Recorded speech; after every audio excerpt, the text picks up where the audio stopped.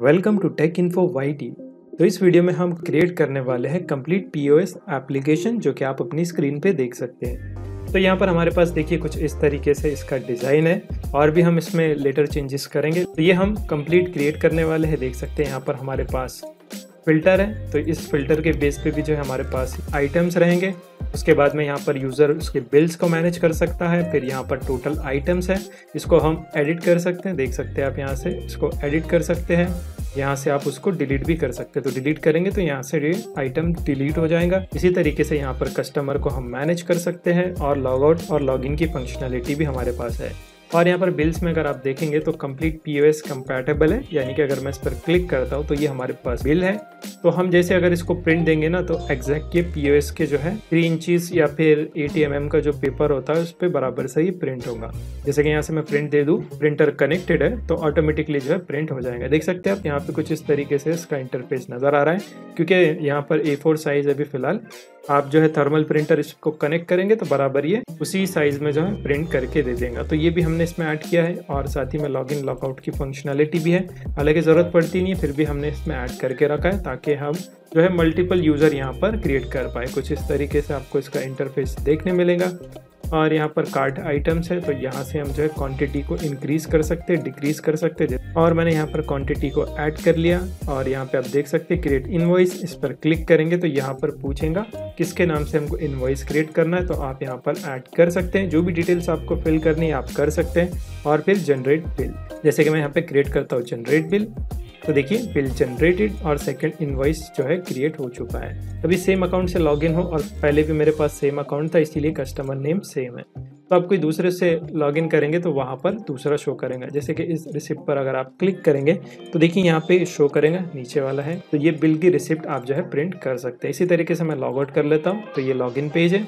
यहाँ से हम लॉगिन हो सकते हैं या फिर देखिए रजिस्टर हेयर है तो इस पर क्लिक करेंगे तो रजिस्टर पेज पे आप रिडायरेक्ट हो जाएँगे। इस तरीके से आप लॉगिन कर सकते हैं, मैं फिर से लॉगिन करके यहाँ पर बता देता हूँ one two three four five six यहाँ पर पासवर्ड है लॉगिन तो यहाँ पर टोस्ट नोटिफिकेशन भी हमको मिलता है। कंप्लीट एप्लीकेशन हम क्रिएट करने वाले हैं React JS Node JS express Mongo DB database की मदद से। तो ये कंप्लीट मर्न स्टैक प्रोजेक्ट है, जिसको हम फ्रॉम द स्क्रैच जो है क्रिएट करने वाले हर चीज़ वन बाय वन हम यहाँ पर एक्सप्लोर करेंगे। तो इस प्रोजेक्ट को स्टार्ट करने से पहले मेक श्योर sure आप जो है चैनल को सब्सक्राइब करके रखें और वीडियो पसंद आए तो इसे ज़रूर लाइक करें। तो इसका सोर्स कोड आपको गिटअप पर मिल जाएगा। लिंक्स आपको जो है डिस्क्रिप्शन में और कमेंट सेक्शन में भी पिन होके मिल जाएँगे। तो इनकेस अगर आपको कहीं पर भी एरर आता है तो कोड को आप कंपेयर कर सकते हैं। तो डेफिनेटली आपको वहाँ पर सोल्यूशन मिल जाएगा। क्योंकि मोस्टली जो है स्पेलिंग मिस्टेक्स होती है तो आप जो है कोड को कंपेयर करेंगे तो इजीली जो है वो एरर चला जाएगा। नहीं तो नीचे कमेंट भी कर सकते हैं आप, जो भी आपको एरर आता है तो मैं पूरी कोशिश करूँगा जल्द से जल्द रिप्लाई देने की। सो मेक श्योर चैनल को सब्सक्राइब करके रखें बेल आइकन प्रेस करें ताकि लेटेस्ट वीडियो की नोटिफिकेशन आपको मिलती रहे। Hello and welcome to tech in info Y तो प्रोजेक्ट शुरू करने से पहले यहाँ पर हम सॉफ्टवेयर इंस्टॉलेशन देखेंगे।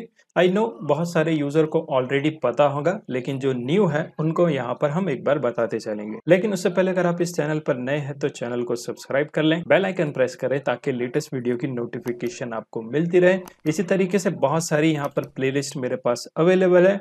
रिएक्ट और मर्न स्टैक से रिलेटेड तो आप चेकआउट कर सकते हैं। काफ़ी यूजफुल कंटेंट है, जो कि आपकी ज़रूर हेल्प करेगा। तो यहाँ पे हम सबसे पहले देखने वाले हैं नोट जेस मेरे पास सब कुछ पहले से इंस्टॉल है तो मैं पूरा इंस्टॉलेशन का सेटअप नहीं बताऊँगा। सिर्फ़ मैं यहाँ पर आपको बता रहा हूँ कि क्या क्या चीज़ें इंस्टॉल होना ज़रूरी है आपके सिस्टम में। तो यहाँ पे आपको जो है नोट जेएस को इंस्टॉल करना पड़ेगा तो एलटीएस वर्जन आप डाउनलोड करें। करंट वर्जन आपके लिए नहीं है। अगर आप एक्सपीरियंस डेवलपर है, तभी आप जो है इस करंट वर्जन को डाउनलोड करें। क्योंकि यहाँ पर कुछ एडवांस चीज़ें हैं, जो कि टेस्टिंग के लिए होती है, उसके बाद में उसको एलटीएस में भेजा जाता है। लेकिन अगर आप फ्रेशर है या फिर ज़्यादा आपको एक्सपीरियंस नहीं है इसके साथ में तो आप एलटीएस वर्जन जो है डाउनलोड करें, क्योंकि ये स्टेबल है, इसमें कोई आपको ज़्यादा एरर्स देखने नहीं मिलेंगे। उसके बाद में हम यहाँ पर यूज़ करने वाले हैं रिएक्ट का। तो पहले क्या होता था, हमको इसको जो है डाउनलोड करना पड़ता था सीएलआई को रिएक्ट की सीएलआई आती थी, हमको डाउनलोड करना पड़ता था। लेकिन अब ऐसा नहीं है, अब हम क्या कर सकते हैं नोट के साथ में हमको जो है नोट पैकेज मैनेजर का सपोर्ट भी मिलता है, जिसे हम कहते हैं एनपीएम तो उसकी मदद से हम क्या कर सकते हैं, यहाँ पर एप्लीकेशन क्रिएट कर सकते हैं। तो अगर आपको इसके बारे में और डिटेल में जानना है तो आप डॉक्स पर क्लिक कर सकते हैं और यहाँ से जो है यूज़ कर सकते हैं। देखिए, यहाँ पे आपको ऑप्शन मिलेगा क्रिएट न्यू रिएक्ट ऐप तो कैसे क्रिएट करना है, सारी चीज़ें आपको यहाँ पर मिल जाएँगी। सिंपली आपको एक कमांड लिखनी पड़ती है एनपीएक्स क्रिएट रिएक्ट ऐप और उसके बाद में आपको फ़ाइल नेम या फिर कह लीजिए प्रोजेक्ट नेम तो जो देना है आपको आप यहाँ पर ऐड कर सकते हैं। उसके बाद में हम यहाँ पर यूज़ करने वाले हैं एक्सप्रेस का तो बैकएंड के लिए हम क्या करेंगे? एक्सप्रेस जेएस का यूज़ करेंगे। तो ये क्या है? ये नोट जेएस का फ्रेमवर्क है। अब नोट जेएस क्या है? यहाँ पर कंटेनर की तरह काम करता है, जहाँ पर हम जावा स्क्रिप्ट का कोड जो है बैकएंड में भी रन करा सकते हैं। और एक्सप्रेस की मदद से हम क्या कर सकते हैं? यहाँ पर एपीआई जो है क्रिएट कर सकते हैं। तो काफ़ी ज़्यादा पॉपुलर है और मोस्टली जो है नोट जेएस के साथ में मैक्सिमम यही यूज़ होता है। ज़रूरी नहीं है, लेकिन होता है। अगर आप मर्ज टैग की बात करें तो यहाँ पर ई स्टैंड फॉर एक्सप्रेस तो यहाँ से आप इसका डॉक्यूमेंटेशन भी देख सकते हैं, काफ़ी कुछ यहाँ पर है। तो हम सारी चीज़ें तो यूज़ नहीं कर सकते, जो भी एडिशनल चीज़ें आपको लगती है तो आप यहाँ से जो है चेकआउट कर सकते हैं। गाइड पर क्लिक करें और यहाँ से आपको सब कुछ मिल जाएगा। उसके बाद में हम यहाँ पर डेटाबेस के लिए जो है मोंगो का यूज़ करेंगे। अब मोंगो में क्या है? एक तो क्लाउड डेटाबेस है, या फिर आप लोकल का भी यूज़ कर सकते हैं। तो क्लाउड में क्या है? हमको सिर्फ़ पाँच सौ की लिमिट मिलती है। तो अगर आप फ़र्स्ट टाइम यूज़ कर रहे हैं तो आप क्लाउड यूज़ कर सकते हैं। और आई थिंक मैंने हर बार जो है क्लाउड ही यूज़ किया है तो आप चेकआउट कर सकते हैं। कोई भी मेरा वीडियो देख ले आप Node to Mongo DB connection तो वहाँ पर आपको मिल जाएगा क्लाउड के साथ में कैसे आप कनेक्ट कर सकते हैं। क्योंकि मैं यहाँ पे आपको नहीं बताने वाला सिंपली अगर आपको क्लाउड यूज़ करना है तो आप एटलास पे जा सकते हैं। जैसे कि न्यू टैब में इसको ओपन करके मैं बताता हूँ। तो एटलास का कुछ इस तरीके से आपको इंटरफेस मिलता है। फ़र्स्ट टाइम में आपको 512 सौ जो है यहाँ पर बिल्कुल फ्री डेटा मिलता है, जिसमें आप टेस्टिंग कर सकते हैं और इनकेस प्रोडक्शन पर आपको भेजना है तो फिर आप प्राइसिंग चेक कर सकते हैं, यहाँ पर आपको मिल जाएगा, कितना चार्ज आपको लगेगा। तो आपके एप्लीकेशन के रिक्वायरमेंट के अकॉर्डिंग आप जो है, इसको यूज़ कर सकते हैं। साथ ही में इसके अंदर हमारे पास देखिए, क्या करें आप, प्रोडक्ट्स पर क्लिक करें और यहाँ पर ऑप्शन आता है कॉम्पास का। तो कॉम्पास क्या है? देखिए, अगर हमको मोंगो डीबी डेटाबेस को देखना है, अब आप चाहे एटलस की बात कर लीजिए, यानी कि क्लाउड डेटाबेस की बात करें या फिर लोकल की बात करें तो हम इंस्टॉल तो इसको कर लेंगे, लेकिन उसको कंटिन्यूस वॉच करने के लिए कि उसमें चेंजेस एक्चुअल में हो रहे हैं या नहीं तो उसको यहाँ पर देखने के लिए हम क्या करते हैं कॉम्पास का यूज़ करते हैं। तो कॉम्पास क्या है, ये जी टूल है तो थोड़ा ग्राफिकल यूज़र इंटरफेस हमको मिलता है, वरना हमको फिर शेल का यूज़ करना पड़ेगा कमांड लाइन में फिर सारा डेटा देखना पड़ेगा, जो कि काफ़ी बोरिंग है और फ़र्स्ट टाइम में तो बहुत कंफ्यूज करता है। तो हम यहाँ पे मोंगो टीबी कॉम्पास का यूज़ करेंगे तो आप इसको डाउनलोड और इंस्टॉल कर ले। उसी तरीके से आप क्या करें, यहाँ पर इसका कम्युनिटी सर्वर जो है डाउनलोड करें तो कम्युनिटी सर्वर अगर आप डाउनलोड करेंगे तो लोकली मोंगो डीबी को आप यूज़ कर पाएँगे। अगर आप एटलस यूज़ कर रहे हैं तो भी कोई दिक्कत नहीं है, मैं बता दूँगा एटलस में भी कैसे यूज़ करना है। आप सिर्फ़ वहाँ पर जो क्लस्टर क्रिएट करके रखें। तो ट्यूटोरियल आपको मिल जाएँगे, या फिर गूगल भी करेंगे तो सिंपली डॉक्यूमेंटेशन आपको उसका मिल जाएगा। तो लोकली भी यूज़ कर सकते हैं क्लाउड का भी यूज़ कर सकते हैं इट्स अप टू यू यहाँ से आप जो है लोकली भी डाउनलोड कर सकते हैं और उसको इंस्टॉल कर लें। इसके बाद में हमारे पास क्या है? यहाँ पर है पोस्टमैन अगर आप फ्रेशर है तो आपने नहीं सुना होगा। अगर आप थोड़ा बहुत भी अगर आपको बैकेंड का नॉलेज है तो वहाँ पे क्या है? देखिए बैकेंड में हम क्या करते हैं? एपीआई को क्रिएट करते हैं। अब उस एपीआई को टेस्ट करना पड़ता है हमको। तो अब डायरेक्टली जो है फ्रंट एंड तो होता नहीं है अपने पास। तो उसके लिए हम क्या करते हैं? यहाँ पर पोस्टमैन टूल का इस्तेमाल करते हैं, जिसमें हम क्या कर सकते हैं? हमारे रेस्ट एपीआई को जो है टेस्ट कर सकते हैं बिना फ्रंट एंड के। यहाँ पर हम पूरे करंट ऑपरेशन परफॉर्म कर सकते हैं और भी बहुत सारी चीज़ें हैं ऑथेंटिकेशन से रिलेटेड और कैसे रेंडर हो रहा है, हमारा डेटा कितना रिक्वेस्ट एंड रिस्पॉन्स टाइम ले रहा है तो सारी चीज़ें हम यहाँ पर चेक कर सकते हैं। तो ये टोटली बैकेंड टूल है और सिर्फ़ और सिर्फ़ रेस्ट एपीआई टेस्ट करने के लिए इस्तेमाल किया जाता है। तो अगर आप बैकेंड डेवलपर नहीं हैं और इंटरेस्टेड भी नहीं है इस चीज़ में तो आप क्या करें, इसको इग्नोर भी कर सकते हैं डायरेक्ट फ्रंट एंड पार्ट भी आप देख सकते हैं। लेकिन अगर आपको प्रोजेक्ट के साथ में कंटिन्यू यहाँ पर देखना है तो आप इसको डाउनलोड करें और इसमें टेस्ट करें, थोड़ा आपको भी आइडिया रहेगा। इन फ्यूचर अगर आपके पास कोई अदर प्रोजेक्ट है तो आप उसको भी इजीली इसमें टेस्ट कर पाएँगे। उसके बाद में हम यहाँ पर आईडी के लिए, यानी कि टेक्स्ट एडिटर के लिए हम जो है विजुअल स्टूडियो कोड का यूज़ करेंगे। तो काफ़ी पॉपुलर है और जब भी जावास्क्रिप्ट की बात आती है तो उसके लिए बेस्ट टेक्स्ट एडिटर है। और रिकमेंडेड भी है, जो भी अगर आपके फ्रेंड या फिर कह लीजिए आप जिस कंपनी में काम कर रहे हैं तो वो भी आपको यही रेकमेंड करेंगे कि आप विजुअल स्टूडियो कोड का इस्तेमाल करें। दूसरे भी है, कुछ पेड है, कुछ फ्री है, लेकिन ये बेस्ट है क्योंकि इसमें हमको काफ़ी अच्छा एक्सटेंशन का सपोर्ट मिलता है, जिससे हमारा प्रोडक्टिविटी बढ़ जाता है। सो आई होप ये सारी चीज़ें आप जो है इंस्टॉल करके रख लेंगे। क्योंकि ये वन वीडियो ट्यूटोरियल है तो इसमें मैं वेट तो नहीं कर सकता। कंटिन्यू हम इसके साथ में आगे बढ़ेंगे। लेकिन आप जो है इतनी सारी चीज़ें जो है इंस्टॉल करके रखें।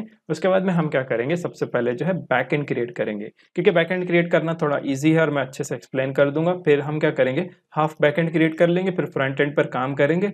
और फिर जब ऑथेंटिकेशन का पार्ट देखना होगा, तब जो हम वापस से बैक एंड स्टार्ट करेंगे। तो यहाँ तक कि आप कंटिन्यू करें और मेक श्योर अगेन पहले चैनल को सब्सक्राइब कर दें बेल आइकन प्रेस करें ताकि लेटेस्ट वीडियो की नोटिफिकेशन आपको मिलती रहे और साथ ही में वीडियो को भी लाइक करते चले। तो यहाँ पे हम ई ड्राइव के अंदर जो है न्यू फोल्डर क्रिएट करेंगे और इसका नाम मैं रखता हूँ P O S dash mall तो ये हमारे प्रोजेक्ट का नाम है और इसके अंदर हम क्या करेंगे, यहाँ पर सर्वर क्रिएट करेंगे। लेकिन मैं क्या करता हूँ उसको पहले विजुअल स्टूडियो कोड में ओपन कर लेता हूँ तो right click open with code और ये प्रोजेक्ट जो है विजुअल स्टूडियो कोड में ओपन हो जाएगा। यहाँ पे आप देख सकते हैं प्रोजेक्ट हमारा ओपन हो चुका है। अभी इसके अंदर कोई भी यहाँ पर फोल्डर्स या फ़ाइल नहीं है, इसीलिए एम शो कर रहा है। तो हम क्या करेंगे, यहाँ से जाएँगे टर्मिनल पर और हमारे पैकेज को इनिशियलाइज करेंगे।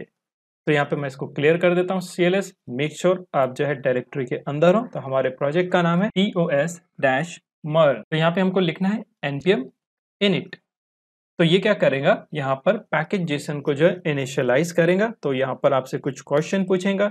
जैसे कि आपके पैकेज का नाम क्या है? तो मैं एज इट इज़ रहने देता हूँ। एंटर वर्जन भी सेम डिस्क्रिप्शन यहाँ पर पीओएस मर्न ऐप एंटर और हमारा एंट्री पॉइंट रहेगा सर्वर डॉट जे की फ़ाइल एंटर प्रेस कर लीजिए। टेस्ट कमांड हमको नहीं चाहिए। एंटर रिपोजिटरी भी हम यहाँ पर अभी ऐड नहीं करेंगे। कीवर्ड्स भी हमको नहीं चाहिए ऑथर में हम यहाँ पे लिख लेते हैं टेक इन्फो वाई और उसके बाद में लाइसेंस यहाँ पे मैं कर लेता हूँ एम आई टी एंटर और इन दी एंड हमारे पास पूछेगा कि ये सारी चीज़ें सही है या नहीं तो सिंपली हम यस पर क्लिक कर देंगे तो देखिए पैकेज जेसन की फ़ाइल यहाँ पर क्रिएट हो जाएँगी। और अगर आप इसको ओपन करेंगे तो यहाँ पे चीज़ नोटिस करिए कि जो चीज़ें हमने यहाँ पे प्रोवाइड की थी ना, वो एज इट इज़ यहाँ पर आ रही है। अब पैकेज जेसन में क्या है? यहाँ पर देखिए स्क्रिप्ट है। तो स्क्रिप्ट का मतलब क्या है कि यहाँ पर अगर कुछ चीज़ें हमको रन करानी है, जो कि हम आगे देखेंगे स्क्रिप्ट भी हमको चेंजेस करने हैं। तो उस कमांड की मदद से हम क्या कर सकते हैं? हमारे हमारे सर्वर को रन कर सकते हैं, फिर नोट बॉन के थ्रू कर सकते हैं, या फिर सीडर स्क्रिप्ट होंगे हमारे पास तो उसको भी हम यहाँ पर स्क्रिप्ट दे देंगे। इसी के साथ में यहाँ पे नीचे डिपेंडेंसीज का आएगा। अभी फ़िलहाल यहाँ पर कुछ भी नहीं है। अब हमको यहाँ पर डिपेंडेंसीज को जो है डाउनलोड करना है। तो इस प्रोजेक्ट में हम क्या करेंगे? एक्सप्रेस का यूज़ करने वाले हैं। एक्सप्रेस तो आई होप आपको पता है। नोट जेस का फ्रेमवर्क है रेस्ट एपीआई को क्रिएट करने के लिए। तो आप क्या करें? कोई भी अगर आपको पैकेज सर्च करना है ना तो आप npmjs.com पर विज़िट करें और यहाँ से आप सर्च कर सकते हैं। तो सबसे पहले हम क्या करेंगे? एक्सप्रेस के पैकेज को जो है इंस्टॉल करेंगे और यहाँ पर अगर आप इसको देखेंगे ना तो यहाँ पर वीकली डाउनलोड्स देख सकते हैं आप, क्या वर्जन चल रहा है, कितने साइज़ है और भी बहुत सारी चीज़ें इसको कैसे यूज़ करना है तो सारी चीज़ें आपको यहाँ पर मिल जाएँगी। इसी तरीके से इंस्टॉलेशन कमांड भी आपको मिल जाएगा। और फिर यहाँ पर उसकी ऑफिशियल रिपोजिटरी या फिर ऑफिशियल वेबसाइट भी आपको यहाँ पर मिल जाएँगी। तो आप चेकआउट कर सकते हैं। इसके बाद में हम जो है मोंगोज का यूज़ करेंगे, क्योंकि मोंगो डीबी हमको यूज़ करना है। तो मोंगोज सबसे बेस्ट पैकेज है मोंगो डीबी डेटाबेस को एक्सेस करने के लिए, क्योंकि इसमें हमको बहुत सारे फ़ंक्शन मिल जाते हैं, जिसकी मदद से हम इजिली जो है मोंगो डीबी से कनेक्ट हो सकते हैं। तो इसके बारे में भी आप यहाँ पर चेकआउट कर सकते हैं। काफ़ी डिटेल्स आपको मिल जाएँगी। और उसके बाद में हम यहाँ पे कॉर्ड्स का यूज़ करेंगे। हालाँकि अब इतना ज़रूरी नहीं है कॉर्ड्स यूज़ करना, लेकिन फिर भी हमारी एप्लीकेशन में हम कॉर्ड्स ऐड करेंगे। हो सकता है इन फ्यूचर अगर आप कोई दूसरे प्रोजेक्ट पर काम करें तो वहाँ पर कॉर्ड्स का इस्तेमाल हो। फिर आप कहेंगे कि यार भाई, तूने ये नहीं बताया। तो यहाँ पे हम इसका भी इस्तेमाल कर लेंगे। फिर यहाँ पर बॉडी पार्सर भी हम इस्तेमाल करेंगे। तो बॉडी पार्सर क्या है? देखिए पहले जो है बॉडी पार्सर ज़्यादा यूज़ होता था, लेकिन अब जो है एक्सप्रेस के साथ में ही हमको जेसन का फ़ंक्शन मिल जाता है। अगर हमारे प्रोजेक्ट में, यानी हमारे बैकएंड में जेसन डेटा रहा, तब उसको एक्सेस करने के लिए हम क्या करते हैं? बॉडी पार्सर का यूज़ करते हैं। ये सिंपल इसकी डेफिनेशन है। उसके बाद में हम यहाँ पे मॉर्गन का यूज़ करेंगे। मॉर्गन क्या है यहाँ पर? अगर हमारे पास रेस्ट एपीआई है और हम उसको टेस्ट कर रहे हैं तो ये सिर्फ़ टेस्ट पर्पज के लिए हम क्या कर सकते हैं? उसको चेक कर सकते हैं कि हमारा जो यूआरएल है वो बराबर से हिट हुआ है नहीं, या कितना टाइम उसने लिया तो उसको हम यहाँ पर एक्सेस कर सकते हैं मॉर्गन की मदद से। उसके बाद में हम क्या करेंगे? यहाँ पे कलर का पैकेज भी यूज़ करेंगे। स्क्रीन पर आप देख सकते हैं तो कुछ इस तरीके से हमको कंसोल मैसेज मिलते हैं। तो हम कंसोल को जो है कलर कर सकते हैं इसकी मदद से। ये सिर्फ़ डेवलपमेंट पर्पज के लिए है, सिर्फ़ डेव सर्वर में ही हम इसका इस्तेमाल करेंगे। उसके बाद में है dot E N V dot E N V देखिए जब भी हमारे एप्लीकेशन में कुछ कॉन्फिडेंशियल डेटा हो, जैसे कि हमारा डेटाबेस पेमेंट गेटवे या फिर कोई कीज जेसन टोकन्स एटसेट्रा तो बहुत सारी चीज़ें होती है जो कि हम यूज़र से डायरेक्टली जो है शेयर नहीं कर सकते। तो उसको हम क्या करते हैं? डॉट ई फ़ाइल में ऐड करते हैं और उसके बाद में सर्वर पे भी वो सिक्योर रहती है। यानी कि वो एक्सपोज नहीं होती तो हमारा कोड जो है सिक्योर रहता है। तो ये भी काफ़ी पॉपुलर है। तो यहाँ पर मैं सब कुछ एक्सप्लेन नहीं कर पाऊँगा।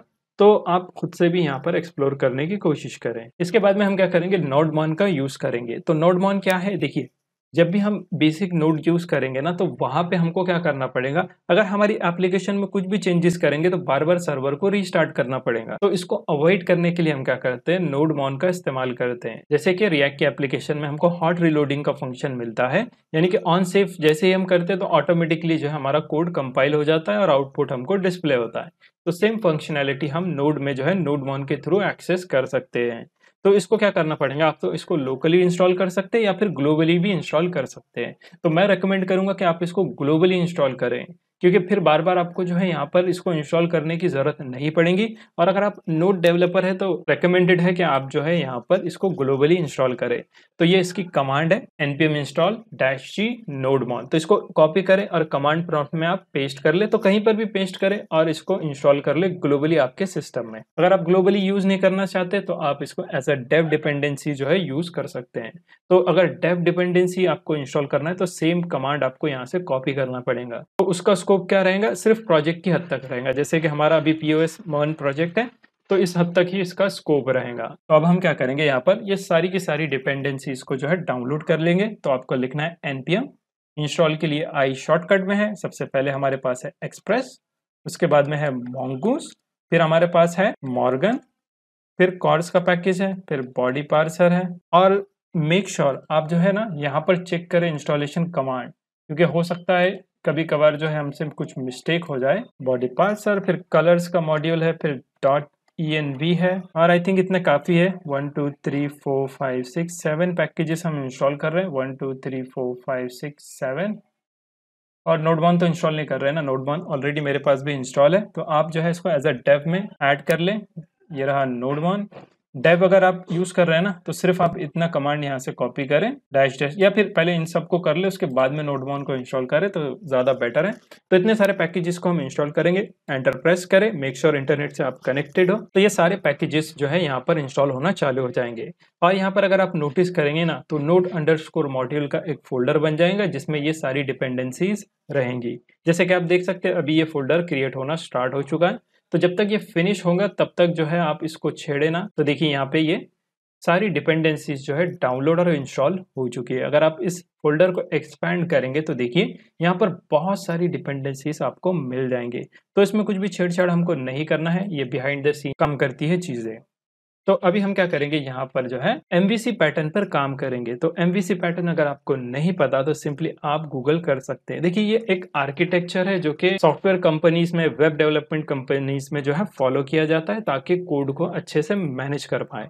तो और भी डिटेल में अगर आपको जानना है तो आप गूगल कर सकते हैं। या फिर नीचे कमेंट करें, हम एक सेपरेट इसके ऊपर वीडियो बना लेंगे। तो यहाँ पे देखिए, मैं क्या करता हूँ स्ट्रक्चर पहले क्रिएट कर देता हूँ ताकि हमको आसानी हो। तो यहाँ पर मैं बहुत सारे फोल्डर्स क्रिएट करूँगा। सबसे पहले जो है राउट्स का फोल्डर क्रिएट करूँगा। तो जितने भी एप्लीकेशन में राउट्स रहेंगे तो इस फोल्डर के अंदर हम उसको ऐड करेंगे। उसके बाद में हमको क्या करना है? रूट में कंट्रोलर के नाम से जो है फोल्डर बनाना है। तो कंट्रोलर तो कंट्रोलर्स क्या है? फ़ंक्शंस को सिंपली हम कंट्रोलर्स कहते हैं। तो कैसे काम करता है? वो भी आगे देखेंगे, कोई दिक्कत नहीं है। फिर हमारे पास होते हैं मॉडल्स क्योंकि यहाँ पर नो सिक्वल डेटाबेस होता है तो हमको जो है मॉडल्स के बेस पे जो है हमारी क्यूरी को फैच या फिर फायर करना पड़ता है। उसके बाद में हमारे पास होता है यूटिल्स अगर कुछ एडिशनल हमारे पास फ़ंक्शंस है तो हम उसको यूटिल्स में रख सकते हैं। उसी के बाद में हमारे पास होता है मिडलवेयर सो मिडलवेयर क्या है? ये भी फ़ंक्शंस है। तो नेक्स्ट फ़ंक्शन को हम मिडलवेयर कहते हैं। अगर हमारे पास है तो इसमें रखेंगे, नहीं तो कोई दिक्कत नहीं है। सिर्फ़ जो है हम यहाँ पे पैटर्न को फॉलो कर रहे हैं, इसीलिए हम सारी चीज़ें क्रिएट कर रहे हैं। तो हमारे पास क्या है? एमवीसी में क्या आता है? मॉडल आता है। व्यू में तो हमारी रिएक्ट की एप्लीकेशन है और सी फॉर कंट्रोलर्स तो टोटल तीनों चीज़ों को मिला के एमवीसी पैटर्न बनता है। तो यहाँ पे देखिए हमारा जो है बेसिक एमवीसी पैटर्न जो है क्रिएट हो चुका है। अब हम क्या करेंगे? यहाँ पर एक सर्वर क्रिएट करेंगे और उसको एक बार टेस्ट कर लेंगे। तो आपको क्या करना है? एक न्यू फ़ाइल क्रिएट करना है सर्वर डॉट जेएस के नाम से, क्योंकि हमने यहाँ पर पैकेज जेसन में भी अगर आपने देखा होगा तो सर्वर डॉट जेएस की हमारी मेन फ़ाइल है। और यहाँ पर अगर आप देखेंगे तो डिपेंडेंसीज का ऑब्जेक्ट बन चुका है और यहाँ पर सारी डिपेंडेंसीज जो है आ चुकी है। अब इस सर्वर डॉट जी की फ़ाइल के अंदर जो है हमको सर्वर को कॉन्फ़िगर करना है। लेकिन यहाँ पर कुछ भी कोड लिखने से पहले मैं आपको जो है कुछ एक्सटेंशन बता दूँगा, क्योंकि देखिए, मेरे पास ऑलरेडी बहुत सारे एक्सटेंशन यहाँ पर इंस्टॉल है तो हो सकता है आपके पास ना हो तो उससे जो है आपको थोड़ा सा मेरे कोडिंग में और आपकी कोडिंग में फ़र्क नज़र आए। तो मैं नहीं चाहता कि आप कहे कि यार, तेरे उसमें ऐसा कैसे हो रहा है और मेरे पास ये चीज़ क्यों नहीं हो रही है। तो उसके लिए मैंने यहाँ पर बहुत सारे एक्सटेंशन जो है डाउनलोड करके रखे तो आप चाहे तो इंस्टॉल कर सकते नहीं भी करना है, कोई दिक्कत नहीं ये सिर्फ़ आपके ऊपर डिपेंड करता है। जो यूजफुल एक्सटेंशन है, जैसे कि ये ऑटो क्लोज टैग इससे क्या होगा, यहाँ पर जैसे आप कोई भी टैग ओपन करेंगे, तब जो है उसका क्लोजिंग टैग भी साथ ही में आपको मिल जाता है। तो इसको कैसे यूज़ करना है, नीचे डॉक्यूमेंटेशन आपको मिल जाएगा। उसके बाद में ऑटो इम्पोर्ट का भी एक यहाँ पर एक्सटेंशन है तो इसमें हम क्या कर सकते हैं सिंपली अगर आप फ़ाइल का नाम लिखेंगे और सजेशन में आपको शो करेंगे, उस पर क्लिक करेंगे तो उस फ़ाइल का लोकेशन ऑटोमेटिकली जो है इम्पोर्ट हो जाएगा। उसी के साथ में यहाँ पर ऑटो रीनेम टैग है। अगर आपके पास कुछ चेंजेस आपको करना है टैग के अंदर तो आप इस ऑटो रीनेम टैग का यूज़ कर सकते हैं। तो सेल्फ एक्सप्लेनेटरी है। इजीली जो है नाम से ही समझ में आ रहा है कि ये चीज़ क्या करती है। उसके बाद में है ब्रैकेट पैर कलराइजर आई थिंक ये अभी लेटेस्ट अपडेट में तो बाई डिफ़ॉल्ट आ रहा है, लेकिन फिर भी आप जो है इसका इस्तेमाल कर सकते हैं। तो इससे क्या होगा? यहाँ पर देख सकते हैं आप सेम कलर का जो है ओपनिंग और क्लोजिंग टैग रहेगा। टैग नहीं, या फिर आप कह लीजिए करली ब्रेसिस या पैरेंथिस आप जो भी लिख रहे हैं ना तो यहाँ पर ये सेम कलर में रहेगा। तो इससे आपको समझ में आएगा कि ये किस चीज़ का ब्लॉक है और कहाँ पर ये ख़त्म हो रहा है। उसके बाद में थीम के लिए मैंने यहाँ पर मटेरियल थीम यूज़ की है तो थीम का सेक्शन मैं आपके ऊपर छोड़ देता हूँ। और. डॉट ई का एक एक्सटेंशन है तो इसमें क्या होता है, थोड़ा कलरफुल हमको जो है. डॉट ई में जो हम वेरिएबल्स डिफाइन करते हैं, वो कलरफुल दिखाई देते हैं। उसके बाद में यहाँ पर रिएक्ट के लिए है। ये seven React Redux native snippet तो इसमें बहुत सारे शॉर्टकट्स हमको मिलते हैं और काफ़ी हमारा यहाँ पर टाइम बचता है। तो इसका ऑफिशियल डॉक्यूमेंटेशन आप ज़रूर देखें, क्योंकि शॉर्टकट यहाँ पर अभी इसने डिफाइन नहीं किया है। यहाँ पर अगर आप क्लिक करेंगे तो उसका पेज ओपन हो जाएगा। मैं नहीं चाहता अभी इसको ओपन करना, आप खुद से इसको एक्सप्लोर करें। उसके बाद में ई एस लेंट है। ई एस लेंट तो आपको पता होगा, ये लेंटर है। कुछ भी हमारे से कोई मिस्टेक होती है या फिर वेरिएबल हम लिख के छोड़ देते हैं तो उसको ये हाईलाइट करता है, हम इसको डिसेबल भी कर सकते हैं, लेकिन अगर आपको यूज़ करना है तो अच्छा है। काफ़ी आपको इसमें हेल्प मिलेंगी प्रोजेक्ट के अंदर। और इसके बाद में देखिए H T M L to J S X ये भी काफ़ी पॉपुलर पैकेज है। जब भी अगर हमको कोड कॉपी पेस्ट करना रहा, क्योंकि normal H T M L तो रिएक्ट में नहीं चलती तो उसको हम क्या कर सकते हैं? नॉर्मल एल को एक्स में कन्वर्ट कर सकते हैं, इस पैकेज की मदद से। तो इसको भी इंस्टॉल करके रखे बाद में देखेंगे इसको कैसे यूज़ करना है। और फिर लाइव सर्वर तो ज़रूरत नहीं है आपको। मटेरियल आइकन थीम आप यूज़ कर सकते हैं। जैसे कि अगर आप यहाँ पे देख रहे हैं ना तो ये मटेरियल आइकन थीम की वजह से जो है कुछ इस तरीके से फोल्डर्स दिख रहे हैं। उसके बाजू में जो लोगो या फिर फाइल्स के आइकन्स आ रहे हैं ना तो ये इसी की वजह से आ रहा है। उसके बाद में हमारे पास है Mongo D for V code जैसे कि मैंने कहा, हम मोंगो टी को जो है, जैसे कॉम्पस में यूज़ करते हैं, वैसे ही वी कोड में भी यूज़ कर सकते हैं। इस पर आप क्लिक करेंगे तो यहाँ से भी आप कनेक्ट हो सकते हैं। इनकेस अगर आप ज़्यादा फेमिलर है, तभी जो है आप इसको यूज़ करें। और यहाँ पर पाथ इंटेलिजेंस तो इसकी तो कोई ज़रूरत नहीं है पीकॉक की भी ज़रूरत नहीं है। प्रिटियर का प्लगइन है, ये आप ज़रूर इंस्टॉल करके रखें और इसको कॉन्फ़िगर करें। कॉन्फ़िगर क्या है? सिंपली आप क्या करें? सेटिंग में जाएँ। ये रही सेटिंग और यहाँ पर फॉर्मेट पे आप फॉर्मेट सर्च करें। फॉर्मेट ऑन सेव तो इस पर आपको जाना है। एडिटर में देखिए फॉर्मेट ऑन सेव और इसको जो है एनेबल कर देना है आपको। आपके इसमें एनेबल नहीं होगा, आप इसको एनेबल कर लें तो जब भी आप कंट्रोल एस करेंगे तो आपका जो डॉक्यूमेंट है वो ऑटोमेटिकली जो है फॉर्मेट होता रहेगा। तो इससे जो है आपको भी कोई दिक्कत नहीं आएगी, क्योंकि मेरे पास फॉर्मेट ऑन सेव है, यानी कि मैं सेव करता हूँ तो ऑटो फॉर्मेट हो जाती है डॉक्यूमेंट तो काफ़ी यूज़फुल है, आप इसका यूज़ कर सकते हैं, और काफ़ी आपका जो है इसमें टाइम बचेगा। अगर आप खुद से भी करना चाहते हैं तो बेटर है। स्टार्ट में आप खुद से ही करें, उसके बाद में थोड़ा एक्सपीरियंस हो जाए तो आप इन पैकेजेस का यूज़ कर सकते हैं। या फिर अगर आपको ज़्यादा जल्दी है, तब भी आप इस पैकेजेस का यूज़ कर सकते हैं। तो सारे पैकेजेस हमने यहाँ पर देख लिए, अब हम यहाँ पर सर्वर क्रिएट करना स्टार्ट कर सकते हैं। तो यहाँ पे हमको क्या करना है, जितने भी पैकेजेस हमने इंस्टॉल किया है, उनको जो है इंपोर्ट करना है। तो यहाँ पे आपको लिखना है, कॉन्स्ट और फिर यहाँ पर हम एक्सप्रेस को इंपोर्ट करेंगे और यहाँ पर हम ई एस फाइव का यूज़ करने वाले हैं। अगर आपको ई एस सिक्स यूज़ करना है तो फिर आपको जो है ई एस एम का पैकेज जो है यहाँ पर इंस्टॉल करना पड़ेगा और उसकी मदद से इसको जो है आपको इनिशियलाइज करना पड़ेगा। तो फ़िलहाल हम ई एस फाइव के साथ में जो है मूव ऑन करेंगे। तो यहाँ पे हमने एक्सप्रेस को रिक्वायर कर लिया। इसी तरीके से बाकी पैकेजेस है। मोंगूज है। तो मोंगूज के लिए हम क्या करेंगे? सेपरेट जो है फ़ाइल क्रिएट कर लेंगे और यहाँ पर मैं मॉर्गन ऐड कर देता हूँ। Morgan equal to require of Morgan package फिर बॉडी पार्सर है। Const body parser equal to require of body parser उसके बाद में कॉर्ड्स था अपने पास तो कॉर्ड्स को भी यहाँ पर इंपोर्ट कर लेंगे। तो सारे मॉड्यूल्स आपको जो है यहाँ पर इंपोर्ट कर देना है। इसी के साथ में हम क्या करेंगे? डॉट ई को भी ऐड कर देंगे। Dot to require of dot E N V और कलर्स भी था तो कलर्स को हम डायरेक्टली रिक्वायर कर सकते हैं। रिक्वायर ऑफ़ कलर्स पैकेज क्योंकि ये सिर्फ़ डेप में काम करने वाला है। तो यहाँ पे एक्सप्रेस हो गया मॉर्गन बॉडी पर्सर कॉर्ड्स और मोंगूस अभी नहीं चाहिए तो मोंगूस नहीं करेंगे हम। तो आई थिंक यहाँ पर तो हो चुका है। यहाँ पे हम क्या करेंगे?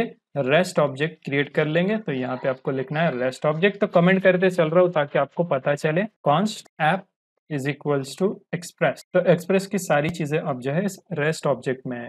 उसके बाद में हम यहाँ पे मिडल क्रिएट करेंगे।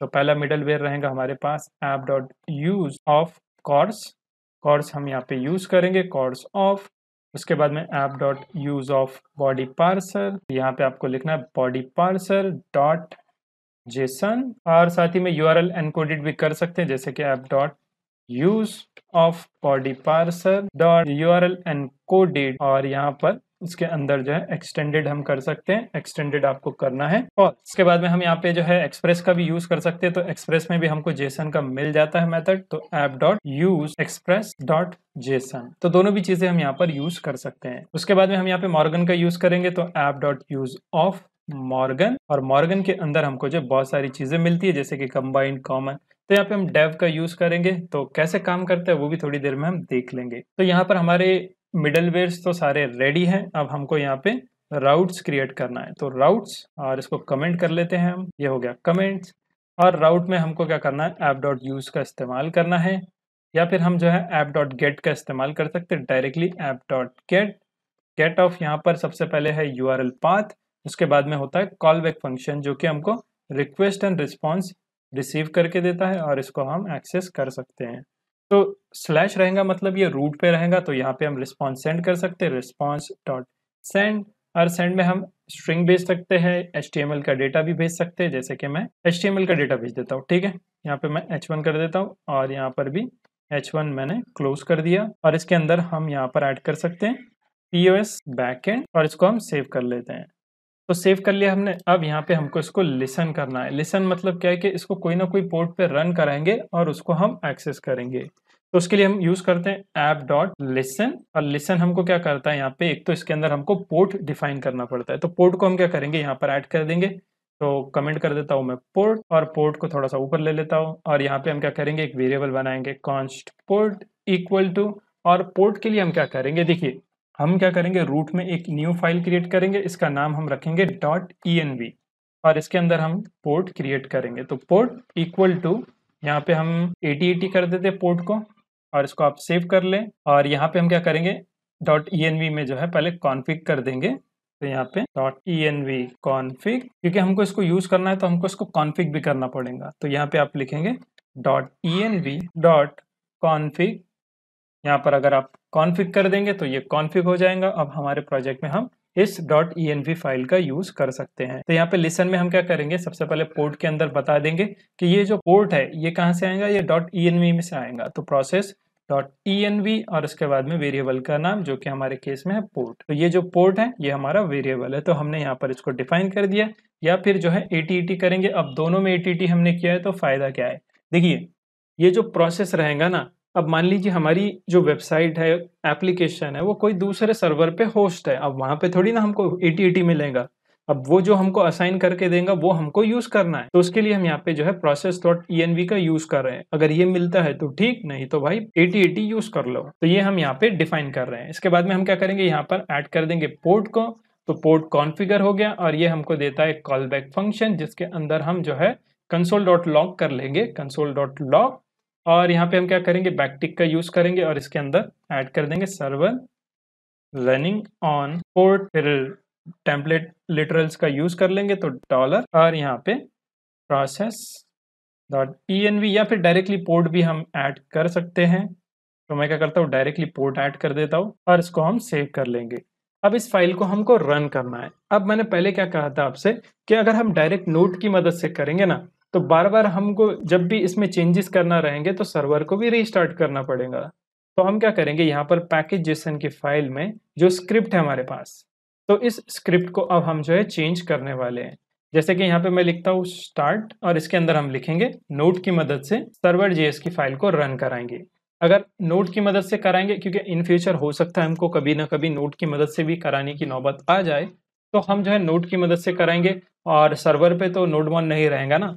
तो फिर हम जो है नोट की मदद से इसको रन कराएँगे। सर्वर मतलब क्या है? होस्टिंग सर्वर की बात कर रहा हूँ मैं यहाँ। उसके बाद में हम क्या करेंगे? यहाँ पर जो है सर्वर की एक कमांड ऐड कर देंगे और यहाँ पे हम क्या करेंगे? नोड मॉन का यूज़ करेंगे। तो नोड मॉन फिर उसके बाद में सर्वर डॉट जेएस की फ़ाइल यहाँ पर हम रन कराएँगे। इतने लिख के आप इसको सेव कर लें और सेव करने के बाद आपको जाना है टर्मिनल में न्यू टर्मिनल और यहाँ से थोड़ा ऊपर कर लेता हूँ मैं। इसको क्लियर कर लेंगे। पहले नोट की मदद से जो है इसको रन करेंगे। तो दोनों भी मैं बता देता हूँ, इनकेस अगर आपको नहीं समझा तो मेक श्योर sure आप क्या करें, यहाँ पर अपनी डायरेक्टरी में हो।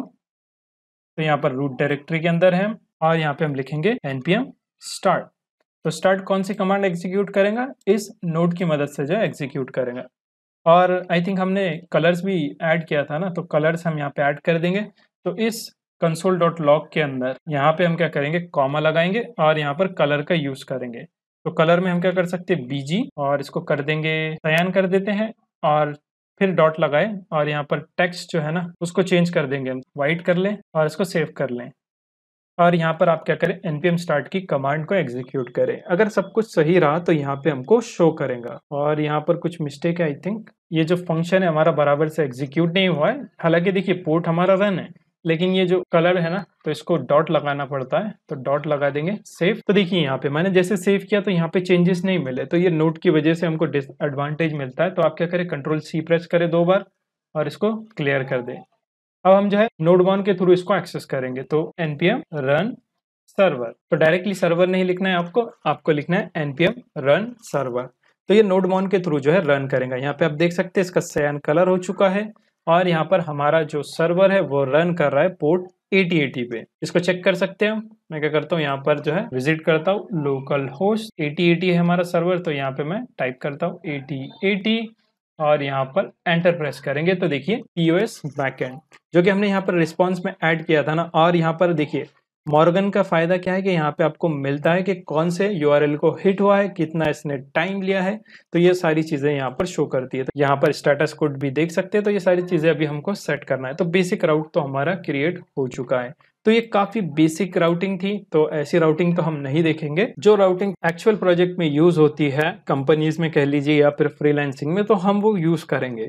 तो यहाँ पर मैंने सिर्फ़ समझाने के लिए इस तरह से एक राउट क्रिएट किया था। तो ये राउट जो था ना, कहा गया? सॉरी ये वाला। तो यहाँ पर सिर्फ़ टेस्ट पर्पज के लिए मैंने ऐड किया था। अभी हम क्या करेंगे? मोंगो डीबी को जो है सेटअप कर लेंगे। तो उसके लिए हम क्या करेंगे? एक न्यू फोल्डर यहाँ पे क्रिएट कर लेंगे। न्यू फोल्डर और इसका नाम मैं रखता हूँ कॉन्फिग तो कॉन्फ़िगरेशन से रिलेटेड सारी फाइल्स हम यहाँ रखेंगे और इसके अंदर मैं एक फ़ाइल बना देता हूँ कॉन्फिग और इसके अंदर हम जो है मोंगो डीबी को जो है यहाँ यहाँ से एक्सेस करेंगे। तो फ़ंक्शन हमको बनाना पड़ेगा और उसके अंदर एरर और डीबी दोनों को हमको यहाँ पर मैनेज करना है। तो यहाँ पे हम क्या करेंगे? एक फ़ंक्शन क्रिएट करेंगे। लेकिन उससे पहले हमको मोंगूस को यहाँ पर इम्पोर्ट करना पड़ेगा।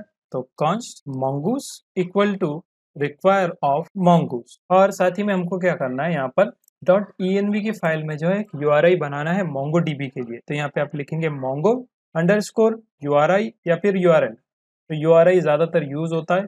अब अगर आप एटलेस यूज़ कर रहे हैं तो वहाँ पे आपको एक कनेक्शन स्ट्रिंग मिलेगा। तो आप उसका यूज़ कर सकते हैं। या फिर अगर आप लोकल यूज़ कर रहे हैं तो आपको लिखना है Mongo DB colon slash slash localhost colon two seven zero one seven और उसके बाद में डेटाबेस का नाम। तो यहाँ पे मैं लिखता हूँ पीओएस तो पॉइंट ऑफ़ सेल सिस्टम के लिए हम यहाँ पे पीओएस डेटाबेस यूज़ करेंगे। तो इसको आप सेव कर ले और जब भी डॉट ई फ़ाइल में अगर आप चेंजेस करें तो आप क्या करें? सर्वर को रिस्टार्ट करें।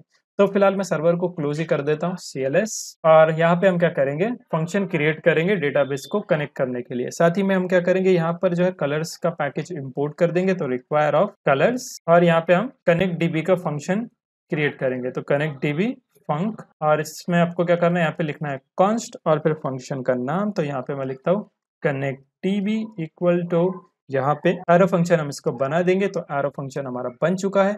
और इस फ़ंक्शन को हम एसिंक बना देंगे। तो एसिंक फ़ंक्शन और कुछ भी हम यहाँ पर आर्ग्यूमेंट पास नहीं करेंगे और अच्छे से एरर को हैंडल करने के लिए हम क्या करेंगे? यहाँ पर ट्राई कैच ब्लॉक का यूज़ करेंगे। तो कैच में हमको क्या करना है? सिंपली जो है कंसोल डॉट लॉक करना है। जो भी एरर आता है तो यहाँ पर हम उसको कंसोल डॉट लॉक करेंगे और पूरे प्रोसेस को हम यहाँ पर विथ फेलियर जो है एग्जिट करा देंगे। तो process dot exit sorry emit नहीं ये रहेगा एग्जिट और इसके अंदर आपको वन पास कराना है तो एग्जिट विथ फेलियर यहाँ पर शो करेगा। अब यहाँ पर देखिए ट्राई के अंदर हमको क्या करना है, यहाँ पे कनेक्ट करना है मोंगो टीबी डेटाबेस से, क्योंकि मोंगो टीबी इटसेल्फ एक सर्वर है, इसीलिए हम यहाँ पर एसिंक अवेट का सिंटैक्स यूज़ कर रहे हैं। तो यहाँ पे एक वेरिएबल हम बना लेंगे कौन के नाम से, और यहाँ पे हमको क्या करना है अवेट करना है। अवेट किस चीज़ का करना है हमको, यहाँ पे हमको जो है कनेक्ट करना है। तो यहाँ पे हम लिखेंगे मोंगूस की मदद से कनेक्ट करेंगे तो मोंगूस डॉट कनेक्ट और इस कनेक्ट के अंदर हमको क्या करना है? कनेक्शन स्ट्रिंग को पास कराना है, जो कि हमारे पास कहाँ पर है? Dot E N V file के अंदर है तो इसको हमको पास कराना है। तो यहाँ पे आप लिखेंगे process dot E N V dot Mongo underscore U R I जो स्ट्रिंग आपने यहाँ लिखा होगा, वही चीज़ आप जो है यहाँ पर ऐड करेंगे। और इसके बाद में हमको एक सक्सेस रिस्पॉन्स यहाँ पर ऐड करना है। और यहाँ पर एरर के अंदर हम क्या कर सकते हैं? कलर्स पैकेज भी यूज़ कर सकते तो डॉट यहाँ पे हम रेड लिख सकते हैं और आई डोंट थिंक ये सपोर्ट कर रहा है। बी जी रेड तो यहाँ पर ये सपोर्ट नहीं कर रहा तो इसको इग्नोर कर सकते हैं हम सिंपली और कहाँ पर है?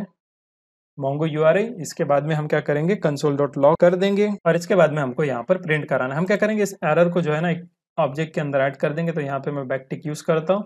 एरर और यहाँ पे हम क्या कर सकते हैं? जो भी एरर आ रहा है ना, उसको हम यहाँ पर प्रिंट करा देंगे। तो आपको लिखना है डॉलर एरर एरर ऑब्जेक्ट है ये, और इसके अंदर हमको मिलता है मैसेज तो उस मैसेज को हम यहाँ पे प्रिंट करा देंगे। और इसके बाद में मैं क्या करता हूँ, यहाँ पे बीजी जो है रेड कर लेता हूँ। तो एरर है तो रेड में शो होगा तो ज़्यादा अच्छा लगता है। और यहाँ पर हमारे पास क्या है कनेक्शन है। अगर ये कनेक्शन सक्सेस हो तो भी हम क्या करेंगे कंसोल डॉट लॉक कर लेंगे। और यहाँ पे आपको क्या करना है अगेन बैकटिक का यूज़ कर सकते हैं आप। और इसके अंदर हम एक मैसेज प्रिंट करा देंगे मोंगो डीबी कनेक्टेड और यहाँ पर आपकी सहूलियत के लिए मैं एक चीज़ ऐड कर देता हूँ। इनकेस अगर आप एटलस यूज़ कर रहे हैं तो यहाँ पे आपको प्रॉपर मैसेज मिल जाएगा। तो हम यहाँ पे होस्ट को प्रिंट करा देंगे। तो यहाँ से आपको लिखना है कॉन डॉट कनेक्शन और इसके बाद में कनेक्शन का होस्ट हम यहाँ पे शो कराएँगे। इसके बाद में मैं क्या करता हूँ, यहाँ पर इसको येलो में ऐड कर देता हूँ। येलो तो ये येलो कलर के टेक्स्ट में हमको शो करेगा। या फिर अगर आपको बीजी येलो करना है तो आप बीजी येलो भी कर सकते हैं। और इसको हम सेव कर लेंगे। और इसके बाद में हमको क्या करना है? यहाँ पे इसको एक्सपोर्ट करना है। तो मैं कमेंट भी करते चलता हूँ एक्सपोर्ट और यहाँ पे हम क्या करेंगे? मॉड्यूल डॉट एक्सपोर्ट का यूज़ करेंगे क्योंकि ई एस सिक्स नहीं है ये। हम ई एस फाइव का यूज़ कर रहे हैं। तो module dot exports equal to जो भी फ़ंक्शन का नाम है, हमारे फ़ंक्शन का नाम है कनेक्ट डीवी तो इसको हमको एक्सपोर्ट करना है। इतना लिख के आप इसको सेव कर ले तो फ़ंक्शन हमारा क्रिएट हो चुका है। अब इसको हम जो है सर्वर डॉट जी की फ़ाइल में इम्पोर्ट कर देंगे। तो यहाँ पर इसको इम्पोर्ट कर ले। कहाँ पर इंपोर्ट कर लेते हैं हम? इस कलर्स के पैकेज के बाद में const connect DB equal to require of dot slash config का फोल्डर और उसके अंदर कॉन्फिक की फ़ाइल तो डॉट जीएस लिखने की ज़रूरत नहीं है और इस डॉट ईएनवी के बाद में आपको जो है डीबी को कॉन्फिक करना है। क्योंकि पहले जो है. डॉट ई ज़रूरी है, उसके बाद में जो है यहाँ पर हमको कॉन्फिक करना है डेटाबेस तो यहाँ पे आपको सिंपली क्या करना है? कनेक्ट डीबी को कॉल कर देना है। तो इतना लिख के मैं इसको सेव कर लेता हूँ। अब हम क्या करेंगे? यहाँ पर सर्वर को रन करेंगे। तो थोड़ा सा स्क्रोल अप कर लेते हैं और यहाँ पर एनपीएम रन सर्वर और एंटर प्रेस कर देंगे। तो सब कुछ सही रहा तो यहाँ पे हमको कनेक्शन मिल जाएगा। तो देखिए हमारा सर्वर तो ऑन है, लेकिन यहाँ पर डेटाबेस से अभी कनेक्ट नहीं हुआ है। सो आई थिंक यहाँ पर कुछ मिस्टेक है। कॉल तो हमने किया है कनेक्ट डीबी को इंपोर्ट भी किया है। ये कॉन्फ़िग है और इसके बाद में मैं क्या करता हूँ, कुछ चीज़ें प्रोवाइड कर देता हूँ। हो सकता है इसकी वजह से दिक्कत हो तो यहाँ पे हम क्या करेंगे?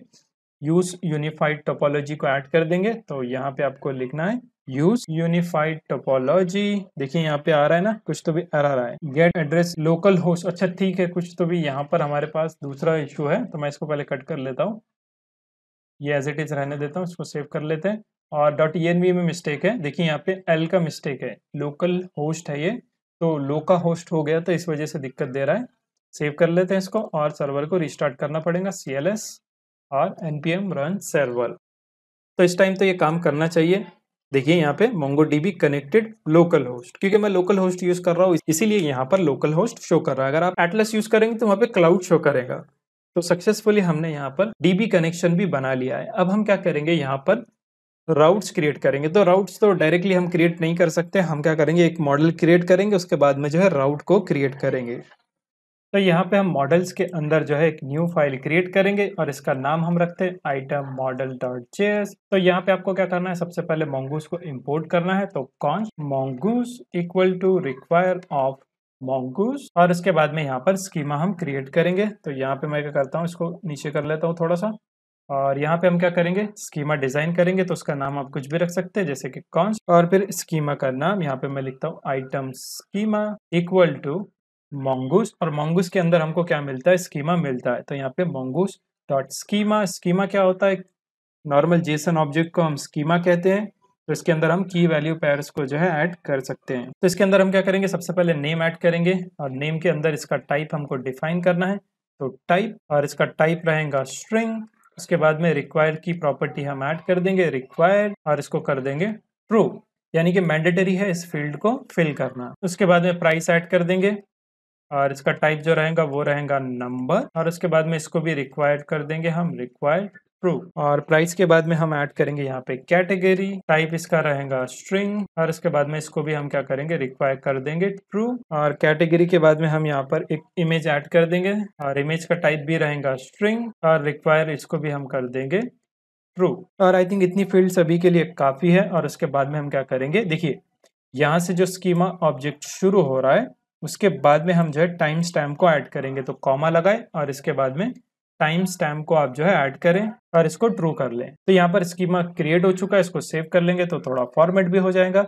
और यहाँ पे हम क्या करेंगे, इसके बाद में जो है, इसको बताएँगे कैसे बताना है हमको। देखिए, बहुत सिंपल है, एक वेरिएबल हम क्रिएट करेंगे कॉन्स्ट और फिर इसका नाम हम रखेंगे items equal to mongoose dot model और इसके अंदर मॉडल का नेम आइटम्स और आपके स्कीमा का नाम। तो आइटम स्कीमा और इसके बाद में इसको एक्सपोर्ट कर देंगे। तो मॉड्यूल डॉट एक्सपोर्ट और यहाँ पे जो हमारा मॉडल है, उसको एक्सपोर्ट कर देंगे तो यहाँ पे आइटम्स को हम एक्सपोर्ट कर देंगे। तो यहाँ पे हमारा स्कीमा क्रिएट हो चुका है। अब हम क्या कर सकते हैं? यहाँ पे राउट्स क्रिएट कर सकते हैं। लेकिन एक प्रॉब्लम क्या है कि हमारे पास अभी कोई भी डेटा नहीं है। तो हम क्या करेंगे? नेक्स्ट जो है डमी डेटाबेस क्रिएट कर लेंगे। तो डेटाबेस ऑलरेडी है, उसके अंदर हमारे पास डेटा नहीं है। तो उसको हम क्या करेंगे? डेटा सीडर स्क्रिप्ट की मदद से जो है डेटा को इम्पोर्ट कर देंगे और उस डेटा की मदद से हम जो है, फिर राउटिंग परफॉर्म करेंगे। तो वो देखेंगे हम इसके बाद में तुरंत तो आप क्या करें, यहाँ तक के पहले इसको कंप्लीट कर लें। नेक्स्ट हम क्या करने वाले हैं, एक जेसन की फ़ाइल मैं क्रिएट कर रहा हूँ, उसके अंदर जो है डमी डेटा रहेगा और एक सीडर की फ़ाइल हम क्रिएट करेंगे और उसकी मदद से डेटा को डेटाबेस में इंपोर्ट करेंगे। तो यहाँ पे देखिए यूटिल्स के अंदर मैंने एक डेटा डॉट के नाम से एक फ़ाइल क्रिएट की है और इसके अंदर कुछ डमी आइटम्स को मैंने ऐड किया है ताकि हम इसका यूज़ कर पाए, क्योंकि राउट देखना है। अगर हमारे पास कुछ डेटा ही नहीं रहेगा तो फिर राउट्स में हम क्या देखेंगे? तो इसीलिए मैंने एक यहाँ पर डेटा के नाम से एक फ़ाइल बनाई है, जिसके अंदर डमी डेटा है। तो ये फ़ाइल आपको रिसोर्सेज में मिल जाएँगी तो आप यूज़ कर सकते हैं, या फिर आप जो है खुद से भी क्रिएट कर सकते हैं। इसके अंदर सिर्फ़ चार फ़ील्ड है name price category and image जो कि हमने आइटम मॉडल में डिफाइन किया था। नेम प्राइस कैटेगरी और इमेज तो ये सारी चीज़ें मैंने यहाँ पर ऐड की है। अब हम क्या करेंगे? सीडर स्क्रिप्ट क्रिएट करेंगे। तो रूट में हम क्या करेंगे? एक न्यू फ़ाइल क्रिएट करेंगे और इसका नाम मैं रखता हूँ सीडर डॉट जे क्योंकि ये एक सेपरेट फ़ाइल है, इसीलिए हमने इसको सेपरेटली क्रिएट किया है। आप चाहे तो यूज़ कर सकते हैं, अगर आपको नहीं करना है तो आप डायरेक्टली डेटाबेस में जाकर मैनुअल ये सारी चीज़ें क्रिएट कर सकते हैं। तो यहाँ पे हम क्या करेंगे? सबसे पहले मोंगूस को इम्पोर्ट करेंगे और यहाँ पर रिक्वायर कर ले इसको। मोंगूस को हमने यहाँ पर इम्पोर्ट कर लिया, उसी के साथ में हमको यहाँ पर डॉट ई को भी ऐड करना है dot env equal to require of dot env इसके बाद में हमको कॉन्फिग फ़ंक्शन भी चाहिए तो const connect db equal to require of dot slash config slash config make sure आपने जो कॉन्फिग के अंदर लिखा था, देखिए ये जो फ़ंक्शन है, हमारा कनेक्ट डीबी इसको हमको यूज़ करना है। तो यहाँ पे देखिए बी जो है लोअर केस में है तो यहाँ पे मैं इसको भी सेम लोअर केस में कर देता हूँ। और इसके साथ में हमको मॉडल भी चाहिए तो मॉडल भी इंपोर्ट कर ले। कॉन्स्ट आइटम मॉडल और यहाँ पे मैं इसको जो है कैपिटल में कर लेता हूँ। Equal to require of dot slash models का फोल्डर और उसके अंदर हमारे पास है आइटम मॉडल और इसके बाद में हमको क्या चाहिए? यहाँ पर डेटा की फ़ाइल को भी इंपोर्ट कर लेंगे। कॉन्स्ट आइटम डेटा और यहाँ पर मैंने किस नाम से एक्सपोर्ट किया? देखिए आइटम्स है ना तो इसके नाम से किया तो सेम मैं यहाँ पर यूज़ करूँगा। Items equal to require of dot slash utils slash data तो यहाँ पर इंपोर्ट्स हमारे हो चुके हैं। यहाँ पे हमको कॉन्फ़िगरेशन करनी है थोड़ी सी तो यहाँ पे कमेंट कर देता हूँ मैं। कॉन्फ़िग पहले डॉट ई की कॉन्फ़िग तो डॉट ई डॉट कॉन्फ़िग उसके बाद में कनेक्ट डीबी को हमको कॉल करना है, और उसके बाद में यहाँ पर फ़ंक्शन लिखना है। कौन सा function seeder function so const और फ़ंक्शन का नाम आप कुछ भी रख सकते हैं, जैसे कि const import data equal to arrow function तो ये एरो फ़ंक्शन रहेगा, इसको एसिंग बना लेंगे। सो एसिंग फ़ंक्शन आर्ग्यूमेंट में कुछ भी नहीं रहेगा, और ट्राई कैच हम ऐड कर देंगे तो ट्राई कैच और एरर को पहले हम हैंडल कर लेंगे, जो भी एरर रहेगा, उसको हम कंसोल डॉट लॉक कर लेंगे। और मैं कलर्स पैकेज को भी इंपोर्ट कर लेता हूँ तो रिक्वायर ऑफ़ कलर पैकेज और अब हम इसको यहाँ पर यूज़ कर सकते हैं तो कंसोल डॉट लॉग में हम क्या करेंगे? बैकटिक का यूज़ करेंगे। जो भी एरर आ रहा है, उसको यहाँ पर पास करा देंगे। तो एरर और उसके बाद में यहाँ पर बीजी डेंजर कर देंगे, या फिर रेड कर लेते हैं और डॉट इसका इन्वर्स कर देंगे और यहाँ पर प्रोसेस को हम क्लोज कर देंगे। Process dot exit exit with failure हमको यहाँ पर करना है, क्योंकि यहाँ पर हमारा टास्क जो है ना वो फेल हो रहा है, इसीलिए हम प्रोसेस डॉट एग्जिट यूज़ कर रहे हैं। अब ट्राई के अंदर हमको क्या करना है, यहाँ पे अवेट करना है। अवेट किस चीज़ का करेंगे हम? पहले तो देखिए, हमारे पास जितना भी डेटा रहेगा, उसको हम डिलीट कर देंगे। तो यहाँ पे मैं लिखता हूँ डिलीट मैनी और डिलीट मैनी को हमको कॉल कर देना तो जो भी डेटा रहेगा, वो डिलीट हो जाएगा। तो यहाँ पे हम क्या करेंगे, पहले हमारे मॉडल का नाम भी दे देंगे, वरना इसको पता कैसे चलेगा? तो यहाँ पे हम लिखेंगे item model dot delete many अब इसके बाद में हम क्या करेंगे, यहाँ पर एक वेरिएबल क्रिएट करेंगे कॉन्स्ट और इसका नाम हम रख सकते हैं आइटम्स या फिर कुछ और नाम दे देते क्योंकि ऑलरेडी हमारे पास है ना। आइटम्स डेटा कर लेते हैं इसको। इक्वल टू यहाँ पे हमको लिखना है अवेट करना है सबसे पहले तो अवेट हमारे पास जो मॉडल है item model dot insert many का हमको यहाँ पे यूज़ करना है। इंसर्ट मैनी और उसके अंदर जितना भी हमारे पास डेटा है। डेटा कौन सा है? देखिए डेटा डॉट जेएस की फ़ाइल है ना तो ये जितना भी डेटा है, हमने कहाँ पर इसको ऐड किया है? देखिए, इस आइटम्स के अंदर जो इसको स्टोर किया है। तो ये हम यहाँ पे पास करा देंगे। आइटम्स और अगर ये सक्सेस होता है तो हमको सिर्फ़ कंसोल डॉट लॉग करना है कि ये सक्सेसफुली इम्पोर्ट हुआ है या नहीं। तो हम क्या कर सकते हैं? यहाँ पर ऐड कर सकते हैं स्टेटमेंट ऑल आइटम एडिट उसके बाद में डॉट लगा सकते हैं बीजी हम कर सकते हैं इसको ग्रीन और क्या कर सकते हैं? हम यहाँ पे जो प्रोसेस है ना, उसको भी एग्जिट कर देंगे। प्रोसेस डॉट एग्जिट सिर्फ़ एग्जिट करना है हमको यहाँ पर। और कुछ भी नहीं करना विथ फेलियर नहीं चाहिए हमको, इसीलिए हमने सिर्फ़ एग्जिट करा है। इतना लिख के आप इसको सेव कर ले और इस फ़ंक्शन को हम नीचे जो है कॉल कर लेंगे। तो इसी तरीके से हम डिलीट के लिए भी कर सकते हैं। तो आई होप डिलीट आप समझ गए होंगे कैसे करना है।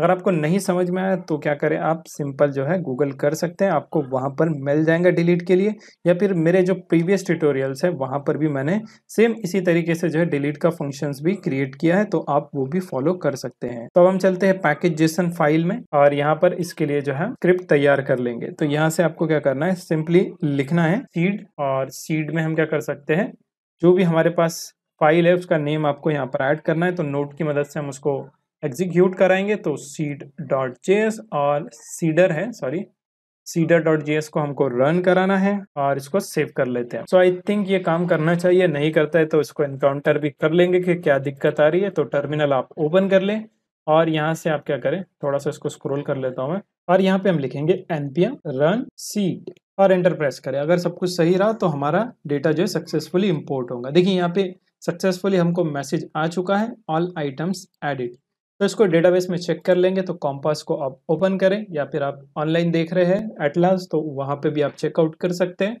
यहाँ पे मैं कॉम्पास का यूज़ कर रहा हूँ। और यहाँ पे मैं इसको कनेक्ट कर दूँगा लोकल होस्ट पर तो यहाँ पर ये यह कनेक्ट हो रहा है। और यहाँ से हमको सर्च करना है हमारा डेटाबेस तो देखिए पीओएस इस पर क्लिक करता हूँ तो देखिए आइटम्स का हमारे पास एक कलेक्शन आ चुका है। इसको फर्दर एक्सपैंड करेंगे तो देखिए हमारे पास डेटा आ चुका है। तो सक्सेसफुली हमारी डेटा सीडर स्क्रिप्ट जो है काम कर गई। तो अब इस डेटा को जो है हम यूज़ कर सकते हैं और इसकी मदद से कंट्रोलर्स और फिर डिफरेंट डिफरेंट राउट्स हम यहाँ पर चेक कर सकते हैं। तो टेस्ट पर्पज के लिए डेटा हमने ऐड किया था। बाद में हम और भी डेटा इसमें ऐड करेंगे सो मेक श्योर आप भी डेटा सीडर स्क्रिप्ट की मदद से जो है डेटा को इम्पोर्ट करके रखे। तो अब जितने भी राउट है, उसमें हमको ये डेटा को यूज़ करना है। तो अब हम यहाँ पे जो है राउट और कंट्रोलर क्रिएट करेंगे। तो सबसे पहले हम क्या करेंगे? यहाँ पर कंट्रोलर क्रिएट कर लेंगे। या फिर राउट ज़्यादा सिंपल है, इसीलिए मैं क्या करता हूँ, एक न्यू फ़ाइल क्रिएट करता हूँ और आइटम के लिए है तो आइटम राउट डॉट जेस इस फ़ाइल का नाम हमने यहाँ पे रखा है। और यहाँ पे हम क्या करेंगे एक्सप्रेस को जो है इनिशियलाइज कर लेंगे तो const express equal to require of express और इसके बाद में एक राउटर ऑब्जेक्ट हम यहाँ पे क्रिएट करेंगे const router equal to express dot router और ये मेथड है, इसीलिए हम यहाँ पर इसको पैरेंथिस में रैप कर रहे हैं। उसके बाद में इसको एक्सपोर्ट कर देंगे। तो module dot exports equal to router तो अब इसको हम कहीं से भी यूज़ कर सकते हैं। तो इसके अंदर हमारे पास राउट्स रहेंगे। तो यहाँ पे आपको लिखना है राउट्स तो फ़र्स्ट वन रहेगा गेट के लिए। तो यहाँ पे मैं मेथड ऐड कर देता हूँ। मेथड रहेगा गेट और यहाँ पे हम एक राउट क्रिएट करेंगे राउटर फिर इसके बाद में डॉट फिर गेट तो इसमें क्या करेंगे हम? सारा का सारा डेटा जो हमने अभी किया था, उसको जो है गेट करेंगे. तो इसके अंदर हम क्या करेंगे? एंड पॉइंट को क्रिएट करेंगे तो स्लैश गेट आइटम कर लेते हैं और इसके अंदर रहता है कॉल बैक फ़ंक्शन तो कॉल बैक फ़ंक्शन हम यहाँ पर नहीं लिखेंगे, हम क्या करने वाले हैं?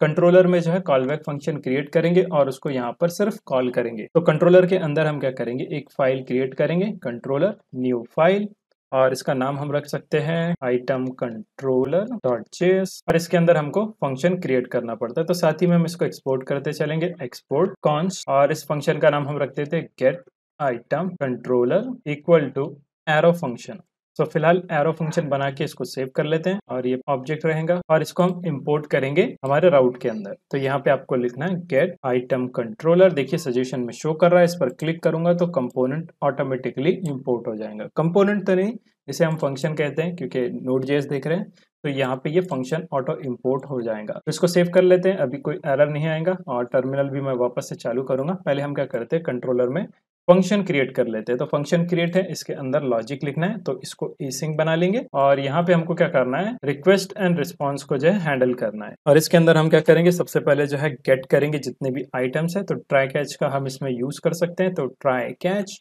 और कैच के अंदर सिंपली हम कंसोल डॉट लॉक कर लेंगे। जो भी एरर आता है, उसको हम यहाँ पे प्रिंट करा सकते हैं। उसके बाद में हम क्या करेंगे? यहाँ पर एक वेरिएबल बनाएँगे कॉन्स्ट और इसको कर देते हैं हम आइटम्स क्योंकि हम इसमें आइटम्स रिसीव करेंगे। और यहाँ पर ये कहाँ से आएँगे? हम अवेट कराएँगे। हमारे पास है आइटम मॉडल सो इसको इंपोर्ट करना पड़ेगा। तो हम क्या करते हैं? टॉप पे इसको इंपोर्ट कर देंगे। Const item model equal to require और यहाँ पर जाना है हमको डॉट डॉट स्लैश फिर मॉडल्स का फोल्डर उसके अंदर है हमारे पास आइटम मॉडल तो इसके अंदर हमको बहुत सारे मेथड्स मिलते हैं। तो इसके बाद में डॉट लगाएँ। डॉट के बाद में हमको क्या करना है? यहाँ पे फाइंड करना है और सब कुछ फाइंड करना है। इसीलिए डायरेक्टली हम फाइंड का मेथड यहाँ पर कॉल कर रहे हैं। और ये सक्सेस होगा तो यहाँ पे हमको रिस्पॉन्स मिलेगा। तो यहाँ पे स्टेटस आप सेंड कर दें। Rest dot status of 200 that means okay request और यहाँ पे हम सेंड कर लेंगे। सेंड क्या करना है? हमको जितने भी हमको आइटम्स मिल रहे हैं, जो कि हम यहाँ पे गेट कर रहे हैं तो उसको हम यहाँ से रिस्पॉन्स में सेंड कर रहे हैं। और यहाँ पर हमारा कंट्रोलर तैयार है और हमारा राउट भी तैयार है। अब इसको हमको सर्वर डॉट जेएस की फ़ाइल में ऐड करना है तो ऊपर आप क्या करें? या फिर डायरेक्टली आप जो है राउट्स है ना यहाँ पर तो इसमें हम क्या करेंगे? ये डिफ़ॉल्ट राउट में रिमूव कर लेता हूँ।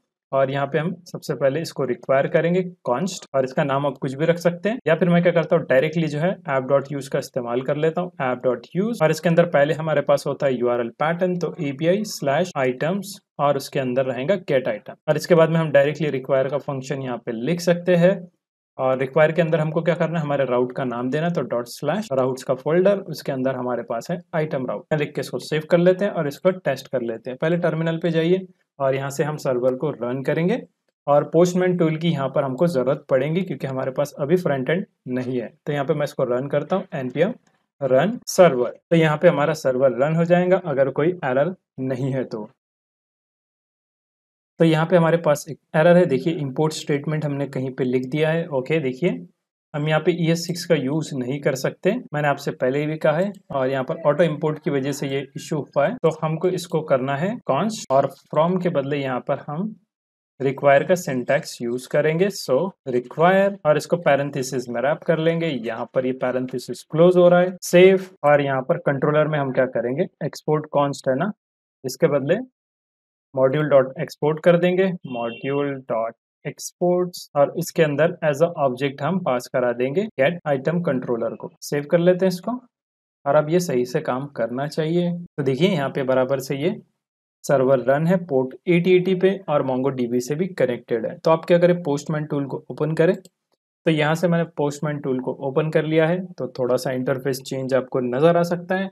डिपेंड करता है कि आप ये वीडियो कब देख रहे हैं, क्योंकि इसका यूआई थोड़ा सा चेंज होता रहता है और ये जो थीम है वो डार्क थीम है। तो यहाँ से हम क्या करेंगे, एक न्यू क्रिएट करेंगे फोल्डर तो प्लस पर क्लिक करें और हमारे फोल्डर का नाम हम क्या करेंगे, पहले मैं इसको रीनेम कर लेता हूँ, क्योंकि मेरे पास दूसरे प्रोजेक्ट भी थे यहाँ पर तो उससे कंफ्यूजन हो सकता है। तो यहाँ पे मैं क्या करता हूँ, इसका नाम पीओएस मर्न कर देते हैं हम तो यहाँ पे पीओएस मर्न और इसके अंदर एक रिक्वेस्ट हम क्रिएट करेंगे और इस रिक्वेस्ट का नाम रखेंगे हम गेट आइटम और टाइप इसका सेम रहेगा और यहाँ पे हमको क्या करना है?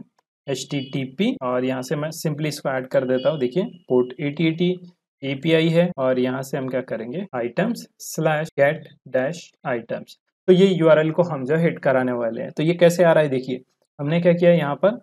थोड़ा सा इसको नीचे कर लेते हैं। तो यूआरएल कैसे हिट होगा? आपका जो डोमेन है। तो फ़िलहाल हम लोकल होस्ट पे टेस्ट कर रहे हैं, इसीलिए यहाँ पे हमारे पास है लोकल होस्ट और पोर्ट हमारा है एटी उसके बाद में हमारा एंड पॉइंट क्या है? यहाँ पे देखिए स्लैश एपीआई स्लैश आइटम्स तो यहाँ पे देखिए स्लैश एपीआई स्लैश आइटम्स उसके बाद में मेन राउट क्या है अपना? देखिए, यहाँ पे राउट के अंदर आइटम राउट के अंदर हमारे पास है गेट आइटम तो इसका हम यहाँ पे यूज़ कर रहे हैं। तो यहाँ पे हमने उसके बाद में लिखा गेट आइटम और इसको अब हिट कराएँगे तो यहाँ पर हमको जो है जेसन ऑब्जेक्ट मिलना चाहिए। जो भी डेटा हमने सीट कराया था ना, वो डेटा हमको यहाँ पे शो होना चाहिए। तो सेंड पर क्लिक करता हूँ मैं। तो देखिए, यहाँ पे बराबर से आ रहा है। देखिए स्टेटस 200 कितना टाइम लिया इसने और कितना साइज़ है, ये भी यहाँ पर मिलता है। तो अगर आपको इन डिटेल जानना है पोस्टमैन टूल तो ऑलरेडी मेरे चैनल पर कंप्लीट प्लेलिस्ट है तो आप वॉच कर सकते हैं। तो यहाँ पे हमको एरे ऑफ़ ऑब्जेक्ट मिल चुका है, जो कि हमने सीडर स्क्रिप्ट की मदद से जो है डेटाबेस में स्टोर कराया था। आप चाहे तो क्रॉस चेक भी कर सकते हैं, इसको डेटाबेस ओपन करिए और इसको चेक कीजिए कि सही हमको रिज़ल्ट मिलता है यानी अगर इनकेस मैं यहाँ पे कोई रॉन्ग यू पाथ ऐड करूँगा, जैसे आइटम में से एम मैंने रिमूव कर दिया और सेंड पर क्लिक करता हूँ तो देखिए यहाँ पे एरर आ गया। कैन नॉट गेट ये राउट अवेलेबल ही नहीं है तो इसी तरीके से हमको शो करेगा। अब वापस से मैं करता हूँ सेंड और देखिए यहाँ पे बराबर से ये शो कर रहा है। तो सक्सेसफुली हमारा पहला एंड पॉइंट यहाँ पर क्रिएट हो चुका है। तो हमने यहाँ पर गेट कर लिया। इसी तरीके से हमको पोस्ट पोट डिलीट सारे के सारे मेथड्स यहाँ पर देखने हैं। तो अब हम क्या करेंगे? यहाँ पर पोस्ट रिक्वेस्ट देख लेंगे। यानी कि हमको आइटम्स को जो है ऐड करना है तो कैसे करेंगे? देखिए, पहले इसको हम क्या करते हैं? यहाँ से सेव भी कर लेते हैं तो सेव तो नेक्स्ट टाइम जब भी इसको ओपन करेंगे तो ये एज इट इज़ जो है शो करेगा। हम चलते हैं यहाँ पर, और पोस्ट के लिए हम एक राउट क्रिएट करते हैं। तो यहाँ पे मैं लिखता हूँ मैथड और मैथड हमारा रहेगा पोस्ट और यहाँ पे हमको जो है राउटर डॉट पोस्ट का यूज़ करना है, ताकि हम डेटा भेज पाए। और इसका एंड पॉइंट क्या कर लेते हैं हम? यहाँ पे लिखेंगे एड डैश आइटम एक न्यू कंट्रोलर हमको क्रिएट करना पड़ेगा। इसका नाम हम रख देते हैं एड आइटम कंट्रोलर और इसको जो है ऊपर इंपोर्ट भी करके रखेंगे। और इसको अभी क्रिएट करना है। तो यहाँ पे हम क्या करेंगे? क्रिएट कर लेंगे। इस फ़ंक्शन के बाद में हम कर सकते हैं और यहाँ पे आप चाहे तो कमेंट भी कर सकते हैं। गेट आइटम्स इसके बाद में एड आइटम्स तो यहाँ पे हम फ़ंक्शन क्रिएट करेंगे const add items controller arrow function इसको बना लेते हैं और इसको सेव कर लेंगे और यहाँ से इस मॉडल को भी सेव कर लेंगे। मॉडल नहीं मॉडल कट कर देता हूँ मैं। यहाँ पर जो राउट है उसको सेव कर लेंगे। तो ये बराबर से जो है यहाँ पर सेव हो जाएगा। एक बार चेक कर लेते हैं। देखिए यहाँ पर कुछ मिस्टेक हुआ है। कंट्रोलर में हमने इसको एक्सपोर्ट नहीं किया तो एक्सपोर्ट कर लेंगे साथ ही में। अब ये एक्सपोर्ट भी हो चुका है तो कोई एरर हमको अब देखने नहीं मिलेगा। अब डायरेक्टली हम इसका यूज़ कर सकते हैं। तो यहाँ पे अब हम क्या करेंगे? देखिए, जो कंट्रोलर हमने क्रिएट किया है तो यहाँ पे इसके अंदर इसको एसिंक बना लेंगे। एसिंक कॉल फ़ंक्शन है तो रिक्वेस्ट एंड रिस्पॉन्स रहता है अपने पास। रिक्वेस्ट एंड रिस्पॉन्स और यहाँ पे हम क्या करेंगे? ट्राई कैच ब्लॉक का यूज़ करेंगे। तो ट्राई कैच आप भी ऐड करें। कैच के अंदर सिंपली हम कंसोल डॉट लॉक कर लेंगे। जो भी एरर आता है, उसको यहाँ पर कंसोल डॉट लॉग कर लेंगे। और पोस्ट के अंदर हमको क्या करना है? यहाँ पे एक वेरिएबल बनाना है कॉन्स्ट और इसका नाम मैं रखता हूँ पोस्ट इक्वल टू अवेट करना है। अवेट किस चीज़ का करेंगे हम? हमारे पास आइटम मॉडल है तो आइटम मॉडल का यूज़ करेंगे हम। और इसके बाद में हमको क्या करना है यहाँ पे? जो भी हमारे पास डेटा है, उसमें जो है सेव कराना है। तो सेव का भी मेथड आता है। तो मैं क्या करता हूँ? पहले जो है एक न्यू यहाँ पर एक मॉडल क्रिएट कर लेता हूँ। मॉडल मतलब क्या है कि जो भी डेटा है ना, उसको हम न्यू आइटम नाम दे देते हैं। मैं इसको पूरा ही कट कर लेता हूँ। Const new item equal to new keyword मैं यहाँ पे ऐड कर रहा हूँ और उसके बाद में यहाँ पर हमारे मॉडल का यूज़ कर रहा हूँ आइटम मॉडल और इसके अंदर जो है डेटा रहेगा जो कि बॉडी से आने वाला है तो रिक्वेस्ट डॉट बॉडी और इसके बाद में हम क्या कराएँगे, यहाँ पर अवेट कराएँगे। अवेट किस चीज़ का करना है? न्यू आइटम जो है अपने पास, उसको सेव कराने का। तो न्यू आइटम डॉट सेव का मेथड हमको कॉल करना है। और अगर ये सक्सेस होता है तो हम क्या करेंगे, यहाँ पे रिस्पॉन्स सेंड करा देंगे। Rest dot status status of two zero one और उसके बाद में सेंड करा देंगे हम। सेंड क्या कराना है आपको? यहाँ पे हम क्या कराए देंगे? एक मैसेज प्रिंट करा देंगे। आइटम सेव्ड क्रिएटेड कर देते हैं। आइटम क्रिएटेड सक्सेसफुली और इसको सेव कर लेते हैं। और अगर एरर आता है तो कैच में हम क्या कर सकते हैं? एरर भी सेंड कर सकते हैं। तो मैं यहाँ पे भी एक रिस्पॉन्स सेंड कर देता हूँ। Rest dot status status of 400 dot send और यहाँ पे मैसेज हम प्रिंट करा सकते हैं। जो भी एरर है उसी को प्रिंट करा सकते हैं। तो यहाँ पे मैं लिखता हूँ एरर और उसके बाद में कॉमा लगा के जो भी एरर आ रहा है उसको मैं यहाँ पे प्रिंट करा दूँगा। सेव कर लेते हैं। और सर्वर देखिए यहाँ पे रीस्टार्ट हो रहा है। तो जैसे रीस्टार्ट हो जाता है, देखिए यहाँ पे रीस्टार्ट हो चुका है। इसको टेस्ट कर लेंगे हम। चलते हैं वापस पोस्टमैन में। और एक न्यू टैब मैं यहाँ से ओपन कर लेता हूँ। प्रीवियस वन को मैं यहाँ से क्लोज कर लेता हूँ। या फिर इसको रहने देता हूँ। मैं न्यू टैब ओपन करूँगा। या फिर आप क्या कर सकते हैं, इस पी प्रोजेक्ट पर क्लिक करें राइट और ऐड न्यू रिक्वेस्ट पर क्लिक करें। और इसका नाम आप रख सकते हैं पोस्ट या फिर ऐड आइटम और यहाँ से मेथड जो रहेगा, वो रहेगा पोस्ट और यहाँ पे यूआरएल सेम रहेगा तो आप क्या करें, पहले शुरू लोकल होस्ट का यूज़ करें एपीआई है। और फिर इसके बाद में आपको लिखना है आइटम जो हमने पहले लिखा था, देखिए यहाँ पे गेट करते टाइम लिखा था ना सेम है, बस लास्ट का इतना वाला चेंज रहेगा। तो इसी को मैं कॉपी पेस्ट कर लेता हूँ, ताकि कोई स्पेलिंग मिस्टेक ना हो। और उसके बाद में यहाँ पर ऐड आइटम कर लेंगे। ऐड डैश आइटम और यहाँ से आपको क्लिक करना है बॉडी पर। उसके बाद में रॉ डेटा और यहाँ से आपको जेसन पर सेलेक्ट करना है। और इसके अंदर हम क्या करेंगे? यहाँ पर जेसन ऑब्जेक्ट क्रिएट करेंगे। इसके अंदर हमारे पास है नेम नेम के अंदर मैं क्या करता हूँ? यहाँ पे लिखता हूँ टेस्ट उसके बाद में हमारे पास थी कैटेगरी और यहाँ पर जेसन है। इसीलिए हमको दोनों को जो है यहाँ पर कॉमा में ऐड करना पड़ेगा। कैटेगरी था अपने पास। कैटेगरी के बाद में यहाँ पे हम इसको कर देंगे। टेस्ट कैटेगरी है ये। और प्राइस भी था ना? प्राइस इससे पहले था तो प्राइस भी ऐड कर देता हूँ मैं। प्राइस प्राइस नंबर में है तो उसको टू कर लेता हूँ मैं फ़िलहाल के लिए। और यहाँ पे इसके बाद में इमेज था तो इमेज हमारे पास अभी यूआरएल नहीं है तो टेस्ट यूआरएल कर देता हूँ मैं, ठीक है? और यहाँ पर मैं सेंड पर क्लिक करता हूँ। अगर सब कुछ सही रहा तो हमको नीचे ओके का मैसेज मिलेगा और इसको हम डेटाबेस में भी चेक करेंगे। तो सेंड पर क्लिक करता हूँ मैं तो देखते हैं क्या होता है। तो देखिए आइटम क्रिएटेड सक्सेसफुली तो चलिए डेटाबेस में चेक करते हैं। पहले हमारे पास छः आइटम थे अभी हम इसको रिफ्रेश कर लेंगे। तो देखिए, यहाँ पे सात हो गया है काउंट चेक कर लेते हैं इसको। तो नीचे स्क्रॉल करें और देखिए, यहाँ पे टेस्ट का जो है ऐड हो चुका है। तो ऐड की फंक्शनैलिटी सक्सेसफुली काम कर रही है। आप चाहे तो इसको डिलीट कर लें, क्योंकि ये सिर्फ़ टेस्ट पर्पज़ के लिए हमने ऐड किया था। तो यहाँ से मैं इसको डिलीट कर लूँगा। अब वापस से छः हो चुके हैं अपने पास। यहाँ पे आप देख सकते हैं डॉक्यूमेंट काउंट है सिक्स और फिर से हम यहाँ पर ऐड करेंगे। मैं क्या करता हूँ, कोई भी एक फ़ील्ड को रिमूव कर लेता हूँ और चेक करते हैं कि ऐड होता है नहीं। तो यहाँ पे हम सेंड पर क्लिक करते तो एरर शो करेंगे। देखिए, यहाँ पे एरर आ रहा है अनएक्सपेक्टेड टोकन तो ज़्यादा हम यहाँ पे अभी एरर हैंडलिंग नहीं देखेंगे। इन दी एंड अगर ज़्यादा हमारे पास टाइम बचता है तो हम एरर हैंडलिंग भी यहाँ पे देख लेंगे। तो फ़िलहाल हमारा ये सक्सेसफुली काम कर रहा है राउट और वापस से मैं यहाँ पे कंट्रोल जेड कर लेता हूँ, और इसको सेंड तो आइटम क्रिएटेड सक्सेसफुली फिर से डेटाबेस में चेक कर लेंगे तो अभी काउंट सिक्स है, इसको हम रिफ्रेश कर सकते हैं। तो देखिए रिफ्रेश आइटम काउंट यहाँ पर बढ़ जाएगा। नीचे स्क्रॉल करें, देखिए यहाँ पे सेवन आ रहा है। Display one out of seven फ़िलहाल ये सिक्स शो कर रहा है। हम पीछे अगर बैक जाके करेंगे ना तो ये वापस से एज इट इज़ शो करेंगे, जैसे कि पीओएस और यहाँ पे इसको रिफ्रेश करना पड़ेगा। देखिए सेवन अब शो कर रहा है। और यहाँ पे भी सेवन शो करेगा। तो थोड़ा सा ये लेट काम करता है, लेकिन यहाँ पर जो अगर हम डेटाबेस को ओपन कर ले तो उसमें सही से शो करता है। तो सक्सेसफुली हमने यहाँ पर ऐड कर लिया है। तो यहाँ पे हमने ऐड और पोस्ट की फंक्शनैलिटी देख ली है बैकएंड में। तो हम थोड़ा सा फ्रंट एंड पर भी काम कर लेंगे। तो यहाँ पे हम क्या करेंगे? रिएक्ट के एप्लीकेशन क्रिएट करेंगे और थोड़ा सा सेटअप करेंगे। क्योंकि हमारे पास दो राउट क्रिएट हो चुके हैं तो उसको हम फ्रंट एंड पर टेस्ट भी कर सकते हैं। तो हम क्या करेंगे अभी? क्लाइंट साइड यहाँ पर काम करने वाले हैं। तो यहाँ पर देखिए रूट में, मैं क्या करता हूँ, उसको फोल्डर में रिवील कर लेता हूँ। रिवील इन फ़ाइल एक्सप्लोरर तो ये हमारा फोल्डर मेन है पी ओ एस और इसके अंदर पूरा बैकएंड का कोड है।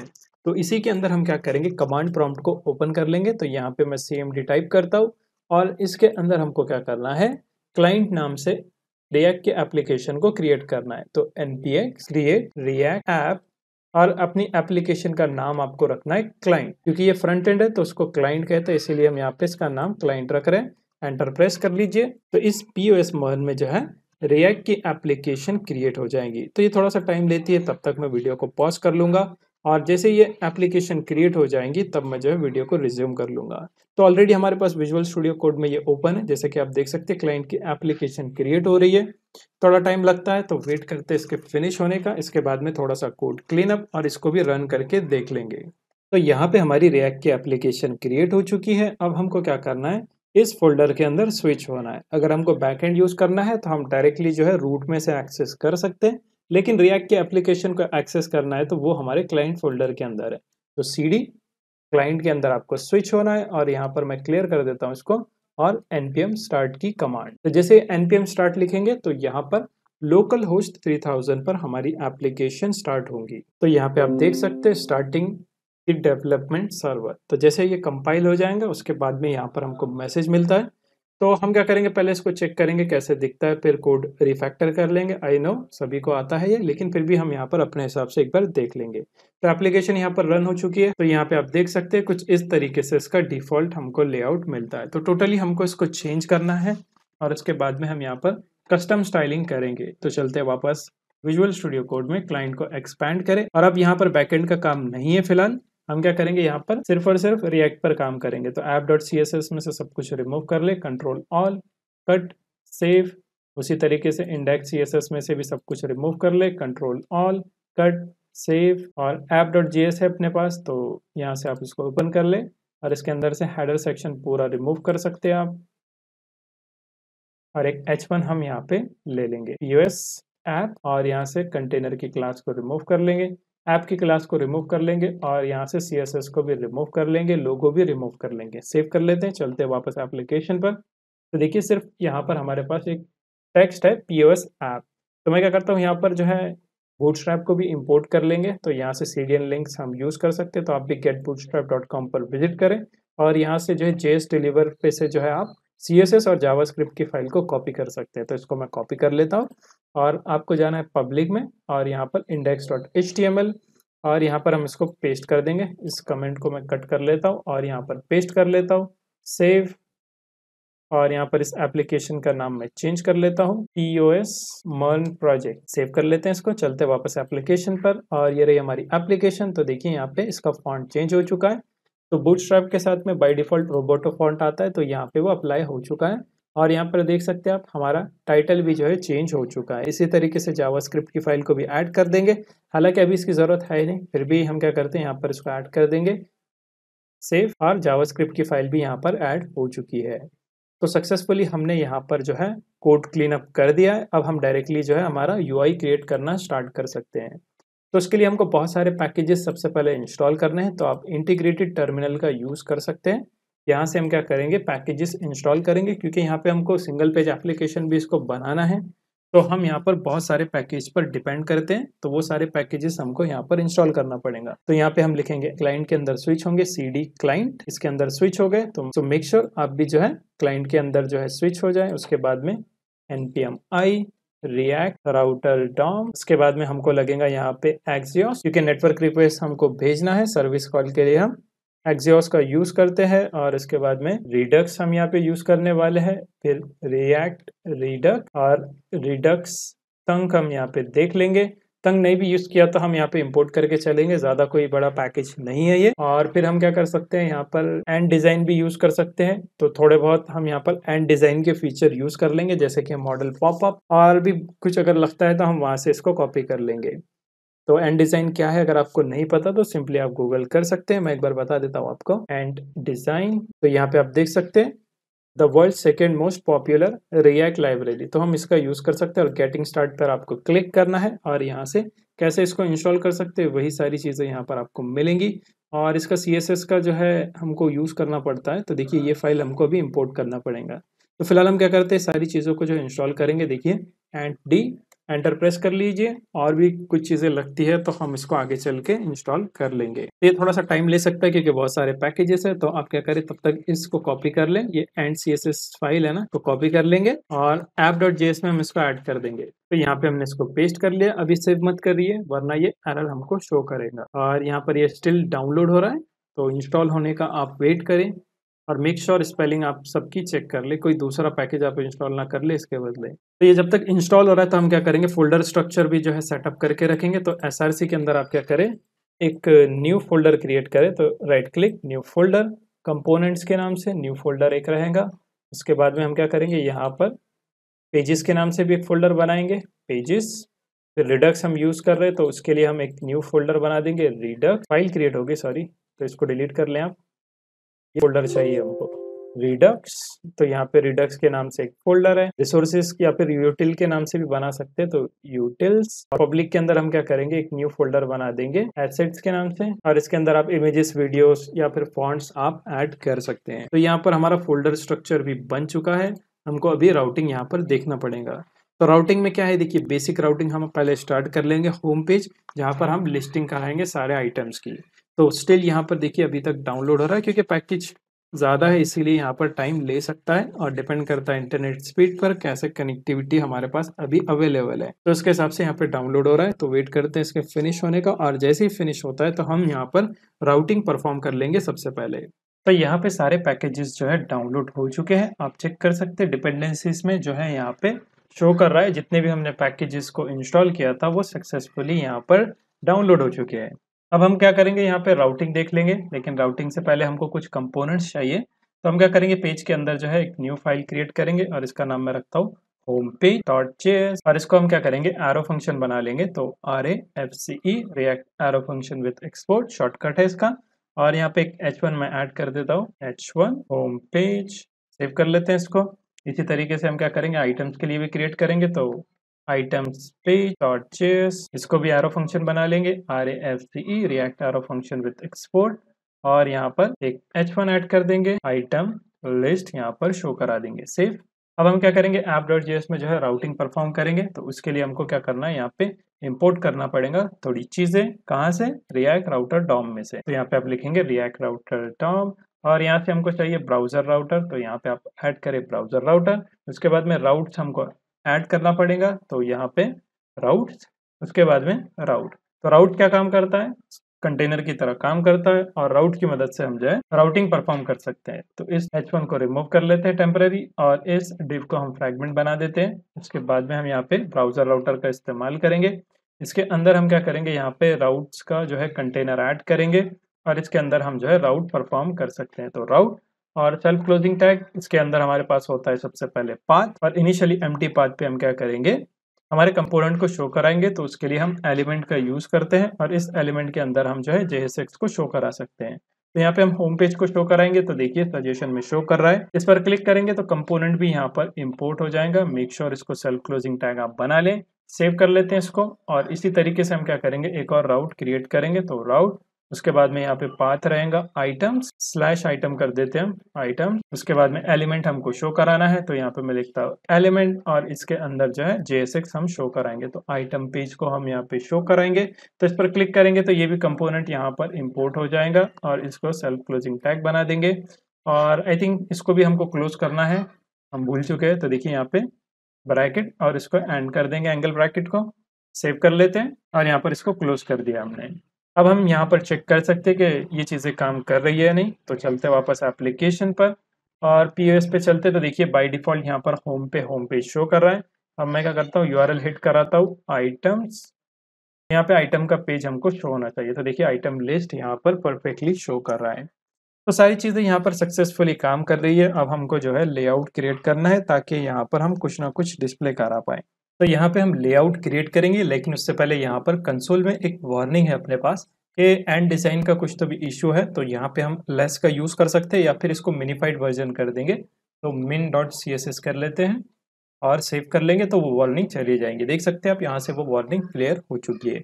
अब हम यहाँ पे जो है डैशबोर्ड का डिज़ाइन क्रिएट करेंगे तो उसके लिए हम जो है एंड डिज़ाइन का यूज़ करेंगे। तो डॉक्यूमेंटेशन में आप सर्च कर सकते हैं साइड बार तो एपीआई लेआउट डॉट साइडर का इस्तेमाल करेंगे तो डॉक्यूमेंटेशन में से आप सर्च कर सकते हैं। और इसमें बहुत सारे एग्जांपल्स हमको मिल जाते हैं, जैसे कि नीचे स्क्रॉल करेंगे तो देखिए यहाँ पे डिज़ाइन हमको मिल जाता है तो हम यहाँ पर इसका यूज़ कर सकते हैं।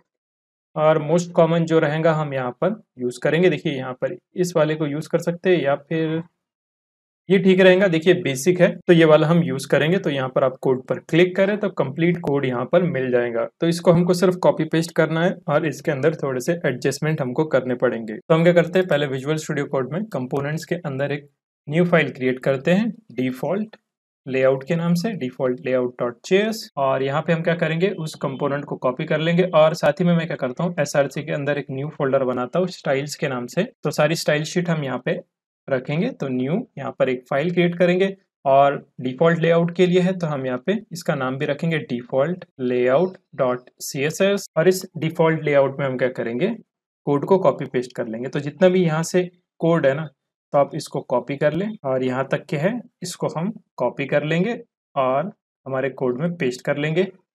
यहाँ पर हमने इसको पेस्ट कर लिया और यहाँ पर क्या है, देखिए arrow function to a variable before exporting as module और साइडर का जो है यहाँ पर तो मैं यहाँ से इसको कट कर लेता हूँ। हम डायरेक्टली क्या करेंगे? फ़ंक्शन को जो है डिफ़ॉल्ट एक्सपोर्ट कर देंगे। तो फ़ंक्शन कहाँ पर देखिए क्लास कंपोनेंट है तो कोई दिक्कत नहीं, हमको सिर्फ़ इसके अंदर थोड़ा सा चेंजेस करना है।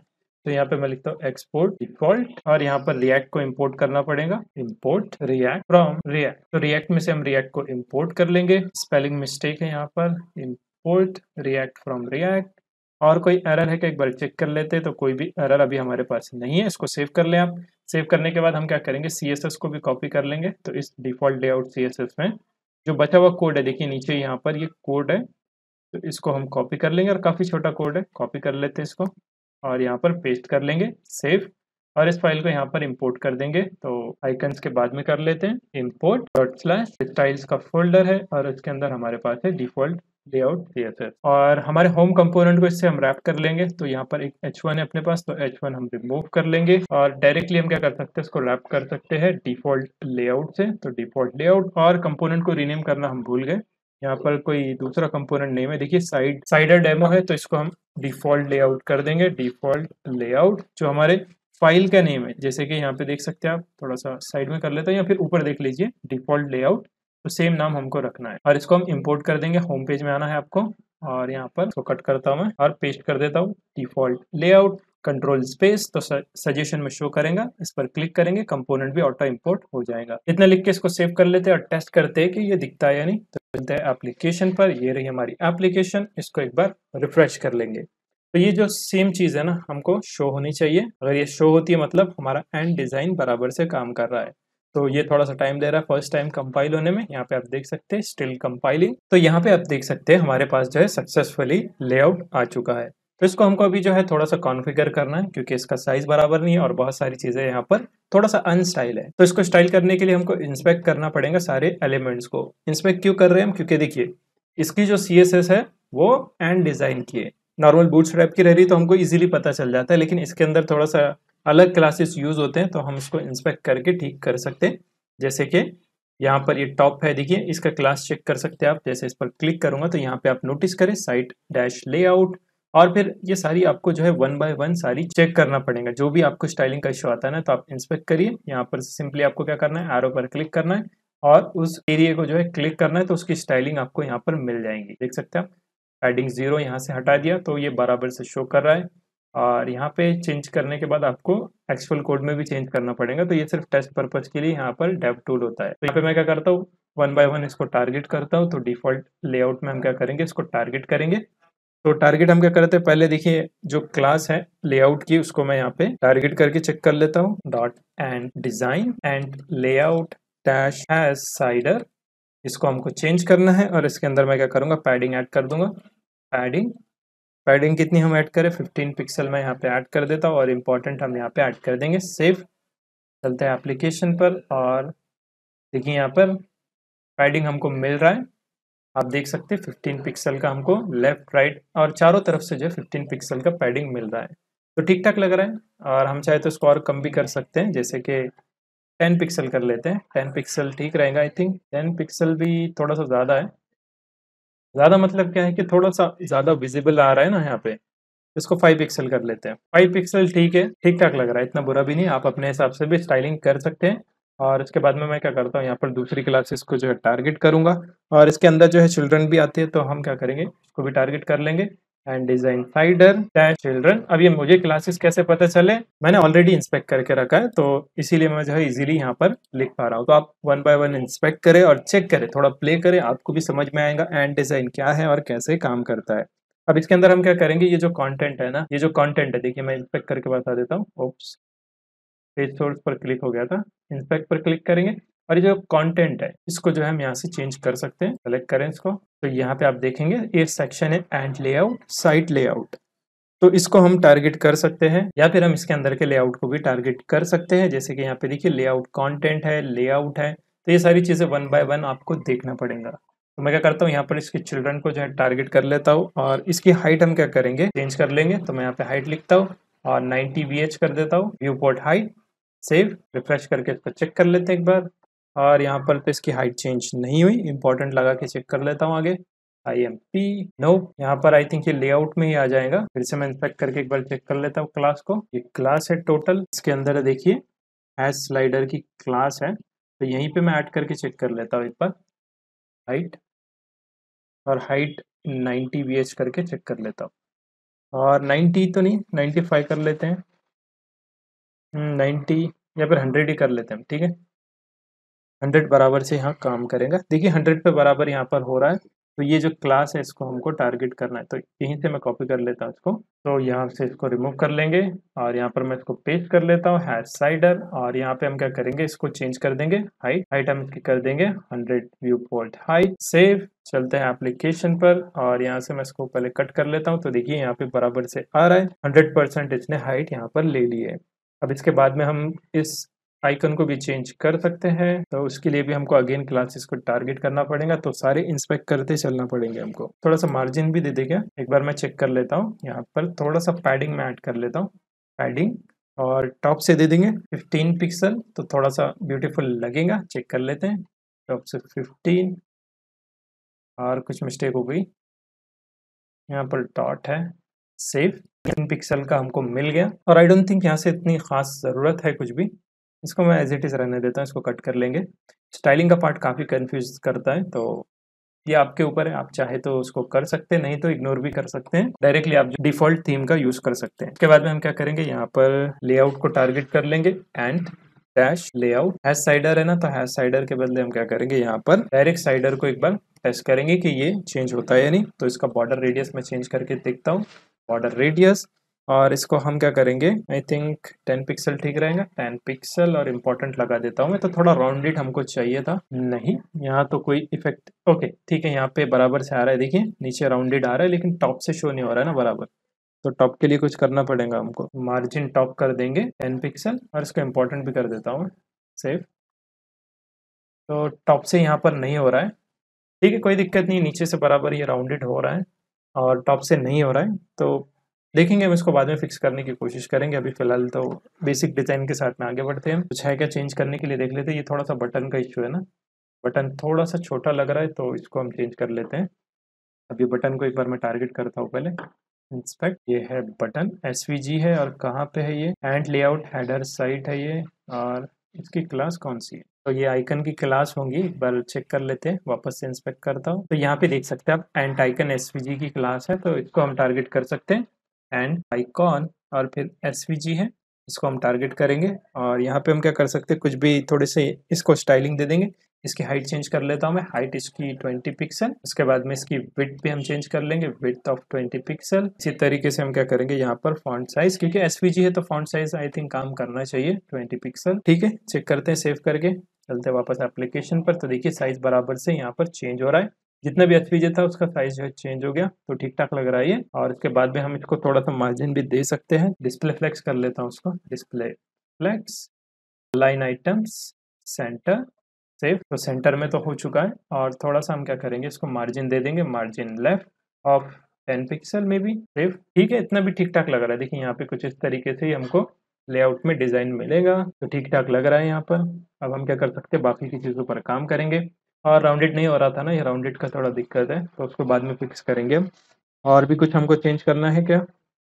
हम इसमें बॉक्स शेडो भी ऐड कर सकते हैं तो बॉक्स शेडो भी एक बार चेक कर लेंगे। यहाँ पर डिफ़ॉल्ट होगा कहीं ना कहीं। डिफ़ॉल्ट है क्या? एक बार चेक कर लेते हैं। साइट लेआउट बैकग्राउंड है। देखिए यहाँ पे यहाँ पे हम बॉक्स शेडो का ऐड कर देंगे। बॉक्स शेडो और इसके अंदर हम क्या करेंगे? ज़ीरो ज़ीरो फिर थ्री पिक्सल का ब्लर ऐड कर देंगे। और कलर कुछ भी ऐड कर सकते हैं। थोड़ा ग्रे कलर हम यहाँ पे ऐड कर देंगे। कर लेते हैं एक बार। तो देखिए यहाँ पे बॉर्डर बराबर से शो कर रहा है। और ये मार्जिन टॉप होने की वजह से ना थोड़ा दिक्कत आ रहा है इसमें तो ये मार्जिन टॉप को हम रिमूव कर लेंगे। पैडिंग टॉप करके मैं चेक कर लूँगा एक बार। मार्जिन टॉप के बदले पैडिंग टॉप करके देख लेता हूँ एक बार। पैडिंग टॉप देखिए हाँ पैडिंग टॉप में बराबर ये राउंड हो गया है। इसी तरीके से देखिए, यहाँ पर हम क्या करेंगे? जो बॉक्स शेडो हमने ऐड किया है ना तो इसमें भी हम यहाँ पर बॉर्डर रेडियस दे सकते हैं। तो border radius of five pixel save तो ये भी थोड़ा सा राउंडेड रहेगा। और यहाँ पर इसको भी मार्जिन दे के देख लेगा मार्जिन टेन पिक्सल का मार्जिन हम ऐड कर लेंगे सेव तो देखिए, कुछ इस तरीके से ये शो कर रहा है। बराबर आ रहा है। काफ़ी ठीक ठाक लग रहा है ये। मैं कट कर लेता हूँ एक बार। तो देखिए, बराबर टेन पिक्सल का मार्जिन मिल रहा है और इस तरीके से ये कोलैप्स भी हो रहा है।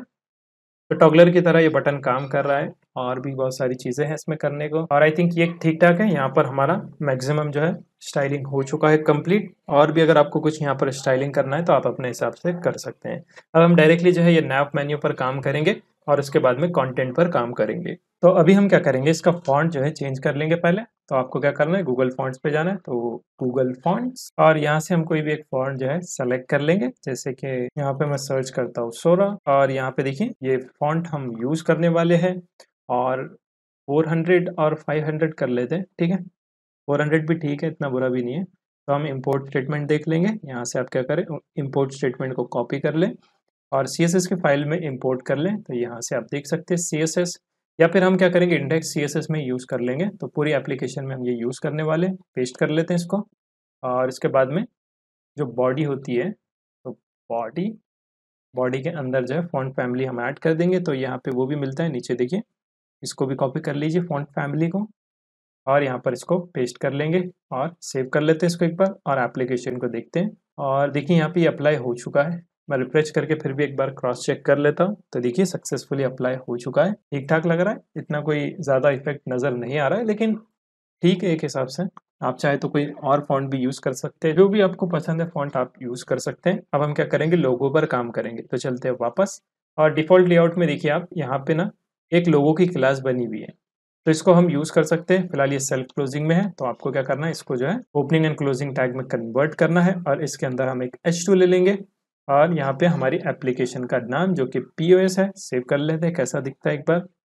और यहाँ पर आना चाहिए रिफ्रेश कर लेते हैं इसको एक बार। तो देखिए पी ओ एस यहाँ पे आ रहा है बराबर से। तो आपको जो भी एप्लीकेशन का नाम है, मान लीजिए आपने कोई शॉप के लिए यहाँ पर यूज़ किया है तो उस शॉप का नाम आप यहाँ पर ऐड कर सकते हैं। एच वन काफ़ी बड़ा है, लेकिन हमारे पास सिर्फ़ पीओएस ही लिखना था हमको, इसीलिए हमने इतना बड़ा नाम लिखा है। तो इसके अंदर क्या करेंगे बूटस्ट्रैप की मदद से कुछ क्लासेस ऐड कर देंगे, जैसे कि टेक्स्ट सेंटर और टेक्स्ट को मैं जो है लाइट कर लेता हूँ। और क्या कर सकते हैं हम? फॉन्ट बोल्ड कर देते हैं। फॉन्ट वेट बोल्ड सेव कर लेते हैं एक बार चेक करते हैं। अप्लाई होता है या नहीं? तो देखिए, बराबर से यहाँ पर अप्लाई हो गया। मार्जिन टॉप से भी दे देता हूँ मैं थोड़ा सा तो एम टी हो। तो देखिए मार्जिन टॉप से भी हमको मिल चुका है। और यहाँ पे देखिए पी ओ एस है। आप चाहे तो लेटर स्पेसिंग भी इसको चेंज कर सकते हैं। या फिर आप जो है नॉर्मली देखिए, इसके अंदर एक क्लास है लोगों की। तो इसको भी आप टारगेट कर सकते हैं डायरेक्टली और चेंज कर सकते हैं। और अगर आपको कलर्स भी चेंज करना है तो मैनुअल आप कलर चेंज कर सकते हैं। लेकिन ये जो डिफ़ॉल्ट थीम है, इसके साथ में व्हाइट ज़्यादा अच्छा लग रहा है, इसीलिए हम जो व्हाइट का यूज़ करेंगे। और इसके बाद में यहाँ पर देखिए, अब हमारे पास है साइड बार मैन्यूज तो इसको हमको चेंज करना है। तो यहाँ पे ये मेन्यू हमको चेंज करना है तो थोड़ा सा कंपोनेंट में हमको चेंजेस करने पड़ेंगे। यहाँ पे आप देख सकते हैं, उसके लिए यहाँ पर मेन्यू का सेल्फ क्लोजिंग टैग है तो इसको हमको यहाँ पर चेंज करना है। तो आपको क्या करना है? इसको सबसे पहले जो है ना सेल्फ क्लोजिंग टैग से हटा के जो है ओपनिंग एंड क्लोजिंग टैग में कन्वर्ट करना है और इसके अंदर हम क्या करेंगे? यहाँ पर मेन्यू का यूज़ करेंगे? तो आपको लिखना है मेन्यू डॉट आइटम और इसके अंदर हम जो है लिंक का यूज़ करने वाले हैं। तो इसके अंदर आपको लिंक को ऐड करना है तो लिंक को इंपोर्ट भी कर ले ऊपर। तो टॉप पे मैं क्या करता हूँ इंपोर्ट कर लेता हूँ import link from react router dom और इसको हम यूज़ करेंगे तो यहाँ पे आप आ जाइए। इसके अंदर हमको क्या करना है? यूज़ करना है। तो यहाँ पे मैं लिखता हूँ लिंक और इसके अंदर हम कर लेंगे पहले होम और यहाँ पर टू की प्रॉपर्टी आपको ऐड करना है और होम पे हमको रूट में रहना है। और यहाँ पे मेन्यू आइटम के अंदर आपको क्या करना है? देखिए, यहाँ पे जो आइटम्स का ऑब्जेक्ट का एरे है ना, इसको हमको चेंज करना है। तो यहाँ से हम इसको कट करने वाले पहले हम क्या करेंगे? एक चीज़ यहाँ पर ऐड कर देंगे। देखिए, तीनों भी चीज़ें है ना तो ये हम ऐड कर लेंगे। तो आप क्या करें? सबसे पहले ऐड कर लें की को और की के अंदर हम क्या करेंगे? यहाँ पर वन कर लेते हैं। फ़िलहाल समझने के लिए हम यहाँ पे वन ऐड कर रहे हैं। जैसे सेटअप हो जाता है, फिर हम यहाँ पर एक्चुअल में जो है हमारे राउट को ऐड करेंगे। उसके बाद में हमारे पास है आइकन आइकन हमको यहाँ पर ऐड कर देना है। देखिए आइकन और आइकन के अंदर हमको क्या करना है? यहाँ पे आइकन का नाम, जैसे कि हम क्या करते हैं? इसी को कॉपी पेस्ट कर सकते हैं, जैसे कि यूज़र आउटलाइन कॉपी और इसको पेस्ट कर लेते हैं और इसको सेव कर लेंगे और यहाँ से जो आइटम्स का ऑब्जेक्ट है ना, इसको रिमूव कर लेंगे। सेव कर लेते हैं इसको। चलते हैं वापस एप्लीकेशन पर। तो देखिए, सिर्फ़ अभी हमारे पास होम है। तो अब हम इसी तरीके से जो है, इसको मल्टीपल टाइम कॉपी कर लेंगे। देखिए, ये जो आइटम है, इसको मल्टीपल टाइम कॉपी कर लीजिए। वन टू थ्री फोर और इसके बाद में हम क्या करेंगे, इसको चेंज कर लेंगे। इसी तरीके से हमको क्या करना है, यहाँ पे की को भी चेंज करना है। तो यहाँ पर करली ब्रेसिस के बदले हम क्या करेंगे, यहाँ पर पाथ रखेंगे, क्योंकि इसकी मदद से जो है यहाँ पर सेलेक्ट का ऑपरेशन होगा। जैसे बाई डिफ़ॉल्ट ये सेलेक्ट है ना, जो ब्लूइश कलर आपको दिखाई दे रहा है, वो सेलेक्टेड की वैल्यू है। तो यहाँ पे स्लैश पे रहेगा, उसके बाद में हम क्या करेंगे, यहाँ पर इसको भी कट कर लेंगे। और यहाँ पे हमको क्या करना है सेकंड वाला जो है बिल्स के लिए देखेंगे तो बिल्स और यहाँ पर इसका पाथ भी बिल्स रखना है तो बिल्स और राउट में भी इसको बिल्स कर देंगे और उसके बाद में इसको भी चेंज करना है। तो जितने भी आपको यहाँ पर मेन्यूज ऐड करना है तो आपको उसमें चेंजेस करने पड़ेंगे। तो यहाँ पे हम स्लैश आइटम्स और इसके अंदर भी हम यहाँ पे आइटम्स का जो है राउट ऐड कर देंगे और इसके अंदर कर देंगे आइटम्स और क्या है फिर? कस्टमर्स है अपने पास तो कस्टमर भी हम यहाँ पे ऐड कर देंगे। कस्टमर्स यहाँ पे भी कस्टमर्स और की में भी हमको सेम पास कराना पड़ेगा। जो आप यहाँ पर टू में पास करा रहे हैं ना, वही की में प्रोवाइड करे तो ज़्यादा बेटर है। बेटर नहीं, आपको वही करना है, वरना आप कोई दूसरा ऐड करेंगे ना तो बराबर से फिर फंक्शनलिटी काम नहीं करेंगी। और की में यहाँ पर लॉग आउट है, और लॉग आउट के लिए हमको लिंक की ज़रूरत नहीं है तो यहाँ से लॉग आउट में से मैं लिंक को रिमूव कर लेता हूँ। सेव कर लेते हैं इसको, चलते हैं वापस एप्लीकेशन पर, और यहाँ पर इसको रिफ्रेश कर लेंगे। तो देखिए, यहाँ पे बराबर से सब कुछ आ रहा है। लेकिन थोड़ा सा यहाँ पे दिक्कत आ रहा है आई थिंक कहीं ना कहीं यहाँ पर मिस्टेक है तो आइटम्स तो इसको भी फिक्स कर लेंगे, कोई दिक्कत नहीं है। अभी यहाँ पे हम क्या करेंगे? देखिए, ये डिफ़ॉल्ट सेलेक्टेड है ना? आपको क्या करना है? यहाँ पर जो इसको कट करना है और विंडो की जो लोकेशन रहेंगी ना, उसको हम टारगेट करेंगे। तो window dot location sorry local storage हो गया cut location dot path name तो पाथ नेम के हिसाब से अब जो है यहाँ पर ये काम करेंगे। चलते वापस एप्लीकेशन पर। तो देखिए, बराबर से काम कर रहा है। बिल्स पे करूँगा तो बिल्स पे यहाँ पर कुछ भी नहीं है, इसीलिए जो शो नहीं करेगा। और आइटम्स है तो आइटम्स यहाँ पर लिस्ट कुछ इस तरीके से आ रहा है। तो यहाँ पे थोड़ा सा दिक्कत और क्या है हमारे पास? कंटेंट में भी है। तो कंटेंट को भी हमको अभी बराबर करना है। फ़िलहाल ये टेक्स्ट है ना, इसको भी हमको चेंज करना है। तो हम पहले इसको कर लेंगे, फिर जो है कंटेंट को भी सही कर लेंगे। तो यहाँ पर ये साइड बार मेन्यूज बन चुके हैं, बस हमको जो है इसका आइकन्स जो है चेंज करना है। तो आइकन के लिए हम क्या कर सकते हैं? एंड डिज़ाइन आइकन का यूज़ कर सकते हैं। तो यहाँ पर डॉक्यूमेंटेशन में सर्च करें आइकॉन्स यहाँ पर आइकॉन्स पर आना है और यहाँ से हम सर्च कर सकते हैं। तो बिल्स के लिए हम जो है, जो नॉर्मल हमको दिख रहा है उसके हिसाब से कर लेंगे। लॉग आउट पहले कर लेते हैं। लॉग आउट तो लॉग आउट के लिए है या नहीं चेक कर लेते हैं। लॉग आउट तो ये है, इसको कॉपी कर लेते हैं। ये कॉपी हो चुका है। अब ऊपर जाना है आपको। और यहाँ पे देख सकते हैं आप, ये सारी चीज़ें इम्पोर्ट है ना? तो इसको हम रिमूव कर लेंगे। इसको भी यहाँ से रिमूव कर लेंगे। जो यूज़ में नहीं है, उसको हमको रिमूव कर देना है। इसको रिमूव कर देंगे क्योंकि टैग शो नहीं करना हमको यहाँ पर। हमको इसको डायरेक्टली यूज़ करना है तो लॉग आउट कहाँ पर है? चेक कर लेते ये रहा लॉग आउट तो यहाँ पर लॉग आउट ऐड कर देंगे। पेस्ट सेव कर लेते चलते हैं एक बार वापस एप्लीकेशन पर। और देखिए यहाँ पे लॉग आउट का बराबर से शो कर रहा है। और इसी तरीके से कस्टमर्स का है तो कस्टमर का आई थिंक सही है। होम के लिए हम क्या कर सकते हैं? हाउस का कुछ भी चेक कर सकते पहले होम करके चेक कर लेते तो देखिए होम का है, इसको कॉपी कर लेंगे। और फिर फ़र्स्ट में हमारे पास होम पेस्ट कर लेते हैं इसको। यहाँ से इसको कट कर लेंगे पेस्ट और सिर्फ़ हमको इतना कंपोनेंट का जो है नाम कॉपी करना है और यहाँ पर इंपोर्ट स्टेटमेंट में जो है ऐड कर देना है सेव कर लेते हैं इसको तो होम भी हमको बराबर से शो करेगा। यहाँ पर होम हो गया बिल्स के लिए हमको कुछ ना कुछ अदर देखना पड़ेगा। बिल्स के लिए डायरेक्ट नहीं है तो बिल्स नोट्स देख लेते हैं एक बार। नोट्स नोट्स भी नहीं है बुक देख लेते हैं। फेसबुक आ जा रहा है यहाँ पे तो नीचे स्क्रॉल करके चेक कर लेते हैं। कॉपी आउटलाइन का हम यूज़ कर लेंगे। यहाँ से इसको हमने कॉपी किया और चलते हैं यहाँ पर बिल्स में। इस आइकन को रिमूव कर लेंगे। यहाँ इसको पेस्ट किया कॉपी आउटलाइन को ऊपर इंपोर्ट भी करना पड़ेगा तो यहाँ पर आप इंपोर्ट भी कर दें और सेव कर लेते हैं इसको। चलते हैं वापस एप्लीकेशन पर तो बिल्स का भी यहाँ पर आ चुका है। अब आइटम्स है तो आइटम्स की लिस्ट रहेंगी तो लिस्ट के लिए आई थिंक मिलना चाहिए डायरेक्ट सर्च में भी लिस्ट तो देखिए यहाँ पे लिस्ट है, इसको कॉपी कर लेते हैं। चलते हैं वापस तो ये रहा आइटम तो थोड़ा फास्ट हो रहा होगा तो प्लीज़ आप केयरफुली वॉच करें और यहाँ पर इसको भी कॉपी कर लेंगे और यहाँ पर इसको भी पेस्ट कर लेंगे यहाँ पर सेव चलते हैं वापस एप्लीकेशन पर। तो सारे आइकन्स तो सक्सेसफुली यहाँ पर ऐड हो चुके हैं। अब हमको जो है कंटेंट को भी फिक्स करना है। तो कंटेंट को फिक्स कर सकते हैं और आप चाहे तो इसका कलर भी चेंज कर सकते हैं। अगर आपको करना है तो मैं इसको एज इट इज़ रहने दूँगा। ठीक ठाक ही लग रहा है। इस थीम के साथ में ये ठीक ठाक है। तो कंटेंट के अंदर हम क्या करेंगे? देखिए डिफ़ॉल्ट लेआउट में वापस आए और नीचे स्क्रोल करें। तो यहाँ पे देखिए कंटेंट आता है। तो कंटेंट में हम क्या करेंगे? प्रॉप्स डॉट चिल्ड्रन का यूज़ करेंगे या फिर डायरेक्टली जो चिल्ड्रन को हम एक्सेस कर सकते हैं। तो चिल्ड्रन आपको लिख देना है। और इसको हम डिस्ट्रक्चर कर लेंगे। इस रिटर्न के अंदर हम डिस्ट्रक्चर कर लेंगे चिल्ड्रन को और आप सारे कंपोनेंट्स बराबर से शो करेंगे। सेव कर लेते हैं इसको, चलते हैं एप्लीकेशन पर। और आई थिंक सब कुछ सही रहा तो ये बराबर से शो करेंगे, नहीं तो एरर आएँगे। तो देखिए यहाँ पे कुछ एरर है। आई थिंक वो क्लास कंपोनेंट है तो उसमें थोड़ा सा अलग पैटर्न होता है। तो मैं इसको अभी फिक्स कर लेता हूँ। तो यहाँ पे हमको थोड़ा सा अलग इसका सिंटैक्स लिखना पड़ेगा क्योंकि ये क्लास कंपोनेंट है तो टी स्ट्रक्चर का तो इसमें सवाल ही पैदा नहीं होता। तो हम क्या करेंगे चिल्ड्रन को पहले रिमूव कर लेंगे, हमने जो ऐड किया था, और यहाँ पे हम क्या करेंगे तो this dot props dot children का हम यहाँ पे यूज़ करेंगे तो दिस डॉट प्रॉप्स क्योंकि प्रॉप्स हम डायरेक्टली यूज़ कर सकते हैं क्लास कंपोनेंट में सेव कर लेते हैं इसको, चलते वापस एप्लीकेशन पर, और इसको रिफ्रेश करके चेक कर लेते हैं कि ये काम करता है या नहीं। तो देखिए, बिल्कुल यहाँ पर आ रहा है। अब होम पेज में हमारे पास कुछ है ही नहीं तो यहाँ पे कुछ शो नहीं कर रहा है। अगर हम होम पेज में कुछ ऐड करेंगे, जैसे कि यहाँ पर मैं ऐड कर लेता हूँ, एक एच वन होम पेज मैंने यहाँ पे ऐड किया सेव कर लेते हैं इसको, चलते हैं एप्लीकेशन पर। तो देखिए होम पेज यहाँ पर बराबर से शो कर रहा है। तो सक्सेसफुली हमारा लेआउट यहाँ पर क्रिएट हो चुका है और आई थिंक आइटम्स के लिए राउट क्रिएट किया था हमने। नहीं, एक बार चेक करते हैं इसको। तो यहाँ पर हमारे पास पेजेस है और इसके अंदर आइटम पेज है और इसको हमने रैप नहीं किया है। तो रैप करना पड़ेगा, तभी ये जो है काम करेगा। तो डिफ़ॉल्ट लेआउट से हम इसको रैप कर लेंगे। तो डिफ़ॉल्ट लेआउट और मेक श्योर sure इसको जो है क्लोज भी करें। तो यहाँ पे हमने इसको सेव कर लिया, चलते हैं वापस। तो देखिए यहाँ पे बराबर आइटम लिस्ट काम कर रहा है। तो होम और हमारा आइटम दोनों भी काम कर रहा है। तो दोनों चीज़ें यहाँ पर बराबर से काम कर रही है। राउट चेंज हो रहा है। अब नेक्स्ट हमको क्या करना है? यहाँ पर आइटम्स को जो है गेट कराना है। क्योंकि ऑलरेडी हमने बैकएंड तो क्रिएट करके रखा है तो हम डायरेक्टली जो इसका यूज़ कर सकते हैं। तो अब हमको क्या करना है? यहाँ पर डेटा को गेट करना है हमारे फ्रंट एंड पे। तो बैकएंड में हमारे पास अलग पोर्ट है और फ्रंट एंड में हमारे पास अलग पोर्ट है। तो इसको हमको सबसे पहले जो है एक जगह करना पड़ेगा, तभी हम जो है दोनों सर्वर को जो है एक साथ रन करा पाएँगे। वरना क्या करना पड़ेगा? हमको टर्मिनल में जो है दो टर्मिनल ओपन करना पड़ेगा और एक साइड में बैक एंड रन होगा और एक साइड में जो है फ्रंट एंड रन होगा। तो ये सही बिहेवियर नहीं है। हम क्या करेंगे? यहाँ पर कॉनकरेंटली पैकेज का यूज़ करेंगे। तो आप क्या करें? एनपीएम जेएस पे जाइए और यहाँ पे सर्च करिए कॉनकरेंटली तो इस पैकेज को आपको इंस्टॉल करना है। देखिए, यहाँ से कमांड को आप कॉपी कर सकते हैं और मेक श्योर sure इसको बैकएंड में आपको इंस्टॉल करना है। काफ़ी पॉपुलर है और कैसे यूज़ करना है, आप यहाँ पर इसका यूजेज भी देख सकते हैं।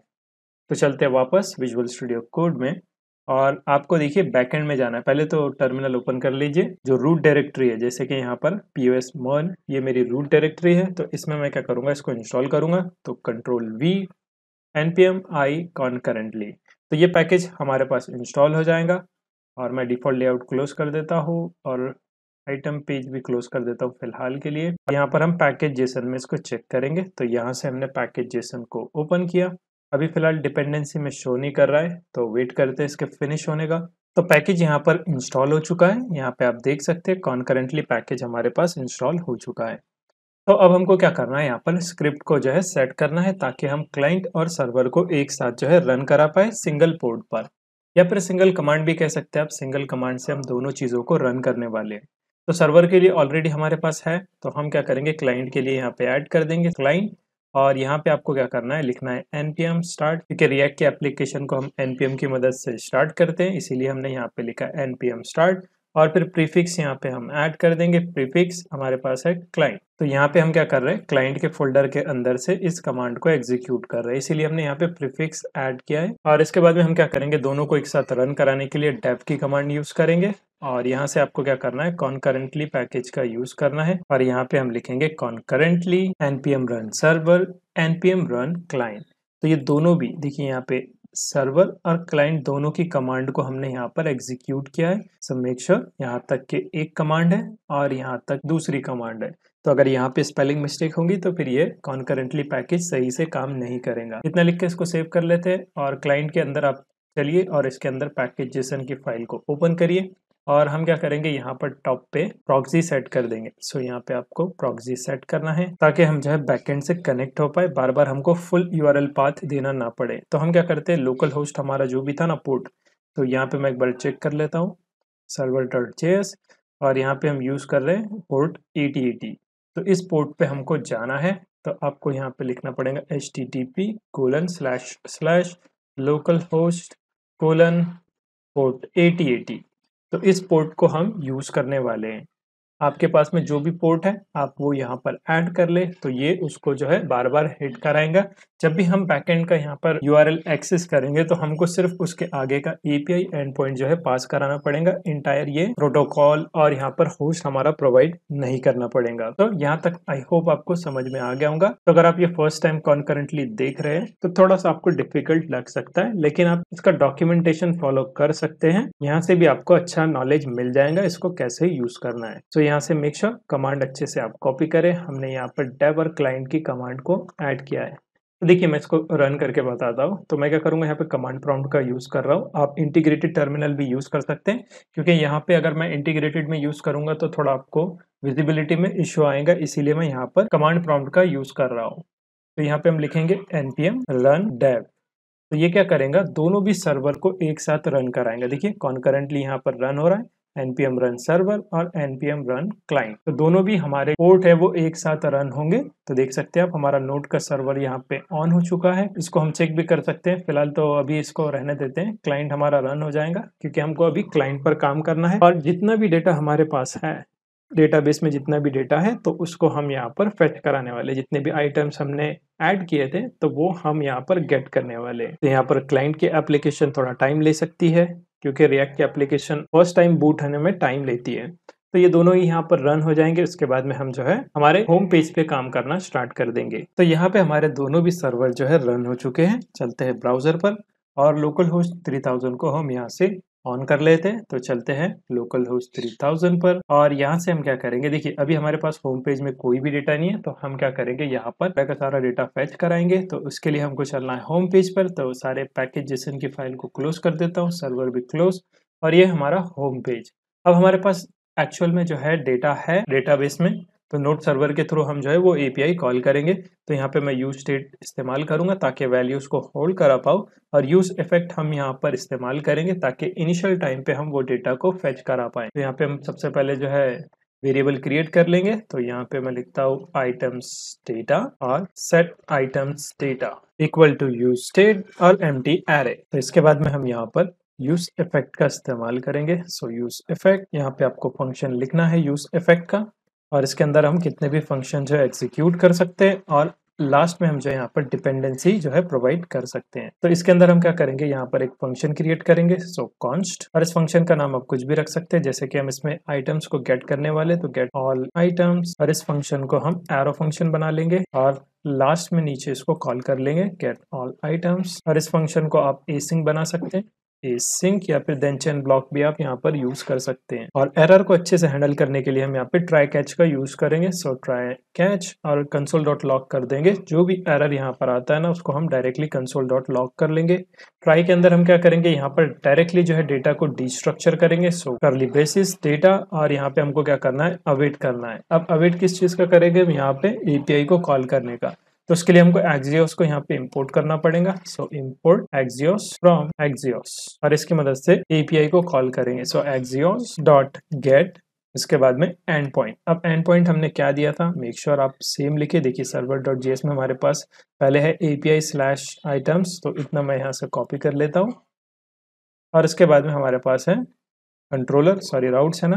राउट्स के अंदर हमारे पास है गेट आइटम के लिए ये वाला राउट तो इसको हम यहाँ से एक्सेस करेंगे। तो कंप्लीट राउट आपको यहाँ पर ऐड करना है और यहाँ पे हम क्या करेंगे? जैसे हमको डेटा मिलता है तो इसको सेट करा देंगे। हमारे पास जो आइटम डेटा का स्टेट हमने क्रिएट किया है, उसमें जो है फुलफिल करा देंगे। सेव कर लेते हैं इसको और यहाँ पर होम पेज है ना? और कंसोल डॉट लॉग करके भी चेक कर लेते हैं एक बार कि डेटा हमको मिलता है या नहीं। तो console dot log of data save चलते हैं वापस एप्लीकेशन पर। और मैं क्या करता हूँ, यहाँ से इंस्पेक्ट कर लेता हूँ, क्योंकि हमको कंसोल देखना है, और यहाँ से हम क्या करेंगे, इसको क्लियर कर देंगे और इसको रिफ्रेश कर लेंगे एप्लीकेशन को। तो देखिए, यहाँ पे हमारे पास डेटा हमको मिल रहा है। अगर मैं इसको एक्सपेंड करूँगा तो हमारे पास छः आइटम्स हमको मिल रहे हैं। छः नहीं, सात मिल रहे हैं, क्योंकि एरे का इंडेक्स जो है ज़ीरो से शुरू होता है। तो इसका हम यहाँ पे यूज़ कर सकते हैं। देखिए डेटा मिल रहा है, अब हम इसको जो है यूआई पे दिखा सकते हैं। तो उसके लिए हम क्या करेंगे, यहाँ पर जो है एंड डिज़ाइन का यूज़ करने वाले हैं तो एंड डिज़ाइन में भी ग्रिड सिस्टम मिलता है हमको तो मैं क्या करता हूँ? एंड डिज़ाइन पर चलता हूँ एंड डी और यहाँ पे डायरेक्टली ग्रिड सर्च कर लेंगे हम। देखिए, यहाँ पे आपको फ़र्स्ट ऑप्शन मिल जाएगा तो यहाँ से आप कॉपी कर सकते हैं। जो भी आपको डिज़ायर ग्रिड सिस्टम चाहिए, जैसे कि इसमें 24 कॉलम्स है, यहाँ पर देख सकते हैं वन टू ट्वेंटी तो बुटस्ट्रैप का और इसका थोड़ा सा डिफरेंट है। मगर आप चाहे तो यूज़ कर सकते हैं, कोई दिक्कत नहीं है। सिंपली मैं किसी पर भी क्लिक कर देता देखिए, यहाँ पर कोड का ऑप्शन है ना। तो यहाँ से हमको जो है रो एंड कॉलम को इम्पोर्ट करना पड़ता है। तो इसी को मैं कॉपी कर लूँगा और यहाँ पे हम क्या करेंगे पेस्ट कर लेंगे। इसी तरीके से देखिए, यहाँ पे ये यह रो और कॉलम है ना, इसको हमको यूज़ करना है। तो हम क्या करेंगे? देखिए, यहाँ पे मैं क्या करता हूँ डिफ़ॉल्ट लेआउट में एक रो को ऐड करता हूँ पहले रो और इसके अंदर हमको जो है यहाँ पर कॉलम को प्रिंट कराना है।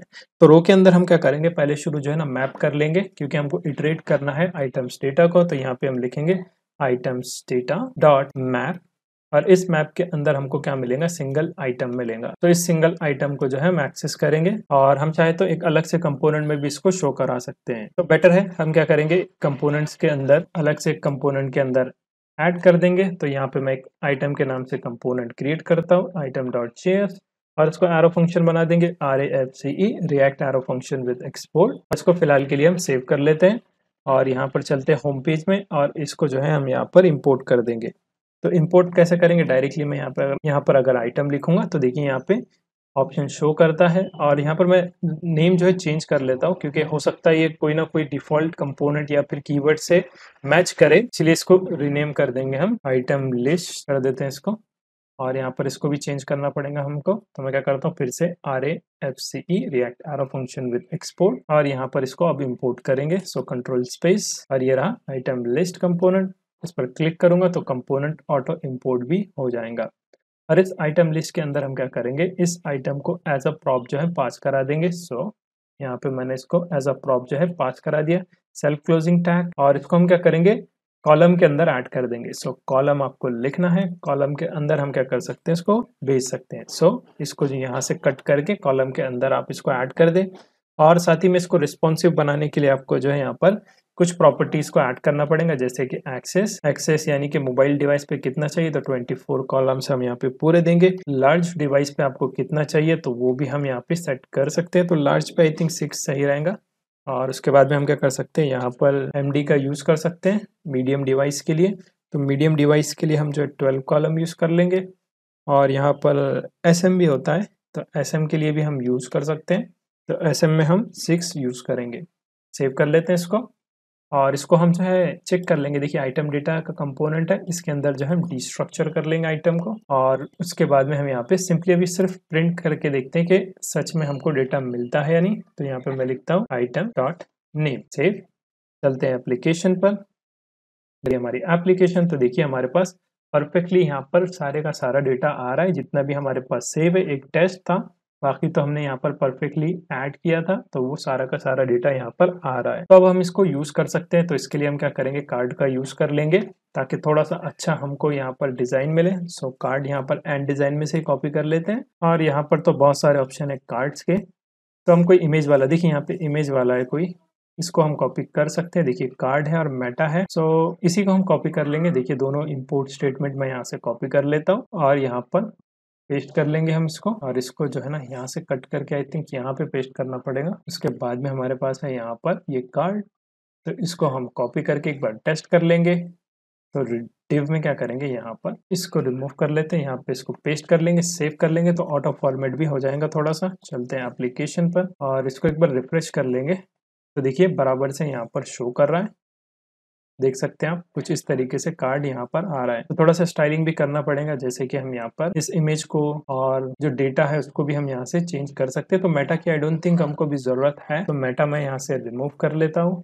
एक बार चेक करते हैं। तो यहाँ पर टाइटल कुछ इस तरीके से यहाँ पे शो होता है। अच्छा ठीक है तो टाइटल की ज़रूरत है। तो हम क्या करेंगे, यहाँ पर टाइटल जो रहेगा ना हमारा आइटम डॉट नेम रहेगा। डिस्क्रिप्शन में हमारे पास यहाँ पर item dot I think description तो अपने पास नहीं है। तो डिस्क्रिप्शन हम यहाँ पर नहीं रखेंगे। डिस्क्रिप्शन मैं यहाँ से रिमूव कर लेता हूँ फ़िलहाल के लिए। और जो इसका पाथ है, इसको भी हम कट कर लेंगे इमेज के पाथ को। और यहाँ पर हमारे पास इमेज है आइटम डॉट इमेज उसको हम यहाँ पे शो कराएँगे। और अल्ट में इसका नेम हम शो करा सकते हैं तो इसको यहाँ से मैं कट कर लेता हूँ। आइटम डॉट नेम और चेक कर लेते हैं इसको एक बार कैसा दिखता है। चलते हैं एप्लीकेशन पर। तो देखिए, यहाँ पे कुछ इस तरीके से ये शो कर रहा है। इसकी जो हाइट है, वो भी सेट कर लेंगे।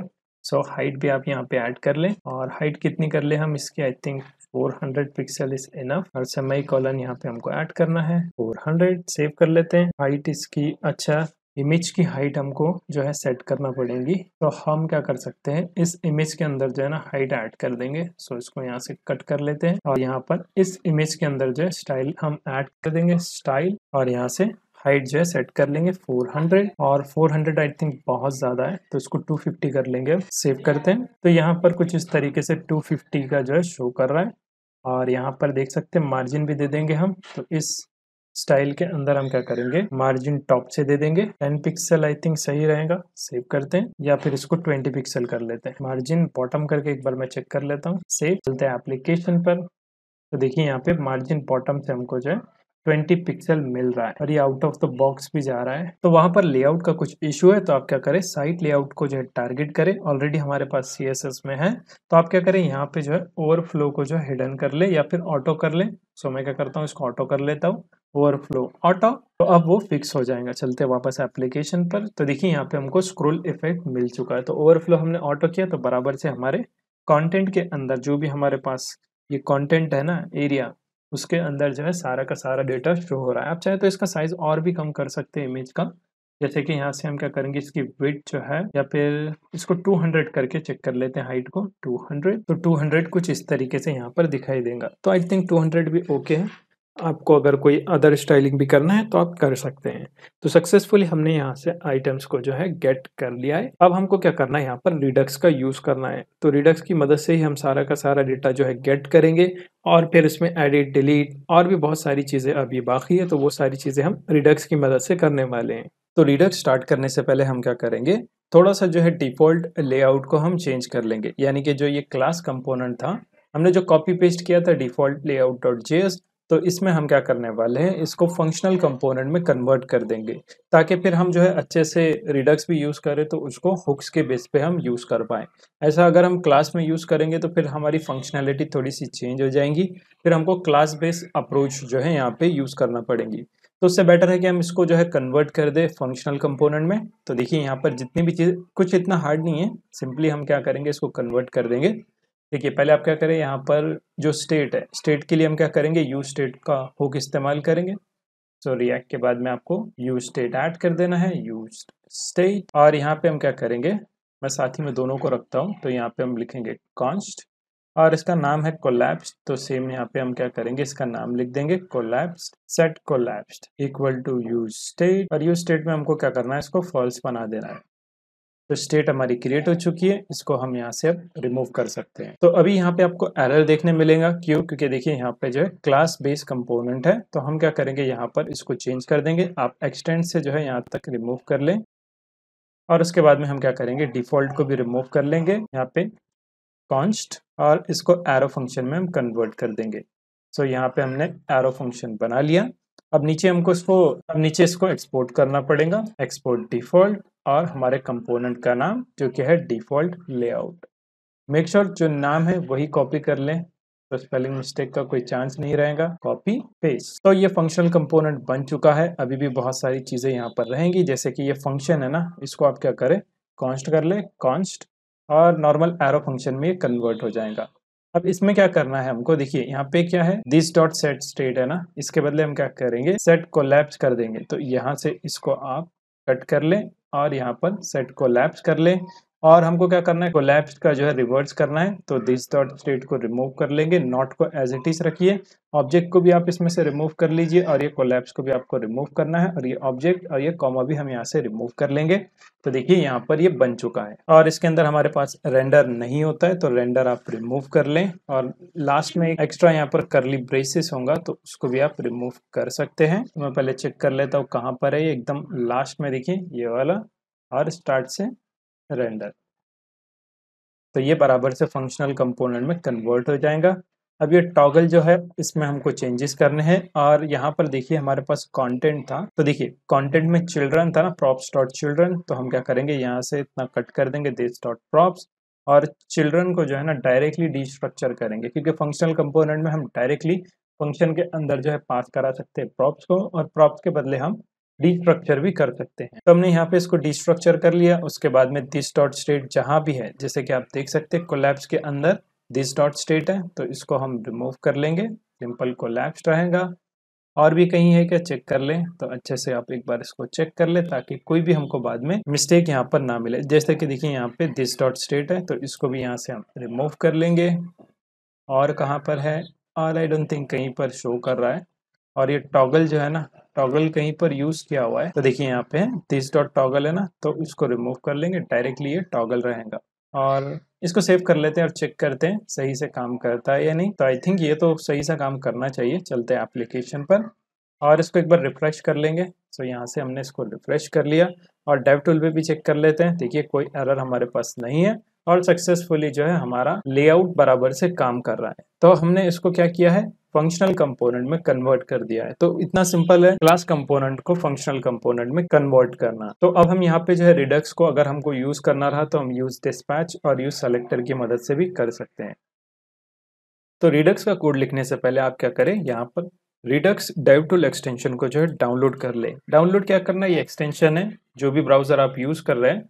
हो सकता है आप मॉजिला फायरफॉक्स यूज़ करें या फिर क्रोम यूज़ करें तो आप उसके लिए जो है इसको इंस्टॉल कर सकते हैं। सिंपली आप वेब स्टोर में चेक कर सकते हैं रिडक्स टैब टूल्स इसको इंस्टॉल कर लीजिए और उसके बाद में हम क्या करेंगे? यहाँ पर इस पैकेज का भी यूज़ करेंगे रिडक्स टैब टूल एक्सटेंशन और इस पैकेज को आप जो है डाउनलोड कर सकते हैं तो यहाँ पर कुछ इस तरीके से आप देख पाएँगे एक्सटेंशन में क्या लॉजिक है वो आपको दिखता रहेगा। तो आप क्या करें? इसको कॉपी कर ले और कॉपी करने के बाद आपको क्या करना है? टर्मिनल पे जाना है। और यहाँ पर क्लाइंट डायरेक्टरी में आपको इंस्टॉल करना है। तो आप क्या करें? सी डी क्लाइंट में स्विच हो जाइए और इसको आपको जो है इंस्टॉल कर देना है। तो N P M I redux dev tools dash extension और उसके बाद में आपको क्या करना है? सिंपली इसको यूज़ करना है। तो अभी हम क्या करेंगे? स्टोर क्रिएट करेंगे तो इजीली आपको समझ में आ जाएगा। सो मेक श्योर आप डाउनलोड करके रखें और इस पैकेज को जो है इंस्टॉल करके रखें। यहाँ पर जो एक्सटेंशन है रिडक्स टैब टूल्स तो इसको आप इंस्टॉल करके रखें।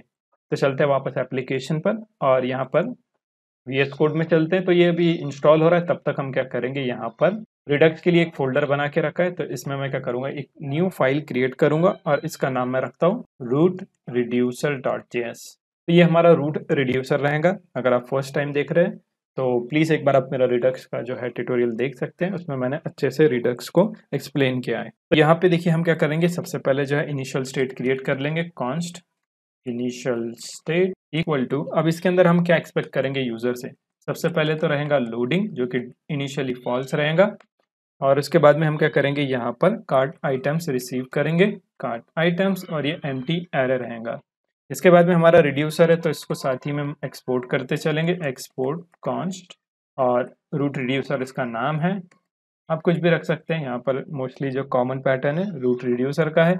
और इसके अंदर हम क्या करने वाले हैं? अलग से एक्शन फाइल्स जो है क्रिएट नहीं करेंगे। इसी में हम जो एक्सपेक्ट करेंगे स्टेट को तो यहाँ पे मैंने लिखा स्टेट और इसको फुलफिल करा देंगे। हमारे पास जो इनिशियल स्टेट है, उससे फुलफिल करा देंगे।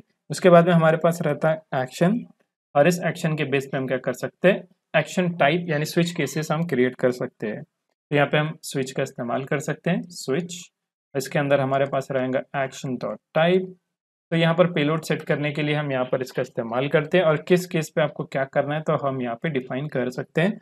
तो हम क्या करेंगे डायरेक्टली अभी डिफ़ॉल्ट करेंगे क्योंकि कोई भी केस हमारे पास नहीं है। डिफ़ॉल्ट में हमको क्या करना है सिंपली जो है रिटर्न करा देना है स्टेट को। तो जो भी स्टेट है, उसको एज इट इज़ हम यहाँ पर रिटर्न करा रहे हैं। इसको सेव कर लेते हैं।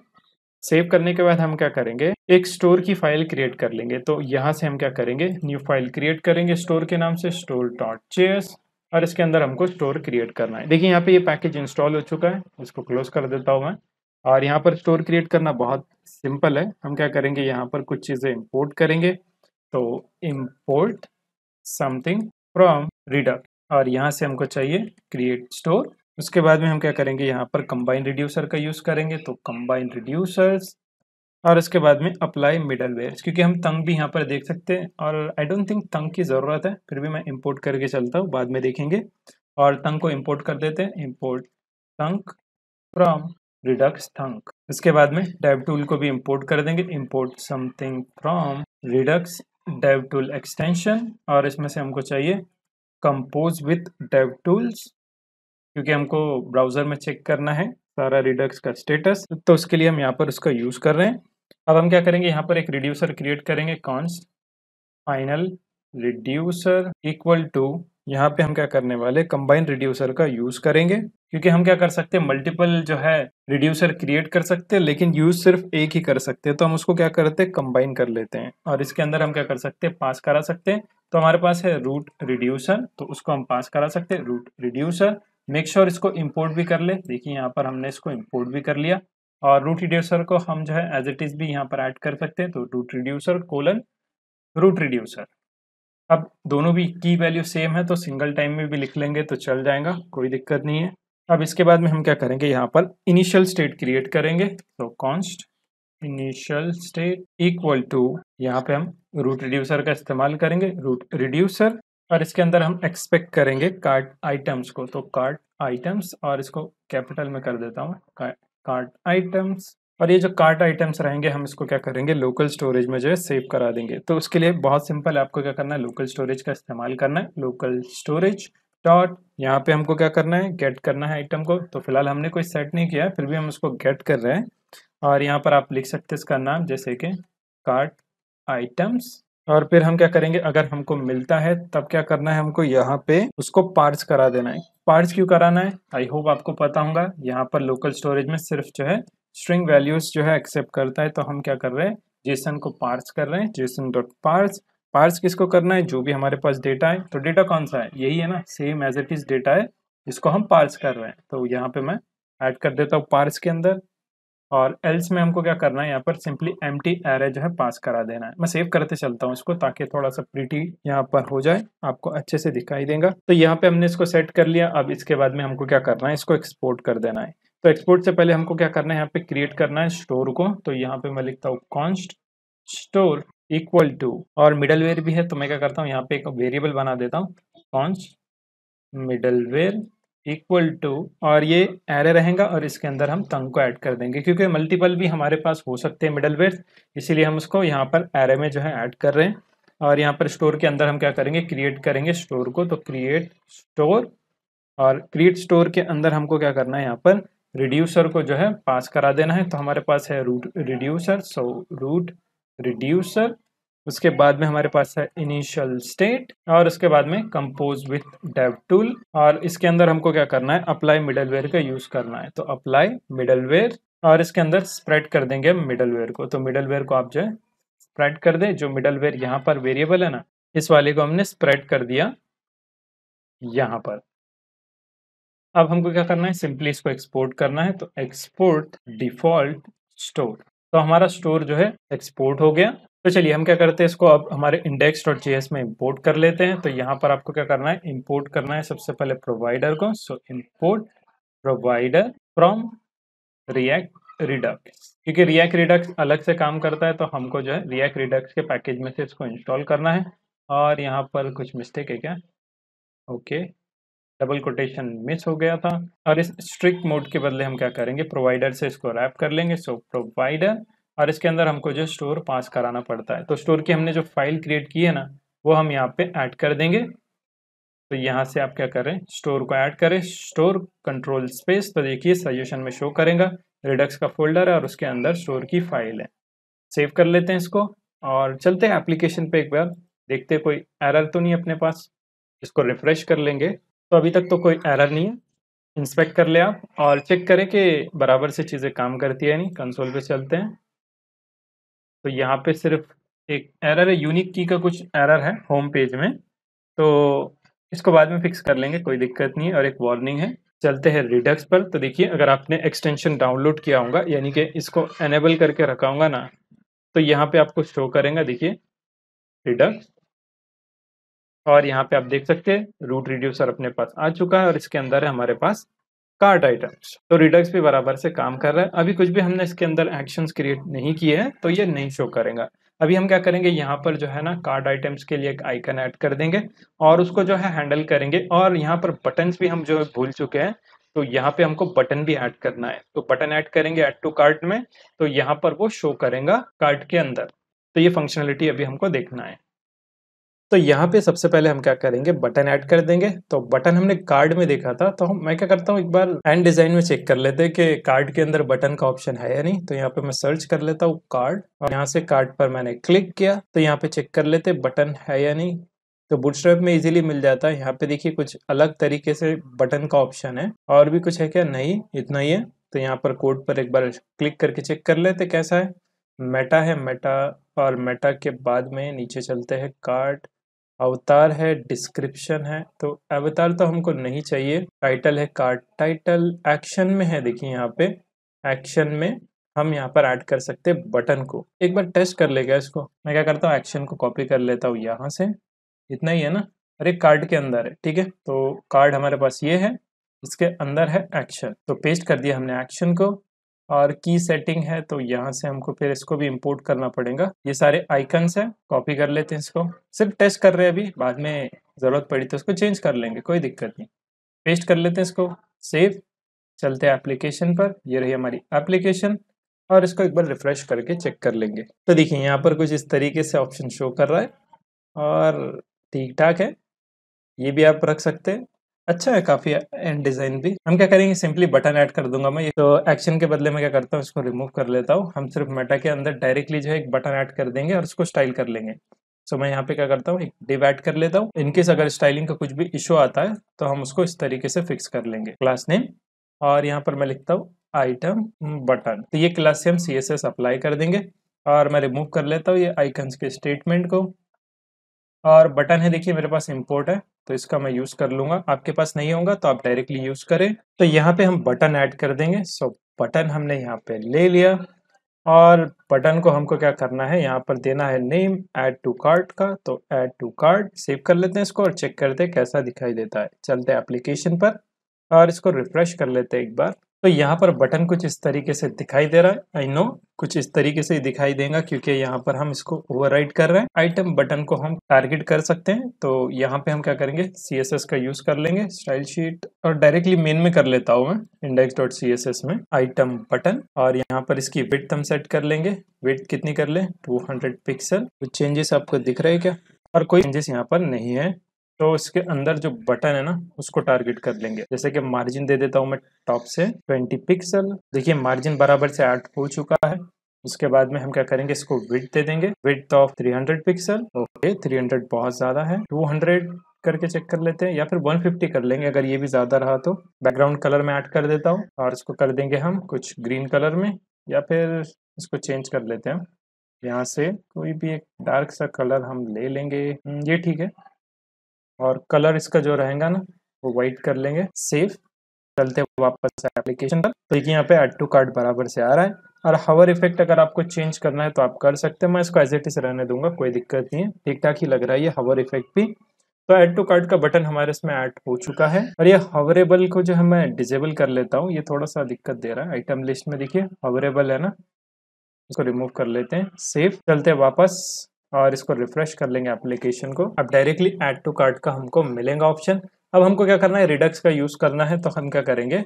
रिडक्स को ऐड कर देंगे तो डिफ़ॉल्ट लेआउट का जो पेज था अपना, मैं सर्च कर लेता हूँ डिफ़ॉल्ट लेआउट डॉट जेएस इस पेज में हमको क्या करना है? यूज़ सेलेक्टर को इंपोर्ट करना है तो यूज़ स्टेट के बाद में हम क्या करेंगे?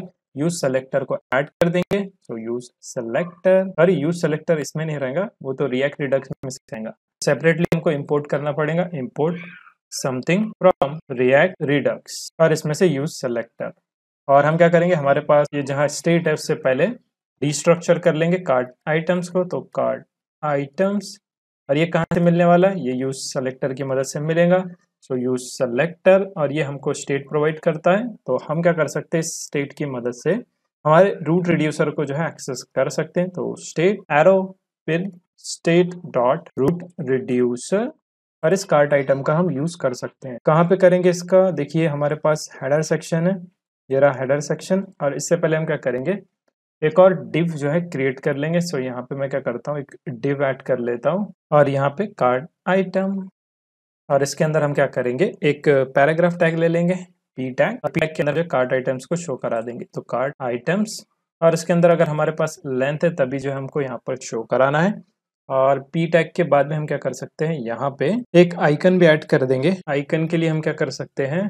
चलते हैं एंड डिज़ाइन पे वापस। एंड डिज़ाइन और यहाँ पर हम आइकन्स जो है ना सर्च कर लेंगे। तो देखिए, यहाँ पे शॉपिंग कार्ड आउटलाइन का है। तो इसको हम क्या करेंगे? यूज़ करेंगे। ये कॉपी हो चुका है। चलते हैं वापस एप्लीकेशन पर। पहले इसको पेस्ट कर लेंगे हम यहाँ पे। और ये पेस्ट हो चुका है। अब हमको क्या करना है? सिंपली इसको इंपोर्ट करना है। देखिए आइकन्स हमारे पास ऑलरेडी है तो यहाँ पे इसको इंपोर्ट करा दे। एंगल ब्रैकेट्स को यहाँ से रिमूव कर लीजिए सेव कर लेते हैं इसको। तो हमको आइकन शो होना चाहिए। चलते हैं एप्लीकेशन पर। ये रही हमारी एप्लीकेशन इसको एक बार रिफ्रेश कर लेंगे। और आइकन बराबर से आ रहा है। और यहाँ पर देखिए कुछ तो भी ओवरफ्लो की प्रॉपर्टी ऐड हो चुकी है। तो यहाँ पर कुछ अलग सा बिहेवियर आ रहा है। एक बार इसको इंस्पेक्ट कर लेंगे। कोई सीएसएस की प्रॉपर्टी की वजह से हो रहा है। तो एक बार इंस्पेक्ट करके इसको चेक कर ले। यहाँ से हमने इसको इंस्पेक्ट किया और यहाँ पर देखिए हमारे पास डिस्प्ले फ्लैक्स है और ये हेडर सेक्शन है। तो यहाँ से हम लाइन हाइट को रिमूव कर लेते हैं पहले। ठीक है? लाइन हाइट से थोड़ा सा कुछ इफ़ेक्ट हमको मिला है।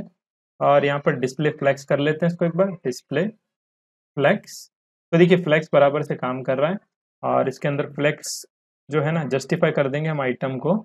जस्टिफाई कंटेंट नहीं जस्टिफाई आइटम और इसको स्पेस बिटवीन करके चेक कर लेंगे। तो स्पेस बिटवीन और इसके बाद में हम क्या करेंगे? अलाइन कर देंगे आइटम्स को तो अलाइन आइटम और इसको स्पेस बिटवीन कर देंगे। स्पेस बिटवीन या फिर सेंटर में कर देंगे इसको जो है सेंटर कर लेते हैं, एक बार चेक करते हैं।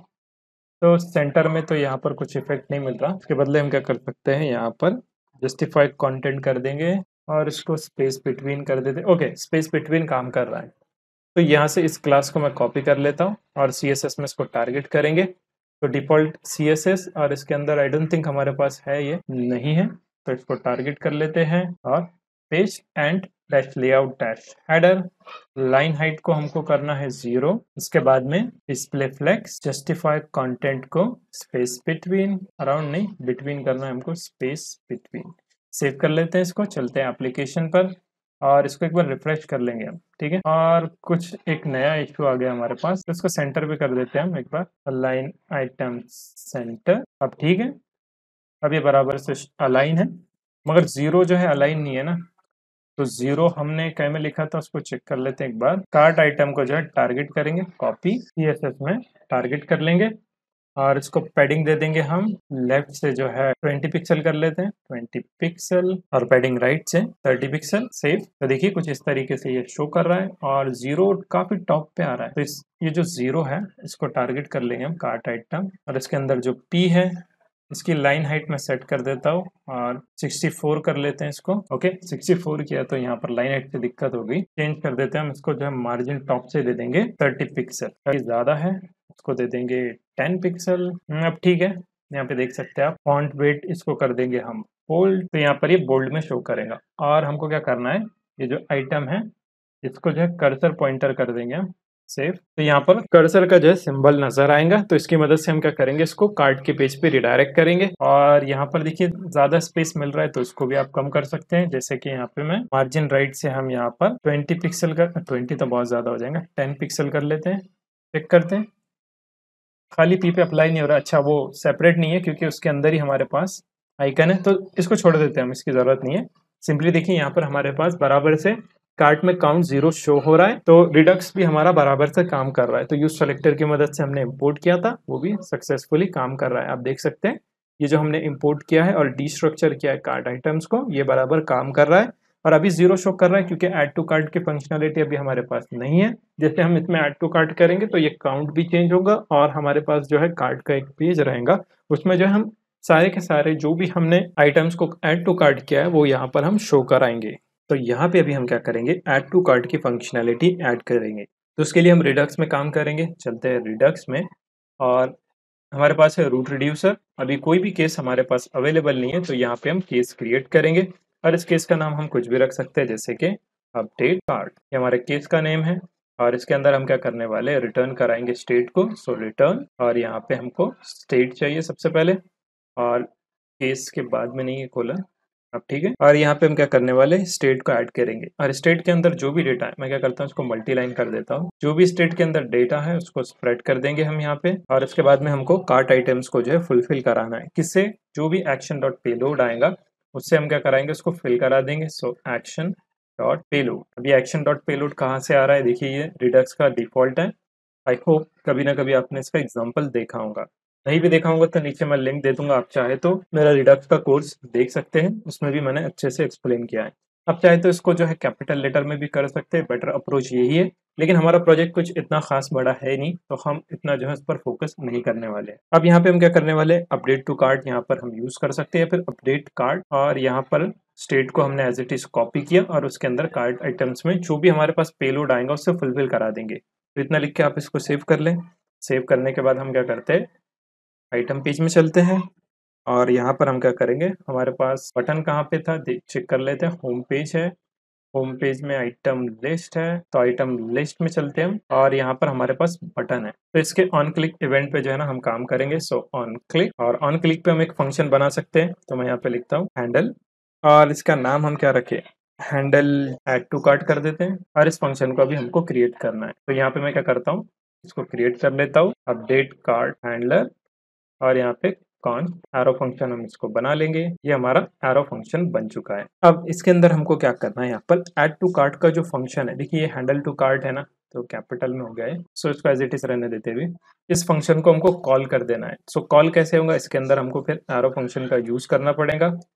तो यहाँ पर इसके अंदर हम फ़ंक्शन को कॉल कर सकते हैं और इस फ़ंक्शन को कॉल कैसे करेंगे? क्योंकि इसके अंदर हमको क्या करना है? डिस्पैच करना है। तो डिस्पैच को भी इंपोर्ट करना पड़ेगा। Import use dispatch from React Redux और इसका एक वेरिएबल हम क्रिएट कर लेंगे। सो so, यहाँ पे आप क्या करें? एक वेरिएबल क्रिएट करें। Const dispatch equal to use dispatch तो इसका वेरिएबल यहाँ पे क्रिएट हो चुका है। अब इसके अंदर हमको क्या करना है? ऑन क्लिक में डिस्पैच कर देना। तो यहाँ पे हम लिखेंगे डिस्पैच और इसके अंदर आपको जो है टाइप सेट कर देना है। तो टाइप में हम क्या करेंगे? यहाँ पर इसको जो है टाइप बताएँगे, जो हमने यहाँ पे बनाया था ना अपडेट कार्ड हमारे रूट रिड्यूसर में जो टाइप हमने बनाया है वही हम यहाँ पर ऐड कर रहे हैं अपडेट कार्ड और जब ये एक्शन कॉल हो, तब क्या करो, यहाँ पे हमारे पास जो स्टेट है, उसको जो है हमको चेंज करना है। तो यहाँ पे हम पेलोड सेट कर देंगे पेलोड और पेलोड के अंदर हम जो आइटम को पास करा देंगे।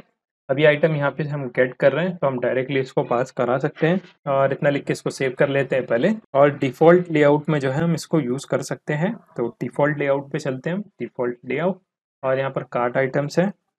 तो ऑलरेडी हमारे पास कार्ट आइटम्स है राइट हम क्या करेंगे यूज़ इफ़ेक्ट बना लेंगे ताकि लोकल स्टोरेज में से हम डेटा को गेट कर पाए। तो मैं यहाँ पे क्या करता हूँ यूज़ डिस्पैच को भी ऐड कर देता हूँ। यूज़ डिस्पैच इसका एक वेरिएबल बना लेंगे हम। Dispatch equal to use dispatch और यहाँ पे हम क्या करेंगे? यूज़ इफ़ेक्ट का इस्तेमाल करेंगे। सो यूज़ इफ़ेक्ट और इसको भी इंपोर्ट करना पड़ेगा आई थिंक देखिए यहाँ पे यूज़ स्टेट है। इसके बाद में यूज़ इफ़ेक्ट हमको ऐड करना पड़ेगा। और यहाँ पर हम कमेंट कर देते to get local storage data तो यूज़ इफ़ेक्ट के अंदर हम क्या करेंगे? यहाँ पे एक फ़ंक्शन क्रिएट करेंगे और एम डिपेंडेंसी भी हम यहाँ पे पास करा सकते हैं। तो यहाँ पे हमको क्या करना है? डिस्पैच कर देना है। तो डिस्पैच डिस्पैच का टाइप क्या रहेगा यहाँ पे? देखिए डिस्पैच का टाइप नहीं रहेगा। हम डायरेक्टली क्या करेंगे? इसको डिस्पैच करने से अच्छा हम लोकल स्टोरेज में से डायरेक्टली गेट कर लेंगे। So local storage dot get item और गेट आइटम में हमारे पास क्या है? देखिए कार्ट आइटम्स है। तो यहाँ पे आपको लिखना है कार्ट आइटम्स और यहाँ पे अगर हमको ये मिलता है तब क्या करो, हमको यहाँ पर एक कंडीशन जो है सेट करना पड़ेगा। और इसके अंदर हम कॉमा लगा के क्या करेंगे, इसको जो है स्ट्रिंगीफाई में कन्वर्ट कर देंगे। So JSON dot stringify stringify किसको करना है हमको? कार्ट आइटम्स को। तो कार्ट आइटम्स इसको हमको स्ट्रिंग में कन्वर्ट कर देना है। और यहाँ पर डिपेंडेंसी में कुछ पूछ रहा है हमसे, देखिए यहाँ पे कार्ट आइटम्स जो है मिसिंग डिपेंडेंसी बता रहा है। तो कार्ट आइटम्स को हम यहाँ पे प्रोवाइड कर देंगे। और डिस्पैच हमने ऐड किया था ना, इसको मैं कट कर लेता हूँ। डिस्पैच की ज़रूरत नहीं है हमको सेव कर लेते हैं इसको और चलते हैं एप्लीकेशन पे। तो ये रही हमारी एप्लीकेशन इसको एक बार रिफ्रेश कर लेंगे। तो यहाँ पे हमारी एप्लीकेशन रिफ्रेश हो चुकी है। अब ऐड टू कार्ड करके चेक करते हैं। ऐड टू कार्ड और कुछ भी नहीं हुआ। यहाँ पे हमने क्लिक किया तो। और ये कंटिन्यू स्टेट में है। क्या इंस्पेक्ट करके इसको चेक कर लेते हैं एक बार। कंसोल कोई एरर तो यहाँ पर तो कुछ भी शो नहीं हो रहा है बराबर से। लेआउट में हमको एक बार चेक करना पड़ेगा आई थिंक तो यहाँ पे हमारे पास देखिए कुछ मिस्टेक है। जैसे कि यहाँ पे हम गेट कर रहे हैं ना, यहाँ पे हमको सेट करना है। सेट आइटम्स क्योंकि हमको यहाँ पे सेट करना है कार्ड आइटम्स को। इसको सेव कर लेते हैं। और यहाँ पर देखिए हमारे पास रूट रिड्यूसर में भी इशू है कि हम कार्ट आइटम्स को जो है ना डायरेक्टली सेट कर रहे हैं। तो तो डायरेक्टली अगर हम करेंगे ना तो सिर्फ़ एक जो है आइटम जो मोस्ट रिसेंट रहेगा, वो सेट होगा। तो इसको हमको क्या करना पड़ेगा? पहले जो स्टेट है, उसको स्प्रेड करना पड़ेगा। यानी इसकी एक कॉपी हमको क्रिएट करना पड़ेगी। तो इसको हम एरे में रैप कर लेंगे और यहाँ पे हम क्या करेंगे? स्टेट का इस्तेमाल करेंगे। स्टेट पहले तो कॉमा लगा देता हूँ। एक्शन डॉट पेलोड अलग है। और यहाँ स्टेट में से हम क्या करेंगे? कार्ट आइटम्स को जो है गेट करेंगे। कार्ट आइटम्स इतना लिख के आप इसको सेव कर लें। मेक श्योर इसको आप करेक्ट कर लें। और इसके बाद में हमारे पास स्टोर डॉट में भी एक इशू है। कि हमने फाइनल रिड्यूसर को जो है यहाँ पर स्टोर में इनिशियलाइज ही नहीं किया। हमने गलती से रूट रिड्यूसर को यहाँ पे कर लिया है। तो इसको भी आप फिक्स कर लें। हमको क्या करना है यहाँ पे? रूट रिड्यूसर के बदले फाइनल रिड्यूसर को जो है ऐड करना है। तो आप भी क्या करें? फाइनल रिड्यूसर को जो है यहाँ पे ऐड कर लें। सो फाइनल रिड्यूसर सेव कर लेते हैं इसको। आई थिंक अब ये काम करना चाहिए। चलते वापस एप्लीकेशन पर। और एक बार आप क्या करें? यहाँ से जो है इंस्पेक्ट करें। और लोकल स्टोरेज में से जो भी डेटा होगा ना, वो रिमूव कर लें आप। तो अभी मैं फायरफॉक्स में हूँ तो एप्लीकेशन पे क्लिक करूँगा, यहाँ पे लोकल स्टोरेज शो करता है। तो देखिए, यहाँ पे कार्ट आइटम्स है, इसको मैं डिलीट कर लेता हूँ और इसको कट कर लेंगे और मैं पेज को रिफ्रेश कर लेता हूँ। तो यहाँ पर हमारी एप्लीकेशन रिफ्रेश हो चुकी है। अब हम क्या करते हैं? ऐड टू कार्ट कर लेते हैं। ऐड टू कार्ट तो देखिए, यहाँ पे काउंट बराबर शो कर रहा है। अब इस पर क्लिक करूँगा तो देखिए टू इसी तरीके से थ्री पर कर रहा हूँ तो यहाँ पे थ्री सेलेक्ट हो रहा है। तो इसको आप चेक कर सकते हैं। हम क्या करेंगे? इसको पहले शुरू जो है लोकल स्टोरेज में चेक कर लेंगे। तो चलते हैं वापस। एप्लीकेशन पर। और यहाँ से देखिए कार्ट आइटम्स और तीन आइटम्स यहाँ पर ऐड हो चुके हैं, क्योंकि एरे है, इसीलिए ज़ीरो वन टू और इसी तरीके से हम रिडक्स डेव टूल में भी इसको चेक कर सकते हैं तो मैं क्या करता हूँ रिडक्स को ओपन कर लेता हूँ। और यहाँ पे देखिए अपडेट कार्ट है ना, इसके अंदर एक्सपैंड करें तो यहाँ पर भी शो कर रहा है। और आई थिंक इसका नाम हमको चेंज करना पड़ेगा अपडेट कार्ड नहीं रखेंगे अब, थोड़ा वियर्ड सा साउंड कर रहा है तो हम इसको जो है ऐड टू कार्ड कर देंगे। तो ऐड अंडर स्कोर कैपिटल में सारा कर रहा हूँ मैं ऐड टू कार्ट और फिर हमको इसको चेंज भी करना पड़ेगा। तो यहाँ से मैं क्या करता हूँ कॉपी कर लेता हूँ उसको सेव कर लेंगे, और हमारे पास आइटम लिस्ट में हमने इसको कॉल किया है ना चेक कर लेते हैं। देखिए यहाँ पे अपडेट कार्ट है तो यहाँ पे हम इसको कॉल करेंगे सेव कर लेते हैं इसको, चलते उस एप्लीकेशन पर, और सबसे पहले आप क्या करें लोकल स्टोरेज में से डेटा को रिमूव कर लें। यहाँ से हमने इसको रिमूव कर लिया, और यहाँ पर रिफ्रेश हम कर लेंगे इसको काउंट हमारे पास ज़ीरो है। अब यहाँ पे हम ऐड टू कार्ट करते हैं। ऐड टू कार्ट तो देखिए वन आ रहा है। तो मैं एक बार डेव टूल में भी चेक कर लेता हूँ, फिर से हम जो है रिडक्स डेव टूल को ओपन करेंगे। तो ये रहा रिडक्स और यहाँ पर ऐड टू कार्ट क्योंकि थोड़ा मैचिंग नेम है और साउंड भी अच्छा कर रहा है, इसीलिए हमने ऐड टू कार्ट कर दिया इसको। अभी फ़िलहाल ज़ीरो है, वापस से मैं ऐड करता हूँ तो देखिए यहाँ पर फिर से हमारा एक्शन जो है कॉल हुआ। तो हमने यहाँ पे इसको ऐड कर लिया। अब हमको क्या करना है इसके लिए? पेज क्रिएट करना है। यहाँ पे हम क्या करेंगे, जैसे इस कार्ट आइकन पर क्लिक करें तो एक न्यू पेज हमको शो होके मिलना चाहिए, जिसमें हमारा सारा का सारा कार्ड से रिलेटेड जितना भी हमने ऐड टू कार्ड किया है, वो डेटा हमको शो होना चाहिए। तो अब हम क्या करेंगे, यहाँ पर पेजेस के अंदर एक न्यू फ़ाइल क्रिएट करेंगे और इसका नाम मैं रख देता हूँ कार्ड पेज डॉट जे इसको भी आर फ़ंक्शन बना लेंगे R A F C E React arrow function with export और फ़िलहाल के लिए इसको सेव कर लेते हैं और ऐप डॉट जे में इसको इम्पोर्ट कर लेंगे। सो ऐप डॉट जे इसके लिए हमको राउट क्रिएट करना है। इसी को कॉपी पेस्ट कर लेंगे। पाथ इसका रहेगा कार्ड और एलिमेंट में हम इसको कार्ड पेज कर देंगे। कार्ड पेज देखिए यहाँ पे सजेशन शो कर रहा है। इस पर क्लिक करूँगा तो कंपोनेंट भी ऑटोमेटिकली इंपोर्ट हो जाएगा। सेव कर लेते हैं इसको। हमारे देखिए यहाँ पे बटन जो है ना इसके ऑन क्लिक इवेंट पे हमको जो है, इस राउट को जो है एग्जीक्यूट करना है। तो डिफ़ॉल्ट लेआउट और यहाँ पर हमने कहीं पर दिया था ना कार्ट का, देखते एक बार कार्ट आइटम करके। तो इसके ऑन क्लिक पे हम क्या करेंगे? ऑन क्लिक और नेविगेट का इस्तेमाल कर लेंगे। नेविगेट और नेविगेट को हमको ऐड करना पड़ेगा। तो मैं क्या करता हूँ, यहाँ पे जो है डायरेक्टली जो है कार्ड को ऐड कर देता हूँ, और मल्टीलाइन कर देता हूँ, ताकि आपको अच्छे से दिखाई दे। फ़ंक्शन और इसके अंदर नेविगेट का फ़ंक्शन हम ऐड करने वाले हैं, जो कि राउटिंग के लिए यूज़ होता है। तो इसको इंपोर्ट कर लेंगे। लिंक के बाद में ऐड कर देंगे यूज़ नेविगेट और यहाँ पर इसका एक वेरिएबल हमको क्रिएट करना पड़ेगा। तो स्टेट से पहले हम क्या करते हैं? एक वेरिएबल क्रिएट कर लेते हैं const navigate equal to use navigate तो इसकी मदद से हम इसके अंदर की सारी फंक्शनैलिटी को यूज़ कर सकते हैं और आई थिंक बन चुका है। चेक कर लेते हैं। स्क्रॉल करें नीचे। ये रहा हमारा नेविगेट इसको सेव कर लेते हैं। चलते हैं वापस एप्लीकेशन पर और यहाँ पर हम कार्ड पेज पे रिडायरेक्ट होने चाहिए। तो यहाँ पे मैं क्लिक करता हूँ कार्ड और देखिए हम कार्ड पेज पे जो है रिडायरेक्ट हो चुके हैं। अब इस कार्ड पेज को पहले जो है हम मल्टी लाइन कर देंगे और इसको जो है डिफ़ॉल्ट लेआउट से जो है रैप कर लेंगे। सो डिफ़ॉल्ट लेआउट और यहाँ से क्लिक करें इस पर तो ये ऑटोमेटिकली जो है इम्पोर्ट भी हो जाएगा। डिफ़ॉल्ट लेआउट और यहाँ से फ्रेगमेंट को रिमूव कर लेता हूँ मैं और इसको हम क्या करेंगे? पैरेंथेसिस में रैप कर लेंगे, क्योंकि मल्टीपल हम यहाँ पे एलिमेंट्स ऐड करने वाले हैं। और इसके अंदर हमको क्या करना है? पहले मैं एक एच वन ले लेता हूँ, एक एच वन ले लेता हूँ, और यहाँ पे मैं लिखता हूँ कार्ड पेज सेव तो देखिए रिफ्रेश किया तो यहाँ पे बराबर से कंटेंट शो हो गया। अब हमको यहाँ पे जो एज अ टेबल में इसको शो कराना है। तो उसके लिए हम क्या करेंगे? यहाँ पर एंड डिज़ाइन का टेबल यूज़ कर लेंगे। टेबल मैं सर्च कर लेता हूँ। टेबल देखिए यहाँ पे ऑप्शन शो कर रहा है। इस पर क्लिक करेंगे। आप चाहे तो बूटस्ट्रैप का टेबल भी यूज़ कर सकते हैं। यहाँ पर टैब आ गया। Spelling mistake okay table search करना था हमको। ये थोड़ा सा स्लो चलता है इसका एंड डिज़ाइन का जो पेज है तो यहाँ पे देखिए कुछ इस तरीके से हम टेबल क्रिएट कर सकते हैं। पहले हमको डेटा सोर्स और उसके बाद में कितने कॉलम्स चाहिए, वो यहाँ पर डिफाइन करना पड़ता है। तो जैसा भी आपको क्रिएट करना है, आप बूटस्ट्रैप का भी यूज़ कर सकते हैं, लेकिन यहाँ पे हम सिर्फ़ ज़्यादा एंड डिज़ाइन का यूज़ कर रहे हैं, इसीलिए हम इसका इस्तेमाल करने वाले हैं। तो कुछ इस तरीके से हमको टेबल देखने मिल जाएगा। और पैजिनेशन का भी इसमें बाई डिफ़ॉल्ट सपोर्ट मिलता है तो हम इसका यूज़ कर सकते हैं। तो चलते हैं वापस एप्लीकेशन पर और यहाँ पे हम क्या करेंगे? टॉप पे जो है सबसे पहले डेटा सोर्स हमको क्रिएट करना पड़ेगा। और उसके साथ ही में हमको जो है स्टेट में से कार्ट आइटम्स को गेट करना पड़ेगा। तो हम क्या करते हैं यूज़ सेलेक्टर को इंपोर्ट कर देते हैं पहले। Import use selector from React Redux और गेट कर लेंगे कार्ट आइटम्स को। तो कॉन्स्ट कार्ट आइटम्स और ये कहाँ से आएगा? यूज़ सेलेक्टर का इस्तेमाल करेंगे। यूज़ सेलेक्टर हमको स्टेट प्रोवाइड करता है और उस स्टेट में से हम रूट रिड्यूसर को जो टारगेट कर सकते हैं। तो स्टेट डॉट रूट रिड्यूसर इसको हमको टारगेट करना है। अब इसका हम यूज़ कर सकते हैं। तो उसके लिए हमको क्या करना है? अगेन एंड डिज़ाइन को हम फॉलो करेंगे। यहाँ पे डेटा सोर्स हमको क्रिएट करना है, जिसके अंदर की नेम अच्छा ये तो डेटा है डायरेक्टली तो डेटा हम कार्ट आइटम्स में से गेट करेंगे। और डायरेक्टली हम पहले कॉलम क्रिएट कर लेते हैं और इसके अंदर इंडेक्स हमको मिल जाएगा तो उसके बेस पे भी हम कर सकते हैं। तो यहाँ पे हम क्या करेंगे, एक वेरिएबल क्रिएट कर लेंगे const columns equal to array क्योंकि मल्टीपल हमारे पास की वैल्यू पेयर है, इसीलिए हम यहाँ पे ऐड कर रहे हैं और इसके अंदर रहेगा ऑब्जेक्ट और इसके अंदर पहले रहेगा टाइटल टाइटल में हम क्या करेंगे, सबसे पहले नेम शो करा देंगे और इसको स्ट्रिंग में लिखना पड़ेगा आई थिंक सो कन्वर्ट कर देते स्ट्रिंग में।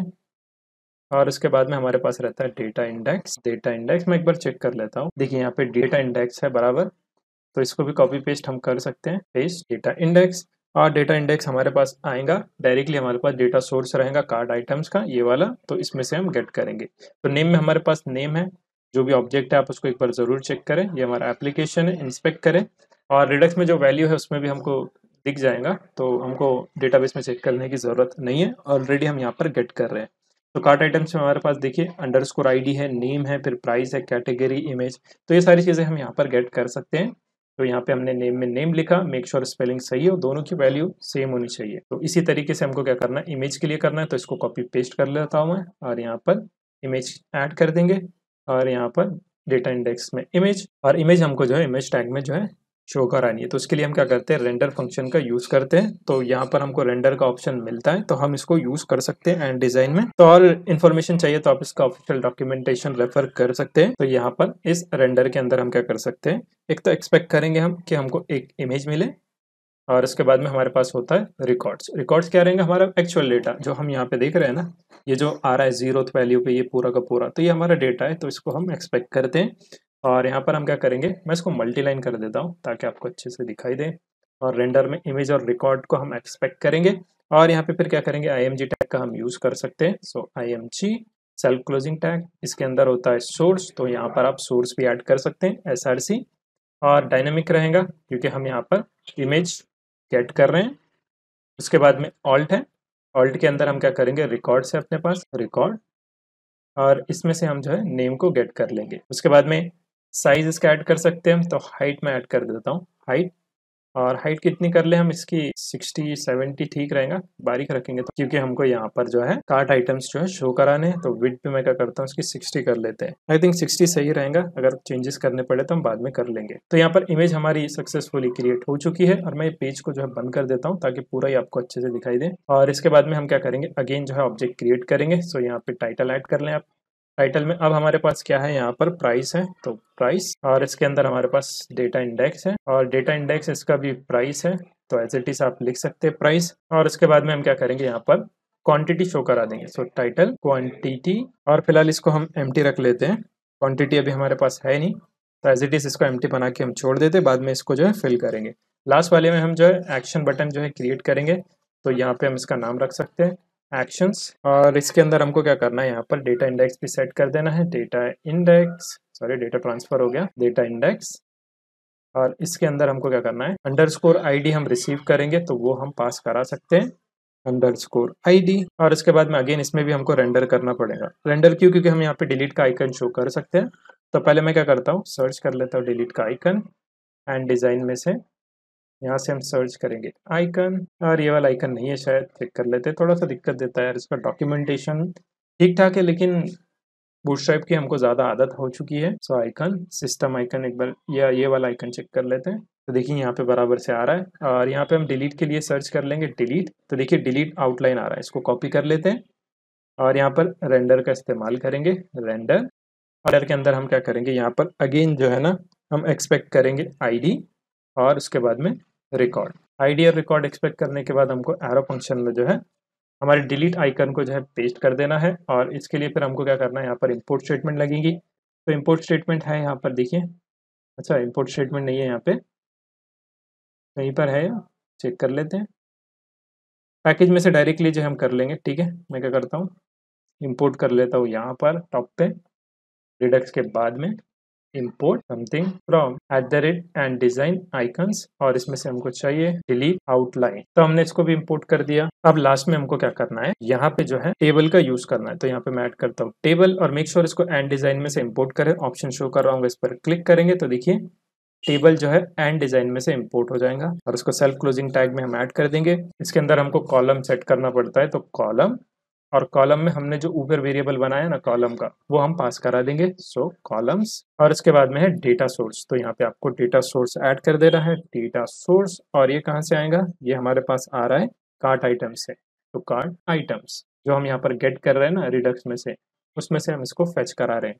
सेव कर लेते हैं इसको, चलते हैं एप्लीकेशन पर, और इसको रिफ्रेश कर लेंगे, और मैं इसको क्लोज कर देता हूँ फ़िलहाल। तो देखिए, यहाँ पे बराबर से जो है शो कर रहा है और मैं इसको बॉर्डर दे देता हूँ। इसको जो है बॉर्डर कर देंगे बॉर्डर सेव तो यहाँ पर कुछ नॉर्मल सा हमको बॉर्डर देखने मिल जाएगा। तो यहाँ पे देख सकते हैं, हमारे पास जो भी एड टू कार्ट में वो सारे आइटम्स यहाँ पर शो हो रहे हैं। इसका देख सकते हैं आप प्राइस है। तो प्राइस में हम क्या कर सकते हैं, इसके बाद में डॉलर का साइन भी लगा सकते हैं तो टाइटल है और डेटा इंडेक्स है ना। तो ये प्राइस को हम क्या करेंगे, पहले बैकटिक में कन्वर्ट करके चेक कर लेते हैं। बैकटिक डॉलर प्राइस और आई थिंक बैकटिक सपोर्ट नहीं करता है। डायरेक्टली हम करके देख लेते हैं इसके बाद में। प्राइस एंड यहाँ पे डॉलर का साइन ऐड करके चेक कर लेते हैं। काम करता है या नहीं? सिर्फ़ चेक करना है हमको। नहीं, काम नहीं करता है। तो इसको देखेंगे, बाद में फिक्स कर लेंगे इसको अभी एज इट इज़ रहने देते हैं। तो नेक्स्ट क्या करेंगे हम? इस क्वांटिटी पर काम करेंगे। क्योंकि हमको इसकी क्वांटिटी भी चेंज कराना है तो इसके लिए हमको पहले शुरू जो है थोड़ा सा लॉजिक बिल्ड करना पड़ेगा। और यहाँ पर हम क्या करेंगे? प्लस माइनस का आइकन ऐड कर देंगे।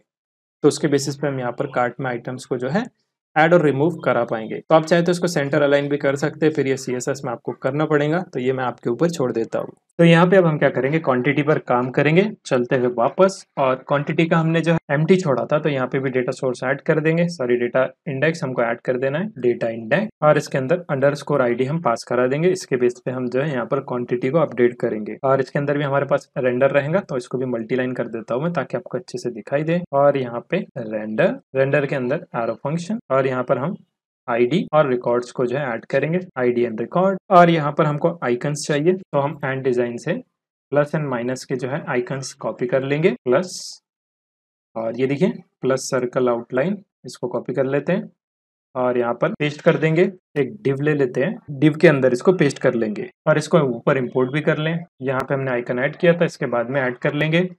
और हम क्या करेंगे, एक बी टैग ले लेंगे। तो बोल्ड में हम क्या करेंगे, जो भी हमारी क्वांटिटी है, उसको शो करा देंगे। तो यहाँ पे मैं क्या करता हूँ, एक बी टैग ले लेता हूँ बोल्ड के लिए। और यहाँ से आपको क्या करना है, और रिकॉर्ड की मदद से हम यहाँ पे शो करा देंगे। रिकॉर्ड उसके अंदर हम क्या करेंगे, यहाँ पर रिकॉर्ड की मदद से जो है क्वांटिटी को शो कराएँगे। और एक बार स्पेलिंग चेक कर लेते हैं, हमने क्या लिखा था। तो यहाँ पे इंस्पेक्ट करके मैं चेक कर लेता हूँ, जो रिडक्स में हम वैल्यू गेट कर रहे हैं। तो उसमें से हम क्या करेंगे, इसको कॉपी कर लेंगे as it is Redux and यहाँ पर हमारे पास है कार्ट आइटम्स और अच्छा क्वांटिटी तो हमारे पास नहीं है ना तो वर्चुअल फ़ील्ड हमको ये क्रिएट करना पड़ेगा। सो आप क्या करें यहाँ पर same as it is add करें क्वांटिटी अभी हम इसको क्रिएट करेंगे बाद में और मैं माइनस का आइकन भी ऐड कर देता हूँ पहले। माइनस तो यहाँ पर माइनस सर्कल आउटलाइन इसके बाद में इसको पेस्ट कर लेंगे। अगेन हमको क्या करना है, इसको इम्पोर्ट करना है ऊपर तो इसको इम्पोर्ट भी कर लेंगे। तो यहाँ पर ये इंपोर्ट हो चुका है सेव कर लेते हैं इसको। और सेव करने के बाद देखते हैं कैसा दिखता है ये। और यहाँ से इसको क्लोज कर देते हैं। इसको हम क्या करेंगे? रिफ्रेश कर लेंगे। अभी ये शो नहीं करेंगे बराबर से, लेकिन आइकन्स तो हमको मिलने चाहिए। तो देख लेते हैं आइकन्स यहाँ पर आ रहे हैं या नहीं। तो देखिए आइकन्स बराबर से आ रहे हैं।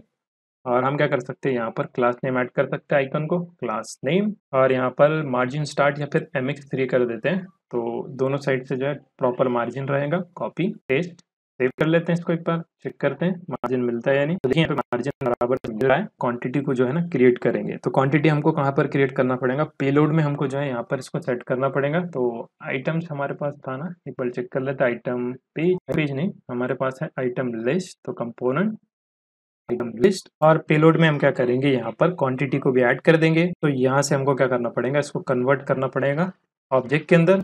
और आइटम को स्प्रेड कर देंगे हम पहले, जो भी आइटम है इसको स्प्रेड किया, और यहाँ पे हम क्वांटिटी को ऐड करेंगे क्वांटिटी तो मैं क्या करता हूँ, इसको एज इट इज़ कॉपी कर लेंगे कार्ड पेज में है ना हमारे पास क्वांटिटी क्योंकि स्पेलिंग मिस्टेक नहीं चाहते हम, इसीलिए इसको एज इट इज़ कॉपी कर रहे हैं, और इसको कर देंगे वन बाई डिफ़ॉल्ट इसको वन कर लेंगे सेव कर लेते हैं इसको क्वांटिटी को, और हम क्या करेंगे, चलते हैं एप्लीकेशन पर, और इंस्पेक्ट करें, और लोकल स्टोरेज का जो भी डेटा है ना, उसको रिमूव कर ले पहले, इसको क्लियर कर देंगे। क्लियर कर लेते हैं और चलते हैं होम पेज पे और इसको रिफ्रेश कर लेंगे एप्लीकेशन को। तो स्टिल हमारे पास टू है आई थिंक क्लियर नहीं हुआ। तो इसको हमने क्लियर कर लिया, इसको रिफ्रेश कर लेते हैं। अभी कोई भी डेटा हमारे पास नहीं रहेगा। देखिए कार्ड काउंट में जो है ज़ीरो है। ऐड टू कार्ड करते हैं। ऐड टू कार्ड करने के बाद चलते हैं वापस। तो देखिए, यहाँ पे बराबर वन शो कर रहा है। इसी तरीके से एक और हम यहाँ पर ऐड करके चेक कर लेते हैं। जैसे कि ये वाला। तो आइटम टू हो गया काउंट और वापस आएँगे इस पेज में। तो देखिए, यहाँ पे बराबर से शो कर रहा है। यहाँ पर क्वांटिटी की फ़ील्ड तो हमारी सक्सेसफुली ऐड हो चुकी है। अब हमको क्या करना है? इंक्रीमेंट और डिक्रीमेंट देखना है। और यहाँ पे हम क्या करेंगे? इसको जो है कर्सर की प्रॉपर्टी ऐड कर देंगे इसके अंदर स्टाइलिंग में और पॉइंटर बना देंगे इसको और इसके ऑन क्लिक पे हमको काम करना है। तो पहले हम इंक्रीमेंट पे काम करेंगे, उसके बाद में डिक्रीमेंट पे काम करेंगे। तो चलते हैं वापस और कहाँ पर ऐड किया था हमने इसको? आर्ट पेज और इसके अंदर हमारे पास है, देखिए, हमने इसको स्टाइल ऐड किया था ना प्लस सर्कल तो उस स्टाइल में ऐड कर देता हूँ और इनलाइन स्टाइल ही कर देता हूँ। ज़्यादा इसमें हम नहीं देखने वाले तो सिंपली हम क्या करेंगे कर्सर को जो है पॉइंटर कर देंगे यहाँ पर। कर्सर पॉइंटर और इसके बाद में ऑन क्लिक इवेंट हमको फायर करना है तो मल्टी लाइन कर देता हूँ, ताकि अच्छे से दिखाई दे। और यहाँ पर ऑन क्लिक ऑन क्लिक पे हमको एक फ़ंक्शन को जो है कॉल कर देना है सो यहाँ पे आपको रैप करना पड़ेगा। और इस फ़ंक्शन का नाम आप कुछ भी रख सकते हैं, हम डायरेक्टली भी फ़ंक्शन यहाँ पर ऐड कर सकते हैं एरो फ़ंक्शन में पास कराने की ज़रूरत नहीं है। लेकिन हमारे पास क्या यहाँ पे कंडीशन है? कंडीशन क्या रहेगी कि हम इसके अंदर जो है रिकॉर्ड सेट करने हैं तो यहाँ पे मैं फ़ंक्शन क्रिएट करता हूँ। हैंडल इंक्रीमेंट और स्पेलिंग देख लेते हैं। तो थोड़ा आगे पीछे हो तो आप अपने हिसाब से एडजस्ट कर लें और इसके अंदर हम जो रिकॉर्ड को पास करा देंगे। तो रिकॉर्ड कहाँ से आ रहा है? हमारे पास रेंडर में से आ रहा है तो हमने इसको पास करा दिया। अब यहाँ पे हमको क्या करना है? इस फ़ंक्शन को क्रिएट करना है। तो टॉप पे हम क्या करेंगे? स्टेट के बाद में यहाँ पे मैं लिख लेता हूँ पहले handle increment const increment arrow function और इसमें भी हम क्या करेंगे? एज अ आर्ग्यूमेंट जो है रिकॉर्ड को एक्सपेक्ट करेंगे। तो रिकॉर्ड हम यहाँ पे ऐड कर लेते हैं। रिकॉर्ड और डिस्पैच हमको लगेगा तो यूज़ सेलेक्टर के बाद में हम क्या करेंगे? यूज़ डिस्पैच को ऐड कर देंगे। यूज़ डिस्पैच इसका एक वेरिएबल हमको क्रिएट करना पड़ेगा तो टॉप पे मैं करता हूँ create const dispatch equal to use dispatch इसका वेरिएबल भी क्रिएट हो चुका है। अब इसके अंदर हम क्या करेंगे? डिस्पैच करेंगे। तो डिस्पैच के लिए हमारे पास कुछ ना कुछ जो है स्टेट में भी तो होना चाहिए। यानी कि हमारे रिड्यूसर के अंदर भी हमको इसको क्रिएट करना पड़ेगा। तो हम क्या करते हैं? पहले शुरू जो है ना, यहाँ पे क्रिएट कर लेते हैं। उसके बाद में रूट रिड्यूसर में हम क्रिएट करेंगे। तो यहाँ से आपको करना है डिस्पैच पहले हमको टाइप सेट करना है। टाइप में हम क्या था कि इसका? इंक्रीमेंट कर देते हैं। या फिर अपडेट कर देते हैं हम इसको, ठीक है? बेटर वे है, क्योंकि एक ही में हम क्या करेंगे? एक ही स्विच केस में हम माइनस और प्लस दोनों करा देंगे। तो अपडेट इसका टाइप रहेगा और इसके अंदर हमको क्या करना है? यहाँ पर पेलोड को भी सेट करना है। तो पेलोड कैसे आएगा? देखिए पेलोड आप पहले ऐड कर दें। पेलोड और यहाँ पर ऑब्जेक्ट और इस ऑब्जेक्ट के अंदर हम क्या करेंगे? जो भी रिकॉर्ड है, उसको जो है पहले स्प्रेड कर देंगे। यानी कि प्रीवियस रिकॉर्ड भी हमको चाहिए। इसीलिए हम जो है इस तरीके से ऐड कर रहे हैं। रिकॉर्ड और उसके बाद में हमको क्या करना है यहाँ पर? रिकॉर्ड को जो है इंक्रीमेंट कराना है। तो हम क्या करेंगे? क्वांटिटी की वर्चुअल फ़ील्ड है अपने पास। क्वांटिटी तो क्वांटिटी को हम क्या करने वाले हैं? यहाँ पे प्लस करेंगे। तो कैसे प्लस करेंगे? देखिए, हमारे पास रिकॉर्ड है। तो रिकॉर्ड को आपको टारगेट करना है। उसके अंदर हमारे पास क्या है? क्वांटिटी है। तो क्वांटिटी को अब हम टारगेट करेंगे। और उसको क्या करेंगे? हम यहाँ पे प्लस वन कर देंगे। तो इंक्रीमेंट कर लेंगे बाय वन इतना लिख के इसको सेव कर लेते हैं। और हमको क्या करना पड़ेगा? रूट रिड्यूसर में जो है केस क्रिएट करना पड़ेगा। तो इसके नीचे हम क्या करते हैं? यहाँ पर एक न्यू केस क्रिएट कर लेते हैं। केस और यहाँ पे मैं लिखता हूँ अपडेट कार्ड मेक श्योर दोनों जगह सेम हो, तभी ये वर्क करेगा। तो यहाँ पे अपडेट है खाली। तो यहाँ पे मैं कार्ड कर देता हूँ इसको अपडेट कार्ड तो यहाँ पे स्पेसिफिक जो है हमको आइडिया रहेगा कि ये कार्ड के लिए। तो रिटर्न रिटर्न के अंदर हम क्या कर सकते हैं? यहाँ पे स्प्रेड कर देंगे स्टेट को पहले। जो भी स्टेट में डेटा आ रहा है तो हम यहाँ पे पास करा देंगे। अब स्टेट में हमारे पास डेटा आ चुका है, इसके बाद में हमको क्या करना है यहाँ पर? कार्ट आइटम्स को जो है टारगेट करना है। तो कार्ट आइटम्स आप यहाँ पे टारगेट करें। कार्ट आइटम्स और कार्ट आइटम्स में थोड़ा सा हम लॉजिकल कंडीशन ऐड कर देंगे। क्यों? क्योंकि देखिए क्वांटिटी है अपने पास। तो क्वांटिटी को हमको क्या करना है पहले? हमारे पास जो आइटम है, उसकी आईडी से जो है मैच कराना पड़ेगा। क्योंकि हम क्या करना चाहते हैं? यहाँ पर जो है, ये जो सिंगल प्रोडक्ट है या फिर मान लीजिए जो भी आइटम है हमारा, इसको ही हमको जो है इंक्रीमेंट कराना है। ये काउंट को इंक्रीज नहीं कराना है। तो उसके लिए हमको क्या करना पड़ेगा? आईडी को टारगेट करना पड़ेगा। तो यहाँ पे हम क्या करेंगे? कार्ट आइटम में जो है, पहले चेक करेंगे। State dot cart items dot map तो यहाँ पे मैप कर लेंगे पहले जितना भी डेटा है, और ये डेटा हमको क्या करेंगे? यहाँ पे आइटम की शक्ल में देगा। तो आइटम और आइटम के अंदर हम क्या कराएँगे? यहाँ पर चेक करेंगे। क्या चेक करना है हमको? हम क्या करेंगे? यहाँ पे चेक करेंगे item dot underscore I equivalent है जो हमारे पास पेलोड है action dot payload dot underscore I इससे ये मैच होती है या नहीं, हमको ये चेक करना है। अब अगर ये मैच हो जाए, तब क्या करेंगे हम यहाँ पर एक कंडीशन जो है ऐड कर देंगे। कंडीशन क्या है? हमको तो कार्ड को जो है अपडेट करना है तो यहाँ पे हम क्या करेंगे? मैं इसको थोड़ा सा क्लोज कर देता हूँ। और सिंगल लाइन में हम देख रहे हैं। पहले तो आइटम को स्प्रेड कर देंगे आइटम जो भी आइटम रहेगा, उसको स्प्रेड कर देंगे। और फिर हमको क्या करना है यहाँ पर? क्वांटिटी को भी सेट करना पड़ेगा। तो क्वांटिटी और क्वांटिटी को हमको सेट करना है। तो क्वांटिटी कहाँ से मिलेंगी? देखिए, मैं क्या करता हूँ, इसको मल्टीलाइन कर देता हूँ। और मेरे पास देखिए प्रेटियर का प्लगइन है तो ऑटो फॉर्मेट पे ये जो है ना इसको थोड़ा सा चेंज कर देगा तो कंफ्यूज नहीं होना है आपने। तो यहाँ पे हम क्या करेंगे? क्वांटिटी ऐड कर देंगे।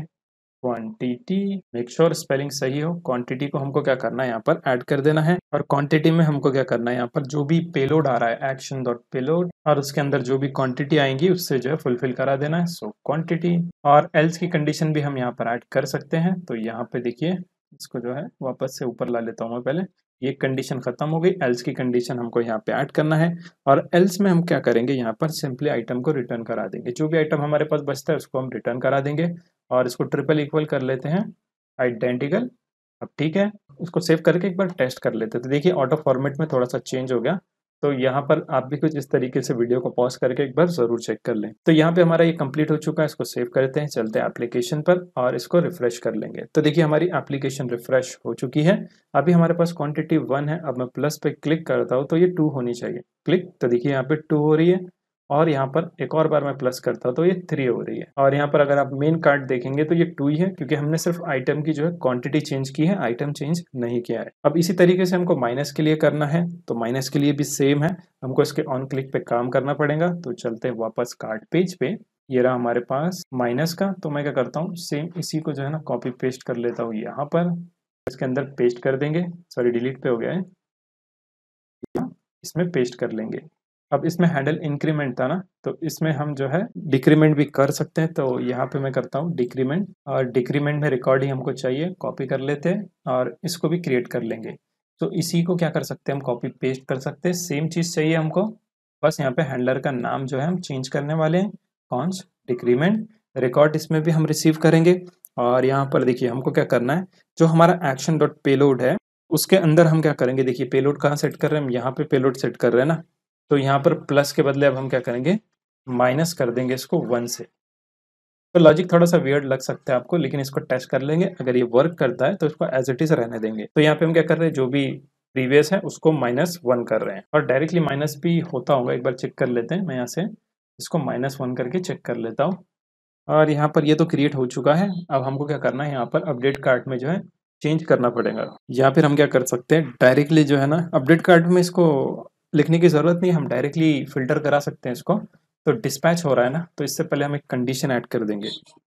तो कंडीशन में हम क्या करेंगे? चेक कर लेंगे। इफ़ हमारे पास जो रिकॉर्ड रिसीव हो रहा है, उसको हमको चेंज कर चेक करना है।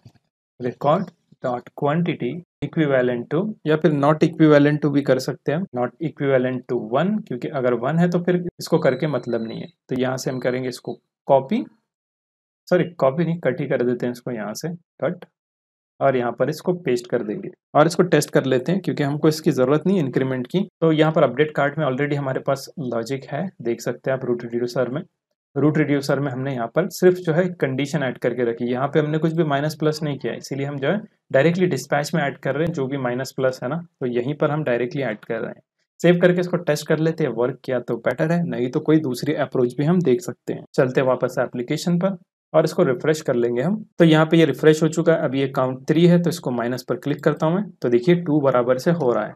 तो सक्सेसफुली यहाँ पर काम कर रहा है। अब वापस से क्लिक करता हूँ वन और फिर माइनस क्लिक करता हूँ। तो देखिए स्टिल वन है। क्योंकि हमको ऐसा ही बिहेवियर चाहिए। डायरेक्ट माइनस क्लिक करूँगा तो यहाँ पे कुछ नहीं होना चाहिए। स्टिल वन ये रहना चाहिए। क्योंकि डिलीट के लिए हमारे पास ऑलरेडी साइड में एक्शन बटन है। तो इसी पर जो है डिलीट कराएँगे तो थोड़ा सा वियर्ड लगेगा। तो और उससे एरर भी आता है। तो इसीलिए हम क्या कर रहे हैं यहाँ पर? कुछ इस तरीके से अप्रोच जो है फॉलो कर रहे हैं। प्लस पे प्लस हो रहा है, माइनस पे माइनस हो रहा है। तो क्वांटिटी हमारे पास सक्सेसफुली जो है ऐड हो चुकी है। अब इसी तरीके से हमको डिलीट के लिए करना है। तो डिलीट के लिए भी सेम करेंगे हम। क्या करते हैं? अलग से एक फ़ंक्शन क्रिएट कर लेंगे। तो डिलीट का हमारे पास आइकन था, देखिए ये। तो इस पर भी हम क्या करेंगे? पहले जो है स्टाइल और ऑन क्लिक को जो है यहाँ से कॉपी कर लेंगे। आप मैनुअल क्रिएट करें। यहाँ से थोड़ा टाइम बचे इसीलिए हम जो है कॉपी पेस्ट कर रहे हैं। और हैंडल डिक्रीज है ना तो हैंडल डिलीट कर देंगे हम इसको हैंडल डिलीट और एज इट इज़ रिकॉर्ड हमको इसके अंदर पास कराना है। या फिर हम क्या करते हैं इनलाइन फ़ंक्शन देख ही रहे तो डायरेक्टली इसी के अंदर डिस्पैच कर देंगे तो ज़्यादा बेटर है। हमको फिर से जो है अलग से फ़ंक्शन क्रिएट करने की ज़रूरत नहीं पड़ेगी। तो डिलीट के लिए हम क्या करेंगे, यहाँ पर डायरेक्टली जो है डिस्पैच कर देंगे। तो इसी फ़ंक्शन के अंदर हम क्या करेंगे डिस्पैच कर देंगे। तो यहाँ से मैं लिखता हूँ डिस्पैच और डिस्पैच के अंदर हमको सबसे पहले टाइप सेट करना है। थोड़ा सा ऊपर कर लेता हूँ।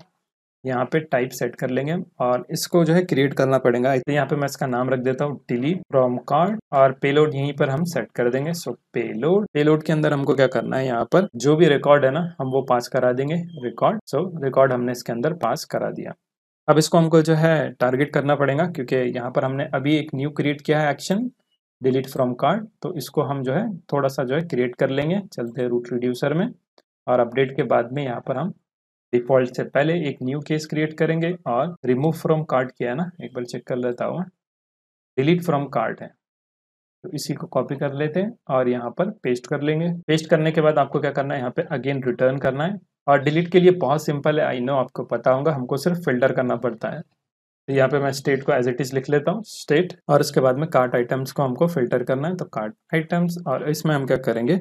मैप करके जो है फ़िल्टर करेंगे। So state dot card items dot map और इसमें हम क्या रिसीव करेंगे? सिंगल आइटम और इसको हमको क्या करना है? पहले तो आईडी से मैच कराना है, जो भी हम आईडी रिसीव कर रहे हैं item dot under score I अगर इक्वी है, जो भी हमारे पास पेलोड है so action dot payload dot underscore I अगर ये इक्विवेलेंट है, तभी जो है हमको यहाँ पर ऑपरेशन परफॉर्म करना है। तो यहाँ पे हम क्या करेंगे? टर्नरी ऑपरेटर देख लेंगे। टर्नरी एक्सप्रेशन हम यहाँ पे देखने वाले हैं। तो यहाँ पर हम क्या करेंगे? पहली ट्रू की कंडीशन है, दूसरी फॉल्स की कंडीशन है। तो फॉल्स में हमको क्या करना है? सिंपल है। फॉल्स में हम सिर्फ़ आइटम को जो है ऐड कर देंगे और ट्रू है कंडीशन तो हम फ़िल्टर कराएँगे। तो फ़िल्टर कैसे कराएँगे? देखिए, आपको क्या करना है यहाँ पर? जो हमारे पास आइटम्स है, उसको स्प्रेड कर देंगे। जो भी है एज इट इज़ चाहिए पहले। और उसके बाद में हम क्या करेंगे यहाँ पर क्वांटिटी है अपने पास क्वांटिटी क्वांटिटी को हम क्या करेंगे यहाँ पर एक्शन डॉट पेलोड से जो है सेट कराएँगे। तो एक्शन डॉट पेलोड तो पेलोड में जो भी एक्शन रहेगा हम उससे फुलफिल करा देंगे। सो यहाँ पे ऑटो फॉर्मेट हो चुका है, देख सकते हैं आप। तो यहाँ पर ये यह कंप्लीट हो चुका है। सेव कर लेते हैं इसको और एक बार टेस्ट कर लेते हैं कि डिलीट होता है या नहीं। चलते हैं एप्लीकेशन पर और इसको एक बार फिर से रिफ्रेश कर लेंगे। और यहाँ से मैं क्या करता हूँ, पहले एक दो आइटम्स और ऐड कर लेता हूँ। जैसे कि ये। ये दो मैंने आइटम्स ऐड किए, अब इनको मैं रिमूव कर लेता हूँ। तो डिलीट पे क्लिक करता हूँ। तो देखिए यहाँ पे एक्शन कॉल हो रहा है, लेकिन यहाँ पर कुछ एरर आई थिंक चेक कर लेते हैं। Inspect console okay objects are not valid तो यहाँ पे देखिए हमारे से मिस्टेक हो गई। डिलीट में हमको फ़िल्टर करना था और हमने यहाँ पे सेम एज इट इज़ कर लिया। इसको देखिए, इसी को हमने जो है लिख लिया। तो आई थिंक इसको करेक्ट करना पड़ेगा। हम क्या करेंगे? इसको रिमूव कर लेंगे। इफ़ एल्स कंडीशन नहीं चाहिए। हमारे पास देखिए कंडीशन यहीं तक के रहेंगी। ये जो कंडीशन है ना हमको फ़िल्टर करना है आईडी के बेस पे। तो यहाँ पे हम आईडी को गेट करेंगे आइटम में से और उसको जो है ना चेक करेंगे जो कि नॉट इक्वल टू रहनी चाहिए, जो भी हमारे पास पेलोड में है, उससे हम यहाँ पर कंपेयर करेंगे। तो यहाँ पर मैप के बदले आपको फ़िल्टर यूज़ करना है, क्योंकि रिमूव के लिए हम जो है फ़िल्टर का यूज़ करते हैं और बाकी सब कुछ एज इट इज़ रहेगा। सो मेक श्योर इसको एक बार ज़रूर चेक कर लें ये जो एक्शन हमने अभी बनाया है, उसको एक बार ज़रूर क्रॉस चेक कर लें। चलते हैं वापस ब्राउज़र पर और इसको रिफ्रेश कर लेंगे एक बार। और यहाँ से मैं रिमूव के लिए जो है ट्राई करता हूँ। नीचे के दो आइटम्स हम यहाँ से रिमूव कर लेंगे। डिलीट तो देखिए डिलीट हो रहा है बराबर से और कार्ट आइटम जो है काउंट भी चेंज हो रहा है। इसी तरीके से वापस से करता हूँ। तो देखिए बराबर से हो रहा है। इसी तरीके से पूरे रिमूव कर लूँगा और चेक करते कोई एरर आता है या नहीं। डिलीट किया। तो यहाँ पे कुछ भी शो नहीं हो रहा है। नो डेटा यहाँ पर शो हो रहा है। तो सक्सेसफुली हमने यहाँ पर ऐड कर दिया इसी तरीके से वापस करके देखते हैं। एक दो आइटम्स हमने ऐड किए। और फिर से यहाँ पर आ रहा है इंक्रीमेंट हो रहा है। देखिए इंक्रीमेंट डिक्रीमेंट और डिलीट तो सक्सेसफुली हमारा कार्ड का पेज जो है क्रिएट हो चुका है। और अब हम चाहे तो यहाँ पे लोडिंग स्पिनर भी ऐड कर सकते हैं अगर हमको करना है, क्योंकि हमने यहाँ पर एक स्टेट बना के रखी थी ना। एक बार चेक कर लेते हैं रूट रिड्यूसर और देखिए, इसमें हमारे पास लोडिंग है और इनिशियली ट्रू कैसे है? आई थिंक मेरे से मिस्टेक हो गई। यहाँ पे फॉल्स रहेगा इनिशियली और इसको भी हम जो है टारगेट कर सकते हैं। तो यहाँ पे हम क्या करेंगे? होम पेज पे जो है ना एक लोडिंग स्पिनर जो है यहाँ पे शो कराएँगे। तो उसके लिए हम क्या करते हैं एंड डिज़ाइन में चेक कर लेते हैं स्पिनर है या नहीं? कोई कंपोनेंट हमारे पास मिलता है या नहीं? स्पिनर के नाम से मैं सर्च करता हूँ तो देखिए एक स्पिन है। और इतना कुछ खास नहीं लग रहा है। हम बूटस्ट्रैप का यूज़ कर लेंगे। देखिए यहाँ पर बूटस्ट्रैप में स्पिनर का कंपोनेंट हमको जो मिलता है, यानी क्लासेस की मदद से हम क्रिएट कर सकते हैं ना तो इसका हम यूज़ कर लेंगे। तो चलते हैं वापस। इसके लिए हम एक स्टेट क्रिएट कर लेंगे। स्टेट तो ऑलरेडी हमारे पास इनिशियल स्टेट में। हम क्या करते हैं? एक एक्शन क्रिएट कर लेंगे। तो टॉप पे क्रिएट कर लेता हूँ मैं। केस क्रिएट करेंगे। और इसका नाम हम रख सकते हैं। शो अंडर स्कोर लोडिंग और इसके अंदर जो है रिटर्न करा देंगे पहले। रिटर्न ऑब्जेक्ट हमको कराना है। और इसके अंदर हम क्या कर सकते हैं? जो भी स्टेट है, पहले एज इट इज़ उसको रखेंगे। सो स्टेट और फिर जो लोडिंग की स्टेट है, उसको जो है यहाँ पर हम क्या करेंगे? फॉल्स करा देंगे। तो लोडिंग है तो ट्रू करा देंगे। और हाइड लोडिंग है तो आप जो है इसको फॉल्स करा देंगे। तो इसी तरीके से एक और केस में क्रिएट करता हूँ। Case hide underscore loading और यहाँ पे रिटर्न कराएँगे। सेम चीज़ रिटर्न करानी है। पहले स्टेट को स्प्रेड कर लें आप स्टेट उसके बाद में यहाँ पे लोडिंग को कर देंगे हम फॉल्स और इसको सेव कर लेते हैं। और हमारे पास होम पेज में है आई थिंक तो मैं होम पेज को ओपन कर लेता हूँ। होम पेज में हमारे पास एक्शन है। एक्शन नहीं, यहाँ पे फ़ंक्शन है, देखिए गेट ऑल आइटम्स तो इसमें हम यूज़ कर सकते हैं। तो यहाँ पे हम क्या करेंगे? डिस्पैच कर लेंगे तो डिस्पैच को इम्पोर्ट करना पड़ेगा। Import use dispatch from react redux इसका एक वेरिएबल भी क्रिएट कर लेते हैं const dispatch equal to use dispatch और यहाँ पर क्या करेंगे हम, जैसे ट्राई पे करेंगे ना तो इसी टाइम पे डिस्पैच कर देंगे फ़ंक्शन को। सो डिस्पैच डिस्पैच के अंदर टाइप आपको सेट करना है टाइप और यहाँ पे शो अंडर स्कोर लोडिंग और यहाँ पर इसको फॉल्स भी करना है। जब हमको रिस्पॉन्स मिल जाए तो देखिए यहाँ पे सेट हो रहा है ना डेटा, तब जो है हम यहाँ पे इसको फॉल्स कर देंगे। तो अगेन डिस्पैच कॉल कर लेंगे, डिस्पैच, और इसका टाइप भी सेट कर देंगे, टाइप, हाइड, लोडिंग, और इसको सेव कर लेते हैं। और हमारे पास डेटा एक्चुअल में कहाँ पे आ रहा है? आइटम लिस्ट में। तो यहाँ पे हम स्पिनर शो करा सकते हैं, या फिर हम डिफ़ॉल्ट लेआउट में भी कर सकते हैं। यहाँ पर जो सारा का सारा कंटेंट हमारा आ रहा है ना, यहाँ पर भी कर सकते हैं। तो यहाँ पे देखिए कार्ट आइटम्स है अपने पास। तो लोडिंग की स्टेट को भी हम गेट कर लेंगे। लोडिंग और यहाँ पर नीचे देखिए, हमारे पास लेआउट है, इसके बाद में चेक कर लेंगे पहले। अगर हमारे पास लोडिंग है, तब क्या करेंगे, हम स्पिनर का कंपोनेंट शो करा देंगे। तो कंपोनेंट्स के अंदर हम एक न्यू फ़ाइल क्रिएट कर लेंगे स्पिनर के नाम से spinner dot J S bootstrap के स्पिनर को कॉपी कर लेंगे। यहाँ पे इसको फंक्शनल कंपोनेंट बना दे R F C E react arrow function with export और यहाँ पर इसको पेस्ट कर लेंगे, इसको आपको कन्वर्ट करना है जे में convert H T M L to J इसी तरीके से इस डिव को क्लास नेम ऐड कर देंगे। स्पिनर की इनकेस अगर स्टाइलिंग करना रहा तो हम इसको डायरेक्टली टारगेट करेंगे। सेव कर लेते हैं इसको, और डिफ़ॉल्ट लेआउट में चलते हैं, और एंड में हमको कंडीशन ऐड कर देना है स्पिनर की।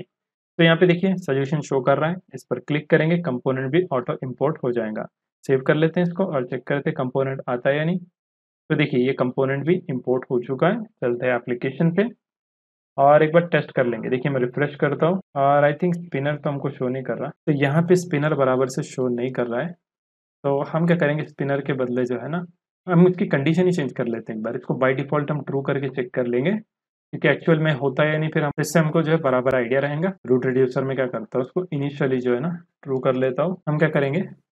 होम पेज में जो है ना हाइट को जो है कॉल ही नहीं करेंगे। इसको कमेंट कर देते हैं सेव जो हम यहाँ पे स्पिनर को शो कराना चाहते हैं तो देखिए यहाँ पे स्पिनर बराबर आ रहा है, लेकिन इसकी पोजीशन सही नहीं है इस वजह से जो है दिक्कत दे रहा है। तो इसकी पोजीशन हमको सेट करना पड़ेगी। तो पहले पोजीशन कर लेते उसके बाद में इसको अनकमेंट कर देंगे। चलते हम स्टाइल्स में, और डिफ़ॉल्ट लेआउट की स्टाइल है अपने पास।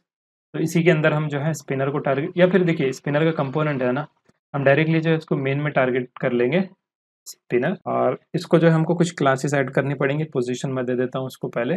पोजीशन एब्सोल्यूट टॉप से इसको कर देंगे 50 परसेंट इसी तरीके से जो है लेफ़्ट से भी 50 परसेंट कर देंगे, और फिर हम क्या कर सकते हैं, यहाँ पे जो है ट्रांसफॉर्म कर देंगे इसको ट्रांसफॉर्म तो इसकी पोजीशन जो है चेंज हो जाएँगी तो ट्रांसलेट कर ले आप यहाँ से ट्रांसलेट और कितने डिग्री आपको करना है माइनस फिफ्टी कर लेते हैं minus fifty percent comma minus fifty percent save कर लेते हैं इसको, और एक बार चेक कर लेते हैं तो रिफ्रेश कर लेंगे इसको ये बराबर सेंटर में आ रहा था। डेटा हमारे पास आ चुका है, इस वजह से थोड़ा दिक्कत हो गया। वापस से देखिए, बराबर सेंटर अलाइन हो चुका है और इसकी हाइट एंड विथ भी हम चेंज कर सकते हैं तो एक बार इसकी क्लास चेक कर लेंगे हम। इसके अंदर देखिए बॉर्डर करके एक और क्लास है, उसको हम टारगेट कर लेंगे पिन और बॉर्डर हाइट हम सेट कर सकते हैं हाइट टू हंड्रेड पिक्सल और फिट भी हम इसकी चेंज कर लेंगे विथ टू हंड्रेड पिक्सल चलते वापस एप्लीकेशन पर और टू हंड्रेड काफ़ी और ये इसके बैक में आ रहा है। तो इसका z इंडेक्स हमको चेंज करना पड़ेगा आई थिंक z इंडेक्स और इसको कर देंगे हंड्रेड सामने शो करेंगे आई थिंक देखिए, बराबर से आ रहा है। लेकिन हमारा डेटा भी आ रहा है ना तो कोई दिक्कत नहीं है, वो लोडिंग की स्टेट स्टिल ट्रू है, इसीलिए जो है इस तरीके से आ रहा है। और स्पिनर काफ़ी बड़ा हो चुका है तो इसको हंड्रेड कर लेते हैं। वन हंड्रेड इसको भी वन हंड्रेड कर लेंगे सेव और यहाँ पर होम पेज में जो है हम इस कंडीशन को जो है वापस से अनकमेंट कर देंगे हाइड लोडिंग चलते वापस एप्लीकेशन पर और इसको रिफ्रेश कर लेंगे। तो देखिए, यहाँ पे स्पिनर एक टाइम हुआ और फिर चला गया। फिर से रिफ्रेश करके देख लेते हैं। तो देखिए स्पिनर आया और फिर उसके बाद में हमारा डेटा यहाँ पर आ चुका है। तो सक्सेसफुली स्पिनर भी यहाँ पर शो हो रहा है। आई होप यहाँ तक आप जो है कंप्लीट करके रख लेंगे। तो इसका सोर्स कोड भी आपको मिल जाएगा। मेक श्योर आप जो है ब्रांचेस चेक करें, वहाँ पर जो है मैंने स्पेसिफिकली जो है टारगेट किया है कि कहाँ तक के कोड आपको मिलेगा। तो डायरेक्टली आप पूरे कोड में से देखेंगे तो हो सकता है आगे हमने कुछ और किया हो। तो उस वजह से मैंने ब्रांचेस बना के रखा है तो आप ब्रांचेस ज़रूर चेक करें। तो अभी हम क्या करेंगे? इस आइटम्स पे जो है काम करेंगे, जहाँ पर हम लिस्ट शो कर रहे हैं ना तो यहाँ पे देखिए हम क्या करेंगे, सारे के सारे आइटम्स जितने भी हमारे प्रोजेक्ट के अंदर अवेलेबल है तो यहाँ पे हम उसको डिस्प्ले कराएँगे। तो ऑलरेडी हमने यहाँ पर कार्ड के अंदर देखिए टेबल का यूज़ किया है तो इसी को हम जो है रीयूज कर सकते हैं। तो हम क्या करेंगे, देखिए, सबसे पहले चलते हैं वापस विजुअल स्टूडियो कोड में और हमारे पास है आइटम पेज और इसके अंदर हमको क्या करना है, यहाँ पर एज ए टेबल में सारे का सारा डेटा जो है शो कराना है। तो यहाँ पे क्या करेंगे हम होम पेज है अपने पास और इस होम पेज के अंदर हमारे पास एक फ़ंक्शन है यूज़ इफ़ेक्ट में। तो इस फ़ंक्शन को एज इट इज़ हमको कॉपी कर लेना है, क्योंकि सारा का सारा डेटा हमको इसमें भी चाहिए। तो यहाँ पे रिएक्ट के बाद में आप क्या करें? पहले जो है ना यूज़ इफ़ेक्ट को इम्पोर्ट कर ले इफ़ेक्ट और कॉमा लगाना है इसके बाद में, और यहाँ पर इसको पेस्ट कर देंगे। तो यूज़ इफ़ेक्ट हमारा ऐड हो चुका है डिस्पैच भी हमको यहाँ पर क्रिएट करना पड़ेगा। तो इंपोर्ट कर देंगे हम import use dispatch from react redux इसका एक वेरिएबल बना लेंगे। Const dispatch equal to use dispatch. तो इसका वेरिएबल भी हमारे पास बन चुका है। और यहाँ पर देखिए हमारे पास कोई स्टेट नहीं है सेट आइटम्स डेटा है ना? तो यहाँ पे आई थिंक स्टेट भी कॉपी करना पड़ेगी। तो होम पेज में से हम क्या करते हैं? स्टेट को भी कॉपी कर लेते हैं। ये स्टेट है कॉपी और यहाँ पर पेस्ट कर देंगे। पेस्ट और यूज़ स्टेट को हमको इंपोर्ट करना पड़ेगा। यूज़ स्टेट और एक्जियोस को भी इंपोर्ट करना पड़ेगा। तो एक्जियोस को भी इंपोर्ट कर लेते हैं इंपोर्ट एक्जियोस फ्रॉम एक्जियोस और यहाँ पर आई थिंक ये तो कॉल हो चुका है। सेव कर लेते हैं। और टेस्ट करते हैं कि हमको कंसोल पे डेटा मिलता है या नहीं। तो यहाँ पे कंसोल लॉग डेटा है। चलते हैं एप्लीकेशन पर और इंस्पेक्ट करके चेक कर लेते हैं। तो देखिए डेटा हमारे पास सक्सेसफुली आ रहा है। तो अब इसको हमको जो है यहाँ पर यूज़ करना है। तो यूज़ करने के लिए हमने देखिए कार्ड के अंदर टेबल का यूज़ किया था ना। तो यही चीज़ हम यहाँ पे यूज़ कर सकते हैं। तो कार्ड पेज के अंदर हमारे पास टेबल था और इसके अंदर कॉलम था। तो यहाँ पे ये कॉलम का एरे जो था ना, इसको हम कॉपी कर लेंगे। इसको हमने यहाँ से कॉपी किया और आइटम पेज में इसको हम पेस्ट कर देंगे। तो यहाँ पर डिस्पैच के बाद में यहाँ पे हम लिख सकते हैं टेबल डेटा यहाँ पे हमने इसको पेस्ट कर दिया। और आइकन्स भी हमको इंपोर्ट करने हैं और क्वांटिटी हमको नहीं चाहिए तो क्वांटिटी मैं रिमूव कर लेता हूँ।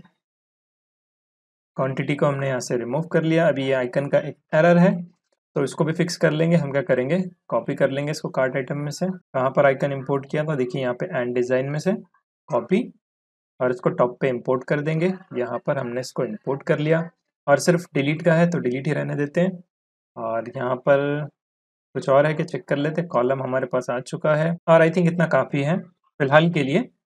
और यहाँ पर डिलीट के अंदर देखिए डिलीट फ्रॉम कार्ड है ना तो इसकी ज़रूरत नहीं है अभी हमको। तो सिंपली हम इस फ़ंक्शन को रिमूव कर देंगे सेव कर लेते हैं इसको। टेबल को भी हम कॉपी कर लेंगे कार्ट में तो नीचे हमने टेबल को प्रिंट कराया था। देख सकते हैं आप यहाँ पर, ये जो टेबल हमने प्रिंट कराया था, इसको हम कॉपी कर लेते हैं और नीचे पेस्ट कर लेंगे। और यहाँ पर देखिए टेबल को इंपोर्ट करना है तो टेबल को मैं क्या करता हूँ, यहाँ से इसको एक बार कट कर लेता हूँ तो सजेशन में ऑप्शन शो करेगा, उसी में से हम डायरेक्टली इंपोर्ट कर देंगे। देखिए यहाँ पे एन डी में से आ रहा है, इस पर क्लिक करूँगा इंपोर्ट हो जाएगा ऊपर टॉप पे, और डेटा सोर्स जो रहेगा, वो रहेगा हमारे पास आइटम्स डेटा जो हमारे पास स्टेट है ना, ये वाला, इसमें से हम जो है गेट कर रहे हैं।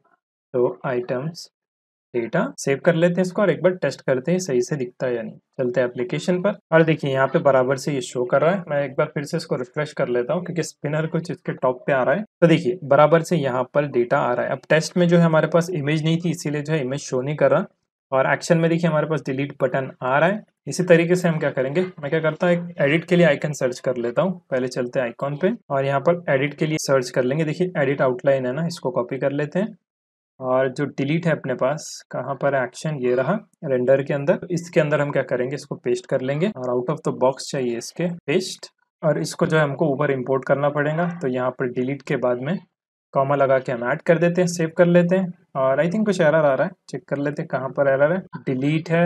अच्छा इसको एक डिव में लेना पड़ेगा हमको। तो मैं डिव के अंदर जो है ना दोनों को रैप कर लेता हूँ। सो so, ये दोनों को हम यहाँ से कट कर लेंगे और इसके अंदर पेस्ट कर लेंगे। सेव अब वो एरर चला जाएगा।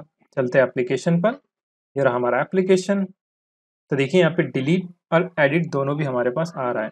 और इसके ऊपर एक क्लास हम ऐड कर देंगे, देखिए। स्टाइल है ना कट नहीं करना, इसको कॉपी करेंगे और इस पर भी पेस्ट कर देंगे। तो कर्सर जो है ना पॉइंटर रहेगा।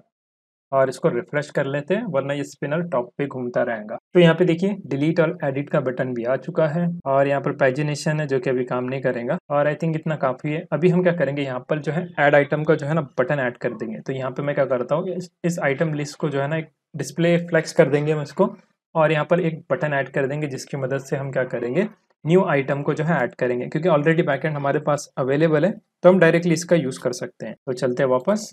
और यहाँ पर है, देखिए आइटम लिस्ट तो इससे पहले हम क्या करेंगे, एक क्लास ले लेंगे।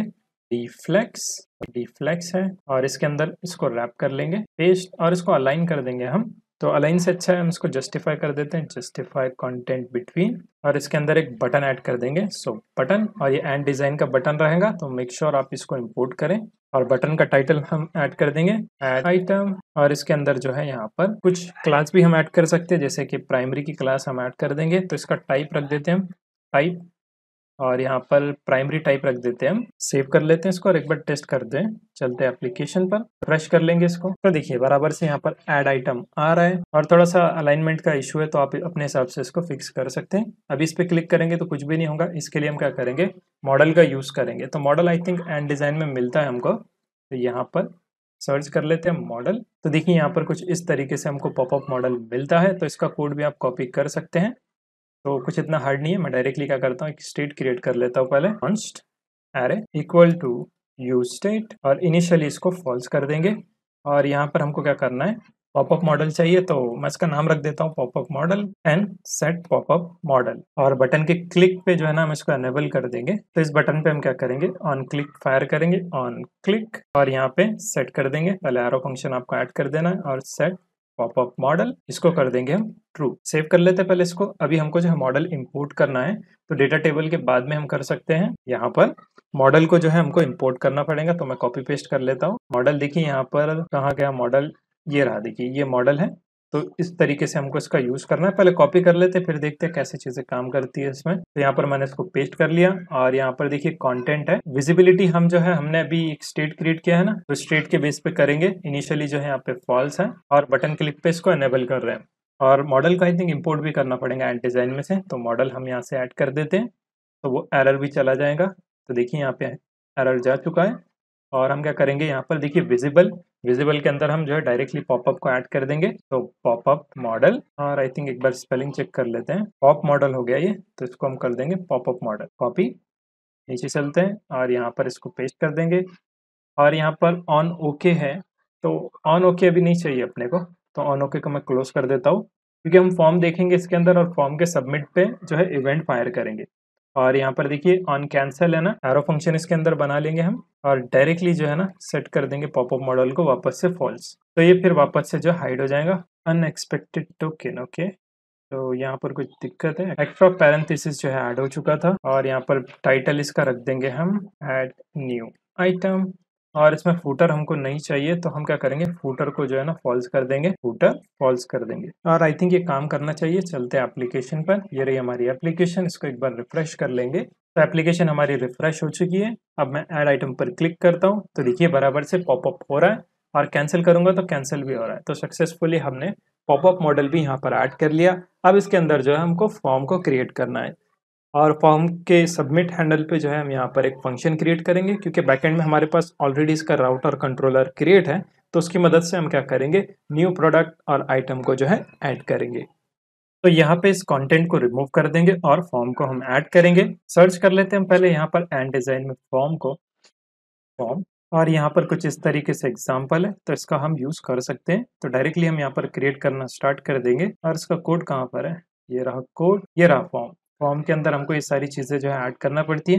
तो डायरेक्टली हम इसका यूज़ करना स्टार्ट कर देंगे। पैराग्राफ को कट करते हैं और सिंपल हम फॉर्म टैग ऐड कर देंगे। मेक श्योर इसको इंपोर्ट करें। यहाँ पे क्लिक करेंगे। देखिए, एंड डिज़ाइन में से इंपोर्ट भी हो जाएगा। तो यहाँ पर फॉर्म हमारा इंपोर्ट हो चुका है। अब इसके अंदर जो है हमको लेआउट सेट करना पड़ता है। लेआउट। अब ये लेआउट क्या है? यहाँ पर वर्टिकल चाहिए आपको। कैसा डिज़ाइन चाहिए? तो यहाँ पर हम इसको क्या करेंगे? वर्टिकल कर देंगे। वर्टिकल। और इसके अंदर जो है फॉर्म डेटा जो है फिल करेंगे। सो फॉर्म डॉट आइटम और इसके अंदर हमारे पास रहेगा इनपुट सेल्फ क्लोजिंग टैग और फॉर्म आइटम में हमको क्या करना है? यहाँ पर नेम को जो है प्रोवाइड करना है। अब ये जो नेम रहेगा, हमारे डेटाबेस में जो नेम है, उसी से जो है मैचिंग होना चाहिए। तो नेम में नेम है, और फिर उसके बाद में हमारे पास क्या है? लेबल है। लेबल में कुछ भी नाम आप ऐड कर सकते हैं, लेकिन जो नेम है, यहाँ पर जो डेटाबेस में वैल्यू है लोअर केस में है तो लोअर केस में ऐड कीजिए अपर केस में है तो अपर केस ही आपको ऐड करना पड़ेगा। और लेवल में आप कुछ भी ऐड कर सकते हैं, जैसे कि नेम हमने यहाँ पर इस तरीके से ऐड कर दिया। सेम हमको क्या करना है? बाकी चीज़ों के लिए करना है तो मैं कॉपी पेस्ट कर लेता हूँ। कॉपी पेस्ट नेम के बाद में हमारे पास था प्राइस और यहाँ पे मैं ऐड कर देता हूँ प्राइस उसके बाद में हमारे पास था कैटेगरी कैटेगरी सॉरी कैटेगरी नहीं यहाँ पर इमेज था। और इमेज में हमको क्या करना है? यहाँ पे यूआरएल जो है पास कराना है। तो यूज़र को स्पेसिफिकली हमको बताना है कि यहाँ पर यूआरएल हमको जो है ऐड करना है। उसके बाद में अगेन हमारे पास फ़ील्ड है। तो यहाँ से मैं इसी को कॉपी पेस्ट कर लेता हूँ। बट दिस टाइम क्या है यहाँ पे? हमारे पास सेलेक्ट बॉक्स रहेगा। क्योंकि कैटेगरी में मल्टीपल ऑप्शन है। मैं एक बार डेटाबेस में चेक कर लेता हूँ। मोंगो टी कॉम्पास ओपन कर लेते हैं इसको। और इसको कनेक्ट कर लेते हैं हम लोकल होस्ट पे। और ये रहा पी ओ एस आइटम्स इसमें हमारे पास है drinks and rice and noodles तो तीन कैटेगरीज है तो इसके बेस पे हमको करना है। तो यहाँ पे हम क्या करेंगे, इसका नेम चेंज कर देंगे पहले कैटेगरी और लेबल में भी हम कुछ भी ऐड कर सकते हैं। या फिर डायरेक्टली भी आई थिंक इसमें ऑप्शन मिलना चाहिए हमको। डायरेक्ट एक बार ट्राई कर लेते हैं। अगर डायरेक्ट में नहीं मिला, तब जो हम यहाँ पर फॉर्म इनपुट का इस्तेमाल कर लेंगे। यहाँ पे मैं सेलेक्ट का ऐड कर देता हूँ। सेलेक्ट के अंदर हम क्या करेंगे? यहाँ पर इसके अंदर डायरेक्ट ऑप्शन जो है ऐड कर देंगे। सेलेक्ट डॉट ऑप्शन और ऑप्शन के अंदर हमको क्या करना है? सबसे पहले जो है ड्रिंक्स है और ड्रिंक्स का जो हमको यहाँ पे वैल्यू ऐड करना पड़ेगा। वैल्यू ड्रिंक्स कॉपी पेस्ट कर लेते हैं इसको। सेकेंड वाला राइस है एंड लास्ट वाला है नूडल्स सेव कर लेते हैं इसको एक बार और टेस्ट कर लेते हैं कि ये बराबर से शो करता है या नहीं। तो मैं बटन भी ऐड कर देता हूँ साथ ही में। सेलेक्ट के बाद में हम क्या करेंगे? यहाँ पर एक बटन ऐड कर देंगे। मैं एक डिव ले लेता हूँ जिसकी क्लास हम यहाँ पे रखेंगे, फ्लेक्स की डिस्प्ले।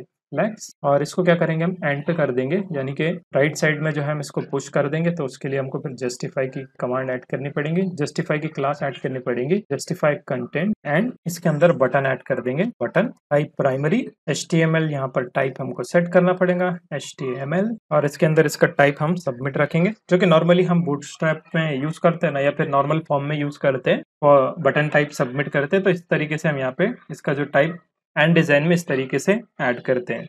और यहाँ पे हम लिखेंगे सेव और सेव कर लेते हैं। इसको एक बार फॉर्म चेक करते हैं कि आता है या नहीं। और ऐड आइटम तो देखिए फॉर्म बराबर से आ रहा है, लेकिन सेलेक्ट बॉक्स का थोड़ा इशू है। सेलेक्ट हमको आई थिंक चेक करना पड़ेगा इसके डॉक्यूमेंटेशन में सेलेक्ट कैसे यूज़ किया जाता है। या फिर देख लेते कहीं ऑप्शन है या नहीं। तो यहाँ पे तो मुझे नहीं दिखाई दे रहा है। सेलेक्ट ओके यहाँ पर ये यह सेलेक्ट है।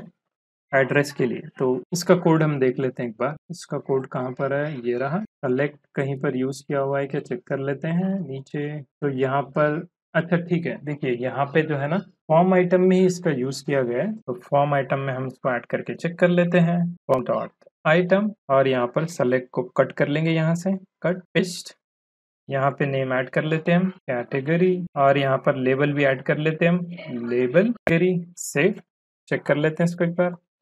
चलते हैं एप्लीकेशन पे और इसको क्लोज करके रिफ्रेश कर लेंगे एड आइटम तो देखिए, अब बराबर से आ रहा है, यहाँ पर ड्रिंक्स राइस एंड नूडल और सेव का बटन जो है ना, यहाँ पे बराबर से नहीं आया तो डिस्प्ले फ्लैक्स जस्टिफाई हो गया ओके जस्टिफाई कंटेंट एंड एक बार चेक करते फिर से रिफ्रेश करके। तो देखिए, अब बराबर से यहाँ पर आ रहा है। अब हमको क्या करना है, इसको सर्वर पर भेजना है तो ऑलरेडी हमारे पास बैक एंड राउट है तो उसके ऑन सबमिट पे, यानी कि ऑन सबमिट तो नहीं आता है इसमें, हमारे पास ऑन फिनिश आता है तो उस पर हम काम करेंगे। चलते हैं वापस और यहाँ पर जो फॉर्म है, ये हमारा फॉर्म है।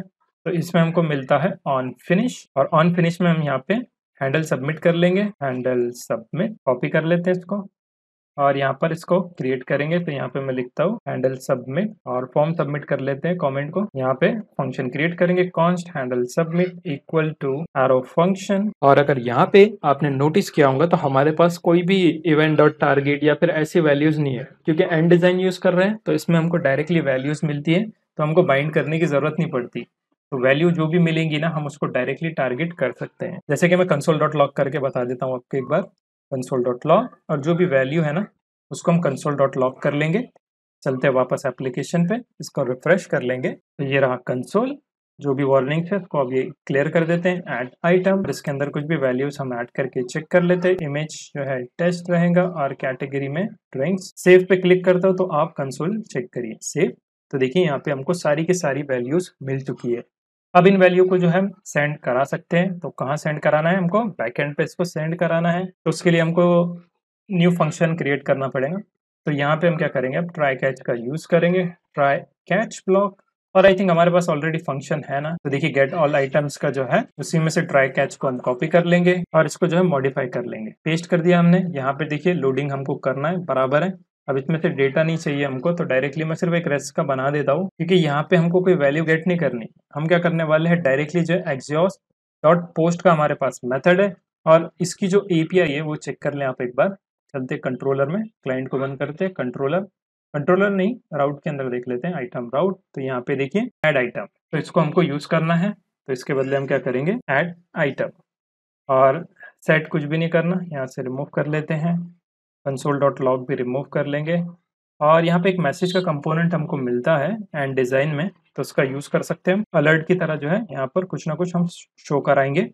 तो जैसे यहाँ पर अगर रिकॉर्ड सबमिट होता है तो यहाँ पे हम एक मैसेज जो है शो करा देंगे तो मैसेज डॉट सक्सेस कोई भी एक रैंडम मैसेज ऐड कर सकते हैं, जैसे कि आइटम एडिट सक्सेसफुली और अगर एरर आता है तो यहाँ पे हम एरर भी ऐड कर सकते हैं। तो यहाँ पे कुछ मिस्टेक है क्या? अभी। अच्छा यहाँ पे इसको एसिंक बनाना पड़ेगा फ़ंक्शन को। सो एसिंक और एरर के लिए भी हम यहाँ पे ऐड कर सकते हैं। Message dot error something went wrong save कर लेते हैं इसको। और उसी के बाद में हमको क्या करना है? ये जो ऊपर का फ़ंक्शन है हमारा, कौन सा वाला जो गेट कर रहे हैं ना तो इसको डबल से हम कॉल करेंगे ताकि री रेंडर हो हमारा डेटा अपडेटेड वैल्यूज़ हमको मिले। तो यहाँ पे कोई और भी एरर है? ऊपर गलती से कुछ कट हो गया क्या नहीं। मिस्टेक हमारे पास रिटर्न में है। कहाँ पर है? Extra, okay. तो यहाँ पर कॉपी पेस्ट में दिक्कत आई होंगी, देखिए। कॉपी पेस्ट में एक्स्ट्रा जो है करली ब्रेसेस ऐड हो चुका था। और यहाँ पर हम ऐड कर देंगे, देखिए मैसेज सक्सेस है ना? उसके बाद में गेट ऑल आइटम को जो फिर से कॉल कर देंगे और इसको हमने जो है डिफाइन नहीं किया। तो ये यूज़ इफ़ेक्ट के अंदर है। हम क्या करेंगे? इसको जो है ना यूज़ इफ़ेक्ट के बाहर ले लेंगे। कंट्रोल पेस्ट तो अब ये बराबर से काम करेंगे और इसमें से यूज़ डिस्पैच को रिमूव कर लेते हैं और इसको एज इट इज़ अभी रहने देते हैं। और अब ये बराबर से काम करना चाहिए। और जो पॉपअप मॉडल है ना, उसको भी हम फॉल्स कर लेंगे। सेट पॉपअप मॉडल इसको भी फॉल्स कर देंगे। सेव कर लेते हैं इसको टेस्ट करते हैं एक बार।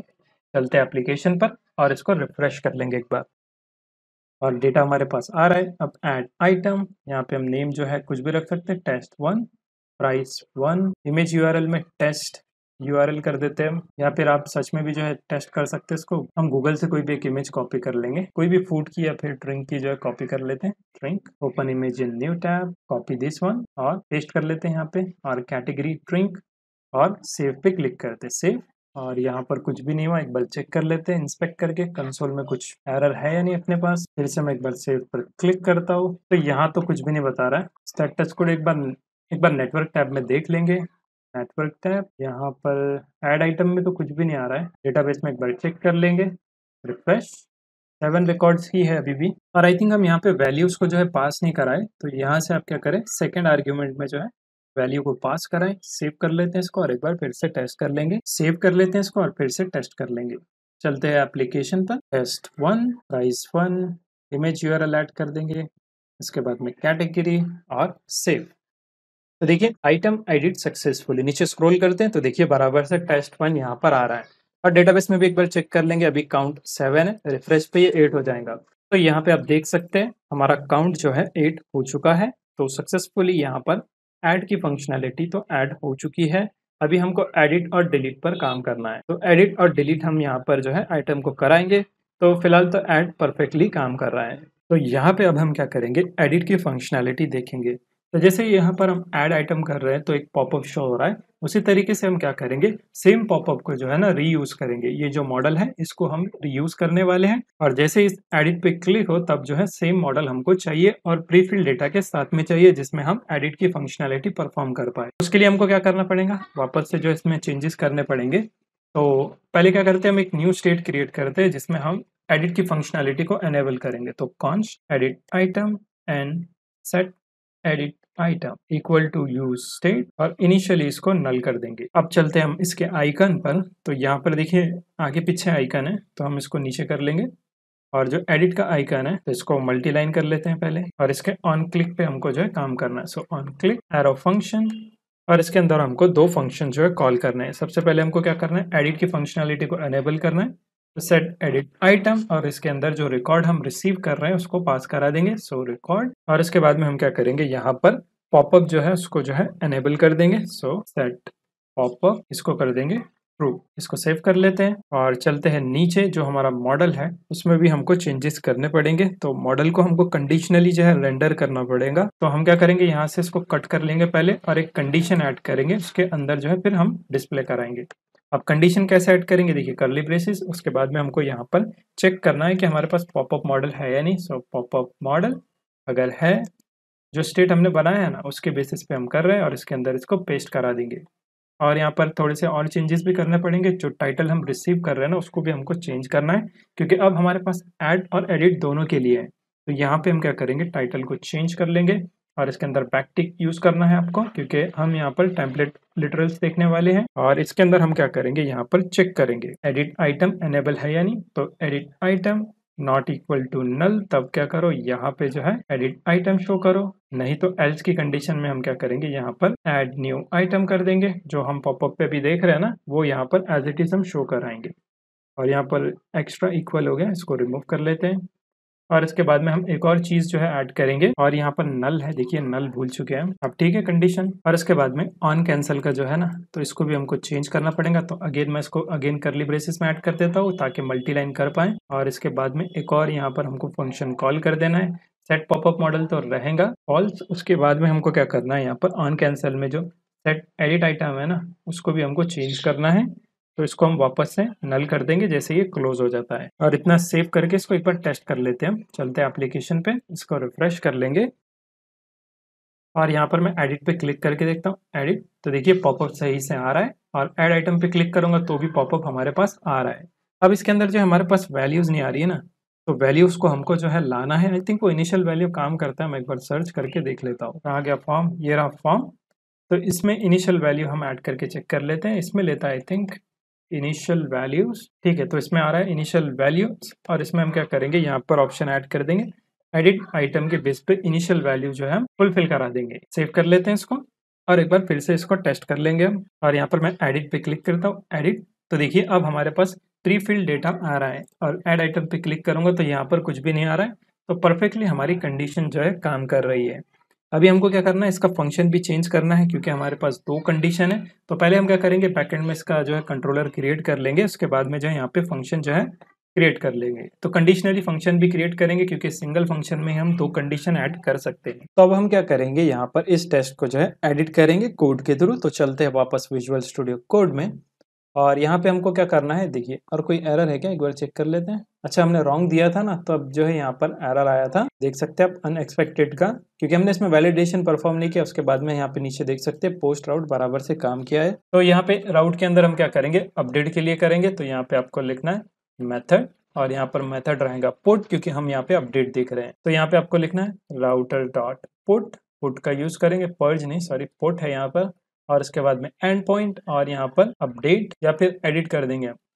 एडिट आइटम उसके बाद में कंट्रोलर का नाम तो एडिट आइटम कंट्रोलर और इसको इंपोर्ट भी करते चले कॉपी यहाँ पर इंपोर्ट भी कर देंगे पेस्ट ये आइटम कंट्रोलर है, यहाँ पे भी हम नीचे एक्सपोर्ट करते चलेंगे इसको और इसको हमको क्रिएट करना है तो यहाँ पे मैं लिखता हूँ update item const update item controller और यहाँ पर इसको एरो फ़ंक्शन बना लेंगे सेव कर लेते हैं, यहाँ पर और राउट्स के अंदर भी सेव कर लेंगे तो कोई भी एरर हमको अभी देखने नहीं मिलेगा। तो देखिए परफेक्टली चीज़ें काम कर रही है। एडिट के अंदर हमको क्या करना है? इसको भी एसिंक बना लेना है। Async and callback function है तो रिक्वेस्ट एंड रिस्पॉन्स और यहाँ पर ट्राई कैच ब्लॉक हम यूज़ करेंगे। थोड़ा सा ऊपर कर लेता हूँ इसको। और ट्राई कैच का हमको यूज़ करना है और कैच के अंदर हम रिस्पॉन्स सेंड कर सकते हैं। Rest dot status of four hundred dot send यहाँ पे हम एरर को भी कर सकते हैं। और साथ ही में कंसोल डॉट लॉग भी कर सकते हैं अगर हमको देखना है तो। ट्राई के अंदर हमको क्या करना है? यहाँ पे जो है सबसे पहले यूज़र की आईडी भी गेट करना पड़ेगी। तो हम क्या करेंगे? यहाँ पे अवेट करेंगे। अवेट किस चीज़ का करना है हमको? आ, हमारे पास आइटम मॉडल है ना? Item model dot find by ID and update यहाँ पर हमको ऑपरेशन परफॉर्म करना है। और ये अपडेट हमको कहाँ से मिलेगा? हम क्या करेंगे? अंडर स्कोर आई की फ़ील्ड आती है। जैसे कि अगर आप डेटाबेस में देखेंगे ना तो ये बाई डिफ़ॉल्ट क्रिएट हो जाती है अंडर स्कोर आई की फ़ील्ड तो इसकी मदद से हम क्या करेंगे? क्योंकि ये फ़ील्ड जो है यूनिक होती है, इसीलिए हम इसकी मदद से जो है डिलीट का ऑपरेशन परफॉर्म करेंगे, जो कि रिक्वेस्ट डॉट बॉडी से हमको मिलने वाली है। तो इससे कंपेयर करेंगे, अगर सेम होता है तो हम उस चीज़ को डिलीट करा देंगे। चीज़ मतलब क्या है कि उस पोस्ट को हम यहाँ पर डिलीट कराने वाले हैं। और यहाँ पर इसका नाम मैं रख देता हूँ item I dot item ID तो स्पेसिफिकली यहाँ पर हम उसका नाम भी शो कर रहे हैं और उसके बाद में रिक्वेस्ट डॉट बॉडी को जो है हम यहाँ पर अपडेट कर लेंगे। तो जो भी आइटम हमको अपडेट करना है तो यहाँ से हम उसको बता सकते हैं। तो ये सक्सेस रहेगा तो स्टेटस हम यहाँ पे सेंड कर देंगे। टू ज़ीरो वन का कर लेता हूँ मैं, क्योंकि यहाँ पर कुछ ना कुछ क्रिएट हो रहा है, और सेंड कर देंगे। सेंड क्या करना है हमको? आइटम अपडेटिव सेव कर लेते हैं इसको। हम क्या करेंगे? यहाँ पर फाइंड वन कर लेंगे और अपडेट का मेथड कॉल कर लेंगे। तो यहाँ से आप इसको चेंज कर लें। फाइंड वन एंड अपडेट यहाँ पर हम परफॉर्म करके चेक कर लेंगे कि ये सही से काम करता है या नहीं। तो अब इस आइटम पेज में हैंडल सबमिट को जो है हम कंडीशनली रेंडर करेंगे। तो यहाँ पे सबसे पहले हम क्या करेंगे? एक कंडीशन ऐड करेंगे। इफ़ की if edit item equal to null अगर एडिट आइटम हमारे पास नहीं है, तब क्या करो? ये जो फ़र्स्ट हमने ऐड के लिए किया था ना फ़ंक्शन इसको जो है हम एग्जीक्यूट करेंगे तो यहाँ से कट करके आप इस इफ़ वाले ब्लॉक में ऐड कर दें। और फिर क्या करेंगे? सेकंड में हम जो है एल्स कंडीशन ऐड करेंगे। एल्स और एल्स वाले में सेकंड हमको जो है, अभी जो हमने क्रिएट किया है ना कंट्रोलर ये राउट जो हमने एडिट आइटम के लिए क्रिएट किया है कंट्रोलर तो वो हमको यहाँ पर ऐड करना है। तो सेम इसी को मैं क्या करता हूँ? कॉपी पेस्ट कर लेता हूँ और इसके अंदर मॉडिफिकेशन कर लेंगे। पेस्ट और यहाँ पर रिस्पॉन्स नहीं रहेगा। डायरेक्टली हम जो अवेट कराएँगे डिलीट के राउट पर तो एक्सियोस डॉट डिलीट और एडिट है ना, ये पुट रहेगा और यहाँ पर एडिट आइटम और ये जो वैल्यू रहेंगी ना वैल्यू को भी हमको यहाँ पर चेंज करना पड़ेगा। तो यहाँ पे डायरेक्ट वैल्यू नहीं जाएँगे, इसको कट कर देंगे हम और यहाँ पर हमको स्प्रेड करना है वैल्यूज़ को तो स्प्रेड कर देंगे जो भी वैल्यूज़ है एक्चुअल में वो भी रहे तो वैल्यूज़ को हमने स्प्रेड कर दिया और वैल्यू है खाली, उसके बाद में यहाँ पर आइटम आईडी हम पास करा देंगे। आइटम आईडी हमको कहाँ से मिलने वाली है? ये मिलेंगी एडिट आइटम में से so edit item dot underscore I और बाकी सब कुछ सेम रहेगा। देखिए यहाँ पे हम आइटम अपडेटेड कर लेंगे इसको और आई थिंक सब कुछ सही है। सेव कर लेते हैं इसको, एक बार टेस्ट कर लेंगे। चलते एप्लीकेशन पे और यहाँ से हम कोई टेस्ट वाला अपडेट करके देखते हैं, जैसे कि ये टेस्ट वन है ना, इसको मैं एडिट करता हूँ। टेस्ट वन और टेस्ट इसको ट्वेल्व कर देते हैं हम और सेव पे क्लिक करता हूँ। तो देखिए आइटम अपडेटेड सक्सेसफुली और यहाँ पर टेस्ट ट्वेल्व भी हमारे पास आ रहा है। तो सक्सेसफुली यहाँ पर अपडेट की फंक्शनैलिटी हमारी ऐड हो चुकी है और इसी तरीके से आप देखिए टी के बदले यहाँ पर जो बेसिक हमारा नाम है देसी चाय हम यहाँ पे ऐड कर सकते हैं। सेव तो देखिए ये अपडेट हो चुका है। वापस से मैं इसको टी कर लेता हूँ। सेव तो देखिए सक्सेसफुली हमारी फंक्शनलिटी काम कर रही है। अब हमको यहाँ पर डिलीट देखना है कि हम कैसे डिलीट कर सकते हैं। तो चलते हैं वापस विजुअल स्टूडियो कोड में और यहाँ पर राउट में चलते हैं। एक और राउट हम क्रिएट करेंगे, इसी को मैं कॉपी पेस्ट कर लेता हूँ या फिर फ्रॉम द स्क्रैच ही क्रिएट कर लेते हैं। यहाँ पे मैं मेथड ऐड कर देता हूँ। मेथड है, ये वाला डिलीट राउटर डॉट डिलीट का मेथड हम यूज़ करेंगे और एंड पॉइंट इसका रख देते हैं डिलीट आइटम कंट्रोलर भी हमको बनाना पड़ेगा तो डिलीट आइटम कंट्रोलर और इसको इंपोर्ट भी करना पड़ेगा तो चलते हैं ऊपर और यहाँ पर इंपोर्ट कर लेंगे। और यहाँ पर कंट्रोलर में से आइटम कंट्रोलर को ओपन करेंगे, इसी को जो है कॉपी पेस्ट कर लेते हैं नीचे और इसको एडिट कर देंगे हम। तो यहाँ पे हमारे पास रहेगा डिलीट आइटम के लिए और कंट्रोलर का नाम है हमारे पास।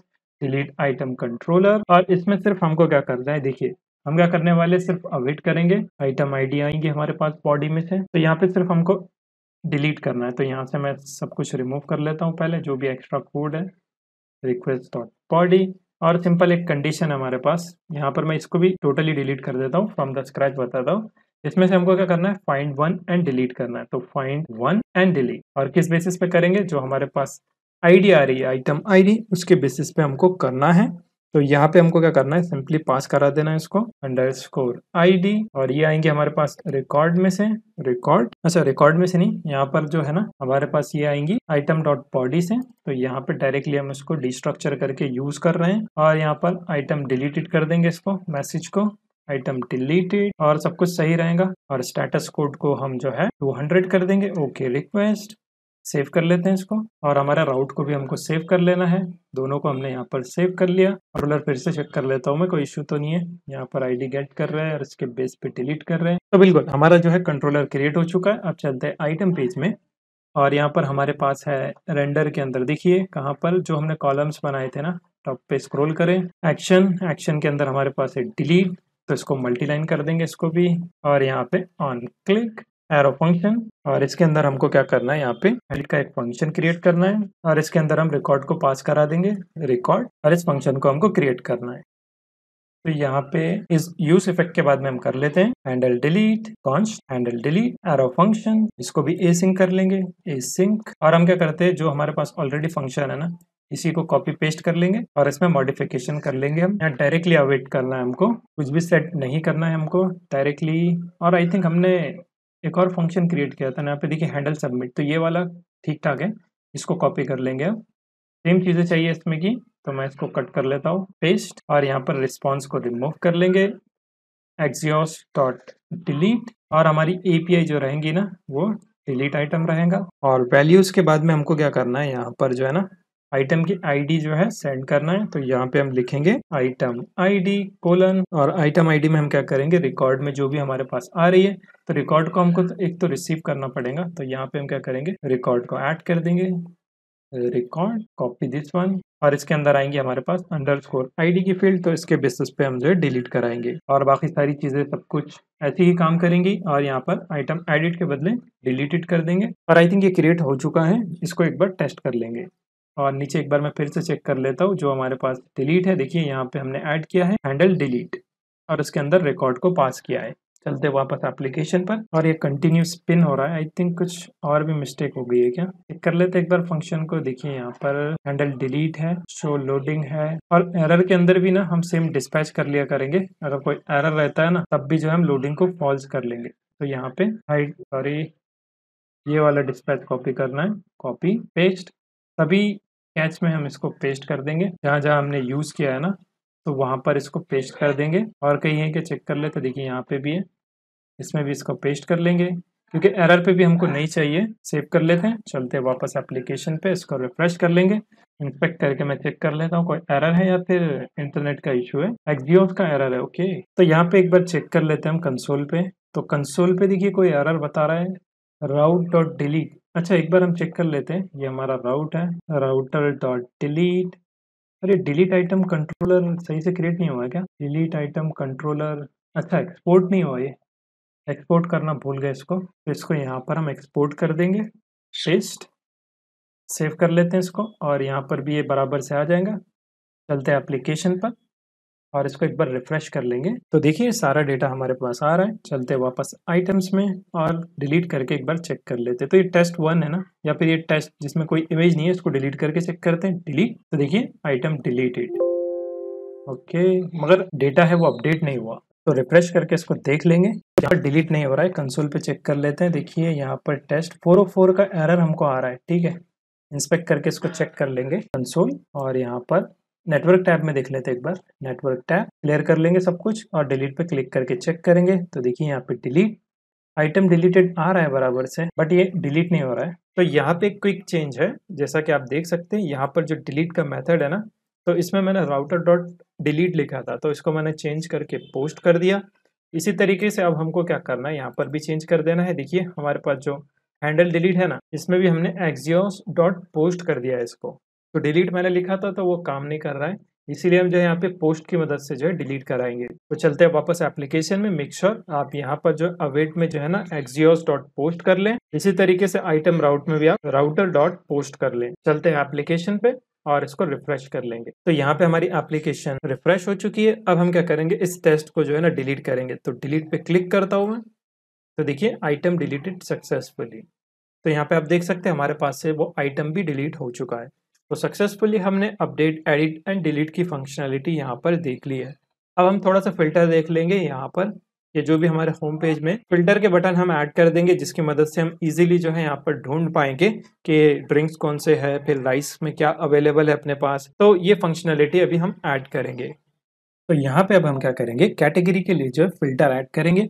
तो यहाँ पर होम पेज पे भी हम ऐड कर सकते हैं। यहाँ पर जितने भी हमारे पास कैटेगरी अवेलेबल रहेंगी तो हम उसको शो करा सकते हैं। तो चलते हैं विजुअल स्टूडियो कोड में और एक न्यू स्टेट क्रिएट करेंगे, ताकि हम जो कैटेगरी को सेलेक्ट भी कर पाए तो कॉन्स्ट और इसका नाम कुछ भी रख सकते हैं। हम जैसे कि सेलेक्टेड कैटेगरी और उसके बाद में सेट सेलेक्टेड कैटेगरी और इसको कैपिटल में कर देता हूँ मैं एस को।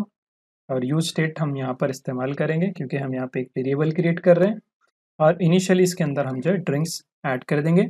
उसके बाद में हम यहाँ पे जो है कैटेगरी के नाम से जो है एरे क्रिएट करेंगे। सो कैटेगरी एरे और इस एरे के अंदर हम क्या करेंगे? सबसे पहले जो है नेम पास कराएँगे। इसलिए ये ऑब्जेक्ट है और उसके बाद में इमेज इमेज यूआरएल और इसके अंदर हम क्या करेंगे? गूगल से जो है इमेज कॉपी पेस्ट कर लेंगे। तो यहाँ पे मैंने ऑलरेडी कॉपी करके रखा है, देखिए। इसको मैं यहाँ से कॉपी कर लूँगा। आप चाहे तो जो है मैनुअल भी ऐड कर सकते हैं और इमेज अगर आपको यूज़ नहीं करना तो नहीं भी कर सकते। आप, ये आपके ऊपर है। इसी तरीके से हमको क्या करना है? अगेन एक और ऑब्जेक्ट क्रिएट करना है, क्योंकि तीन कैटेगरीज है हमारे पास। तो name second one for rice image you और राइस के लिए भी हमने यहाँ पे कॉपी किया है। इसको मैं कॉपी कर लेता हूँ और इसमें पेस्ट कर देंगे। अगेन हमारे पास एक है नूडल्स के लिए।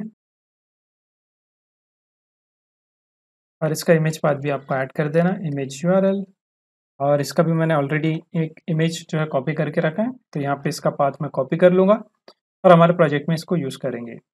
तो देखिए, यहाँ पे हमारे पास क्या है कैटेगरीज का एरे है और इसको हम जो है लूप करा सकते हैं। तो लूप कहाँ कराएँगे? देखिए, हमारे पास रो है तो रो से पहले हम क्या कर देंगे? यहाँ पे एक और डिव क्रिएट कर लेंगे। तो डिव और इस डिव के अंदर जो है मैप कर लेंगे। तो मैप करना बहुत सिंपल है। हमको क्या करना है? यहाँ पे टारगेट करना है कैटेगरीज के एरे को कैटेगरीज डॉट मैप और इसके अंदर हमको मिलने वाली है कैटेगरी और इसको जो है हम यहाँ पर रिटर्न कराएँगे। तो डायरेक्टली हम पैरेंथेसिस लिख लेंगे और इसके अंदर रिटर्न हम करा सकते हैं। तो रिटर्न के अंदर हमको क्या करना है? सिंपल मैं एक और डिप ले लेता हूँ। डिस्प्ले फ्लेक्स की क्लास के साथ में। और इसके साथ में कैटेगरी के लिए जो है एक्स्ट्रा क्लास हम ऐड कर देंगे। इनकेस अगर स्टाइलिंग का इशू आता है तो हम उसको टारगेट करेंगे। और इसके अंदर हमको क्या करना है? सबसे पहले की को भी जो है ऐड करना पड़ेगा। तो की और की के अंदर हमारे पास तो आईडी है नहीं, इसीलिए हम क्या करेंगे नेम के बेस पे कर लेंगे कैटेगरी डॉट और इसके अंदर एक एच फोर ले लेता हूँ मैं H four again category dot name हम यहाँ पे सेट करा देंगे।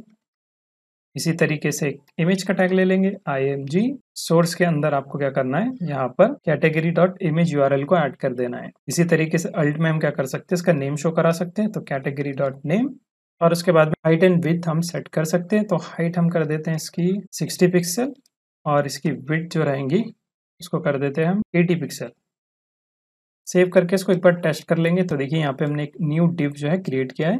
देखते हैं कैसा दिखता है। चलते हैं एप्लीकेशन पर और इसको रिफ्रेश कर लेंगे। और यहाँ पर कुछ इस तरीके से आ रहा है तो इसको हमको डिस्प्ले फ्लैक्स करना पड़ेगा। यहाँ पे मैं क्लास नेम ऐड कर देता हूँ। क्लास नेम डिस्प्ले फ्लैक्स अब देखते हैं एक बार। तो देखिए यहाँ पर कुछ इस तरीके से ये शो कर रहा है।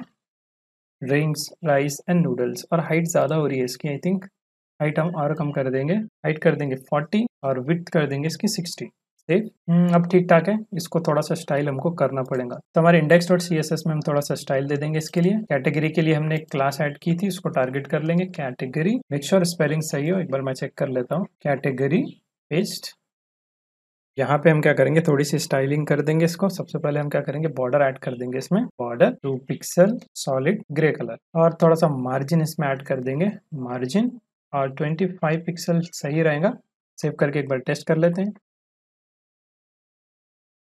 तो यहाँ पर कुछ ये इस तरीके से आ रहा है और हम इसको क्या करेंगे? पैडिंग भी दे देंगे। पैडिंग ऐड कर देता हूँ। टेन पिक्सल की पैडिंग सेव तो यहाँ पर कुछ इस तरीके से फ़िल्टर के बटन हमारे पास शो हो रहा है। और मार्जिन टॉप से आई थिंक ये ज़्यादा हो जाएगा। तो मार्जिन हम क्या करेंगे? इसको जो है राइट से करके देख लेते हैं मार्जिन राइट। और बॉटम से भी दे देंगे आई थिंक मार्जिन बॉटम भी देना पड़ेगा। टेन पिक्सल कर देंगे। हम्म, अब ठीक ठाक है। देखिए हमारे पास ड्रिंक्स है राइस है और नूडल्स है। तो इसमें क्या करेंगे हम?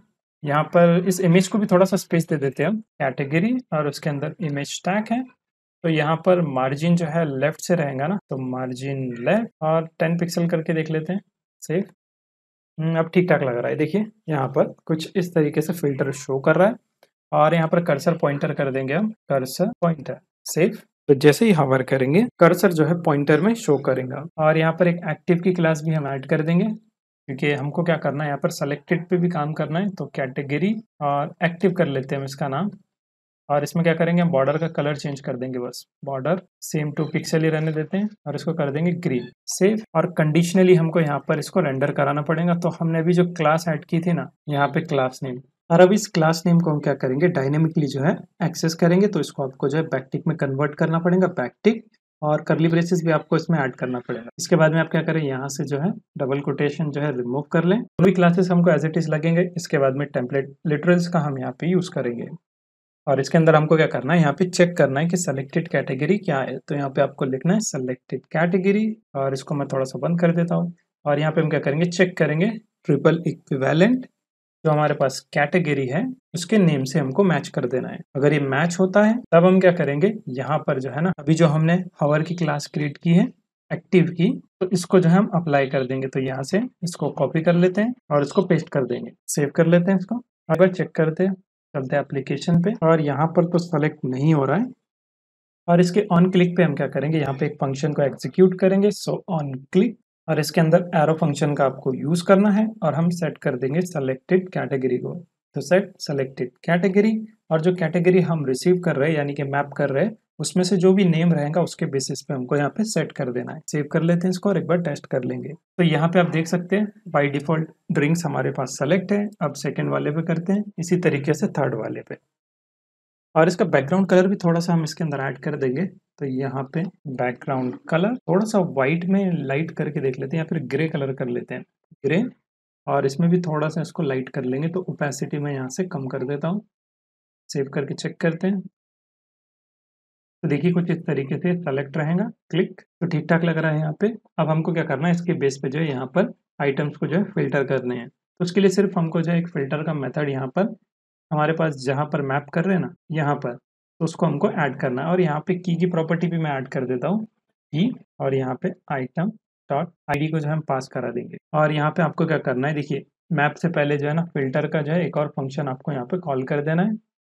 और इस फ़िल्टर के अंदर हम क्या करेंगे, यहाँ पर चेक करेंगे आइटम को तो आई शॉर्टकट में, और इसकी मदद से हम क्या करेंगे, हमारे पास आई डॉट कैटेगरी है, वो इक्विवेलेंट है या नहीं चेक करना है हमको तो I dot category equivalent to selected category बस इतनी सी एक छोटी सी कंडीशन है यहाँ पर, इसके बेस पे आप जो है सॉर्टिंग कर देंगे। चलते वापस एप्लीकेशन पर, और इसको रिफ्रेश कर लेंगे। तो इनिशियली आप देख सकते हैं, हमारे पास तीन ड्रिंक्स हैं और राइस पे क्लिक करेंगे तो यहाँ पर दो राइस हमारे पास शो कर रहा है। इसी तरीके से हम नूडल्स पे क्लिक करते हैं तो यहाँ पर दो नूडल्स हमारे पास शो कर रहा है। तो परफेक्टली हमारे जो है यहाँ पे फ़िल्टर क्रिएट हो चुका है, क्योंकि हमारे पास लेटर क्या है, बहुत सारे इसमें जो है आइटम्स हो सकते हैं। तो इसीलिए हमने यहाँ पे टॉप पे जो फ़िल्टर बना दिया है। अब ये कैटेगरी भी तीन ही है, हो सकता है आप इसको जो है और मॉडिफाई करके इसमें मल्टीपल और कैटेगरीज को जो है ऐड करें। इसीलिए हमने टॉप पे फ़िल्टर रखा है, क्योंकि इसके बेस पे थोड़ा काम हमारा ईजी हो जाएगा। और आइटम्स में जो है सारे आइटम्स हमको देखने मिल जाते हैं। तो यहाँ पर कैटेगरी बेस रहेगा तो इजीली जो हम यहाँ पर ऑर्डर ले पाएँगे। तो अभी हम यहाँ पर लॉगिन और रजिस्टर का पेज जो है क्रिएट कर लेंगे। हालाँकि रजिस्टर पेज की ज़रूरत नहीं है, फिर भी हम यहाँ पर ऐड करने वाले हैं ताकि हम कुछ यूज़र्स को जो है यहाँ पे परमिशन दे पाए। तो इसके लिए आपको क्या करना है, यहाँ पर दो पेजेस क्रिएट करने पड़ेंगे चलते क्लाइंट में और यहाँ से पेजेस के अंदर हम क्या करेंगे न्यू फ़ाइल क्रिएट करेंगे। फ़र्स्ट वन रहेगा रजिस्टर के लिए रजिस्टर डॉट और उसके बाद में एक पेज रहेगा लॉगिन के लिए तो लॉगिन डॉट जे आप चाहे तो आगे पेज भी लिख सकते हैं, इट्स अप टू यू। ये दोनों पेज को हम क्या करेंगे, पहले फंक्शनल कंपोनेंट में कन्वर्ट कर देंगे तो R A F C E React arrow function with export save कर लेते हैं इसको लॉगिन में भी क्रिएट कर लेते हैं सेव और अब हम क्या करेंगे ऐप डॉट जे में इसके लिए राउट क्रिएट करेंगे। तो यहाँ से इसको कॉपी पेस्ट कर लेते हैं और पाथ हम चेंज कर देंगे, पहले रहेगा लॉगिन सेकंड वाला है रजिस्टर के लिए. सो रजिस्टर और यहाँ पर पेज को भी चेंज करना पड़ेगा. लॉगिन के लिए लॉगिन कंपोनेंट सो लॉगिन और मेक श्योर sure आप यहाँ पर सजेशन में से जो है इस पर क्लिक करें तो ऑटो इंपोर्ट भी हो जाएगा कंपोनेंट देख सकते हैं आप. इसी तरीके से रजिस्टर का पेज है. So register control space click on this यहाँ पर कंपोनेंट भी ऑटो इंपोर्ट हो चुका है. सेव कर लेते हैं इसको. और एक बार टेस्ट कर लेंगे कि हमारा राउट क्रिएट हुआ है या नहीं. चाहते एप्लीकेशन पर और यूआरएल में जो है सर्च करके देख लेंगे। पहले रजिस्टर देख रहे हैं, इसीलिए हम रजिस्टर कर लेंगे। रजिस्टर और देख सकते हैं आप रजिस्टर कंपोनेंट शो हो रहा है। अब इसको लेआउट से रैप करने की ज़रूरत नहीं है, क्योंकि रजिस्ट्रेशन के टाइम पे हमको डैशबोर्ड हमारा शो नहीं कराना। तो चलते हैं वापस और रजिस्टर के पेज पे थोड़ा सा काम कर लेंगे। तो यहाँ पे हम क्या करेंगे, सबसे पहले जो है ना, इसको फ्रैगमेंट में कन्वर्ट कर देंगे। तो रिटर्न पूरा ही कट कर देता हूँ मैं पैरेंथिस और M opening and closing tag तो ये हो गया फ्रैगमेंट का सिंथेटिकल शुगर फॉर्म अब इसके अंदर हम क्या करेंगे, यहाँ पर रो ऐड कर लेंगे या फिर डायरेक्टली डिव भी हम यूज़ कर सकते हैं। तो एक डिव ले रहा हूँ मैं क्लास यहाँ पर हम रजिस्टर की कर देता हूँ मैं रजिस्टर और इसको हमको जो है टारगेट करना है। फ़िलहाल मैं क्या करता हूँ, इसके अंदर एक एच ले लेता हूँ। एच और इसका नाम हम रख सकते हैं पी ऐप और इसके अंदर हम एक और जो है H3 ले लेंगे और यहाँ पे मैं लिख लेता हूँ रजिस्टर पेज इसके बाद में हम क्या करेंगे, इसके अंदर फॉर्म को क्रिएट कर लेंगे। पहले सेव कर लेते इतना और चेक करते कैसा दिख रहा है। तो देखिए, यहाँ पे पीओएस ऐप और रजिस्टर पेज आ रहा है। पहले इसको सेंटर कर लेंगे तो कुछ क्लासेस हम पहले ऐड करके चेक कर लेते हैं। डी फ्लेक्स लाइन है। या फिर मैं क्या करता हूँ डायरेक्टली जो है ना, इस रजिस्टर को टारगेट कर लेता हूँ। कॉपी दिस वन और हम इसको सी में टारगेट करेंगे। तो मेन स्टाइल शीट में मैं इसको टारगेट करता हूँ, जो कि इंडेक्स डॉट सी है। यहाँ पे मैं लिख लेता हूँ पहले रजिस्टर पेज और इसको कमेंट बना दूँगा मैं। यहाँ पे हम इसको टारगेट कर लेंगे और यहाँ पे लिख लेता हूँ मैं display flex align items center justify content center और हाइट भी इसको सेट करा देंगे हाइट इसकी hundred view point height save करके इसको एक बार टेस्ट कर लेते हैं। तो देखिए सब कुछ सेंट्रल अलाइन है और इसको जो है ना हम डायरेक्शन इसकी सेट कर देंगे। फ्लेक्स डायरेक्शन कॉलम सेफ़ तो वो कॉलम की तरह ट्रीट होगा। देखिए, सब कुछ सेंटर में, अब यहाँ पे हम क्या करेंगे, एक फॉर्म को क्रिएट कर लेंगे। और मैं क्या करता हूँ, इसको जो है ना, बॉर्डर दे देता हूँ, बॉर्डर, और वन पिक्सल सही रहेगा, one pixel, sorry, one pixel solid, grey colour में दे देते हैं, रिफ्रेश करके इसको एक बार चेक कर लेंगे कैसा दिखता है। तो बॉर्डर तो यहाँ पर बराबर से नहीं दिख रहा है तो अभी हम क्या करेंगे, पहले फॉर्म यहाँ पर ऐड कर देंगे, इसके बाद में जो है इसको और थोड़ा सा डिज़ाइन कर लेंगे। या फिर हम क्या करते हैं, बॉक्स शेडो के लिए कुछ भी सर्च कर सकते हैं design box shadow C S S हमको इफ़ेक्ट मिलने चाहिए। देखिए, यहाँ से कोई भी एक हम कॉपी कर सकते हैं, ये वाला ठीक है। इसको कॉपी किया और यहाँ पर इसको पेस्ट कर देंगे सेव चेक कर लेते हैं एप्लीकेशन को। और यहाँ पे तो कोई भी इफ़ेक्ट हमको देखने नहीं मिला है। आगे इंपॉर्टेंट लगा के देख लेता हूँ मैं। यहाँ पे तो इफ़ेक्ट हमको नहीं मिला। तो अब यहाँ पे हम क्या करेंगे? फॉर्म को क्रिएट करेंगे। तो फॉर्म के लिए हमारे पास ऑलरेडी हमने आइटम पेज में जो फॉर्म का यूज़ किया था तो उसी को जो है हम यहाँ पे कंटिन्यू करेंगे। सो so, यहाँ पे आई थिंक हमने हमने क्रिएट किया था ना? देखिए यहाँ पर कहीं था। मॉडल के अंदर किया था। देखिए ये रहा। तो इसी फॉर्म को हम कंटिन्यू कर सकते हैं। कहाँ तक के है? चेक कर लेते हैं। देखिए यहाँ तक के फॉर्म है। कॉपी और इसको यहाँ पर पेस्ट कर देंगे। और फॉर्म को हमको इंपोर्ट करना पड़ेगा। तो मैं एम को यहाँ डबल से लिख के कंट्रोल स्पेस करूँगा। सजेशन में शो करेंगे एंड डिज़ाइन तो इस पर क्लिक करूँगा तो फॉर्म जो है ऑटोमेटिकली एंड डिज़ाइन में से आ जाएगा। और यहाँ पर इनिशियल वैल्यूज़ नहीं चाहिए। इसको रिमूव कर लेंगे। और हैंडल सबमिट जो है क्रिएट करना पड़ेगा। तो टॉप पे हम क्या करते हैं? यहाँ पर क्रिएट कर लेंगे const handle submit equal to arrow function console dot log कर लेंगे जो भी वैल्यूज़ आ रही है। तो वैल्यू और वैल्यू को एक्सपेक्ट भी करेंगे। क्योंकि एंड डिज़ाइन में हमको डायरेक्टली मिलती है वैल्यूज़ और इनपुट को भी हमको ऐड करना पड़ेगा। तो फॉर्म के बाद में मैं क्या करता हूँ? यहाँ पे इनपुट ऐड कर देता हूँ। इनपुट और कुछ एरर है क्या? सेलेक्ट तो सेलेक्ट तो हमको चाहिए नहीं तो फिर इसको लिखने का फ़ायदा नहीं है। सिर्फ़ एक बटन बचता है तो बटन को भी हम यहाँ पे ऐड कर देंगे बटन और यहाँ पर सब कुछ आ चुका है सेव कर लेते हैं पहले इसको, फिर हम इसके अंदर और चेंजेस कर लेंगे। चेक कर लेते हैं इसको एक बार। पेज को रिफ्रेश कर लेंगे तो देखिए यहाँ पर कुछ इस तरीके से आ रहा है। नेम प्राइस इमेज यू और इसकी विड भी हम सेट कर सकते हैं तो index dot C S S में। विथ हम यहाँ पर सेट कर लेंगे। विथ आई थिंक 400 पिक्सल ठीक रहेगा। सेव ओके विथ दे देंगे तो फिर ये बराबर से प्रॉपर्टी काम नहीं करेंगे। तो विथ हम एज इट इज़ उसकी रहने देते हैं। विथ हमको इनपुट की चेंज करना पड़ेगी। तो ये इनपुट है ना। यहाँ पर इसकी इनपुट को टारगेट करके एक बार देख लेते हैं हम। हमारे पास रजिस्टर है और इसके अंदर है इनपुट इसकी जो विथ रखेंगे हम 400 पिक्सल करके एक बार देख ही लेते हैं ना। काम करा तो ठीक, नहीं तो कोई दिक्कत नहीं। तो देखिए, बराबर से काम किया इसने 400 पिक्सल अब ठीक ठाक लग रहा है और हम जो है इसमें चेंजेस कर लेंगे पहले रजिस्टर और यहाँ पर रजिस्टर पेज है, यहाँ पे नेम है। तो नेम तो चाहिए, उसके बाद में प्राइस नहीं रहेगा। यहाँ पे रहेगा यूज़र आईडी और यहाँ पर लेबल भी रहेगा यूज़र आईडी इमेज नहीं रहेंगी, यहाँ पे रहेगा पासवर्ड ऑल्सो यहाँ पे भी हमको पासवर्ड करना पड़ेगा पासवर्ड मेक श्योर स्पेलिंग सही लिखे, क्योंकि यहाँ पर ये जो नेम की फ़ील्ड है डायरेक्ट डेटाबेस से इंटरेक्ट करती है। और यहाँ पर देखिए जस्टिफाई कंटेंट एंड है ना तो इसको बिटवीन कर देता हूँ मैं। बिटवीन और इसके अंदर एक लिंक भी ऐड कर देंगे तो लिंक हमको ऊपर इंपोर्ट करना पड़ेगा। Import link from React router DOM और यहाँ पर लिंक कंपोनेंट में ऐड कर देता हूँ। अब लिंक हम क्यों ऐड कर रहे हैं? देखिए, मैं बता देता हूँ आपको। हम पहले एक पी टैग में इसको रैप कर लेंगे। पी टैग और इसके अंदर जो है, मैं लिंक को रैप कर लेता हूँ। यहाँ पे पहले मैं लिख लेता हूँ टैक्स ऑलरेडी रजिस्टर प्लीज़ और यहाँ पर इसके अंदर हम क्या करेंगे? लॉग इन हेयर ऐड कर देंगे। सो so, यहाँ पे आपको लिखना है लॉग इन हेयर ऑल्सो हम क्या करेंगे? यहाँ पे टू की प्रॉपर्टी ऐड कर देंगे और इसको रिडायरेक्ट करेंगे लॉग इन के ऊपर। सेव कर लेते हैं इसको। और एक बार देख लेते कैसा दिख रहा है। और यहाँ पर सेव के बदले हम करेंगे रजिस्टर और कुछ है क्या चेंज करने के लिए? आई डोंट थिंक तो देखिए यहाँ पर कुछ इस तरीके से शो करेंगे और थोड़ा सा स्पेस भी दे देते हैं सेव तो यहाँ पे आप देख सकते हैं POS application register page name है यूज़र आईडी है पासवर्ड है और ऑलरेडी रजिस्टर है। और लॉगिन पे क्लिक करेंगे तो देखिए यहाँ पे रिडायरेक्ट होगा लॉगिन पेज पे। अभी ये भी पेज हमको क्रिएट करना है, लेकिन यहाँ पर हमारा रजिस्टर का पेज तो सक्सेसफुली क्रिएट हो चुका है। इसके वैल्यूज़ को हम जो है चेक कर सकते हैं।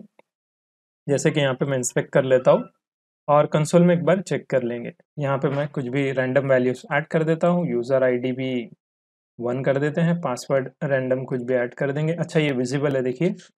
इसको चेंज करना पड़ेगा रजिस्टर तो देखिए, यहाँ पे आ रहा है बराबर से डेटा तो यहाँ पे इनपुट कहाँ है? पासवर्ड का ये वाला इनपुट है। टाइप इसका पासवर्ड कर लें।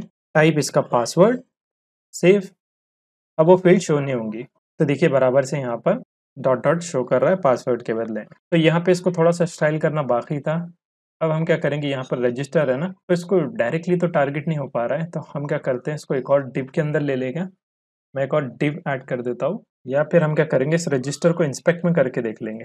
अगर इंस्पेक्ट में होता है तो फिर इससे थोड़ा सा बेसिक आइडिया हमको मिल जाएगा, और रजिस्टर के अंदर हम क्या करते हैं, यहाँ पे बॉर्डर ऐड कर देंगे border one pixel solid black important sorry important यहाँ तो ज़रूरत नहीं पड़ती इम्पोर्टेंट की तो बॉर्डर यहाँ पर ऐड नहीं हो रहा है। डायरेक्टली जो है यहाँ पर चेंजेस नहीं हो पा रहा है इसके अंदर तो हमको जो है कुछ ना कुछ और चीज़ यहाँ पर देखनी पड़ेगी। जैसे कि हम क्या करेंगे, देखिए, इस रजिस्टर के बाद में एक और टिप ले लेंगे। सो यहाँ पे मैं किसकी क्लास रख देता हूँ। रजिस फॉर्म और सब कुछ हम क्या करेंगे, इसके अंदर रैप कर लेंगे। सो यहाँ से मैं कट करके डिव को एंड में पेस्ट कर देता हूँ और इस रजिस्टर फॉर्म को जो है टारगेट करके देख लेंगे इंडेक्स एस में dot register form, background change करके देखते हैं पहले। बैकग्राउंड कलर और इसको जो है ग्रे कलर कर देंगे हम, ग्रे। लाइट ग्रे कर लेते हैं और इसको थोड़ा सा डिम कर देंगे सेफ़ अच्छा ठीक है, यहाँ पे इफ़ेक्ट हमको मिल रहा है। तो अब ये डायरेक्टली टारगेट हो सकता है तो हम क्या करेंगे पैडिंग ऐड कर देंगे इसके अंदर।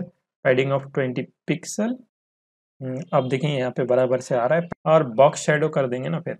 बॉक्स शेडो के लिए हम क्या करते हैं गूगल से जो है सी एस एस कॉपी कर लेंगे। कोई भी अगर अच्छा मिलता है तो ले लेंगे कॉपी कर लेंगे कोड को। और यहाँ पर देखिए 93 डिज़ाइन है। तो इन्हीं में से कोई भी एक कॉपी कर लेंगे। इसको कॉपी कर लेते हैं और यहाँ पर ऐड कर देंगे। पेस्ट सेव तो देखिए कुछ इस तरीके से ये शो कर रहा है। ठीक ठाक लग रहा है वैसे। और इस कलर को ना हम चेंज कर लेंगे। कलर ये वाला नहीं चाहिए। थीम का कलर ब्लूइश में है। तो ब्लू में कोई एक कलर ले लेंगे। ये वाला लाइट सेफ़ ठीक ठाक है यहाँ पर। देखिए, कुछ इस तरीके से ये दिख रहा है और ये पीओएस एप्लीकेशन को सेंटर में करना पड़ेगा। जो हेडिंग है ना आई थिंक ये, देखिए एच वन है तो इस एच वन को हमको टारगेट करना पड़ेगा यहाँ पर। रजिस्टर सॉरी यहाँ से रजिस्टर फॉर्म को कॉपी करके इसके अंदर हमारे पास है एच वन इस एच वन को हम टेक्स क्या कर देंगे? सेंटर कर देंगे। तो टेक्स अलाइन सेंटर और क्या कर सकते हैं हम? इसका जो बैकग्राउंड कलर है ना, उसको चेंज कर देंगे बैकग्राउंड कलर और इसको कर देंगे ब्लू ब्लू में कोई और ऑप्शन अवेलेबल है क्या? चेक कर लेते हैं। तो डार्क वाला ले लेंगे, ये डार्क वाला और इसका जो कलर है, उसको कर देंगे व्हाइट और थोड़ी सी पैडिंग फिर ऐड करना पड़ेगी पैडिंग टेंसल में भी इनफ सेफ़ तो देखिए, यहाँ पे आ रहा है पीओएस एप्लीकेशन हालाँकि डिज़ाइन थोड़ा सा वियर्ड है, लेकिन ठीक ठाक है। आप अपने हिसाब से भी इसको एडजस्ट कर सकते हैं और रजिस्टर पेज है। तो रजिस्टर पेज को भी हम टारगेट कर लेंगे। सो वापस से हम क्या करते हैं? इस फॉर्म के अंदर हमारे पास है एच थ्री एच थ्री में जो है, इसका कलर हम सिर्फ़ चेंज कर देंगे। कलर और इसको कर देंगे ब्लू ब्लू में भी वापस से हम डार्क वन इसको कर देंगे। और यहाँ पे हमको क्या करना है? इसको जो है अलाइन कर देना है। तो टेक्स्ट अलाइन इसको कर देंगे हम सेंटर सेफ़ तो देखिए, यहाँ पर कुछ इस तरीके से शो कर रहा है। रजिस्टर पेज और बाकी की डिज़ाइनिंग आप अपने हिसाब से भी कर सकते हैं। तो बेसिक डिज़ाइनिंग यहाँ पर हमारी क्रिएट हो चुकी है P app register page, name add करना है, फिर यहाँ पर यूज़र आईडी है, फिर यहाँ पर पासवर्ड है और उसके बाद में रजिस्टर पेज है। तो यहाँ पर अभी हमारे पास बैकेंड नहीं है तो हम जो है इसके ऊपर फ़ंक्शन क्रिएट नहीं करेंगे।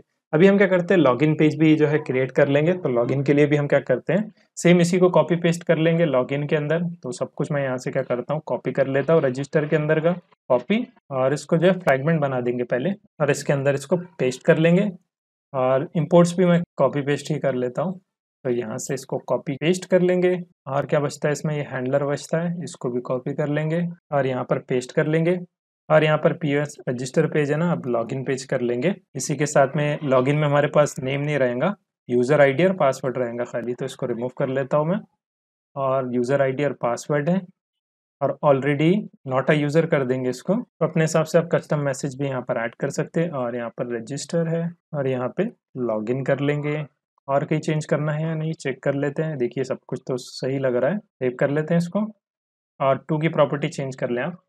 यहाँ पे देखिए टू पे लॉगिन है ना, इसको आपको रजिस्टर पे रिडायरेक्ट करना है। सेव चलते एप्लीकेशन पे वापस और इसको एक बार रिफ्रेश कर लेंगे। और यहाँ पे मैं लॉगिन हियर पर क्लिक करता हूँ तो देखिए यहाँ पे हम लॉगिन पेज पे आ चुके हैं। यहाँ पर यूज़र आईडी और पासवर्ड और not a user please register here इस पर क्लिक करेंगे तो रजिस्टर पेज पे हम रिडायरेक्ट हो चुके हैं। तो सक्सेसफुली हमारे पास दोनों फॉर्म्स जो है क्रिएट हो चुके हैं। अब हमको क्या करना है, यहाँ पर जो है बैकएंड पे जो है इसका राउट क्रिएट करना है तो पहले हमको मॉडल भी लगेगा। तो मॉडल हम क्रिएट कर लेंगे, उसके बाद में जो है इसका एंड पॉइंट क्रिएट करेंगे और फिर इसको बाइंड करना पड़ेगा इन दोनों फ़ंक्शंस के साथ में। तो एक मॉडल हमारे पास ऑलरेडी है तो हम उसी को कॉपी पेस्ट करके एक न्यू मॉडल क्रिएट करेंगे यूज़र के लिए।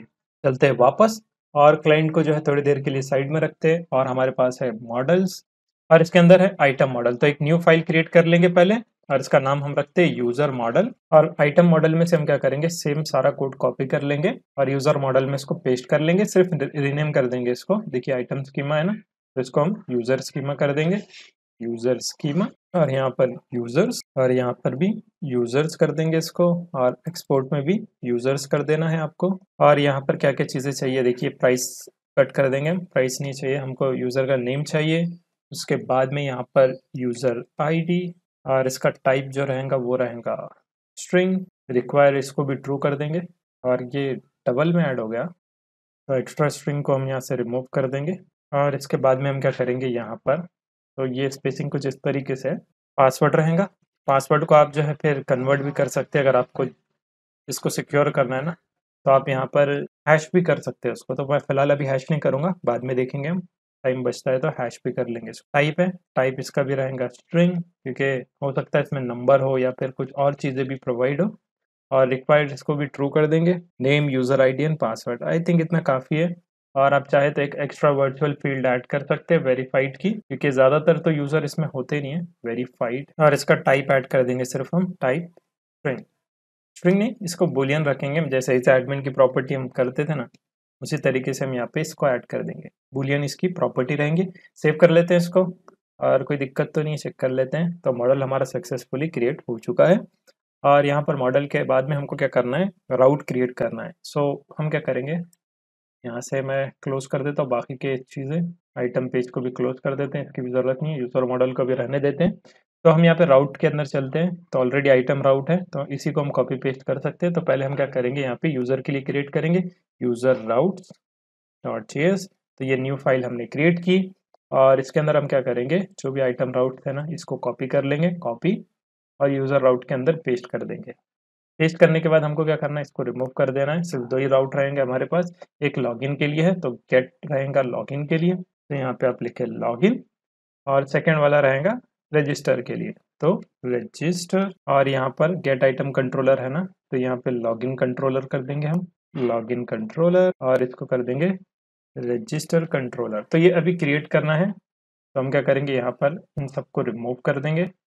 Paste login controller register controller इसको भी क्रिएट करना है, वरना इंपोर्ट अभी सेव करेंगे तो फिर एरर आएगा।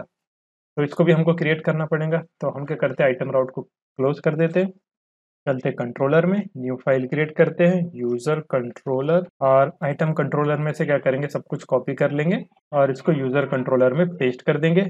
जो जो चीज़ें चाहिए, वही चीज़ें हम अभी फ़िलहाल के लिए रखेंगे। जैसे कि हमको सिर्फ़ लॉगिन और रजिस्टर के लिए क्रिएट करना है तो दो ही रखेंगे हम टॉप पे। पहला गेट है ना, और यहाँ पर आइटम मॉडल के बदले हम क्या करेंगे, इसको जो है यूज़र मॉडल कर देंगे। यूज़र मॉडल और यहाँ पर आइटम मॉडल के बदले हमारे पास रहेगा। यूज़र मॉडल तो थोड़ा फास्ट हो रहा होगा तो आप आई नो बेसिक तो आपको पता होगा, इसलिए थोड़ा सा हम फास्ट फॉरवर्ड देख रहे हैं। और यहाँ पर कंट्रोलर का नाम चेंज कर देंगे। देखिए राउट में हमारे पास है लॉगिन कंट्रोलर तो इसको मैं क्या करता हूँ कॉपी कर लेता हूँ और आइटम कंट्रोलर को चेंज करके अब हम क्या करेंगे, इसको कर देंगे यूज़र कंट्रोलर और यहाँ पर आपको करना है यूज़र कंट्रोलर और यहाँ पे मैं लिखता हूँ लॉगिन यूज़र और यहाँ पे रजिस्टर कर देंगे। कुछ भी ज़्यादा इसमें काम नहीं है बेसिक हमको चेंजेस करने इसीलिए हमने कॉपी पेस्ट किया है। और लास्ट में देखिए हम क्या करेंगे? लॉगिन कंट्रोलर को भी पेस्ट कर देंगे। सेकेंड वाला हमने क्रिएट किया था, एक बार चेक कर लेते हैं। रजिस्टर कंट्रोलर है तो इसको भी हमको क्रिएट करना पड़ेगा। इसको रिनेम कर देंगे और नीचे जो है पास करा देंगे। तो देख सकते हैं आप राउट में जो है ये बराबर से अनेबल हो जाएगा। तो यूज़र राउट को आप सेव कर सकते हैं, कोई दिक्कत नहीं है और यहाँ पर अब हमको क्या करना है? इसके अंदर चेंजेस करने हैं। तो यहाँ पर देखिए, हम क्या कर रहे हैं? इसमें अवेट कर रहे हैं आइटम मॉडल से। तो इसको अब हमको यूज़र मॉडल कर देना है। यूज़र मॉडल और यहाँ पर फाइंड है ना तो पहले लॉगिन का मैं आपको बता देता हूँ। हम क्या कर रहे हैं, यहाँ पे एसिंग इसको बना रहे हैं। अवेट हमको क्या करना है? यूज़र मॉडल में से सिर्फ़ एक ही फाइंड करना पड़ेगा। तो फाइंड वन कर देंगे और फाइंड वन के अंदर हमको क्या करना है, यहाँ पर चेक करना है यूज़र की आईडी सो यूज़र आईडी और हम क्या करेंगे, पहले डी स्ट्रक्चर कर लेते हैं ये चीज़ों को। बॉडी में से कौन? Destructure from request dot body इसमें से हमको क्या मिलने वाला है? यूज़र आईडी मिलेंगी और पासवर्ड मिलेगा। तो ये पासवर्ड और यूज़र आईडी दोनों को हम जो है एक्सेस कर सकते हैं। तो फाइंड में क्या करेंगे यूज़र आईडी और पासवर्ड जो है ऐड कर देंगे पासवर्ड और उसके बाद में वेरीफाइड की एक फ़ील्ड बनाई थी ना वेरीफाइड तो चेक कर लेते हैं मॉडल के अंदर। मेक श्योर स्पेलिंग सही हो। और देखिए यहाँ पे जो है ना इक्वल ऐड हो गया, इसको कोलन कर ले। सेफ़ और यहाँ पर हमको क्या करना है, इसको जो है पास कराना है। तो बाय डिफ़ॉल्ट हम क्या करेंगे, इसको फॉल्स कर लेंगे। अगर हमको ऐड करना है तो आई थिंक ये वर्चुअल फ़ील्ड हमको ज़रूरत तो नहीं पड़ेगी, फिर भी हम इसको ऐड करके रख रहे हैं। इनकेस हमको कुछ एडमिन की तरह इसमें ऑपरेशन परफॉर्म करने तब हम जो है इसकी मदद से कर सकते हैं। और इनिशियली पहला है ना तो पहले लॉगिन को मैं जो है ट्रू कर देता हूँ वेरीफाइड ट्रू और रिस्पॉन्स में देखिए आइटम है ना तो यहाँ पे मैं यूज़र कर देता हूँ इसको, और इसके अंदर भी यूज़र हम पास करा देंगे। और कोई भी एरर आता है तो एज इट इज़ इसको हम कॉल कर सकते हैं। आई थिंक इतना काफ़ी है इसमें, और कुछ हमको चेंजेस नहीं करना। है या फिर यूज़र के बदले हम क्या करेंगे? एक मैसेज ऐड कर देंगे लॉगिन सक्सेस ज़्यादा बेटर रहेगा ये लॉगिन सक्सेस और रजिस्टर के लिए भी हमको क्या करना है? देखिए न्यू आइटम है ना तो न्यू यूज़र कर सकते हैं हम यहाँ पे। न्यू यूज़र और यहाँ पर यूज़र मॉडल का इस्तेमाल करेंगे यूज़र मॉडल और इसके अंदर हमको क्या करना है? सबसे पहले तो हमारे पास जो भी रिक्वेस्ट डॉट बॉडी उसमें से डेटा को गेट करना है तो ऑलरेडी गेट है यहाँ पे। फिर यहाँ पर न्यू यूज़र हम क्या करेंगे? सेव करा देंगे न्यू यूज़र को। और आई डोंट थिंक यहाँ पर कुछ और ज़रूरत है चेंज करने की। तो यहाँ पर सिर्फ़ हमको ये चेंज करना है। न्यू यूज़र एडिड सक्सेसफुली और इसमें कुछ भी चेंजेस की ज़रूरत नहीं हमको। हम इसको भी सेव कर सकते हैं। और कंसोल चेक कर लेंगे एक बार कोई एरर है या नहीं। तो यहाँ पे देखिए हमारा सर्वर जो है रिस्टार्ट हो रहा है। और सब कुछ तो सही है। अब हम इसको जो है हमारे बैकएंड पे फ्रंट एंड पे जो है यूज़ कर सकते हैं। और टेस्ट कर लेंगे कि ये काम करता है यानी तो यहाँ पे हमारा सर्वर रिस्टार्ट हो चुका है। चलते हैं अब फ्रंट एंड पे। तो हमारे कंट्रोलर का जो है काम हो चुका है तो इसको क्लोज कर देंगे। अब चलते हैं रजिस्टर पेज में और हमारे पास है हैंडल सबमिट तो इस पर हमको काम करना है। तो ऑलरेडी हमने जो है आइटम पेज में इसका यूज़ किया था फ़ंक्शन का। तो हम क्या कर सकते हैं, इसको यूज़ कर सकते हैं। देखिए हैंडल सबमिट और ट्राई कैच ब्लॉक हमने यूज़ किया था ना। इसी को मैं कॉपी करूँगा। देखिए कॉपी पेस्ट कर रहा हूँ क्योंकि थोड़ा टाइम बचे, इतना टाइम नहीं है अभी कि मैं कंप्लीट इसको एक्सप्लेन कर पाऊँ। तो इसीलिए जो है, मैं इसको कॉपी पेस्ट कर रहा हूँ। इसके अंदर हमने देखिए ट्राई कैच ब्लॉक का यूज़ किया है। फ़र्स्ट में हम डिस्पैच कर रहे हैं लोडिंग को। उसके बाद में यहाँ पर हम अवेट कराने वाले और एक्जियोस को इम्पोर्ट करना पड़ेगा। तो यहाँ पे हम इम्पोर्ट कर देंगे एक्सियोस फ्रॉम एक्सियोस ऑल्सो इस फ़ंक्शन को हमको एसिंग बनाना पड़ेगा। सो एसिंग फ़ंक्शन और डिस्पैच भी हमको लगेगा तो डिस्पैच भी इम्पोर्ट कर लेते हैं। Import use dispatch from React reader also इसका एक वेरिएबल भी हमको क्रिएट करना पड़ेगा तो यहाँ पर हम क्या करेंगे? एक वेरिएबल क्रिएट कर लेंगे। Dispatch equal to use dispatch इसका वेरिएबल भी क्रिएट हो चुका है और कुछ चीज़ें हमको जो है एंड डिज़ाइन में से भी इम्पोर्ट करना है फ्रॉम एंड टी और यहाँ पर मैसेज कंपोनेंट है सो so, मैसेज और यहाँ पर सेट ऑल आइटम्स नहीं चाहिए हमको तो ये फ़ंक्शन निकाल देंगे। मॉडल पॉपअप भी हमको नहीं चाहिए इसको भी रिमूव कर लेंगे।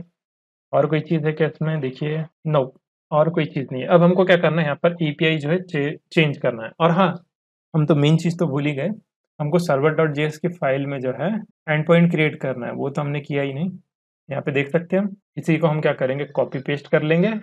और यहाँ पर जो रहेगा अब रहेगा यूज़र्स के लिए यूज़र्स और इसके बाद में यूज़र का राउट हमको ऐड कर देना है। सेव कर लेते हैं इसको।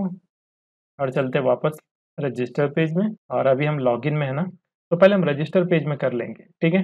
क्योंकि रजिस्टर में हम एक यूज़र को ऐड करेंगे, फिर उसको जो है लॉगिन करा देंगे। तो एज इट इज़ सेम ही फ़ंक्शन रहेगा, ज़्यादा कुछ इसमें भी चेंजेस नहीं देखने मिलेंगे। अब लॉगिन में आ ही चुके हैं तो हम क्या करेंगे? यहाँ पर लॉगिन कर ही लेंगे। यहाँ पर A P I slash user है यूज़र्स स्लैश लॉगिन है, और यहाँ पर यूज़र लॉगिन सक्सेसफुली और नेविगेट का भी इस्तेमाल कर लेंगे तो लिंक के बाद में नेविगेट फ़ंक्शन आपको ऐड कर देना है। और नेविगेट नहीं यूज़ नेविगेट है, क्योंकि वर्जन सिक्स है। और इसका एक वेरिएबल हमको क्रिएट करना पड़ेगा कॉन्स्ट नेविगेट यूज़ नेविगेट और हम क्या करेंगे, जैसे सक्सेस कॉल होगा ना तो नेविगेट कर देंगे इसको डैशबोर्ड पेज पे। तो होम पेज पे हमारा डैशबोर्ड है, और एरर में एज इट इज़ सेम रहेगा, और रिस्पॉन्स की ज़रूरत नहीं है इसमें। और आई थिंक ये काम करेगा। चेक कर लेते हैं। वैल्यूज़ जो है हमको पास नहीं कराना इसमें। डायरेक्टली हमारे पास क्या रहेगा? देखिए, ये जो टाइप है ना पासवर्ड और यूज़र आईडी इसके बेस पे ये कर लेगा। सो मेक श्योर ये नेम की फ़ील्ड जो है ना, आपके मॉडल से मैच करे, वरना फिर ये लॉगिन नहीं होगा। सेव कर लेते हैं इसको। लॉगिन पेज हमारा सक्सेसफुली क्रिएट हो चुका है। इसमें अभी कोई भी दिक्कत हमको देखने नहीं मिलेंगी। अब हम क्या करेंगे? देखिए, यहाँ पर सेम जो है ना ट्राई कैच ब्लॉक को फिर से कॉपी कर लेंगे और अभी पोस्ट के लिए देखना है हमको। तो इसको हम पोस्ट कर देंगे, क्योंकि हम क्या कर रहे हैं? डेटा भेज रहे हैं ना। इसको पोस्ट कर लेंगे और इसको भी पोस्ट कर लेंगे। अब ठीक है? दोनों भी पोस्ट रहेंगे क्योंकि गेट नहीं कर रहे हैं हम इसमें से। दोनों में चीज़ों को भेज रहे हैं यूज़र की डिटेल्स को।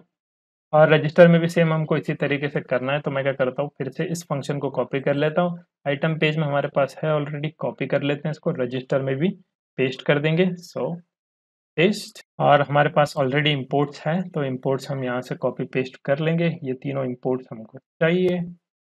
कॉपी कर लेते हैं। रजिस्टर पेज में इसको पेस्ट कर लेंगे। तो इंपोर्ट्स हमारे सारे हो चुके हैं कंप्लीट और क्या यहाँ पर नेविगेट और ये डिस्पैच का जो है ना वेरिएबल इसको भी हमको ऐड करना है। पेस्ट और यहाँ पर देखिए अब वेट है। तो वैल्यूज़ को चेंज कर देंगे हम। तो यहाँ पे ये जो एंड पॉइंट है वो रहेगा यूज़र्स और यहाँ पर रजिस्टर का एंड पॉइंट है। वैल्यूज़ एज इट इज़ हम इसमें पास कराने वाले हैं और शो लोडिंग तो रहेगा। इसमें अवेट करना है, हमको पोस्ट करना है ना डायरेक्ट तो डायरेक्टली हम उसको जो है अवेट करा देंगे। रिस्पॉन्स में हम कुछ नहीं भेजने वाले और इसको एसिंक कर लें फ़ंक्शन को। एसिंक और ये दोनों चीज़ें हमको नहीं चाहिए। गेट ऑल आइटम्स और पॉपअप और यहाँ पर हम क्या करेंगे? रजिस्टर सक्सेसफुली कर लेंगे और इसको सेव कर लेते हैं। आई थिंक ये काम करना चाहिए। नेविगेट पे हम क्या करेंगे? इसको लॉगिन पेज पे नेविगेट करा देंगे। तो यहाँ पे navigate to slash login save कर लेते हैं इसको। कोई दिक्कत है क्या? चेक कर लेते कोई एरर कंसोल भी एक बार चेक कर लेंगे। ऐप क्रैश हो चुकी है, okay? Item schema is not defined कहाँ पर? यूज़र मॉडल में, ओके? यूज़र मॉडल एक बार चेक कर लेते हैं। यूज़र्स अच्छा यहाँ पे देखिए आइटम स्कीमा हो गया ना।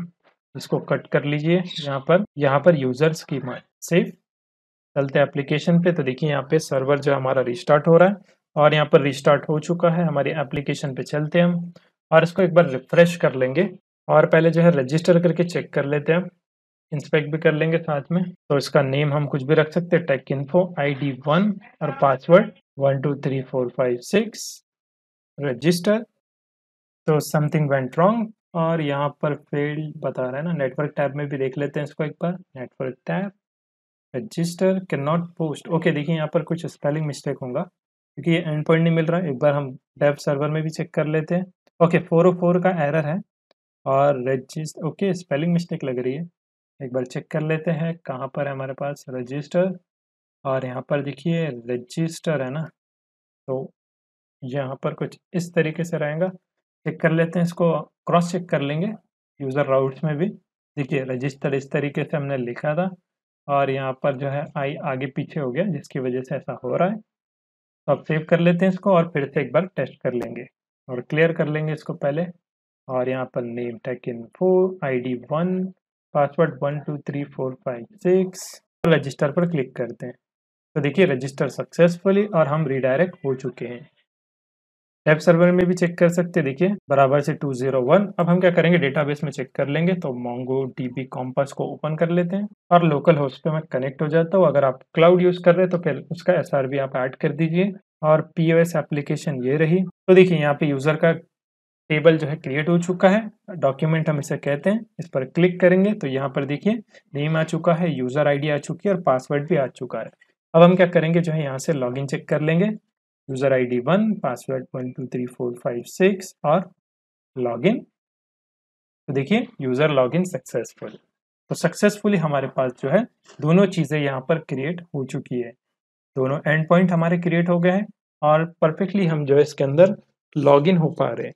लेकिन इसमें एक और प्रॉब्लम क्या है? जैसे मैं यहाँ पर स्लैश लॉगिन लिखता हूँ तो मैं फिर से लॉगिन पेज पे आ गया। बिहेवियर हमको नहीं चाहिए, हमको हमारे राउट्स को जो है प्रोटेक्ट करना है। आप चाहे तो उसको रिडक्स में भी एक अलग से स्टेट बना के कर सकते हैं, लेकिन हम यहाँ पे लोकल स्टोरेज का भी यूज़ कर सकते हैं।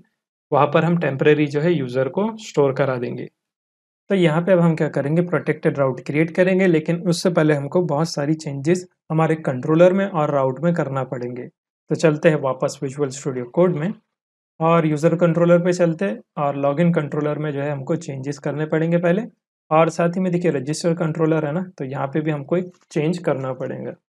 तो यहाँ पर रजिस्टर में पहले कर लेते हैं हम। देखिए हम क्या कर रहे हैं, यहाँ पे न्यू यूज़र है ना, ये वाला। तो इसमें क्या करेंगे हम ऑब्जेक्ट में जो है ना वेरीफाइड को भी पास करा देंगे और जो भी डेटा बॉडी में उसको स्प्रेड कर देंगे पहले रिक्वेस्ट डॉट बॉडी और इसके बाद में वेरीफाइड है अपने पास। सो वेरीफाइड मेक श्योर जो मॉडल है अपने पास यूज़र मॉडल उसके अंदर और इसकी स्पेलिंग सेम हो। देखिए वेरीफाइड कॉपी यहाँ से कर लेता हूँ मैं और यहाँ पर वेरीफाइड को जो है ट्रू कर देंगे। सेव कर लेता हूँ, साथ ही में मैं इसको और लॉगिन में हमको क्या करना है? कंडीशनली जो है यहाँ पर चेक करना पड़ेगा। अब जो ये यूज़र हमारे पास आ रहा है ना, ये वाला तो इसके बेसिस पे हम चेक कर सकते हैं। इफ़ यूज़र अगर हमारे पास यूज़र है, तब क्या करो? हम जो है ये रिस्पॉन्स सेंड कर देंगे लॉगिन सक्सेस का या फिर डायरेक्टली जो है यूज़र को जो है स्टोर करा देंगे और इसके बेस पे जो है चेक करेंगे। और यहाँ पे मैं एल्स कंडीशन ऐड कर देता हूँ। चेक मतलब क्या है कि हमको जो है प्रोटेक्ट करना है हमारे राउट को। तो यहाँ पे सिंपली मैं क्या करता हूँ जेसन रिस्पॉन्स सेंड कर देता हूँ रेस्ट डॉट जेसन और इसके अंदर एक मैसेज ऐड कर देंगे हम मैसेज और मैसेज हम यहाँ पे लॉग इन फेल का कर देते हैं। और यूज़र को पास करा देंगे हम। So user as it is हम इसमें पास करा देंगे। सेव कर लेते हैं इसको। और लॉगिन पेज में भी हमको चेंज करना पड़ेगा। ये जो लॉगिन पेज है, इसमें देखिए वैल्यूज़ को हमने पास नहीं किया ना तो वैल्यू को आप ऐड कर दे पहले। ये जो वैल्यू एक्सपेक्ट कर रहे हैं, हम उसको पास भी करा रहे हैं। और यहाँ पर इसको एक वेरिएबल में स्टोर कर देंगे कॉन्स्ट इसका नाम मैं रखता हूँ रेस रिस्पॉन्स के लिए शॉर्टकट और फिर हम क्या करेंगे, यहाँ पर एक लोकल स्टोरेज क्रिएट कर लेंगे। Local storage dot set item और इसके अंदर एक ऑथ नाम से मैं क्रिएट कर लेता हूँ। और इसके अंदर हम क्या करेंगे? स्ट्रिंगिफाई का यूज़ करेंगे जेसन डॉट स्ट्रिंगिफाई और इसके अंदर हमको क्या करना है? स्ट्रिंगिफाई के अंदर जो भी रिस्पॉन्स आ रहा है और रिस्पॉन्स के अंदर हमको डेटा मिलता है तो वो हम यहाँ पर स्ट्रिंग में कन्वर्ट कर देंगे। और बाकी सारी चीज़ें तो एज इट इज़ रहेंगी। और कुछ भी एरर आता है तो उसको हम एनकाउंटर कर लेंगे, कोई दिक्कत नहीं, इसको सेव कर लेते हैं। और चलते हैं ऐप डॉट जी में। और यहाँ पर एक नीचे फ़ंक्शन क्रिएट करेंगे प्रोटेक्टेड राउट के लिए तो एक्सपोर्ट भी कर दे साथ में एक्सपोर्ट और नॉर्मल फ़ंक्शन हम क्रिएट करेंगे, क्योंकि ऑलरेडी एरो फ़ंक्शन अपने पास ऊपर है। एरो फ़ंक्शन ही है ना ये भी नॉर्मल फ़ंक्शन है तो इसको भी हम नॉर्मल फ़ंक्शन ही क्रिएट कर लेते हैं प्रोटेक्टेड राउट और इसके अंदर हम चिल्ड्रन को एक्सपेक्ट करेंगे। नॉर्मल हम जो लेआउट क्रिएट करते टाइम चिल्ड्रन ऐड करते हैं, वही चीज़ हम यहाँ पे देखने वाले हैं। अब यहाँ पे हम चेक करेंगे इफ़ लोकल स्टोरेज हमको लोकल स्टोरेज में से जो है गेट करना है आइटम को। कौन से आइटम को? ऑथ को जो हमको यहाँ से गेट करना है। और अगर हमको ये मिल जाता है तो हम क्या करेंगे यहाँ पे? रिटर्न करा देंगे। रिटर्न क्या करना है? चिल्ड्रन जो भी है आइटम उसको हम शो करा देंगे। एल्स में हमको क्या करना है यहाँ पर? हम कर देंगे एल्स की कंडीशन लिख लेते पहले। एल्स में हमको यहाँ पे रिटर्न कराना है। नेविगेट करा देना है इसको। कहाँ पर हम नेविगेट करा देंगे? लॉगिन पे। सेव कर लेते हैं इसको। मेक श्योर sure इसको इम्पोर्ट भी कर लें आप। अब हम क्या करेंगे, हमारे होम पेज है ना तो इसको जो मल्टी लाइन कर ले पहले आप, और यहाँ पे हम क्या करेंगे, इसको रैप कर देंगे प्रोटेक्टेड राउट फ़ंक्शन से प्रोटेक्टेड राउट और इस होम पेज को आप टॉप पे कर लें सेव इसी तरीके से आपको सभी के लिए करना है। सभी के लिए मतलब क्या है कि हमारे पास जो जो कॉन्फिडेंशियल इन्फॉर्मेशन है, जैसे कि इस आइटम पेज में भी है हमारे पास जो सिर्फ़ लॉगिन यूज़र के लिए है तो उसको हम रैप कर लेंगे प्रोटेक्टेड राउट से। इसी तरीके से हमारे पास कार्ड आइटम है तो कार्ड आइटम को भी उसी तरीके से हमको रैप कर देना है प्रोटेक्टेड राउट से। और लॉगिन और रजिस्टर को हमको प्रोटेक्ट करने की ज़रूरत नहीं है सेव कर लेते हैं इतना। और चलते हैं एप्लीकेशन पे, इसको फ्रेश कर लेंगे एप्लीकेशन को। और मे भी हम क्या करेंगे, पहले रजिस्टर करेंगे न्यू यूज़र क्योंकि ऑलरेडी हमारे पास ये जो यूज़र है ना, इसमें वेरीफाइड नहीं है। तो इसको मैं डिलीट कर देता हूँ। हम न्यू यूज़र क्रिएट करेंगे। इसका name tech info user I D one password one two three four five six register register successful हो चुका है लॉगिन करके चेक कर लेते हैं एक बार। One two three four five six login तो देखिए लॉगिन सक्सेसफुल अब इंस्पेक्ट करके चेक कर लेते हैं एक बार। एप्लीकेशन और इसमें हमारे पास ऑथ है। तो देखिए ऑथ में हमारे पास डेटा आ चुका है, और ये बहुत सारा डेटा इसमें इसमें से आप जो है डेटा को हाइड भी कर सकते हैं कुछ। जैसे कि अगर यूज़र डॉट नेम और पासवर्ड को आपको हाइड करना है तो आप करा सकते हैं, क्योंकि हमारी एप्लीकेशन कुछ इतनी बड़ी है नहीं, ज़्यादा फंक्शनैलिटी इसमें नहीं देख रहे हैं। तो सक्सेसफुली यहाँ पर हमारे पास लोकल स्टोरेज में डेटा आ चुका है। अब अगर मैं कोई न्यू टैब भी ओपन करूँ ऑटोमेटिकली जो है ये गेट कर लेगा, और यहाँ पर देखिए, बराबर से ये होम पेज पे जो है रिडायरेक्ट कर रहा है। अब हम क्या करेंगे यूज़ इफ़ेक्ट का इस्तेमाल कर लेंगे, कहाँ पर? लॉगिन और रजिस्टर पेज में, क्योंकि देखिए यहाँ पे एक प्रॉब्लम क्या होने वाली है, अगर मैं यहाँ स्लैश लॉगिन पेज पे जाऊँ ना वापस से मैं लॉगिन पेज पे आ चुका हूँ। तो ये बिहेवियर हमको नहीं चाहिए, इसको हमको प्रिवेंट करना पड़ेगा। तो हम क्या करेंगे, यहाँ पर जो है यूज़ इफ़ेक्ट की मदद से जो है इनिशियल टाइम पे ही गेट कर लेंगे। तो लॉगिन पेज पे चलते हैं और यहाँ पर यूज़ इफ़ेक्ट हम क्रिएट कर लेंगे तो आपको इम्पोर्ट करना पड़ेगा। यूज़ इफ़ेक्ट और इसका इस्तेमाल करेंगे हम इस फ़ंक्शन के बाद में। करंटली लॉगिन यूज़र को हम यहाँ से गेट करेंगे और यहाँ पर आपको यूज़ इफ़ेक्ट का इस्तेमाल करना है यूज़ इफ़ेक्ट और इसके अंदर जो है हम यहाँ पर फ़ंक्शन क्रिएट करेंगे। फ़ंक्शन क्या क्रिएट करना है? हम सिर्फ़ एक इफ़ की कंडीशन जो है ऐड कर देंगे। तो यहाँ पे हम लोकल स्टोरेज में से डेटा को चेक करेंगे। Local storage dot get item और इसमें ऑथ है या नहीं, हमको सिर्फ़ चेक करना है। अगर ऑथ है तो नेविगेट करा देंगे हम इसको। नेविगेट और इसको हमको क्रिएट करना पड़ेगा नेविगेट को। सो मेक श्योर ऊपर चेक कर लेते हैं नेविगेट यूज़ किया है कि हमने? अच्छा नेविगेट है तो क्रिएट करने की ज़रूरत नहीं है। डायरेक्टली हम इसको होम पे जो है रिडायरेक्ट कर लेंगे। और यहाँ पर डिपेंडेंसी में जो है हमको फिर नेविगेट पास कराना पड़ेगा। नेविगेट सेव कर लेते हैं इसको। चलते वापस एप्लीकेशन पे, एक बार टेस्ट कर लेंगे। तो लॉगिन पेज पे हमने किया है ना? अब मैं क्या करता हूँ? रिफ्रेश कर लेता हूँ तो देखिए, मैं यहाँ पर अगर स्लैश लॉगिन लिख भी लूँ तो ऑटोमेटिकली जो है यहाँ पर मुझे होम पे रिडायरेक्ट कर लेगा। देख सकते हैं आप? ऑटोमेटिकली हम रिडायरेक्ट हो रहे हैं क्योंकि यहाँ पर हमारे पास लोकल स्टोरेज में ऑथ है। इसी तरीके से रजिस्टर पेज पे करना है।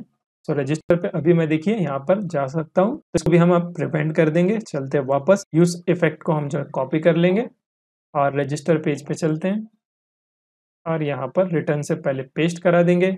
यूज़ इफ़ेक्ट को इंपोर्ट करना पड़ेगा हमको। तो यहाँ से मैं इसको इंपोर्ट कर देता हूँ। यूज़ इफ़ेक्ट सेव चलते वापस एप्लीकेशन पे रिफ्रेश कर लेंगे इसको। देखिए, जैसे मैं रजिस्टर पर जा रहा हूँ, ये ऑटोमेटिकली मुझे रिडायरेक्ट कर लेगा होम पेज पे। अब यहाँ पर हमारे पास है लॉग आउट तो लॉग आउट पे भी हम जो है फंक्शनलिटी ऐड कर देंगे ताकि हम यूज़र को लॉग आउट भी करा पाए। तो डिफ़ॉल्ट लेआउट में हमारे पास लॉग आउट का फ़ंक्शन है। तो यहाँ पे चलते लॉग आउट मेन्यू पे तो देखिए लॉग आउट मेन्यू यहाँ पर है। तो ये रहा लॉग आउट मेन्यू तो इसके ऑन क्लिक पे हम काम करेंगे। सो so, यहाँ पर मल्टी लाइन कर देते हैं इसको। ऑन क्लिक ऑन क्लिक पे हम एक फ़ंक्शन फायर कर देंगे। सो so, इसको रैप कर लेता हूँ मैं पहले। हर फ़ंक्शन हमको इसमें पास कराना है। और इसके अंदर मैं क्या करूँगा? सबसे पहले जो है ना लोकल स्टोरेज में से जो है आइटम को रिमूव कर दूँगा। Local storage dot remove item कौन सा आइटम ऑथ को हम रिमूव कर देंगे। इसी तरीके से हम इसको नेविगेट कर देंगे। Navigate to slash login page पे हम नेविगेट कर देंगे। और आई थिंक हमारे पास वेरिएबल है इसका। तो देखिए नेविगेट का वेरिएबल भी है तो ये परफेक्टली काम करेगा। सेव कर लेते हैं इसको, चलते हैं वापस एप्लीकेशन पर। इसको रिफ्रेश कर लेंगे और लोकल स्टोरेज भी ओपन है तो इसको भी चेक कर लेंगे साथ ही में। तो मैं लॉगआउट पर क्लिक करता हूँ। जैसे लॉगआउट पर क्लिक किया तो देखिए यहाँ से जो है यूज़र रिमूव हो चुका है और हम लॉगिन पेज पे आ चुके हैं। और यहाँ पर देख सकते हैं आप, ये कंटिन्यूस कॉल हो रहा है तो कुछ इशू है। तो यहाँ पे आप नेटवर्क टैब में भी देख सकते हैं। कंटिन्यूस ये कॉल हो रहा है तो इसको कंडीशन में हमने ऐड नहीं किया आई थिंक ओके तो देखिए यहाँ पे कंडीशन में ऐड नहीं किया ना। इफ़ की कंडीशन में हम ऐड कर देंगे सो मेक श्योर आपके अगर इसको इफ़ की कंडीशन में ऐड कर दें। सो so इसको यहाँ से कट करें पेस्ट और इफ़ की कंडीशन में हमको सिर्फ़ चेक करना है यहाँ पर लोकल स्टोरेज में ऑथ है या नहीं, इसको यहाँ पर पेस्ट कर लीजिए सेव और इसी को आप अच्छे से एक बार कॉपी कीजिए और रजिस्टर में भी पेस्ट कर दीजिए, क्योंकि यहाँ पे भी इफ़ की कंडीशन भूल चुके हैं तो यहाँ पर भी हम इसको पेस्ट कर देंगे। चलते वापस एप्लीकेशन पर और यहाँ पर देखिए इसको रिफ्रेश कर लें, वरना एज इट इज़ ये कंटिन्यूस कॉल होता रहेगा। तो यहाँ पे हमारी एप्लीकेशन जो है रिलोड हो चुकी है और आप देख सकते हैं अब स्टेबल कंडीशन में तो हम क्या करेंगे, फिर से जो है लॉगिन करके चेक कर लेंगे। One password one two three four five six login तो लॉगिन सक्सेसफुल हो चुके हैं। हम क्या करते हैं, यहाँ से लॉग आउट करके चेक कर लेते हैं। लॉग आउट तो देखिए अब बराबर से ये स्टेबल है। तो सक्सेसफुली हमारे पास जो है राउट्स भी प्रोटेक्ट हो चुके हैं और लॉग आउट लॉग इन की फंक्शनैलिटी भी हमारे एप्लीकेशन में हमने ऐड कर दी है। अब हम क्या करेंगे? बचे हुए पार्ट पर काम करेंगे। सो मेक श्योर अभी मैं लॉगिन करके बता देता हूँ। अभी हमारे पास क्या बाकी यहाँ पर बिल्स है, फिर यहाँ पर कस्टमर है। तो ये दोनों चीज़ों पे हमको अभी काम करना है। तो यहाँ पे अब हम क्या करेंगे? कार्ड पेज में जो है ना, यहाँ पर टोटल आइटम काउंट जो है शो करेंगे। यानी कि जितना भी अमाउंट होगा ना बिल का तो हम यहाँ पे उसको शो करने वाले हैं। तो चलते हैं वापस। और यहाँ से हमको क्या करना है? कार्ड पेज पे जाना है। और यहाँ पे हम एक न्यू स्टेट क्रिएट करेंगे टोटल काउंट के लिए। तो टॉप पे आप इंक्लूड कर दें। कहाँ पर? हमारे पास ऑलरेडी कहीं पर होंगी।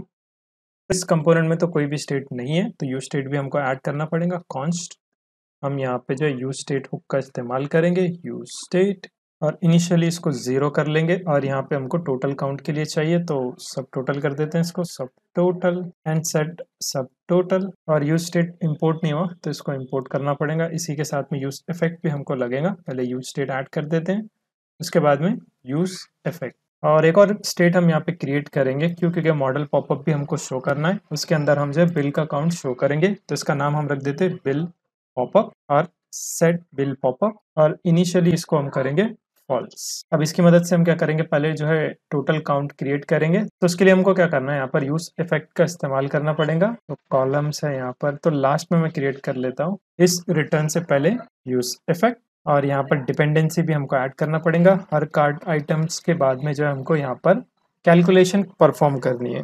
तो कैलकुलेशन कैसे करेंगे? हम क्या करेंगे? यहाँ पर एक वेरिएबल क्रिएट करेंगे टाइम से तो ये इनिशियली ज़ीरो रहेगा, फिर हम इसको जो है टोटल कैलकुलेशन की वैल्यू इसके अंदर जो है असाइन कर देंगे। तो कार्ट आइटम्स है अपने पास तो cart items dot for each का इस्तेमाल कर सकते हैं फॉर ईच लूप और इसके अंदर हमको आइटम मिलेगा तो आइटम को हम डायरेक्टली टारगेट करेंगे।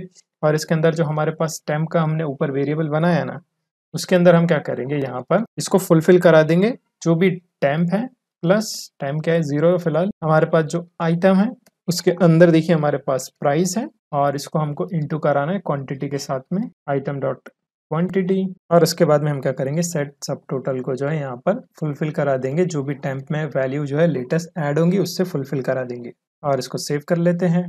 सेव करने के बाद हमको क्या करना है? नीचे देखिए, यहाँ पर टेबल काउंट है। उसके बाद में हम क्या करेंगे? एक न्यू क्लास क्रिएट करेंगे। डिस्प्ले फ्लेक्स कर लेते हैं इसको। Display flex align items end पे कर देंगे इसको। और इसके अंदर हमको क्या करना है यहाँ पर? बटन को ऐड कर देना है। बटन या फिर डायरेक्टली हम क्या करेंगे? एक एच थ्री ले लेंगे। पहले एक एच आर में ऐड कर देता हूँ यहाँ पर, फिर एच थ्री है। और इस एच थ्री के अंदर हम क्या करेंगे? सब टोटल को जो शो करा देंगे। तो यहाँ पे मैं लिखता हूँ सब टोटल और यहाँ पर बी टैग के अंदर हम क्या करेंगे? सब टोटल जो है शो करा देंगे। यहाँ पे जो है सब टोटल का जो हमने स्टेट बनाया है, उसको आपको शो कराना है। और आई थिंक ये शो करना चाहिए। आगे हम या फिर इससे पहले जो डॉलर का साइन ऐड कर देंगे और कुछ इस तरीके से हमने यहाँ पर साइन को ऐड कर दिया और एक बटन भी ऐड कर देंगे पॉपअप के लिए। Button from Ant design so यहाँ पर देखिए, इस पर क्लिक करेंगे तो इंपोर्ट होना चाहिए। क्लिक कर लेते हैं टॉप पे तो एंड डिज़ाइन में से तो बटन यहाँ पे नहीं आया, लेकिन टेबल है तो इसके बाद में हम बटन को ऐड कर देंगे बटन और यहाँ पे बटन का टाइटल हम ऐड कर देंगे क्रिएट इनवॉइस और यहाँ पर इसके ऑन क्लिक पे हम क्या करेंगे? एक फ़ंक्शन को जो है फायर कर देंगे। फ़ंक्शन में क्या करना है? सिंपली पॉपअप मॉडल को हमको ओपन करना है तो सेट बिल पॉपअप इसको कर देना है। ट्रू और यहाँ पर टाइप इसका जो रहेगा ना, उसको कर देंगे हम प्राइमरी और सेव कर लेते हैं इसको। और मॉडल भी हमको शो कराना है तो मॉडल कहाँ पर शो कराएँगे हम? इस डिव के बाद में करा लेते हैं मॉडल। एंड डिज़ाइन में से मॉडल हमको इंपोर्ट भी करना पड़ेगा। सो टॉप पे आप क्या करें मॉडल को इंपोर्ट भी कर दें। मैं टॉप पे चलता हूँ। टेबल के बाद में बटन देन मॉडल और साथ ही में मैसेज भी लगेगा।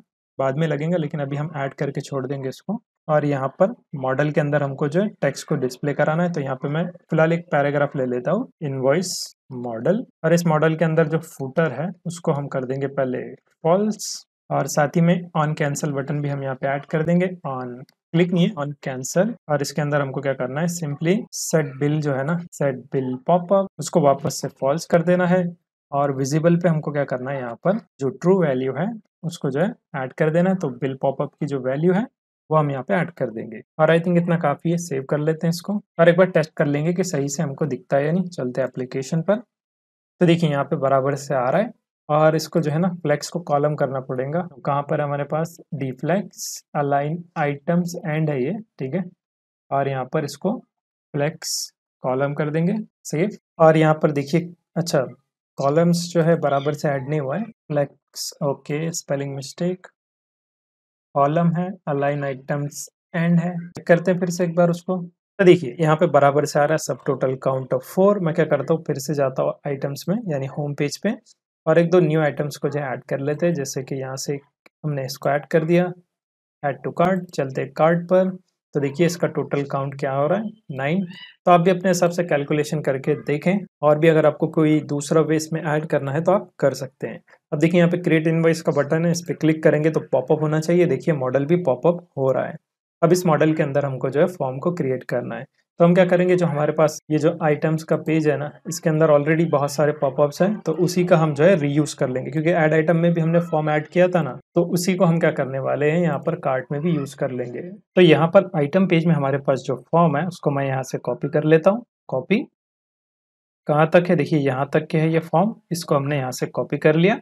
अब चलते हैं कार्ड पेज में और हमारे पास है ये मॉडल और मॉडल के अंदर हम टाइटल भी ऐड कर देंगे। सो यहाँ पर टाइटल का ऑप्शन भी मिलता है हमको और इसका टाइटल हम रख सकते हैं क्रिएट इनवॉइस और यहाँ पर पी को रिमूव कर लेंगे और पेस्ट कर देंगे फॉर्म को। अब ये सारी चीज़ें हमको इंपोर्ट करना है। फॉर्म हो गया इनपुट हो गया और ये सेलेक्ट भी हो गया तो ये सारी चीज़ें हमको इंपोर्ट करना है तो टॉप पे आइए और यहाँ पर ऐड कर दीजिए। देखिए फॉर्म फिर इनपुट है, उसके बाद में सेलेक्ट है और आई थिंक काफ़ी इतना चेक कर लेते नीचे स्क्रॉल करके। और इनिशियल वैल्यू नहीं चाहिए हैंडल सबमिट हमको क्रिएट करना है तो कंसोल डॉट लॉक करके छोड़ देंगे इसको, ठीक है? यहाँ पे मैं लिख लेता हूँ paste handle submit const handle submit equal to arrow function जो कि वैल्यू रिटर्न करता है। और कंसोल डॉट लॉक करके छोड़ देंगे वैल्यू को। और कोई भी एरर हमको देखने नहीं मिलेगा अभी, देख सकते हैं आप। और यहाँ पर हमको चेंजेस करने हैं, देखिए। यहाँ पर हमको नेम नहीं चाहिए, यहाँ पे हमको चाहिए कस्टमर नेम और यहाँ पे लेबल भी हम चेंज कर देंगे कस्टमर नेम प्राइस नहीं चाहिए प्राइस के बदले फ़ोन नंबर रहेगा तो कस्टमर फ़ोन कर देते हैं इसको या कांटेक्ट कर देंगे। यहाँ पे लिख देंगे कांटेक्ट नंबर और क्या चाहिए हमको इसमें? आई थिंक ये दो फ़ील्ड काफ़ी है। और पेमेंट मोड चाहिए, ठीक है? पेमेंट मोड तो ज़रूरी है। यहाँ पे इसका नाम हम रख देंगे पेमेंट मोड और लेबल भी चेंज कर दीजिए आप। यहाँ पे पेमेंट मेथड कर देते हैं और यहाँ पर से एक वैल्यू को रिमूव कर लेंगे। फ़र्स्ट वैल्यू रहेंगी कैश और दूसरा रहेगा कार्ड और यहाँ पर सेव के बदले जनरेट बिल सेव कर लेते हैं इसको और एक बार टेस्ट कर लेंगे। रिफ्रेश कर लेते हैं एप्लीकेशन को। क्रिएट इनवॉइस और देखिए यहाँ पे बराबर से आ रहा है। और पेमेंट मेथड में जो है ड्रॉप डाउन है, यानी कि सेलेक्ट बॉक्स काम कर रहा है। अब हम क्या करेंगे? यहाँ पर जो है ग्रैंड टोटल भी शो करा देंगे। तो चलते हैं वापस विजुअल स्टूडियो कोड में। और यहाँ पर देखिए फॉर्म के बाद में एक डिव ले लेंगे हम। इसकी क्लास में रख देता हूँ बिल्स आइटम करके। फ़िलहाल इसमें चेंजेस की ज़रूरत नहीं है। इनकेस अगर आपको स्टाइलिंग करना है तो आप यहाँ पर कर सकते हैं। मैं एक एच फाइव ले लेता हूँ। और इस एच फाइव के अंदर हम क्या करेंगे? सबसे पहले शो करा देंगे सब टोटल को। और यहाँ पर अगेन एक बी टैग ले लेंगे। और सब टोटल शो करा देंगे। उसके बाद में अगेन हमको क्या करना है, यहाँ पर टैक्स भी शो करना है तो यहाँ पे मैं लिख लेता हूँ एच फोर के अंदर इसको टैक्स और इसको जो है मल्टी लाइन कर देता हूँ मैं, और बोल्ड टैग में हम इसको ऐड कर देंगे। तो यहाँ पे देखिए कंडीशन थोड़ी सी चेंज रहेंगी। हमको क्या करना है, यहाँ पर सब टोटल को प्लस करना है हमारे टैक्स से। तो टैक्स कैसे हम काउंट करने वाले, हम क्या करेंगे, इस पर जो है टेन परसेंट का जो है टैक्स लगाने वाले तो उसके लिए हम क्या करेंगे सब टोटल को जो है डिवाइड कर देंगे। तो पैरेंथिस में आप लिखें subtotal divided by hundred into ten और इसको आप क्या करें पैरेंथिस में रैप कर ले सबको। और इसको हम क्या करेंगे? टू फिक्स की वैल्यू से जो है ऐड कर देंगे टू फिक्स ताकि दो डिजिट ही हमको यहाँ पर शो करें। सेव कर लेते हैं इसको। और इसके बाद में ग्रैंड टोटल तो उसके लिए हम जो है एच थ्री का यूज़ कर लेंगे एच थ्री और इसके अंदर हमको क्या करना है? ग्रैंड टोटल शो कराना है तो ग्रैंड टोटल और यहाँ पर ग्रैंड टोटल में हम क्या करने वाले हैं? नंबर का यूज़ करेंगे। मैं क्या करता हूँ? यहाँ पे बोल्ड टैग ले लेता हूँ again B tag curly braces और इसके अंदर हमको जो है सब टोटल को कन्वर्ट करना है पहले। तो नंबर नंबर में हमको क्या करना है? सब टोटल को ऐड कर देना है। सब टोटल तो ये नंबर में कन्वर्ट हो जाएगा। इसी तरीके से हमारे पास देखिए, ये जो है टैक्स इसको भी हमको कन्वर्ट करना है। तो नंबर आप ऐड कर दे पहले। नंबर और यहाँ से इसको कॉपी पेस्ट कर लेते हैं तो ये कैलकुलेशन है बेसिक पेस्ट और पैरेंथिस में ये रैप नहीं हुआ। तो इसको पैरेंथिस में रैप कर लेते हैं। अब सही से ये शो करना चाहिए। सेव कर लेते हैं इसको और एक बार टेस्ट कर लेंगे। चलते हैं एप्लीकेशन पे। तो एप्लीकेशन यहाँ पर रिफ्रेश हो चुकी है क्रिएट इनवॉइस तो ग्रैंड टोटल बराबर शो कर रहा है। हम क्या करेंगे, यहाँ पर जो है थोड़ा सा चेंज करके देख लेंगे। इसके अंदर जो है और ऐड करके देखते हैं। क्वांटिटी को और इसको भी बढ़ा देते हैं। तो टोटल 16 हमारा सब टोटल है क्रिएट इनवॉइस तो टैक्स के साथ में ये जा रहा है 17.6 तक। अब हमको क्या करना है? यहाँ पर बिल को जो है जनरेट करना है। तो इससे पहले हमको इसके लिए स्कीमा क्रिएट करना पड़ेगा और इसका राउट क्रिएट करना पड़ेगा, तभी जो है हम यहाँ पर उसका फ़ंक्शन जो है एग्जीक्यूट कर पाएँगे। तो चलते हैं वापस विजुअल स्टूडियो कोड में और यहाँ पे हम क्या करेंगे? आएँगे मॉडल्स के अंदर और यहाँ पे एक न्यू फ़ाइल हम क्रिएट करेंगे। इसका नाम हम रखते हैं बिल्स मॉडल डॉट जेएस और मैं क्या करता हूँ? आइटम मॉडल को कॉपी कर लेता हूँ और इसी में हम क्या करेंगे? पेस्ट कर देंगे इसको इस बिल मॉडल के अंदर। कॉपी पेस्ट और यहाँ पर इसको चेंज कर देंगे। तो यहाँ पे आइटम स्कीमा के बदले रहेगा बिल स्कीमा और यहाँ पर नेम तो नहीं रहेगा हमारे पास। और नेम के बदले यहाँ पर हमको करना है customer name so customer name और इस एन को कैपिटल कर देता हूँ मैं कस्टमर नेम टाइप स्ट्रिंग है रिक्वायर रहेगा। प्राइस तो नहीं चाहिए हमको यहाँ पे डायरेक्टली इसके बाद में कस्टमर का नंबर रहेगा। तो यहाँ पे हम लिख लेंगे कस्टमर नंबर टाइप नंबर रहेगा और रिक्वायर्ड ट्रू रहेगा। इसके बाद में कैटेगरी नहीं है यहाँ पे और इमेज भी नहीं है तो इसको मैं रिमूव कर लेता हूँ। बाकी की फ़ील्ड नंबर की है, इसीलिए हम क्या करेंगे, इसको मल्टीपल टाइम पेस्ट कर देंगे। टोटल सब टोटल और टैक्स के लिए कर लेते हैं। तो इसके बाद में हम क्या करेंगे, यहाँ पर जो है टोटल अमाउंट कर देंगे। टोटल अमाउंट और ये नंबर रहेगा रिक्वायर्ड इसमें भी रहेगा। इसके बाद में हम क्या करते हैं, यहाँ पर टैक्स ऐड कर देंगे टैक्स और इसके बाद में यहाँ पर पेमेंट का मोड तो पेमेंट मोड हमको स्ट्रिंग में करना पड़ेगा। तो पेमेंट मोड टाइप इसका रहेगा स्ट्रिंग और इसके बाद में आप क्या करें, इस बिल स्कीमा को कॉपी कर लें। यहाँ पर आपको प्रोवाइड करना है और इस आइटम के बदले आपको यहाँ पे करना है बिल्स क्योंकि बिल्स का कलेक्शन हम क्रिएट करेंगे और यहाँ पे मैं लिखता हूँ बिल्स और यहाँ से इसको एक्सपोर्ट भी कर देंगे बिल्स को। सेव कर लेते हैं इसको। तो यहाँ पर हमारे पास देखिए इसका मॉडल क्रिएट हो चुका है, यानी कि बिल्स मॉडल हमारा रेडी है, अब इसका हम यूज़ कर सकते हैं। तो यहाँ पे अब हम क्या करेंगे, इसके लिए जो है राउट क्रिएट कर लेंगे तो चलते हैं राउट में, और एक न्यू फ़ाइल क्रिएट करेंगे, इसका नाम हम रखते हैं बिल्स राउट डॉट जेएस और हम क्या कर सकते हैं आइटम राउट को जो है कॉपी कर लेंगे तो यहाँ से मैं सेलेक्ट ऑल और यहाँ पर इसको कॉपी पेस्ट कर लूँगा, और इसके बाद में कंट्रोलर चेंज करना है, और ये सारी चीज़ें अभी हमको नहीं चाहिए सिंपली अभी पोस्ट राउट चाहिए। और यहाँ पर ऐड आइटम के बदले हम क्या करेंगे? इसका एंड पॉइंट जो है चेंज कर देंगे और इसका नाम हम रख सकते हैं ऐड बिल्स कर देते हैं इसको। और ये जो कंट्रोलर है ऐड आइटम है ना तो ऐड बिल्स कर देते हैं इसको। ऐड बिल्स कंट्रोलर कॉपी कर लेते हैं इसको और यहाँ से सबको कट कर लेंगे। इसको पेस्ट करेंगे। अभी इसको क्रिएट करना है।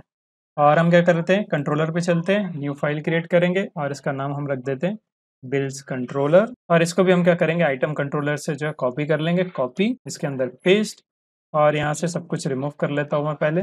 डिलीट नहीं चाहिए हमको। डिलीट को रिमूव कर लेंगे। अपडेट भी नहीं चाहिए अभी फ़िलहाल। कट गेट भी नहीं चाहिए। सिर्फ़ हमको यहाँ पर ऐड करना है। और यहाँ पर स्कीमा जो रहेगा, वो रहेगा बिल्स का। तो बिल्स मॉडल और यहाँ से रिक्वायर भी चेंज कर ले आप। ये जो मॉडल्स का फोल्डर है, उसके बाद में हमारे पास है बिल्स मॉडल और यहाँ पर ऐड आइटम है ना, इसको हम कर देंगे ऐड बिल्स कंट्रोलर कॉपी नीचे एक्सपोर्ट कर लें। पेस्ट इसको सेव कर लेते हैं पहले। और ये एरर शो कर सकता है क्योंकि यहाँ पे आइटम मॉडल है ना। तो मैं क्या करता हूँ, इसको कॉपी कर लेता हूँ। आइटम मॉडल से रिप्लेस कर लेंगे। और न्यू आइटम है ना तो इसको बिल कर देंगे न्यू बिल और न्यू बिल डॉट सेव कर लेंगे इसको। न्यू बिल डॉट सेव और यहाँ पर हम कर देंगे बिल क्रिएटेड और जनरेटेड आपको जो भी लिखना है आप यहाँ पर लिख सकते हैं सेव कर लेते हैं इसको। एड बिल को कॉपी कर लेंगे और इसको जो है राउट के अंदर पेस्ट कर देंगे। पेस्ट और यहाँ पर भी इसको पेस्ट कर देंगे और यहाँ पर चेंज कर ले आप कंट्रोलर का टाइप कंट्रोल स्पेस सजेशन में शो करेगा, आप उसमें से सेलेक्ट कर दे बिल कंट्रोलर को, इसको सेव कर लेते हैं। तो यहाँ पर ये क्रिएट हो चुका है और सर्वर डॉट जे की फ़ाइल में ऐड कर दें। तो हम क्या करेंगे, यहाँ पर कॉपी पेस्ट कर लेंगे इसको और एपीआई के बाद में हम रखेंगे यहाँ पर बिल्स और इसके बाद में हमको क्या करना है, यहाँ पर इसका राउट चेंज कर लेना है। तो बिल्स का जो लेटेस्ट राउट हमने क्रिएट किया है, वो हम यहाँ पे ऐड कर देंगे। सेव कर लेते हैं इसको भी और कंसोल चेक कर लेते हैं एक बार। कंसोल भी बराबर से ऑन है, और देख सकते हैं आप, कोई भी एरर अभी हमारे पास नहीं है। सक्सेसफुली हमारा राउट क्रिएट हो चुका है, हमने सिर्फ़ कॉपी पेस्ट किया क्योंकि थोड़ा सा टाइम बचे। और यहाँ पर देख सकते हैं बिल मॉडल है हमारे पास, उसका राउट है, और इस बिल राउट को जो है हमको, यानी एड बिल को हमको टारगेट करना है। सर्वर डॉट जे में हमने ऑलरेडी इम्पोर्ट कर दिया है। बिल कंट्रोलर में हमने क्या किया, यहाँ पर सेम जो पहले एड आइटम्स कर रहे थे, वही फ़ंक्शन को कॉपी पेस्ट किया है। और उसके बदले बिल से जो है उसको रिप्लेस कर दिया है। और चलते हैं आप क्या करेंगे? इन सबको क्लोज कर देता हूँ मैं। बिल मॉडल को भी क्लोज नहीं, इसको रहने देते अभी फ़िलहाल। और कार्ड पेज पे चलते हैं। और हमारे पास है हैंडल सबमिट अब इसके अंदर हमारे पास क्या इशू है? देखिए, हम यहाँ पर क्या कर रहे हैं? क्रिएट कर रहे हैं इनवॉइस तो यहाँ पे हमारे पास customer name contact number payment method तो इसको तो गेट करना है हमको। साथ ही में सब टोटल टैक्स और ग्रैंड टोटल को भी हमको गेट करना है। तो हम क्या करेंगे? यहाँ पर एक ऑब्जेक्ट बना देंगे, ठीक है? न्यू ऑब्जेक्ट बना लीजिए आप। न्यू ऑब्जेक्ट इक्वल टू यहाँ पे हम क्या करेंगे? स्प्रेड कर देंगे वैल्यू को। जो भी डेटा पहले फॉर्म में रहेगा, वो भी हमको चाहिए। उसके बाद में टोटल भी चाहिए हमको तो टोटल भी आप यहाँ पर ऐड कर दे सब टोटल उसके बाद में टैक्स और टैक्स को हम कॉपी कर लेंगे। देखिए, ये टैक्स है ना? ये हमको एज इट इज़ चाहिए कॉपी कर लेते हैं इसको। और हम क्या करेंगे? यहाँ पर ये रहा टैक्स इसको नंबर में कन्वर्ट कर देंगे पहले। नंबर और पैरेंथेसिस के अंदर आपको लिख देना है। टैक्स हो गया, उसके बाद में टोटल अमाउंट है टोटल अमाउंट मेक श्योर देखिए ये जो फ़ील्ड हम ऐड कर रहे हैं ना, ये आपके डेटाबेस में जो टेबल है, उससे मैच होना चाहिए। देखिए टोटल अमाउंट और यहाँ पर टोटल अमाउंट और टोटल अमाउंट के लिए भी हमने ऐड किया था तो देख सकते हैं आप यहाँ पर, ये जो कैलकुलेशन है, इसको ऐड कर देना है। कॉपी इसको भी नंबर में कन्वर्ट कर देंगे पहले नंबर और यू कैपिटल में हो गया, ये रहा नंबर इसके अंदर पेस्ट कर लेते हैं। और उसके बाद में किसने ये क्रिएट किया है, वो भी हम बता देंगे। तो यहाँ पे हम क्या करेंगे, एक न्यू फ़ील्ड क्रिएट करेंगे यूज़र आईडी के नाम से। तो यूज़र आईडी और ये हम गेट करेंगे लोकल स्टोरेज में से तो साथ ही में इसको पार्स करना पड़ेगा जेसन डॉट पार्स रहेगा लोकल स्टोरेज में से तो लोकल स्टोरेज में से हमको गेट करना है local storage dot get item और वो ऑथ का टेबल था अपने पास। टेबल नहीं फ़ील्ड थी तो उसमें से हम गेट कर रहे हैं। और उसके बाद में हम क्या करेंगे, यहाँ पे डॉट अंडर स्कोर जो है ना, उसकी गेट कर लेंगे। सेव कर लेते हैं और मैं क्या करता हूँ कंसोल डॉट लॉक कर लेता हूँ पहले, ताकि हम इसको टेस्ट कर पाए कि ये सही में काम करता है या नहीं। तो हम यहाँ पे न्यू ऑब्जेक्ट को जो है कंसोल डॉट लॉक करा लेंगे। सेव कर लेते हैं इसको। सेव करने के बाद एप्लीकेशन पे चलते हैं और इसको क्लोज करते हैं और इसको रिफ्रेश कर लेंगे। साथ ही में इंस्पेक्ट कर लेते हैं क्योंकि कंसोल पे हमको चेक करना है। तो यहाँ से आप क्या करें कंसोल को जो है ओपन कर लें। और इसको क्लियर कर देता हूँ मैं। अब हम क्या करेंगे? यहाँ पर इन्वॉइस पर क्रिएट करेंगे, यहाँ पे नाम ऐड करते हैं नंबर कोई भी रैंडम ऐड कर देंगे। यहाँ पर हमने रैंडम नंबर ऐड कर दिया पेमेंट मेथड कैश और जनरेट बिल तो देखिए, बराबर से हमारे पास सारी वैल्यूज़ आ रही है। कॉन्टैक्ट नंबर उसका नेम पेमेंट मोड सब टोटल फिर टैक्स आ रहा है टोटल अमाउंट आ रहा है और यूज़र आईडी भी बराबर से आ रही है। तो इसको अब हमको डेटाबेस में भेजना है। तो बहुत सिंपल है। इस फ़ंक्शन को हम क्या करेंगे? एसिंग बना लेंगे पहले। एसिंग फ़ंक्शन और यहाँ पर हम क्या करेंगे? पहले ट्राई कैच ब्लॉक का यूज़ कर लेंगे। सो ट्राई और कैच कैच में हमको क्या करना है? कंसोल डॉट लॉग कर लेना है। Console dot log of error also हम क्या कर सकते हैं? मैसेज की प्रॉपर्टी है अपने पास, यानी कि मैसेज डॉट एरर हम सेंड करा सकते हैं नोटिफिकेशन में। और यहाँ पे मैं लिखता हूँ समथिंग वेंट रॉन्ग और ट्राई के अंदर आपको क्या करना है? इस न्यू ऑब्जेक्ट को कट करके पेस्ट कर देना है। और इसको कंसोल डॉट लॉग को मैं कमेंट कर देता हूँ। ये सिर्फ़ समझने के लिए था। और यहाँ पे हम क्या करेंगे? अब अवेट करेंगे। यहाँ पर अवेट और एक्जियोस का यूज़ करना है। एक्जियोस डॉट पोस्ट और एक्जियोस को ऊपर इंपोर्ट कर ले पहले आप। टॉप पे इंपोर्ट एक्जियोस फ्रॉम एक्जियोस इसी तरीके से मैं क्या करता हूँ? यहाँ पर नेविगेट को भी इम्पोर्ट करके रख देता हूँ। रिया राउटर डॉम में से। So use navigate from React router DOM इसका एक वेरिएबल भी क्रिएट कर लेंगे यहाँ पर. Const navigate equal to use navigate और नीचे चलते वापस फ़ंक्शन में. और यहाँ पे हमको क्या करना है? देखिए पोस्ट में जो है एपीआई का एंड पॉइंट देना है. तो हमारे पास है एपीआई स्लैश बिल्स जो कि सर्वर डॉट जे में हमने लिखा था. उसके बाद में हमारे पास था एड बिल्स तो राउट एक बार चेक कर लेंगे हम, कोई दिक्कत ना हो, इसीलिए हम क्या करें यूज़र राउट नहीं, यहाँ पे बिल्ड राउट देखना है हमको. तो देखिए एड बिल्स है. तो ये राउट को हमको टारगेट करना है.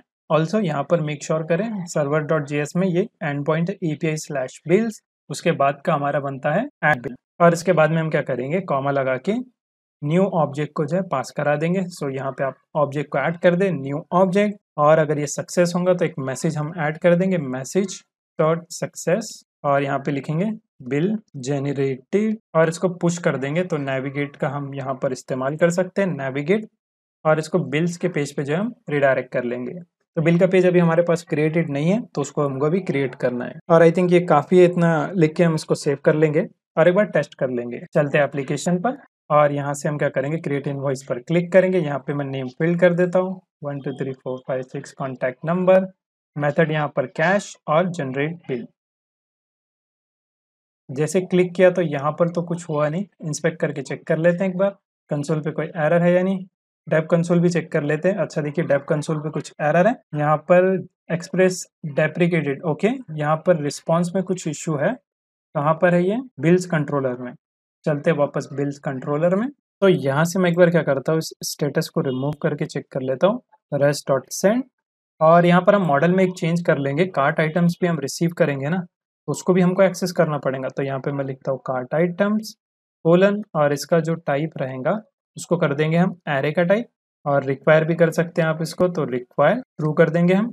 सेव कर लेते हैं इसको और यहाँ पर जो कार्ड पेज है, उसमें हम क्या करेंगे? वैल्यूज़ के अंदर कार्ड आइटम्स को भी गेट कर लेंगे। सो कार्ड आइटम्स सेव कर लेते हैं इसको भी और एक बार कंसोल चेक कर लेंगे। देखिए यहाँ पे कंपाइल हो रहा है और जैसे ये कंपाइल हो जाता है तो हम क्या करेंगे? फिर से चेक करेंगे। देखिए वेब पैक कंपाइल सक्सेसफुली इसको क्लोज करते हैं और यहाँ से इसको रिफ्रेश कर लेंगे। कंसोल भी ऑन रखिए। और जो भी वार्निंग्स है, देखिए, ये लेआउट के जो है वार्निंग्स है यूनिक की प्रॉपर्टी हमको प्रोवाइड करना पड़ता है तो ये लास्ट में फिक्स कर लेंगे। क्रिएट इनवॉइस पे क्लिक करते हैं और यहाँ पर इसको फिल कर देते हैं पहले।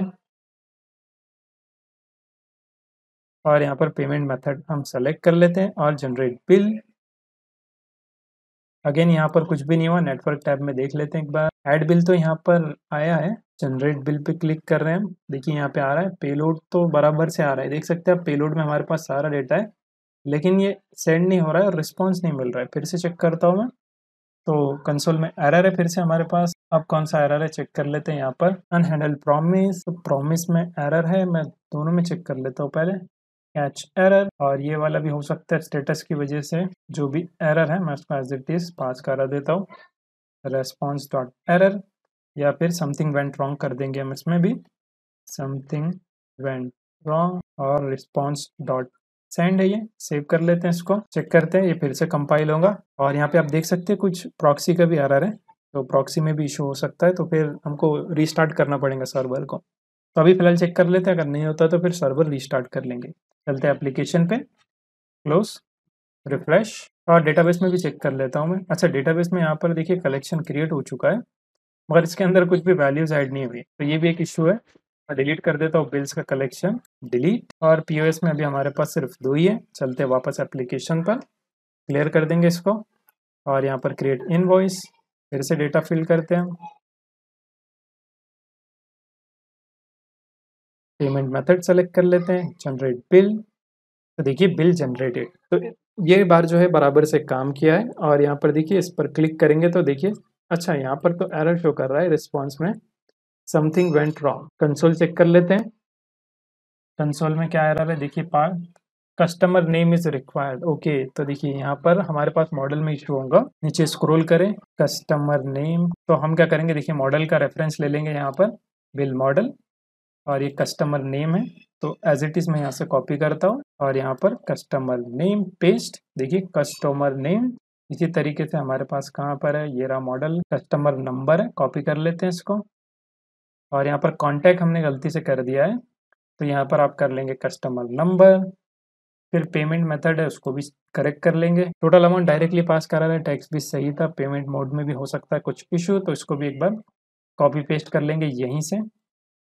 पेस्ट सेव कर लेते हैं इसको और डेटा कर लेते हैं रिफ्रेश कर लेंगे। तो देखिए अगेन यहाँ पर बना है, लेकिन उसमें ज़ीरो है काउंट इसको इसको ड्रॉप कर लेंगे, फिर से ये सेव हो चुका है, चलते हैं वापस पहले क्लियर कर देते हैं इसको, फिर से चलते क्रिएट इनवॉइस नेम हम ऐड कर देंगे tech info Y T one two three four five six ये कैश कर लेंगे और फिर जनरेट बिल तो बिल जनरेटेड और इस बार चेक कर लेते हैं क्या है। देखिए, bill created successfully in response और डेटाबेस में चेक कर लेंगे रिफ्रेश तो देखिए बिल्स यहाँ पर आ रहा है और इसको ओपन करके देख लेते हैं तो देखिए, बराबर से इसके अंदर डेटा आ रहा है। क्योंकि एरे है तो एरे पे ज़ीरो ही शो करता है। अभी हमने इसको ओपन किया तो बराबर से ये शो कर रहा है। आईडी देख सकते हैं आप कस्टमर नेम उसका नंबर फिर कितना अमाउंट है टैक्स है पेमेंट मेथड और कार्ड आइटम्स को एक्सपेंड करेंगे तो देखिए, यहाँ पे ऑब्जेक्ट है और क्या उसने ऑर्डर दिया है, वो भी यहाँ पर हम सक्सेसफुली गेट कर पा रहे हैं। तो बिल से रिलेटेड सारा टास्क हो चुका है। अभी हमको इसके लिए पीडीएफ जनरेट करना है और बिल का पेज क्रिएट करना है और उसके अंदर सारे बिल्स और कस्टमर को भी हमको शो कराना है। तो अभी हम क्या करेंगे? बिल्स के लिए पेज क्रिएट कर लेंगे और साथ ही में कस्टमर के लिए भी जो है न्यू पेज क्रिएट कर लेंगे। चलते हैं विजुअल स्टूडियो कोड में क्लाइंट और यहाँ से सोर्स के अंदर हमारे पास पेजेस है। इसके अंदर एक न्यू पेज हम क्रिएट करेंगे। बिल्स के लिए बिल्स पेज डॉट जेएस और उसके बाद में हम क्या करेंगे? कस्टमर के लिए भी कर देंगे। कस्टमर पेज डॉट जेएस उनको फंक्शनल कंपोनेंट बना देंगे। R F C E React arrow function with export H one add कर देंगे। कस्टमर पेज सेव इसको क्लोज कर देते हैं। पहले बिल्स पेज पे काम कर लेंगे। R F C E H one bills page save और ऐप डॉट जे में इसको इंपोर्ट करना पड़ेगा। ऐप डॉट जे और यहाँ पर हम ऐड कर सकते हैं। डायरेक्टली भी कर लेंगे। ऑटो इम्पोर्ट का फ़ंक्शन काम करता है। तो प्रोटेक्टेड राउट के अंदर हमको इसको करना पड़ेगा। तो देखिए, यहीं से मैं क्या करता हूँ, इस राउट को कॉपी कर लूँगा दो बार कॉपी पेस्ट ये वाला रहेगा बिल्स के लिए। अभी जो राउट पे है ना, ये देखिए बिल्स तो इस राउट पे हम इसको ऐड कर देंगे। और देखिए बिल्स में हमको क्या करना है, कहाँ गया पेज ये रहा। इसको जो है ना डिव के बदले डिफ़ॉल्ट लेआउट से जो है हम रैप कर लेंगे। So default layout make sure ये इंपोर्ट भी हो जाए। सो इसको बराबर से क्लोज करें। सेव चलते हैं ऐप डॉट जी में। और बिल्स में हमको क्या करना है? कार्ड पेज के बदले अब बिल्स पेज को जो है ऐड कर देना है। देखिए सजेशन शो कर रहा है, इस पर क्लिक करें। क्लिक करें तो ऑटो इंपोर्ट भी हो जाएगा ऊपर। उसके बाद में हमारे पास है कस्टमर और यहाँ पर कस्टमर कंपोनेंट को हमको ऐड कर देना है। कस्टमर पेज सजेशन शो कर रहा है। क्लिक करें ऑटो इम्पोर्ट भी हो जाएगा। देख सकते हैं, दोनों पेजेस जो है इम्पोर्ट हो चुके हैं। इसको सेव कर लेते हैं और यहाँ पर क्लिक कर लेंगे। आना चाहिए। तो देखिए, बिल पेज जो है सक्सेसफुली आ रहा है। और हम क्या कर सकते हैं? लोकल स्टोरेज में से जो है डेटा को रिमूव भी कर सकते हैं। तो बाद में देख लेंगे हम। पहले देखिए यहाँ पे बिल्स पेज आ रहा है तो हमको इसके लिए जो है कंट्रोलर क्रिएट करना पड़ेगा। तो कंट्रोलर ऑलरेडी है हमारे पास तो इसके अंदर हम एक क्या करेंगे? यहाँ पर फ़ंक्शन क्रिएट करेंगे। गेट बिल्स डेटा और इसको हम आइटम कंट्रोलर में से कॉपी कर लेंगे। यहीं से मैं कॉपी करता हूँ और मॉडिफिकेशन हम कर देंगे उसके अंदर। पेस्ट गेट आइटम कंट्रोलर के बदले इसको कर देना है। गेट बिल्स कंट्रोलर और यहाँ पर आइटम्स के बदले है बिल्स और बिल्स को ही पास करा देंगे और आइटम मॉडल के बदले बिल्स मॉडल। सेव कर लेते हैं इसको और एक्सपोर्ट करा देंगे, कॉपी, नीचे एक्सपोर्ट करा दिया और राउट के अंदर हम उसको यूज़ कर सकते हैं तो राउट को ओपन कर लेते हैं पहले, बिल राउट और यहाँ पर इसको जो है हम कॉपी पेस्ट कर लेंगे, कॉपी पेस्ट मेथड रहेगा गेट का और यहाँ पर इसको कर देंगे हम कैट बिल्स और यहाँ पर ऐड के बदले गेट बिल्स कंट्रोलर पेस्ट और इसको एक्सपोर्ट भी करना पड़ेगा। तो यहाँ पे हम इसको इंपोर्ट कर लेंगे सेव कर लेते हैं इसको कंसोल चेक कर लेते हैं एक बार, कोई एरर तो नहीं अपने पास। तो कोई भी एरर हमारे पास कंसोल पे नहीं है। तो ये दोनों ही कंट्रोलर क्रिएट हो चुके हैं, इसमें हम क्या करने वाले गेट करने वाले हैं। देखिए यहाँ पे पोस्ट है ना मेथड इसको गेट कर लीजिए आप। क्योंकि गेट मेथड है सेव कंट्रोलर भी बराबर से क्रिएट हो चुका है। इसमें से सारा का सारा बिल का डेटा हम जो है पास कराने वाले हैं। और मैं क्या करता हूँ स्टेटस यहाँ से रिमूव कर लेता हूँ। डायरेक्टली हम सेंड कर देंगे। सेव और यहाँ पर बिल पेज जो है हमारे पास, इसमें हमको शो कराना है। तो उसको हम क्या कर सकते हैं एज अ टेबल की फॉर्मेट में भी शो करा सकते हैं। और वहीं पर हम क्या करेंगे इन्वॉइस का ऑप्शन कर देंगे, यानी कि रिसिप्ट हम क्रिएट कर सकते हैं। तो उसके लिए हमारे पास आई थिंक आइटम पेज है ना, उसमें ऑलरेडी है हमारे पास। देखिए, ये जितना भी है ना इसको हम कॉपी कर लेंगे। मैं क्या करता हूँ, सब कुछ कॉपी कर लेता हूँ यहाँ से कॉपी और बाकी सबको क्लोज कर देंगे यहाँ से। बिल राउट को भी कंट्रोलर को भी और मॉडल को भी ऐप डॉट जी क्लोज कर देते हैं। और बिल्स पेज में हम क्या करेंगे, सब कुछ पेस्ट कर देंगे। और यहाँ पर आपको एरर शो कर सकता है तो फ़िलहाल उसको इग्नोर करें, क्योंकि इम्पोर्ट्स भी हमको यहाँ पर लगेंगे। तो इम्पोर्ट्स भी आप बराबर से कॉपी करें। तो इम्पोर्ट्स तक हमने कॉपी कर लिया यहाँ पर कॉपी और बिल्स के अंदर रिटर्न से पहले पेस्ट कर देंगे और इम्पोर्ट्स बचते हैं टॉप के। तो वो हम इंपोर्ट कर देंगे। यहाँ से पूरे इंपोर्ट हमको चाहिए। कॉपी टॉप पे आप क्या करें, इसको ऐड कर दें। पेस्ट और जो चीज़ें हमको नहीं चाहिए, वो हम रिमूव कर लेंगे। जैसे कि पॉपअप मॉडल एडिट नहीं चाहिए ना हमको। तो फ़िलहाल रहने देते हैं, इसकी ज़रूरत नहीं है। गेट ऑल आइटम्स के बदले हम क्या करेंगे? गेट ऑल बिल्स का इसको फ़ंक्शन बना देंगे। और यहाँ पर देखिए अवेट हम कर रहे हैं ना तो ये राउट हमको चेंज करना पड़ेगा। तो ये राउट हम चेंज कर देंगे bills slash get dash bills और डेटा में हम क्या करेंगे? यहाँ पर आइटम्स है ना? तो यहाँ पर बिल्स डेटा कर लेंगे इसको। Bills data set bills data और यहाँ से सेट करा देंगे इसको। और यहाँ पर गेट ऑल आइटम्स के बदले अब रहेगा गेट ऑल बिल्स और नीचे चेक कर लेते हैं क्या है? हैंडल डिलीट है तो ये नहीं चाहिए हमको, इसको रिमूव कर लेते हैं। और ये कॉलम है, देखिए कॉलम हमको जो है चेंज करना पड़ेगा, क्योंकि ये जो टेबल है वो हमको नहीं चाहिए। तो मैं डिलीट का एक्शन यहाँ से रिमूव कर लेता हूँ।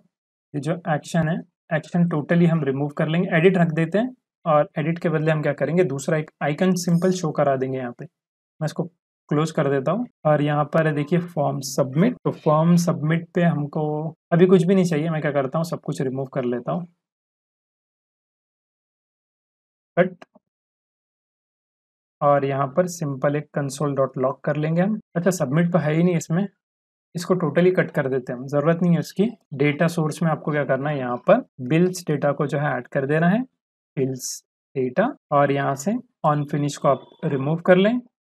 और ये फॉर्म हमको नहीं चाहिए तो फॉर्म भी रिमूव कर लेंगे हम यहाँ से। टोटल फॉर्म को रिमूव कर लेंगे। एम टी पॉपअप रहेगा भी फ़िलहाल के लिए। और ये जो रिटर्न है, इसको चेंज कर देंगे हम। यहाँ पे इसको कर देंगे। इनवॉइस लिस्ट कर देते हैं हम इसको।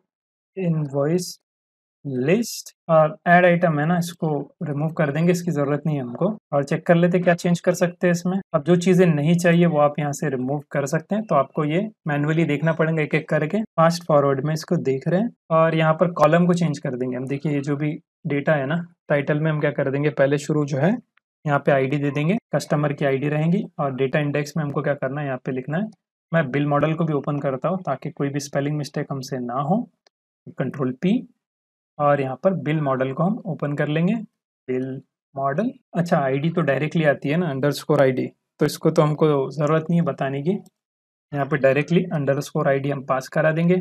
उसके बाद में यहाँ पर इमेज है तो इसके बदले हम लिखेंगे कस्टमर नेम और डेटा इंडेक्स में कस्टमर नेम रहेगा, जो हमने यहाँ पे प्रोवाइड किया है। एज इट इज़ हम यहाँ पर इसको ऐड कर देंगे पेस्ट रेंडर रिमूव कर लिए, ये इमेज के लिए था तो हम इसको रिमूव कर लेते हैं। उसके बाद में हमारे पास है कॉन्टैक्ट नंबर और इसका इंडेक्स क्या है चेक कर लेते हैं।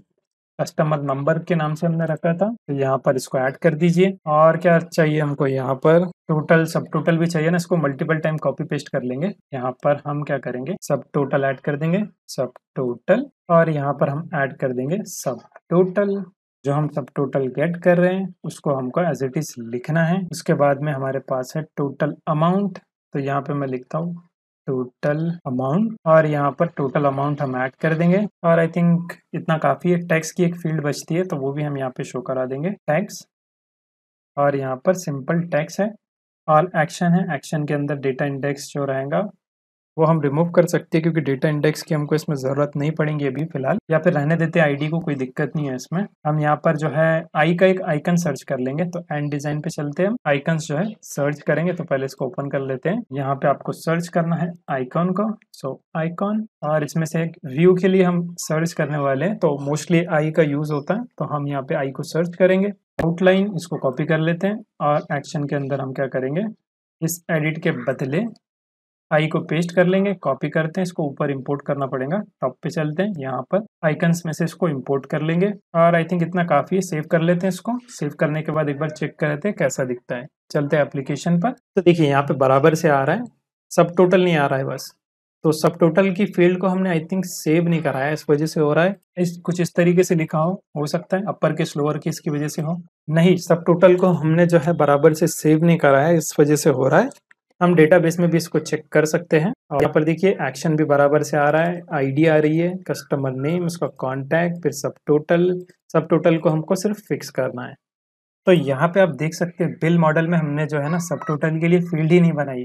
तो यहाँ से हम क्या करेंगे, इसको कॉपी कर लेते हैं कॉपी पेस्ट और यहाँ पर सब टोटल की एक फ़ील्ड बना देंगे, सब टोटल सेव कर लेते हैं इसको।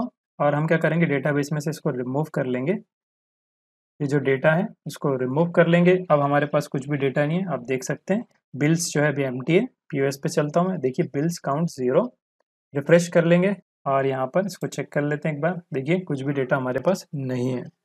चलते हैं एप्लीकेशन पे वापस और हम क्या करेंगे? चलते हैं होम पेज पे और कार्ड पे चलते हैं डायरेक्टली कार्ड है अपने पास तो यहाँ से क्रिएट इनवॉइस फिर से हम क्या करेंगे? इसका नाम और नंबर ऐड कर देंगे और इसका पेमेंट मेथड और फिर जनरेट बिल तो देखिए, बिल जनरेट हो चुका है और डायरेक्टली हम इनवॉइस लिस्ट में आ चुके हैं। अब सब टोटल भी बराबर से शो कर रहा है और टैक्स भी आ रहा है और टोटल अमाउंट भी यहाँ पर शो हो रहा है और ये आगे पीछे हो गया। तो इसको आप बराबर कर सकते हैं अपने हिसाब से, कोई दिक्कत नहीं है, इतनी बड़ी प्रॉब्लम नहीं है वो। टैक्स जो है ना, इसको ऊपर कर लीजिए। तो ये बराबर से फिर शो करेगा, वरना ये आगे पीछे आएगा, जो कि सही नहीं है। अब कुछ इस तरीके से आ रहा है, देख सकते हैं आप। अब टोटल और इस पर टैक्स है टेन परसेंट और उसके बाद में टोटल अमाउंट यहाँ पर शो कर रहा है। अब हमको क्या करना है, यहाँ पर जैसे आई बटन पे क्लिक हो, तब हम एक, यहाँ पर एक इन्वॉइस शो करेंगे जो कि प्रिंटेबल रहेगा। तो यहाँ पे हम क्या कर लेंगे, पहले इस आई बटन पे जो है काम कर लेंगे और इस पैजिनेशन को भी बंद कर देंगे। तो मैं चलता हूँ कोड में और यहाँ पर देखिए हमारे पास ये मॉडल है और मॉडल का टाइटल भी हम चेंज कर लेंगे पहले। देखिए ये डायनेमिक टाइटल था पुराने के लिए, इसको चेंज कर देंगे और यहाँ पे हम नाम रख देंगे। इनवॉइस डिटेल्स और यहाँ पर देखिए ऑन कैंसिल पे जो है ना एडिट आइटम है तो इसको रिमूव कर देंगे और सेट पॉपअप तो ये सेम रहेगा। अब हम क्या करते हैं, यहाँ पर आई बटन पे चलते हैं और इनलाइन स्टाइल हम यहाँ पे ऐड कर देंगे। इनलाइन स्टाइल और कर्सर जो है ना, उसको कर देंगे हम पॉइंटर उसके बाद में यहाँ पर ऑन क्लिक पे काम करना है। ऑन क्लिक और यहाँ पर एरो फ़ंक्शन इसके अंदर हम ऐड करेंगे और यहाँ पर हम क्या करेंगे सेट पॉपअप है ना, उसको ट्रू कर देंगे। सेट पॉपअप मॉडल इसको कर देंगे। ट्रू तो मॉडल हमारा ओपन होगा। और साथ ही में एक अगेन न्यू स्टेट हम क्रिएट करेंगे। यहाँ पे एडिट आइटम तो इसकी ज़रूरत नहीं है हमको। इसके बदले एक न्यू स्टेट क्रिएट करेंगे। Const? Selected bill set selected bill equal to use state और इनिशियली इसको नल रखेंगे। तो ये वैल्यू को हम फुलफिल कराएँगे हमारे डेटा से। तो एक्शन में चलते हैं। और यहाँ पर आपको क्या करना है? इस पॉपअप से पहले हम सेट कर देंगे सेट सेलेक्टेड बिल और इसके अंदर जो है रिकॉर्ड को पास करा देंगे। ये जो रिकॉर्ड है ना, इससे इसको फुलफिल करा देंगे। सेव कर लेते हैं इसको और यहाँ पर इसका काम कंप्लीट हो चुका है। एक बार इसको टेस्ट कर लेते हैं, चलते हैं एप्लीकेशन पे। और पैजिनेशन था ये तो पैजिनेशन को बाद में देख लेंगे हम। इसको रिफ्रेश कर लेते हैं पहले और आई बटन पे मैं क्लिक करता हूँ। तो देखिए मॉडल पॉपअप हो रहा है। अब इसके अंदर हमको जो है पीओएस का जो है बिल यहाँ पर क्रिएट करना है। तो यहाँ पे मैं पहले क्रिएट कर लूँगा, उसके बाद में मैं आपको एक्सप्लेन करूँगा, क्योंकि मैनुअली क्रिएट करेंगे तो काफ़ी इसमें टाइम जा सकता है, क्योंकि बहुत सी स्टाइलिंग और फिर इसका अलाइनमेंट में जो है काफ़ी टाइम जाता है। तो मैं सिंपली जो है पहले क्रिएट कर लेता हूँ और उसके बाद में आपको एक्सप्लेन कर लूँगा मैंने कैसे क्रिएट किया। तो यहाँ पे मैंने जो है प्रिंट पेज जो है क्रिएट कर लिया, यानी कि मॉडल के अंदर मैंने इन्वॉइस के लिए जो है यहाँ पर स्टाइलिंग कर ली है, जो कि आप देख सकते हैं, मैं क्लिक करता हूँ यहाँ पर। इस आई बटन पर तो देखिए यहाँ पर कुछ इस तरीके से आपको जो है इन्वॉइस मिलेगा। क्योंकि हम पीओएस देख रहे हैं तो थर्मल प्रिंटर जो है छोटा होता है और उसमें ज़्यादा हम कलर्स ऐड नहीं कर सकते क्योंकि ब्लैक एंड वाइट हमको प्रिंट कराना पड़ता है। और क्योंकि कॉस्ट का भी इसमें इफ़ेक्ट पड़ता है, इसीलिए यहाँ पर हम ब्लैक एंड वाइट में ज़्यादातर देखते हैं। तो यहाँ पे टॉप पे लोगो उसके बाद में आपके एप्लीकेशन का नाम, देखिए सेलेक्ट कर रहा हूँ तो इसका कलर भी चेंज होता है। तो थोड़ी बहुत फंक्शनैलिटी हमने इसमें ऐड की है और यहाँ पर कॉन्टैक्ट नेम ऐड कर सकते हैं, कहाँ पर लोकेशन है वो ऐड करेंगे। उसके बाद में देखिए यहाँ पे मैंने नेम ऐड किया है, फिर फ़ोन नंबर और उसके बाद में डेट कि कब हमने जो है इस बिल को प्रिंट किया है। तो साथ ही में यहाँ पर आप देख सकते हैं जितने भी आइटम्स रहेंगे, वो यहाँ पर शो करेंगे। उसके बाद में कितना टैक्स लगा है और उसके बाद में ग्रैंड टोटल तो ये अमाउंट हमको जो है प्रिंट कराना है। तो इस अमाउंट की बेसिस पे जो है इसको हम प्रिंट करा देंगे और प्रिंट के लिए अलग से एक बटन हम क्रिएट करेंगे। उस पर क्लिक हो तो प्रिंट के लिए रिक्वेस्ट चली जाएँगी। क्योंकि हमको पहले इसका व्यू करना था, इसीलिए हमने यहाँ पर व्यू देखा। अब एक प्रिंट बटन भी हमको ऐड करना है। और लास्ट में थोड़ा सा यहाँ पर आप कुछ भी डिस्क्लेमर या फिर जो भी आपको नोट्स या फिर आपके शॉप के रिकॉर्डिंग आपको जो भी इंफॉर्मेशन प्रोवाइड करनी है तो आप यहाँ पर कर सकते हैं। तो ये काफ़ी छोटा लग रहा होगा आपको, क्योंकि पीओएस जो है थर्मल प्रिंटर छोटा ही होता है। कितनी इसकी हाइट होती है? आई डोंट थिंक तीन इंच का कुछ पेपर होता है ये। तो उतने साइज़ का ही हमको करना था, इसीलिए हमने यहाँ पर इसकी सेटिंग में भी, यानी इसकी विथ भी जो है कम रखी है। एटी एम के पास में मैंने कुछ इसकी जो है विथ रखी है। तो उसके अकॉर्डिंग यहाँ पर ये प्रिंट होगा और थोड़ा सा मार्जिन भी दे दिया ताकि इनकेस कुछ इशू हो जाए प्रिंटर में। तो ये चिपक कर ना आए, इसीलिए हमने यहाँ पर थोड़ा सा लेफ़्ट एंड राइट साइड से मार्जिन ऐड किया है। अब इसको हमने क्रिएट कैसे किया देखिए कोडिंग बहुत ज़्यादा बड़ी थी, इसीलिए मैंने जो है यहाँ पर सेपरेट वीडियो इसके ऊपर नहीं बनाया है। मैंने पहले कंप्लीट कर दिया, उसके बाद में सोचा आपको एक्सप्लेन कर दूँ। तो देखिए, यहाँ पे मॉडल के अंदर आपको एक कमेंट मिलेगा इनवॉइस मॉडल स्टार्ट क्योंकि ये आपकी चॉइस के ऊपर है, हो सकता है आप किसी कमर्शियल पर्पज़ के लिए भी बना रहे हैं।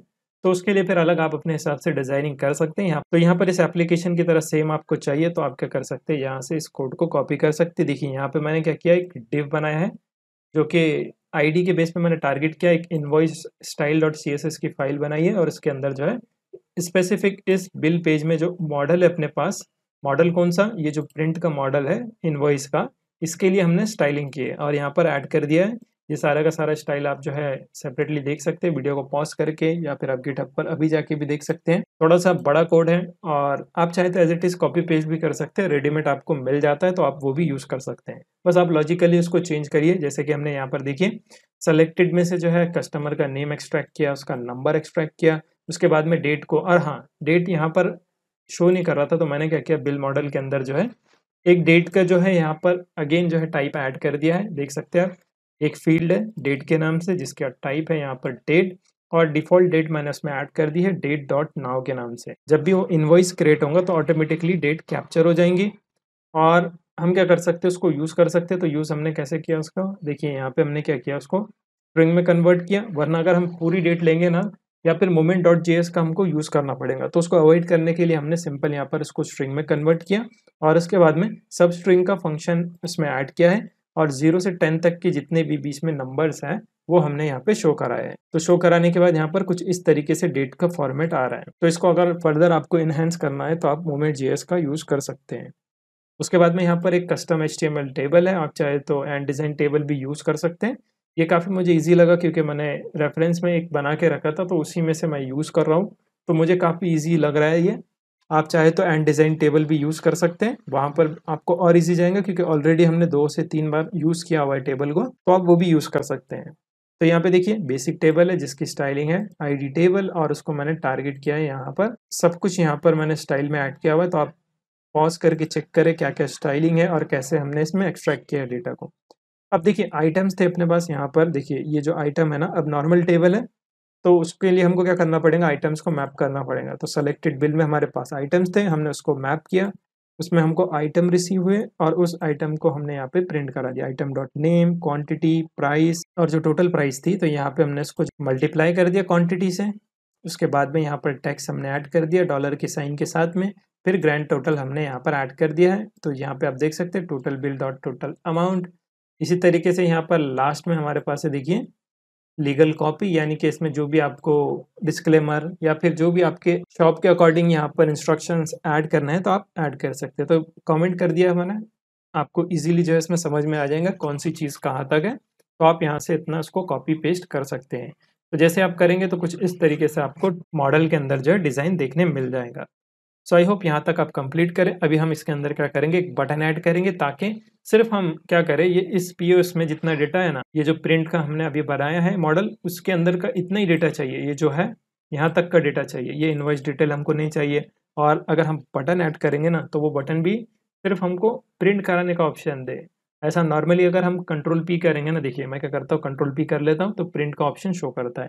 लेकिन इस प्रिंट का अगर आप यूज़ करेंगे ना तो ये पूरा का पूरा पेज जो है प्रिंट कर देता है। देख सकते हैं आप, पूरा इन्वॉइस यहाँ से प्रिंट हो रहा है। तो इसको हमको अवॉइड करना है। तो अब हम क्या करेंगे यहाँ पर? इसको अच्छे से प्रिंट कराने के लिए एक पैकेज होता है। मैं क्या करता हूँ? N P M J S पहले विज़िट करता हूँ N P M J S dot com और यहाँ पे आपको सर्च करना है React dash to dash print तो ये एक पैकेज होता है। इसमें हमको जो है फंक्शनैलिटी मिलती है अच्छे से प्रिंट कराने की। तो काफ़ी पॉपुलर है। यहाँ पे आप देख सकते हैं इसका पैकेज साइज़ है sixty two point three K B और वीकली डाउनलोड्स भी टू लैक्स के अबव है। और डेमो भी देख सकते हैं आप सैंड बॉक्स पे और इसको इंस्टॉल करके रखें। तो इंस्टॉलेशन बहुत सिंपल है। आप इस कमांड को कॉपी करें। वी एस कोड में आइए टर्मिनल में जाइए और आपको इसको क्लाइंट डायरेक्टरी के अंदर जो है पेस्ट करना है। तो पहले क्या करें आप? स्विच कर ले क्लाइंट के अंदर तो सी डी क्लाइंट और यहाँ से मैं क्लियर कर देता हूँ। तो अब इसके अंदर हमको कमांड को पेस्ट करना है। और इसको इंस्टॉल कर देना। और ये जैसे इंस्टॉल होता है तो हमको इसको यूज़ करना पड़ेगा। तो यहाँ से हम क्या करते हैं, इसका कोड कॉपी कर लेते हैं, नीचे स्क्रॉल करेंगे। तो यहाँ पर कैसे यूज़ करना है, इसका डॉक्यूमेंटेशन हमको मिल जाएगा। देखिए यहाँ पे क्लास कंपोनेंट के साथ में हम फंक्शनल कंपोनेंट में देख रहे हैं और हमारे पास दूसरा कंपोनेंट है। तो नीचे और स्क्रॉल करके देख लेते हो, कोई और एग्ज़ाम्पल है या नहीं? देखिए यहाँ पर है कॉलिंग फ्रॉम फंक्शनल कंपोनेंट तो हमको देखिए यहाँ पे यूज़ रैप लगेगा तो ये सारी चीज़ें हमको इम्पोर्ट करना पड़ेगा।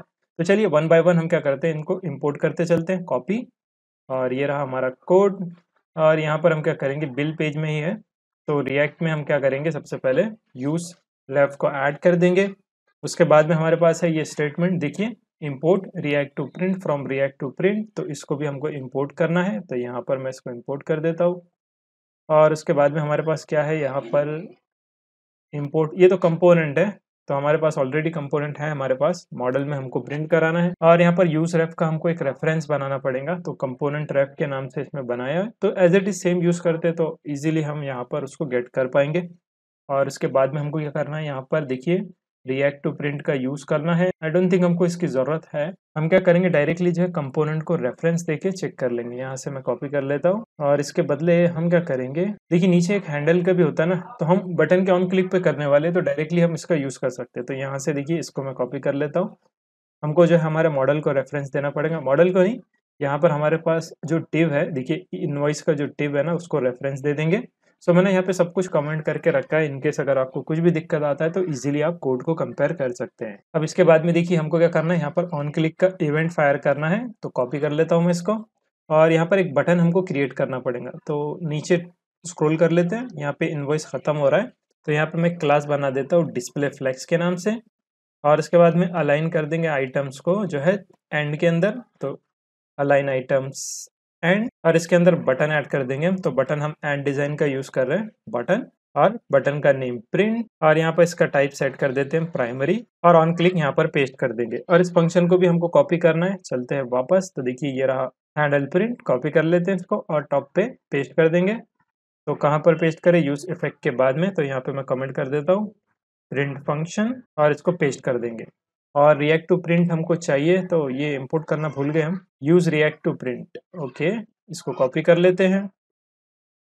टॉप पे चलते हैं। और पहले हमने React to print directly paste किया था ना, उसके नीचे मैं यहाँ पे पेस्ट कर लेता हूँ।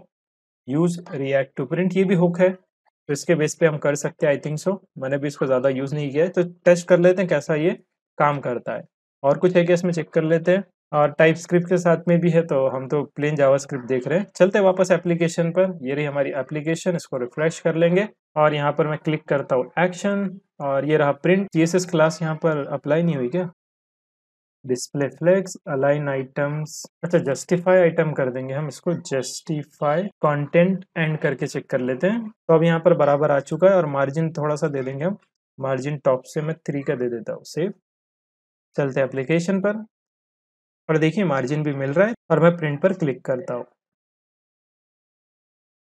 तो देखिए प्रिंट में हमारे पास बराबर से सिर्फ़ उतना ही डेटा आ रहा है। कोई बटन एक्स्ट्रा नहीं आ रहा है, क्योंकि ये पीओएस के लिए है तो यहाँ पर ये छोटा दिखाई देगा, लेकिन जब आप थर्मल प्रिंटर में इसको प्रिंट देंगे ना तो बराबर ये शो करेगा।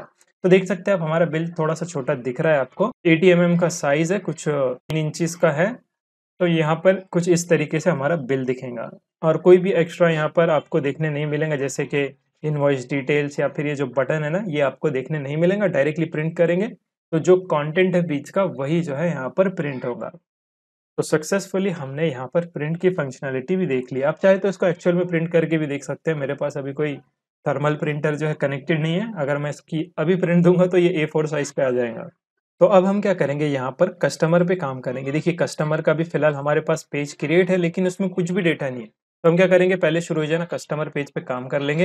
यहाँ पर एस आर के अंदर पेजेस और हमारे पास कस्टमर पेज तो इसको रैप कर देंगे हम सबसे पहले डिफ़ॉल्ट लेआउट से। So default layout make sure इसको इंपोर्ट भी कर दें। तो यहाँ पर ये इंपोर्ट हो चुका है सेव कर लेते हैं इसको टेस्ट कर लेते हैं। तो यहाँ पर लेआउट के साथ में अब शो करेगा। रिफ्रेश और कुछ एरर है क्या? इंस्पेक्ट करके एक बार चेक कर लेंगे। कंसोल ओके तो यहाँ पर कोई राउट इससे मैच नहीं हो रहा है कस्टमर के लिए। तो ऐप डॉट जे में एक बार चेक कर लेते हैं। ऐप डॉट जे को ओपन कर लेते हैं और यहाँ पर हमारे पास है कस्टमर और यहाँ पे क्या दिया है हमने? कस्टमर्स तो एस का डिफरेंस है तो मैं यहाँ पे एस कर देता हूँ, ठीक है? यहाँ पर हमने एस कर दिया, अब चलते हैं वापस और इसको रिफ्रेश कर लेंगे। तो देखिए, यहाँ पे बराबर से ये आ चुका है कस्टमर पेज और इसके अंदर हमको क्या करना है? सिर्फ़ जो बिल के अंदर कस्टमर है ना कस्टमर का नेम और उसका कॉन्टैक्ट हम शो करा सकते हैं। क्योंकि हमने इसके लिए कुछ अलग से अभी आइडिया नहीं था हमारे पास कि कैसे कस्टमर को मैनेज करना है। क्योंकि देखिए पीओएस का जो मॉड्यूल होता है ना, बहुत वास्ट होता है। यानी कि बहुत सारी चीज़ें इसमें ऐड करने को। सब कुछ तो एक साथ हम कवर नहीं कर सकते और अभी वीडियो की लेंथ भी काफ़ी बड़ी है। तो आई थिंक इस प्रोजेक्ट के लिए इतना काफ़ी है। मैं सिर्फ़ अभी जो है यहाँ पर कस्टमर का डिटेल जो है ऐड कर दूँगा। तो ऑलरेडी हमारे पास बिल पेज में है ना, जो भी टेबल है तो उसका हम यूज़ कर सकते हैं। तो चलते टॉप पे और यहाँ से हम क्या करेंगे? बिल्स डेटा जो था उसको एज इट इज़ कॉपी कर लेंगे। नेम चेंज कर सकते हैं आप, कोई दिक्कत नहीं है। यहाँ पर हम क्या करेंगे? स्टेट क्रिएट कर लेंगे। बिल स्टेटा और यूज़ स्टेट को हमको ऐड करना पड़ेगा। उस स्टेट और फिर यूज़ इफ़ेक्ट भी लगेगा तो यूज़ इफ़ेक्ट भी हम ऐड कर देते हैं। उसके बाद में हमारे पास है, यहाँ पर पॉपअप मॉडल नहीं चाहिए इसमें हमको। यहाँ पर देखिए गेट ऑल बिल्स है ना? तो ये चीज़ चाहिए हमको। और यूज़ इफ़ेक्ट भी लगेगा। यूज़ इफ़ेक्ट भी कॉपी कर लेते हैं। ये दोनों चीज़ें हम यहाँ पर कॉपी कर लेंगे। और यहाँ पर इसको पेस्ट कर देंगे। डिस्पैच भी चाहिए तो इंपोर्ट कर देंगे। इंपोर्ट यूज़ डिस्पैच और क्या है यहाँ पर? इसका एक वेरिएबल क्रिएट करना पड़ेगा। तो कॉपी पेस्ट ही कर लेता हूँ मैं। टाइम बचेगा थोड़ा। तो ये यहाँ पर ये रहा डिस्पैच इसको हम पेस्ट कर देते हैं यहाँ पर। तो डिस्पैच भी हो चुका है और एक्जियोस को भी इंपोर्ट करना पड़ेगा। So import axios from axios axios भी इंपोर्ट हो चुका है। और क्या बचा है यहाँ पर? प्रिंट फ़ंक्शन तो हमको नहीं चाहिए। अच्छा ये टेबल हमको चाहिए तो टेबल में कॉपी कर लेता हूँ। सो, कॉलम आप पूरा कॉपी कर लें, कॉपी, और यहाँ पर पेस्ट कर देंगे नीचे। और यहाँ पर हमको कोई भी आइकन नहीं चाहिए तो एक्शन मैं रिमूव कर लेता हूँ यहाँ से। एक्शन रिमूव कर लिया, इसमें से हमको चाहिए सिर्फ़ कस्टमर नेम, कॉन्टैक्ट नंबर और टोटल अमाउंट भी दिखा देते हैं या फिर रहने देते हैं। सिर्फ़ दो ही चीज़ें हम यहाँ पर ऐड कर देंगे, आईडी, कस्टमर नेम, ये ये तीन चीज़ें हम ऐड करा देंगे। सेव कर लेता हूँ मैं पहले। तो अभी कोई भी एरर देखने नहीं मिलेगा। अभी हमको क्या करना है टेबल का भी यूज़ करना है। सो यहाँ पर ये टेबल है कॉपी कर लेते हैं इसको और यहाँ पर पेस्ट कर देंगे। तो टेबल को इंपोर्ट करना पड़ेगा। तो मैं क्या करता हूँ, देखिए यहाँ पर ई को कट करके कंट्रोल स्पेस करेंगे और यहाँ पर एंड डिज़ाइन में से इंपोर्ट कर देंगे। इस पर क्लिक करेंगे कंपोनेंट ऑटोमेटिक इंपोर्ट हो जाएगा। देख सकते हैं आप, यहाँ पर टेबल ऑटो इंपोर्ट हो चुका है। सेव कर लेते हैं और एक बार इसको चेक कर लेंगे, दिखता है या नहीं। तो देखिए, बराबर यहाँ पर आ रहा है, कस्टमर की आईडी आ रही है, कस्टमर नेम आ रहा है और उसका कॉन्टैक्ट नंबर। और पैजिनेशन इसमें भी मैं ऑफ़ कर देता हूँ क्योंकि अभी हमारे पास उतना डेटा है ही नहीं तो पैजिनेशन दिखा के मतलब नहीं है। तो यहाँ पर आई थिंक इसके बाद में मिलता है। पैजिनेशन, इसको कर देंगे हम। फॉल्स तो देखिए पेजिनेशन चला गया। तो ज़्यादा डेटा रहा तो आप तो ज़्यादा डेटा रहा तो आप पेजिनेशन को एनेबल कर सकते हैं। और आई थिंक हमने सब कुछ तो यहाँ पर अचीव कर लिया। यहाँ पे देख सकते हैं आप होम पे आइटम्स है पूरे और सब कुछ यहाँ पर बराबर से काम कर रहा है। तो यहाँ पर ऑलमोस्ट हमारी एप्लीकेशन जो है कंप्लीट हो चुकी है। तो यहाँ पर देख सकते हैं आप, हमारा होम पेज परफेक्टली काम कर रहा है। बिल्स है, फिर आइटम्स यहाँ पर आ रहे हैं बराबर से। इसको एडिट डिलीट कर सकते हैं हम, फिर कस्टमर तो सब कुछ हमने यहाँ पर अचीव कर लिया। हालाँकि रिस्पॉन्सिवनेस पर काम करना बाकी है और भी बहुत सारी मॉडिफिकेशन इसके अंदर हम कर सकते हैं और भी मॉड्यूल को हम क्या कर सकते हैं? यहाँ पर बढ़ा सकते हैं। तो बहुत सारे फीचर्स हम इसमें ऐड कर सकते हैं, लेकिन यहाँ पर वीडियो का साइज़ काफ़ी बढ़ चुका है और आई डोंट थिंक कोई इतना ज़्यादा देखता भी है। तो अगर देखिए, हम क्या करेंगे? इस वीडियो पे अगर हमको 1000 लाइक्स अगर मिलते हैं तो हम जो इसको जो है कंटिन्यू करेंगे, यानी कि मैं नेक्स्ट वीडियो इसके ऊपर एक और ला लूँगा, जिसमें हम इसको और अपग्रेड करेंगे। क्योंकि इसका डिप्लॉयमेंट भी बाकी है तो डिप्लॉयमेंट का भी वीडियो चाहिए तो आप नीचे कमेंट कर सकते हैं। हम इसको डिप्लॉय कर देंगे कोई भी होस्टिंग सर्वर पे। और बस यही इस वीडियो में। आई होप इसमें आपको बहुत कुछ सीखने मिला होगा क्योंकि हमने फ्रॉम द स्क्रैच जो है सब कुछ देखा है। तो और भी मर्न से रिलेटेड ट्यूटोरियल्स मेरे चैनल पर अवेलेबल है तो आप चेकआउट कर सकते हैं। लिंक्स आपको डिस्क्रिप्शन में या फिर आप चैनल भी एक्सप्लोर कर सकते हैं। और अगर आपने वीडियो को लाइक नहीं किया तो पहले आप वीडियो को लाइक कर दें चैनल को सब्सक्राइब कर दें। बेल आइकन प्रेस करें ताकि लेटेस्ट वीडियो की नोटिफिकेशन आपको मिलती रहे। मैं मिलता हूँ नेक्स्ट वीडियो में कोई और प्रोजेक्ट के साथ में।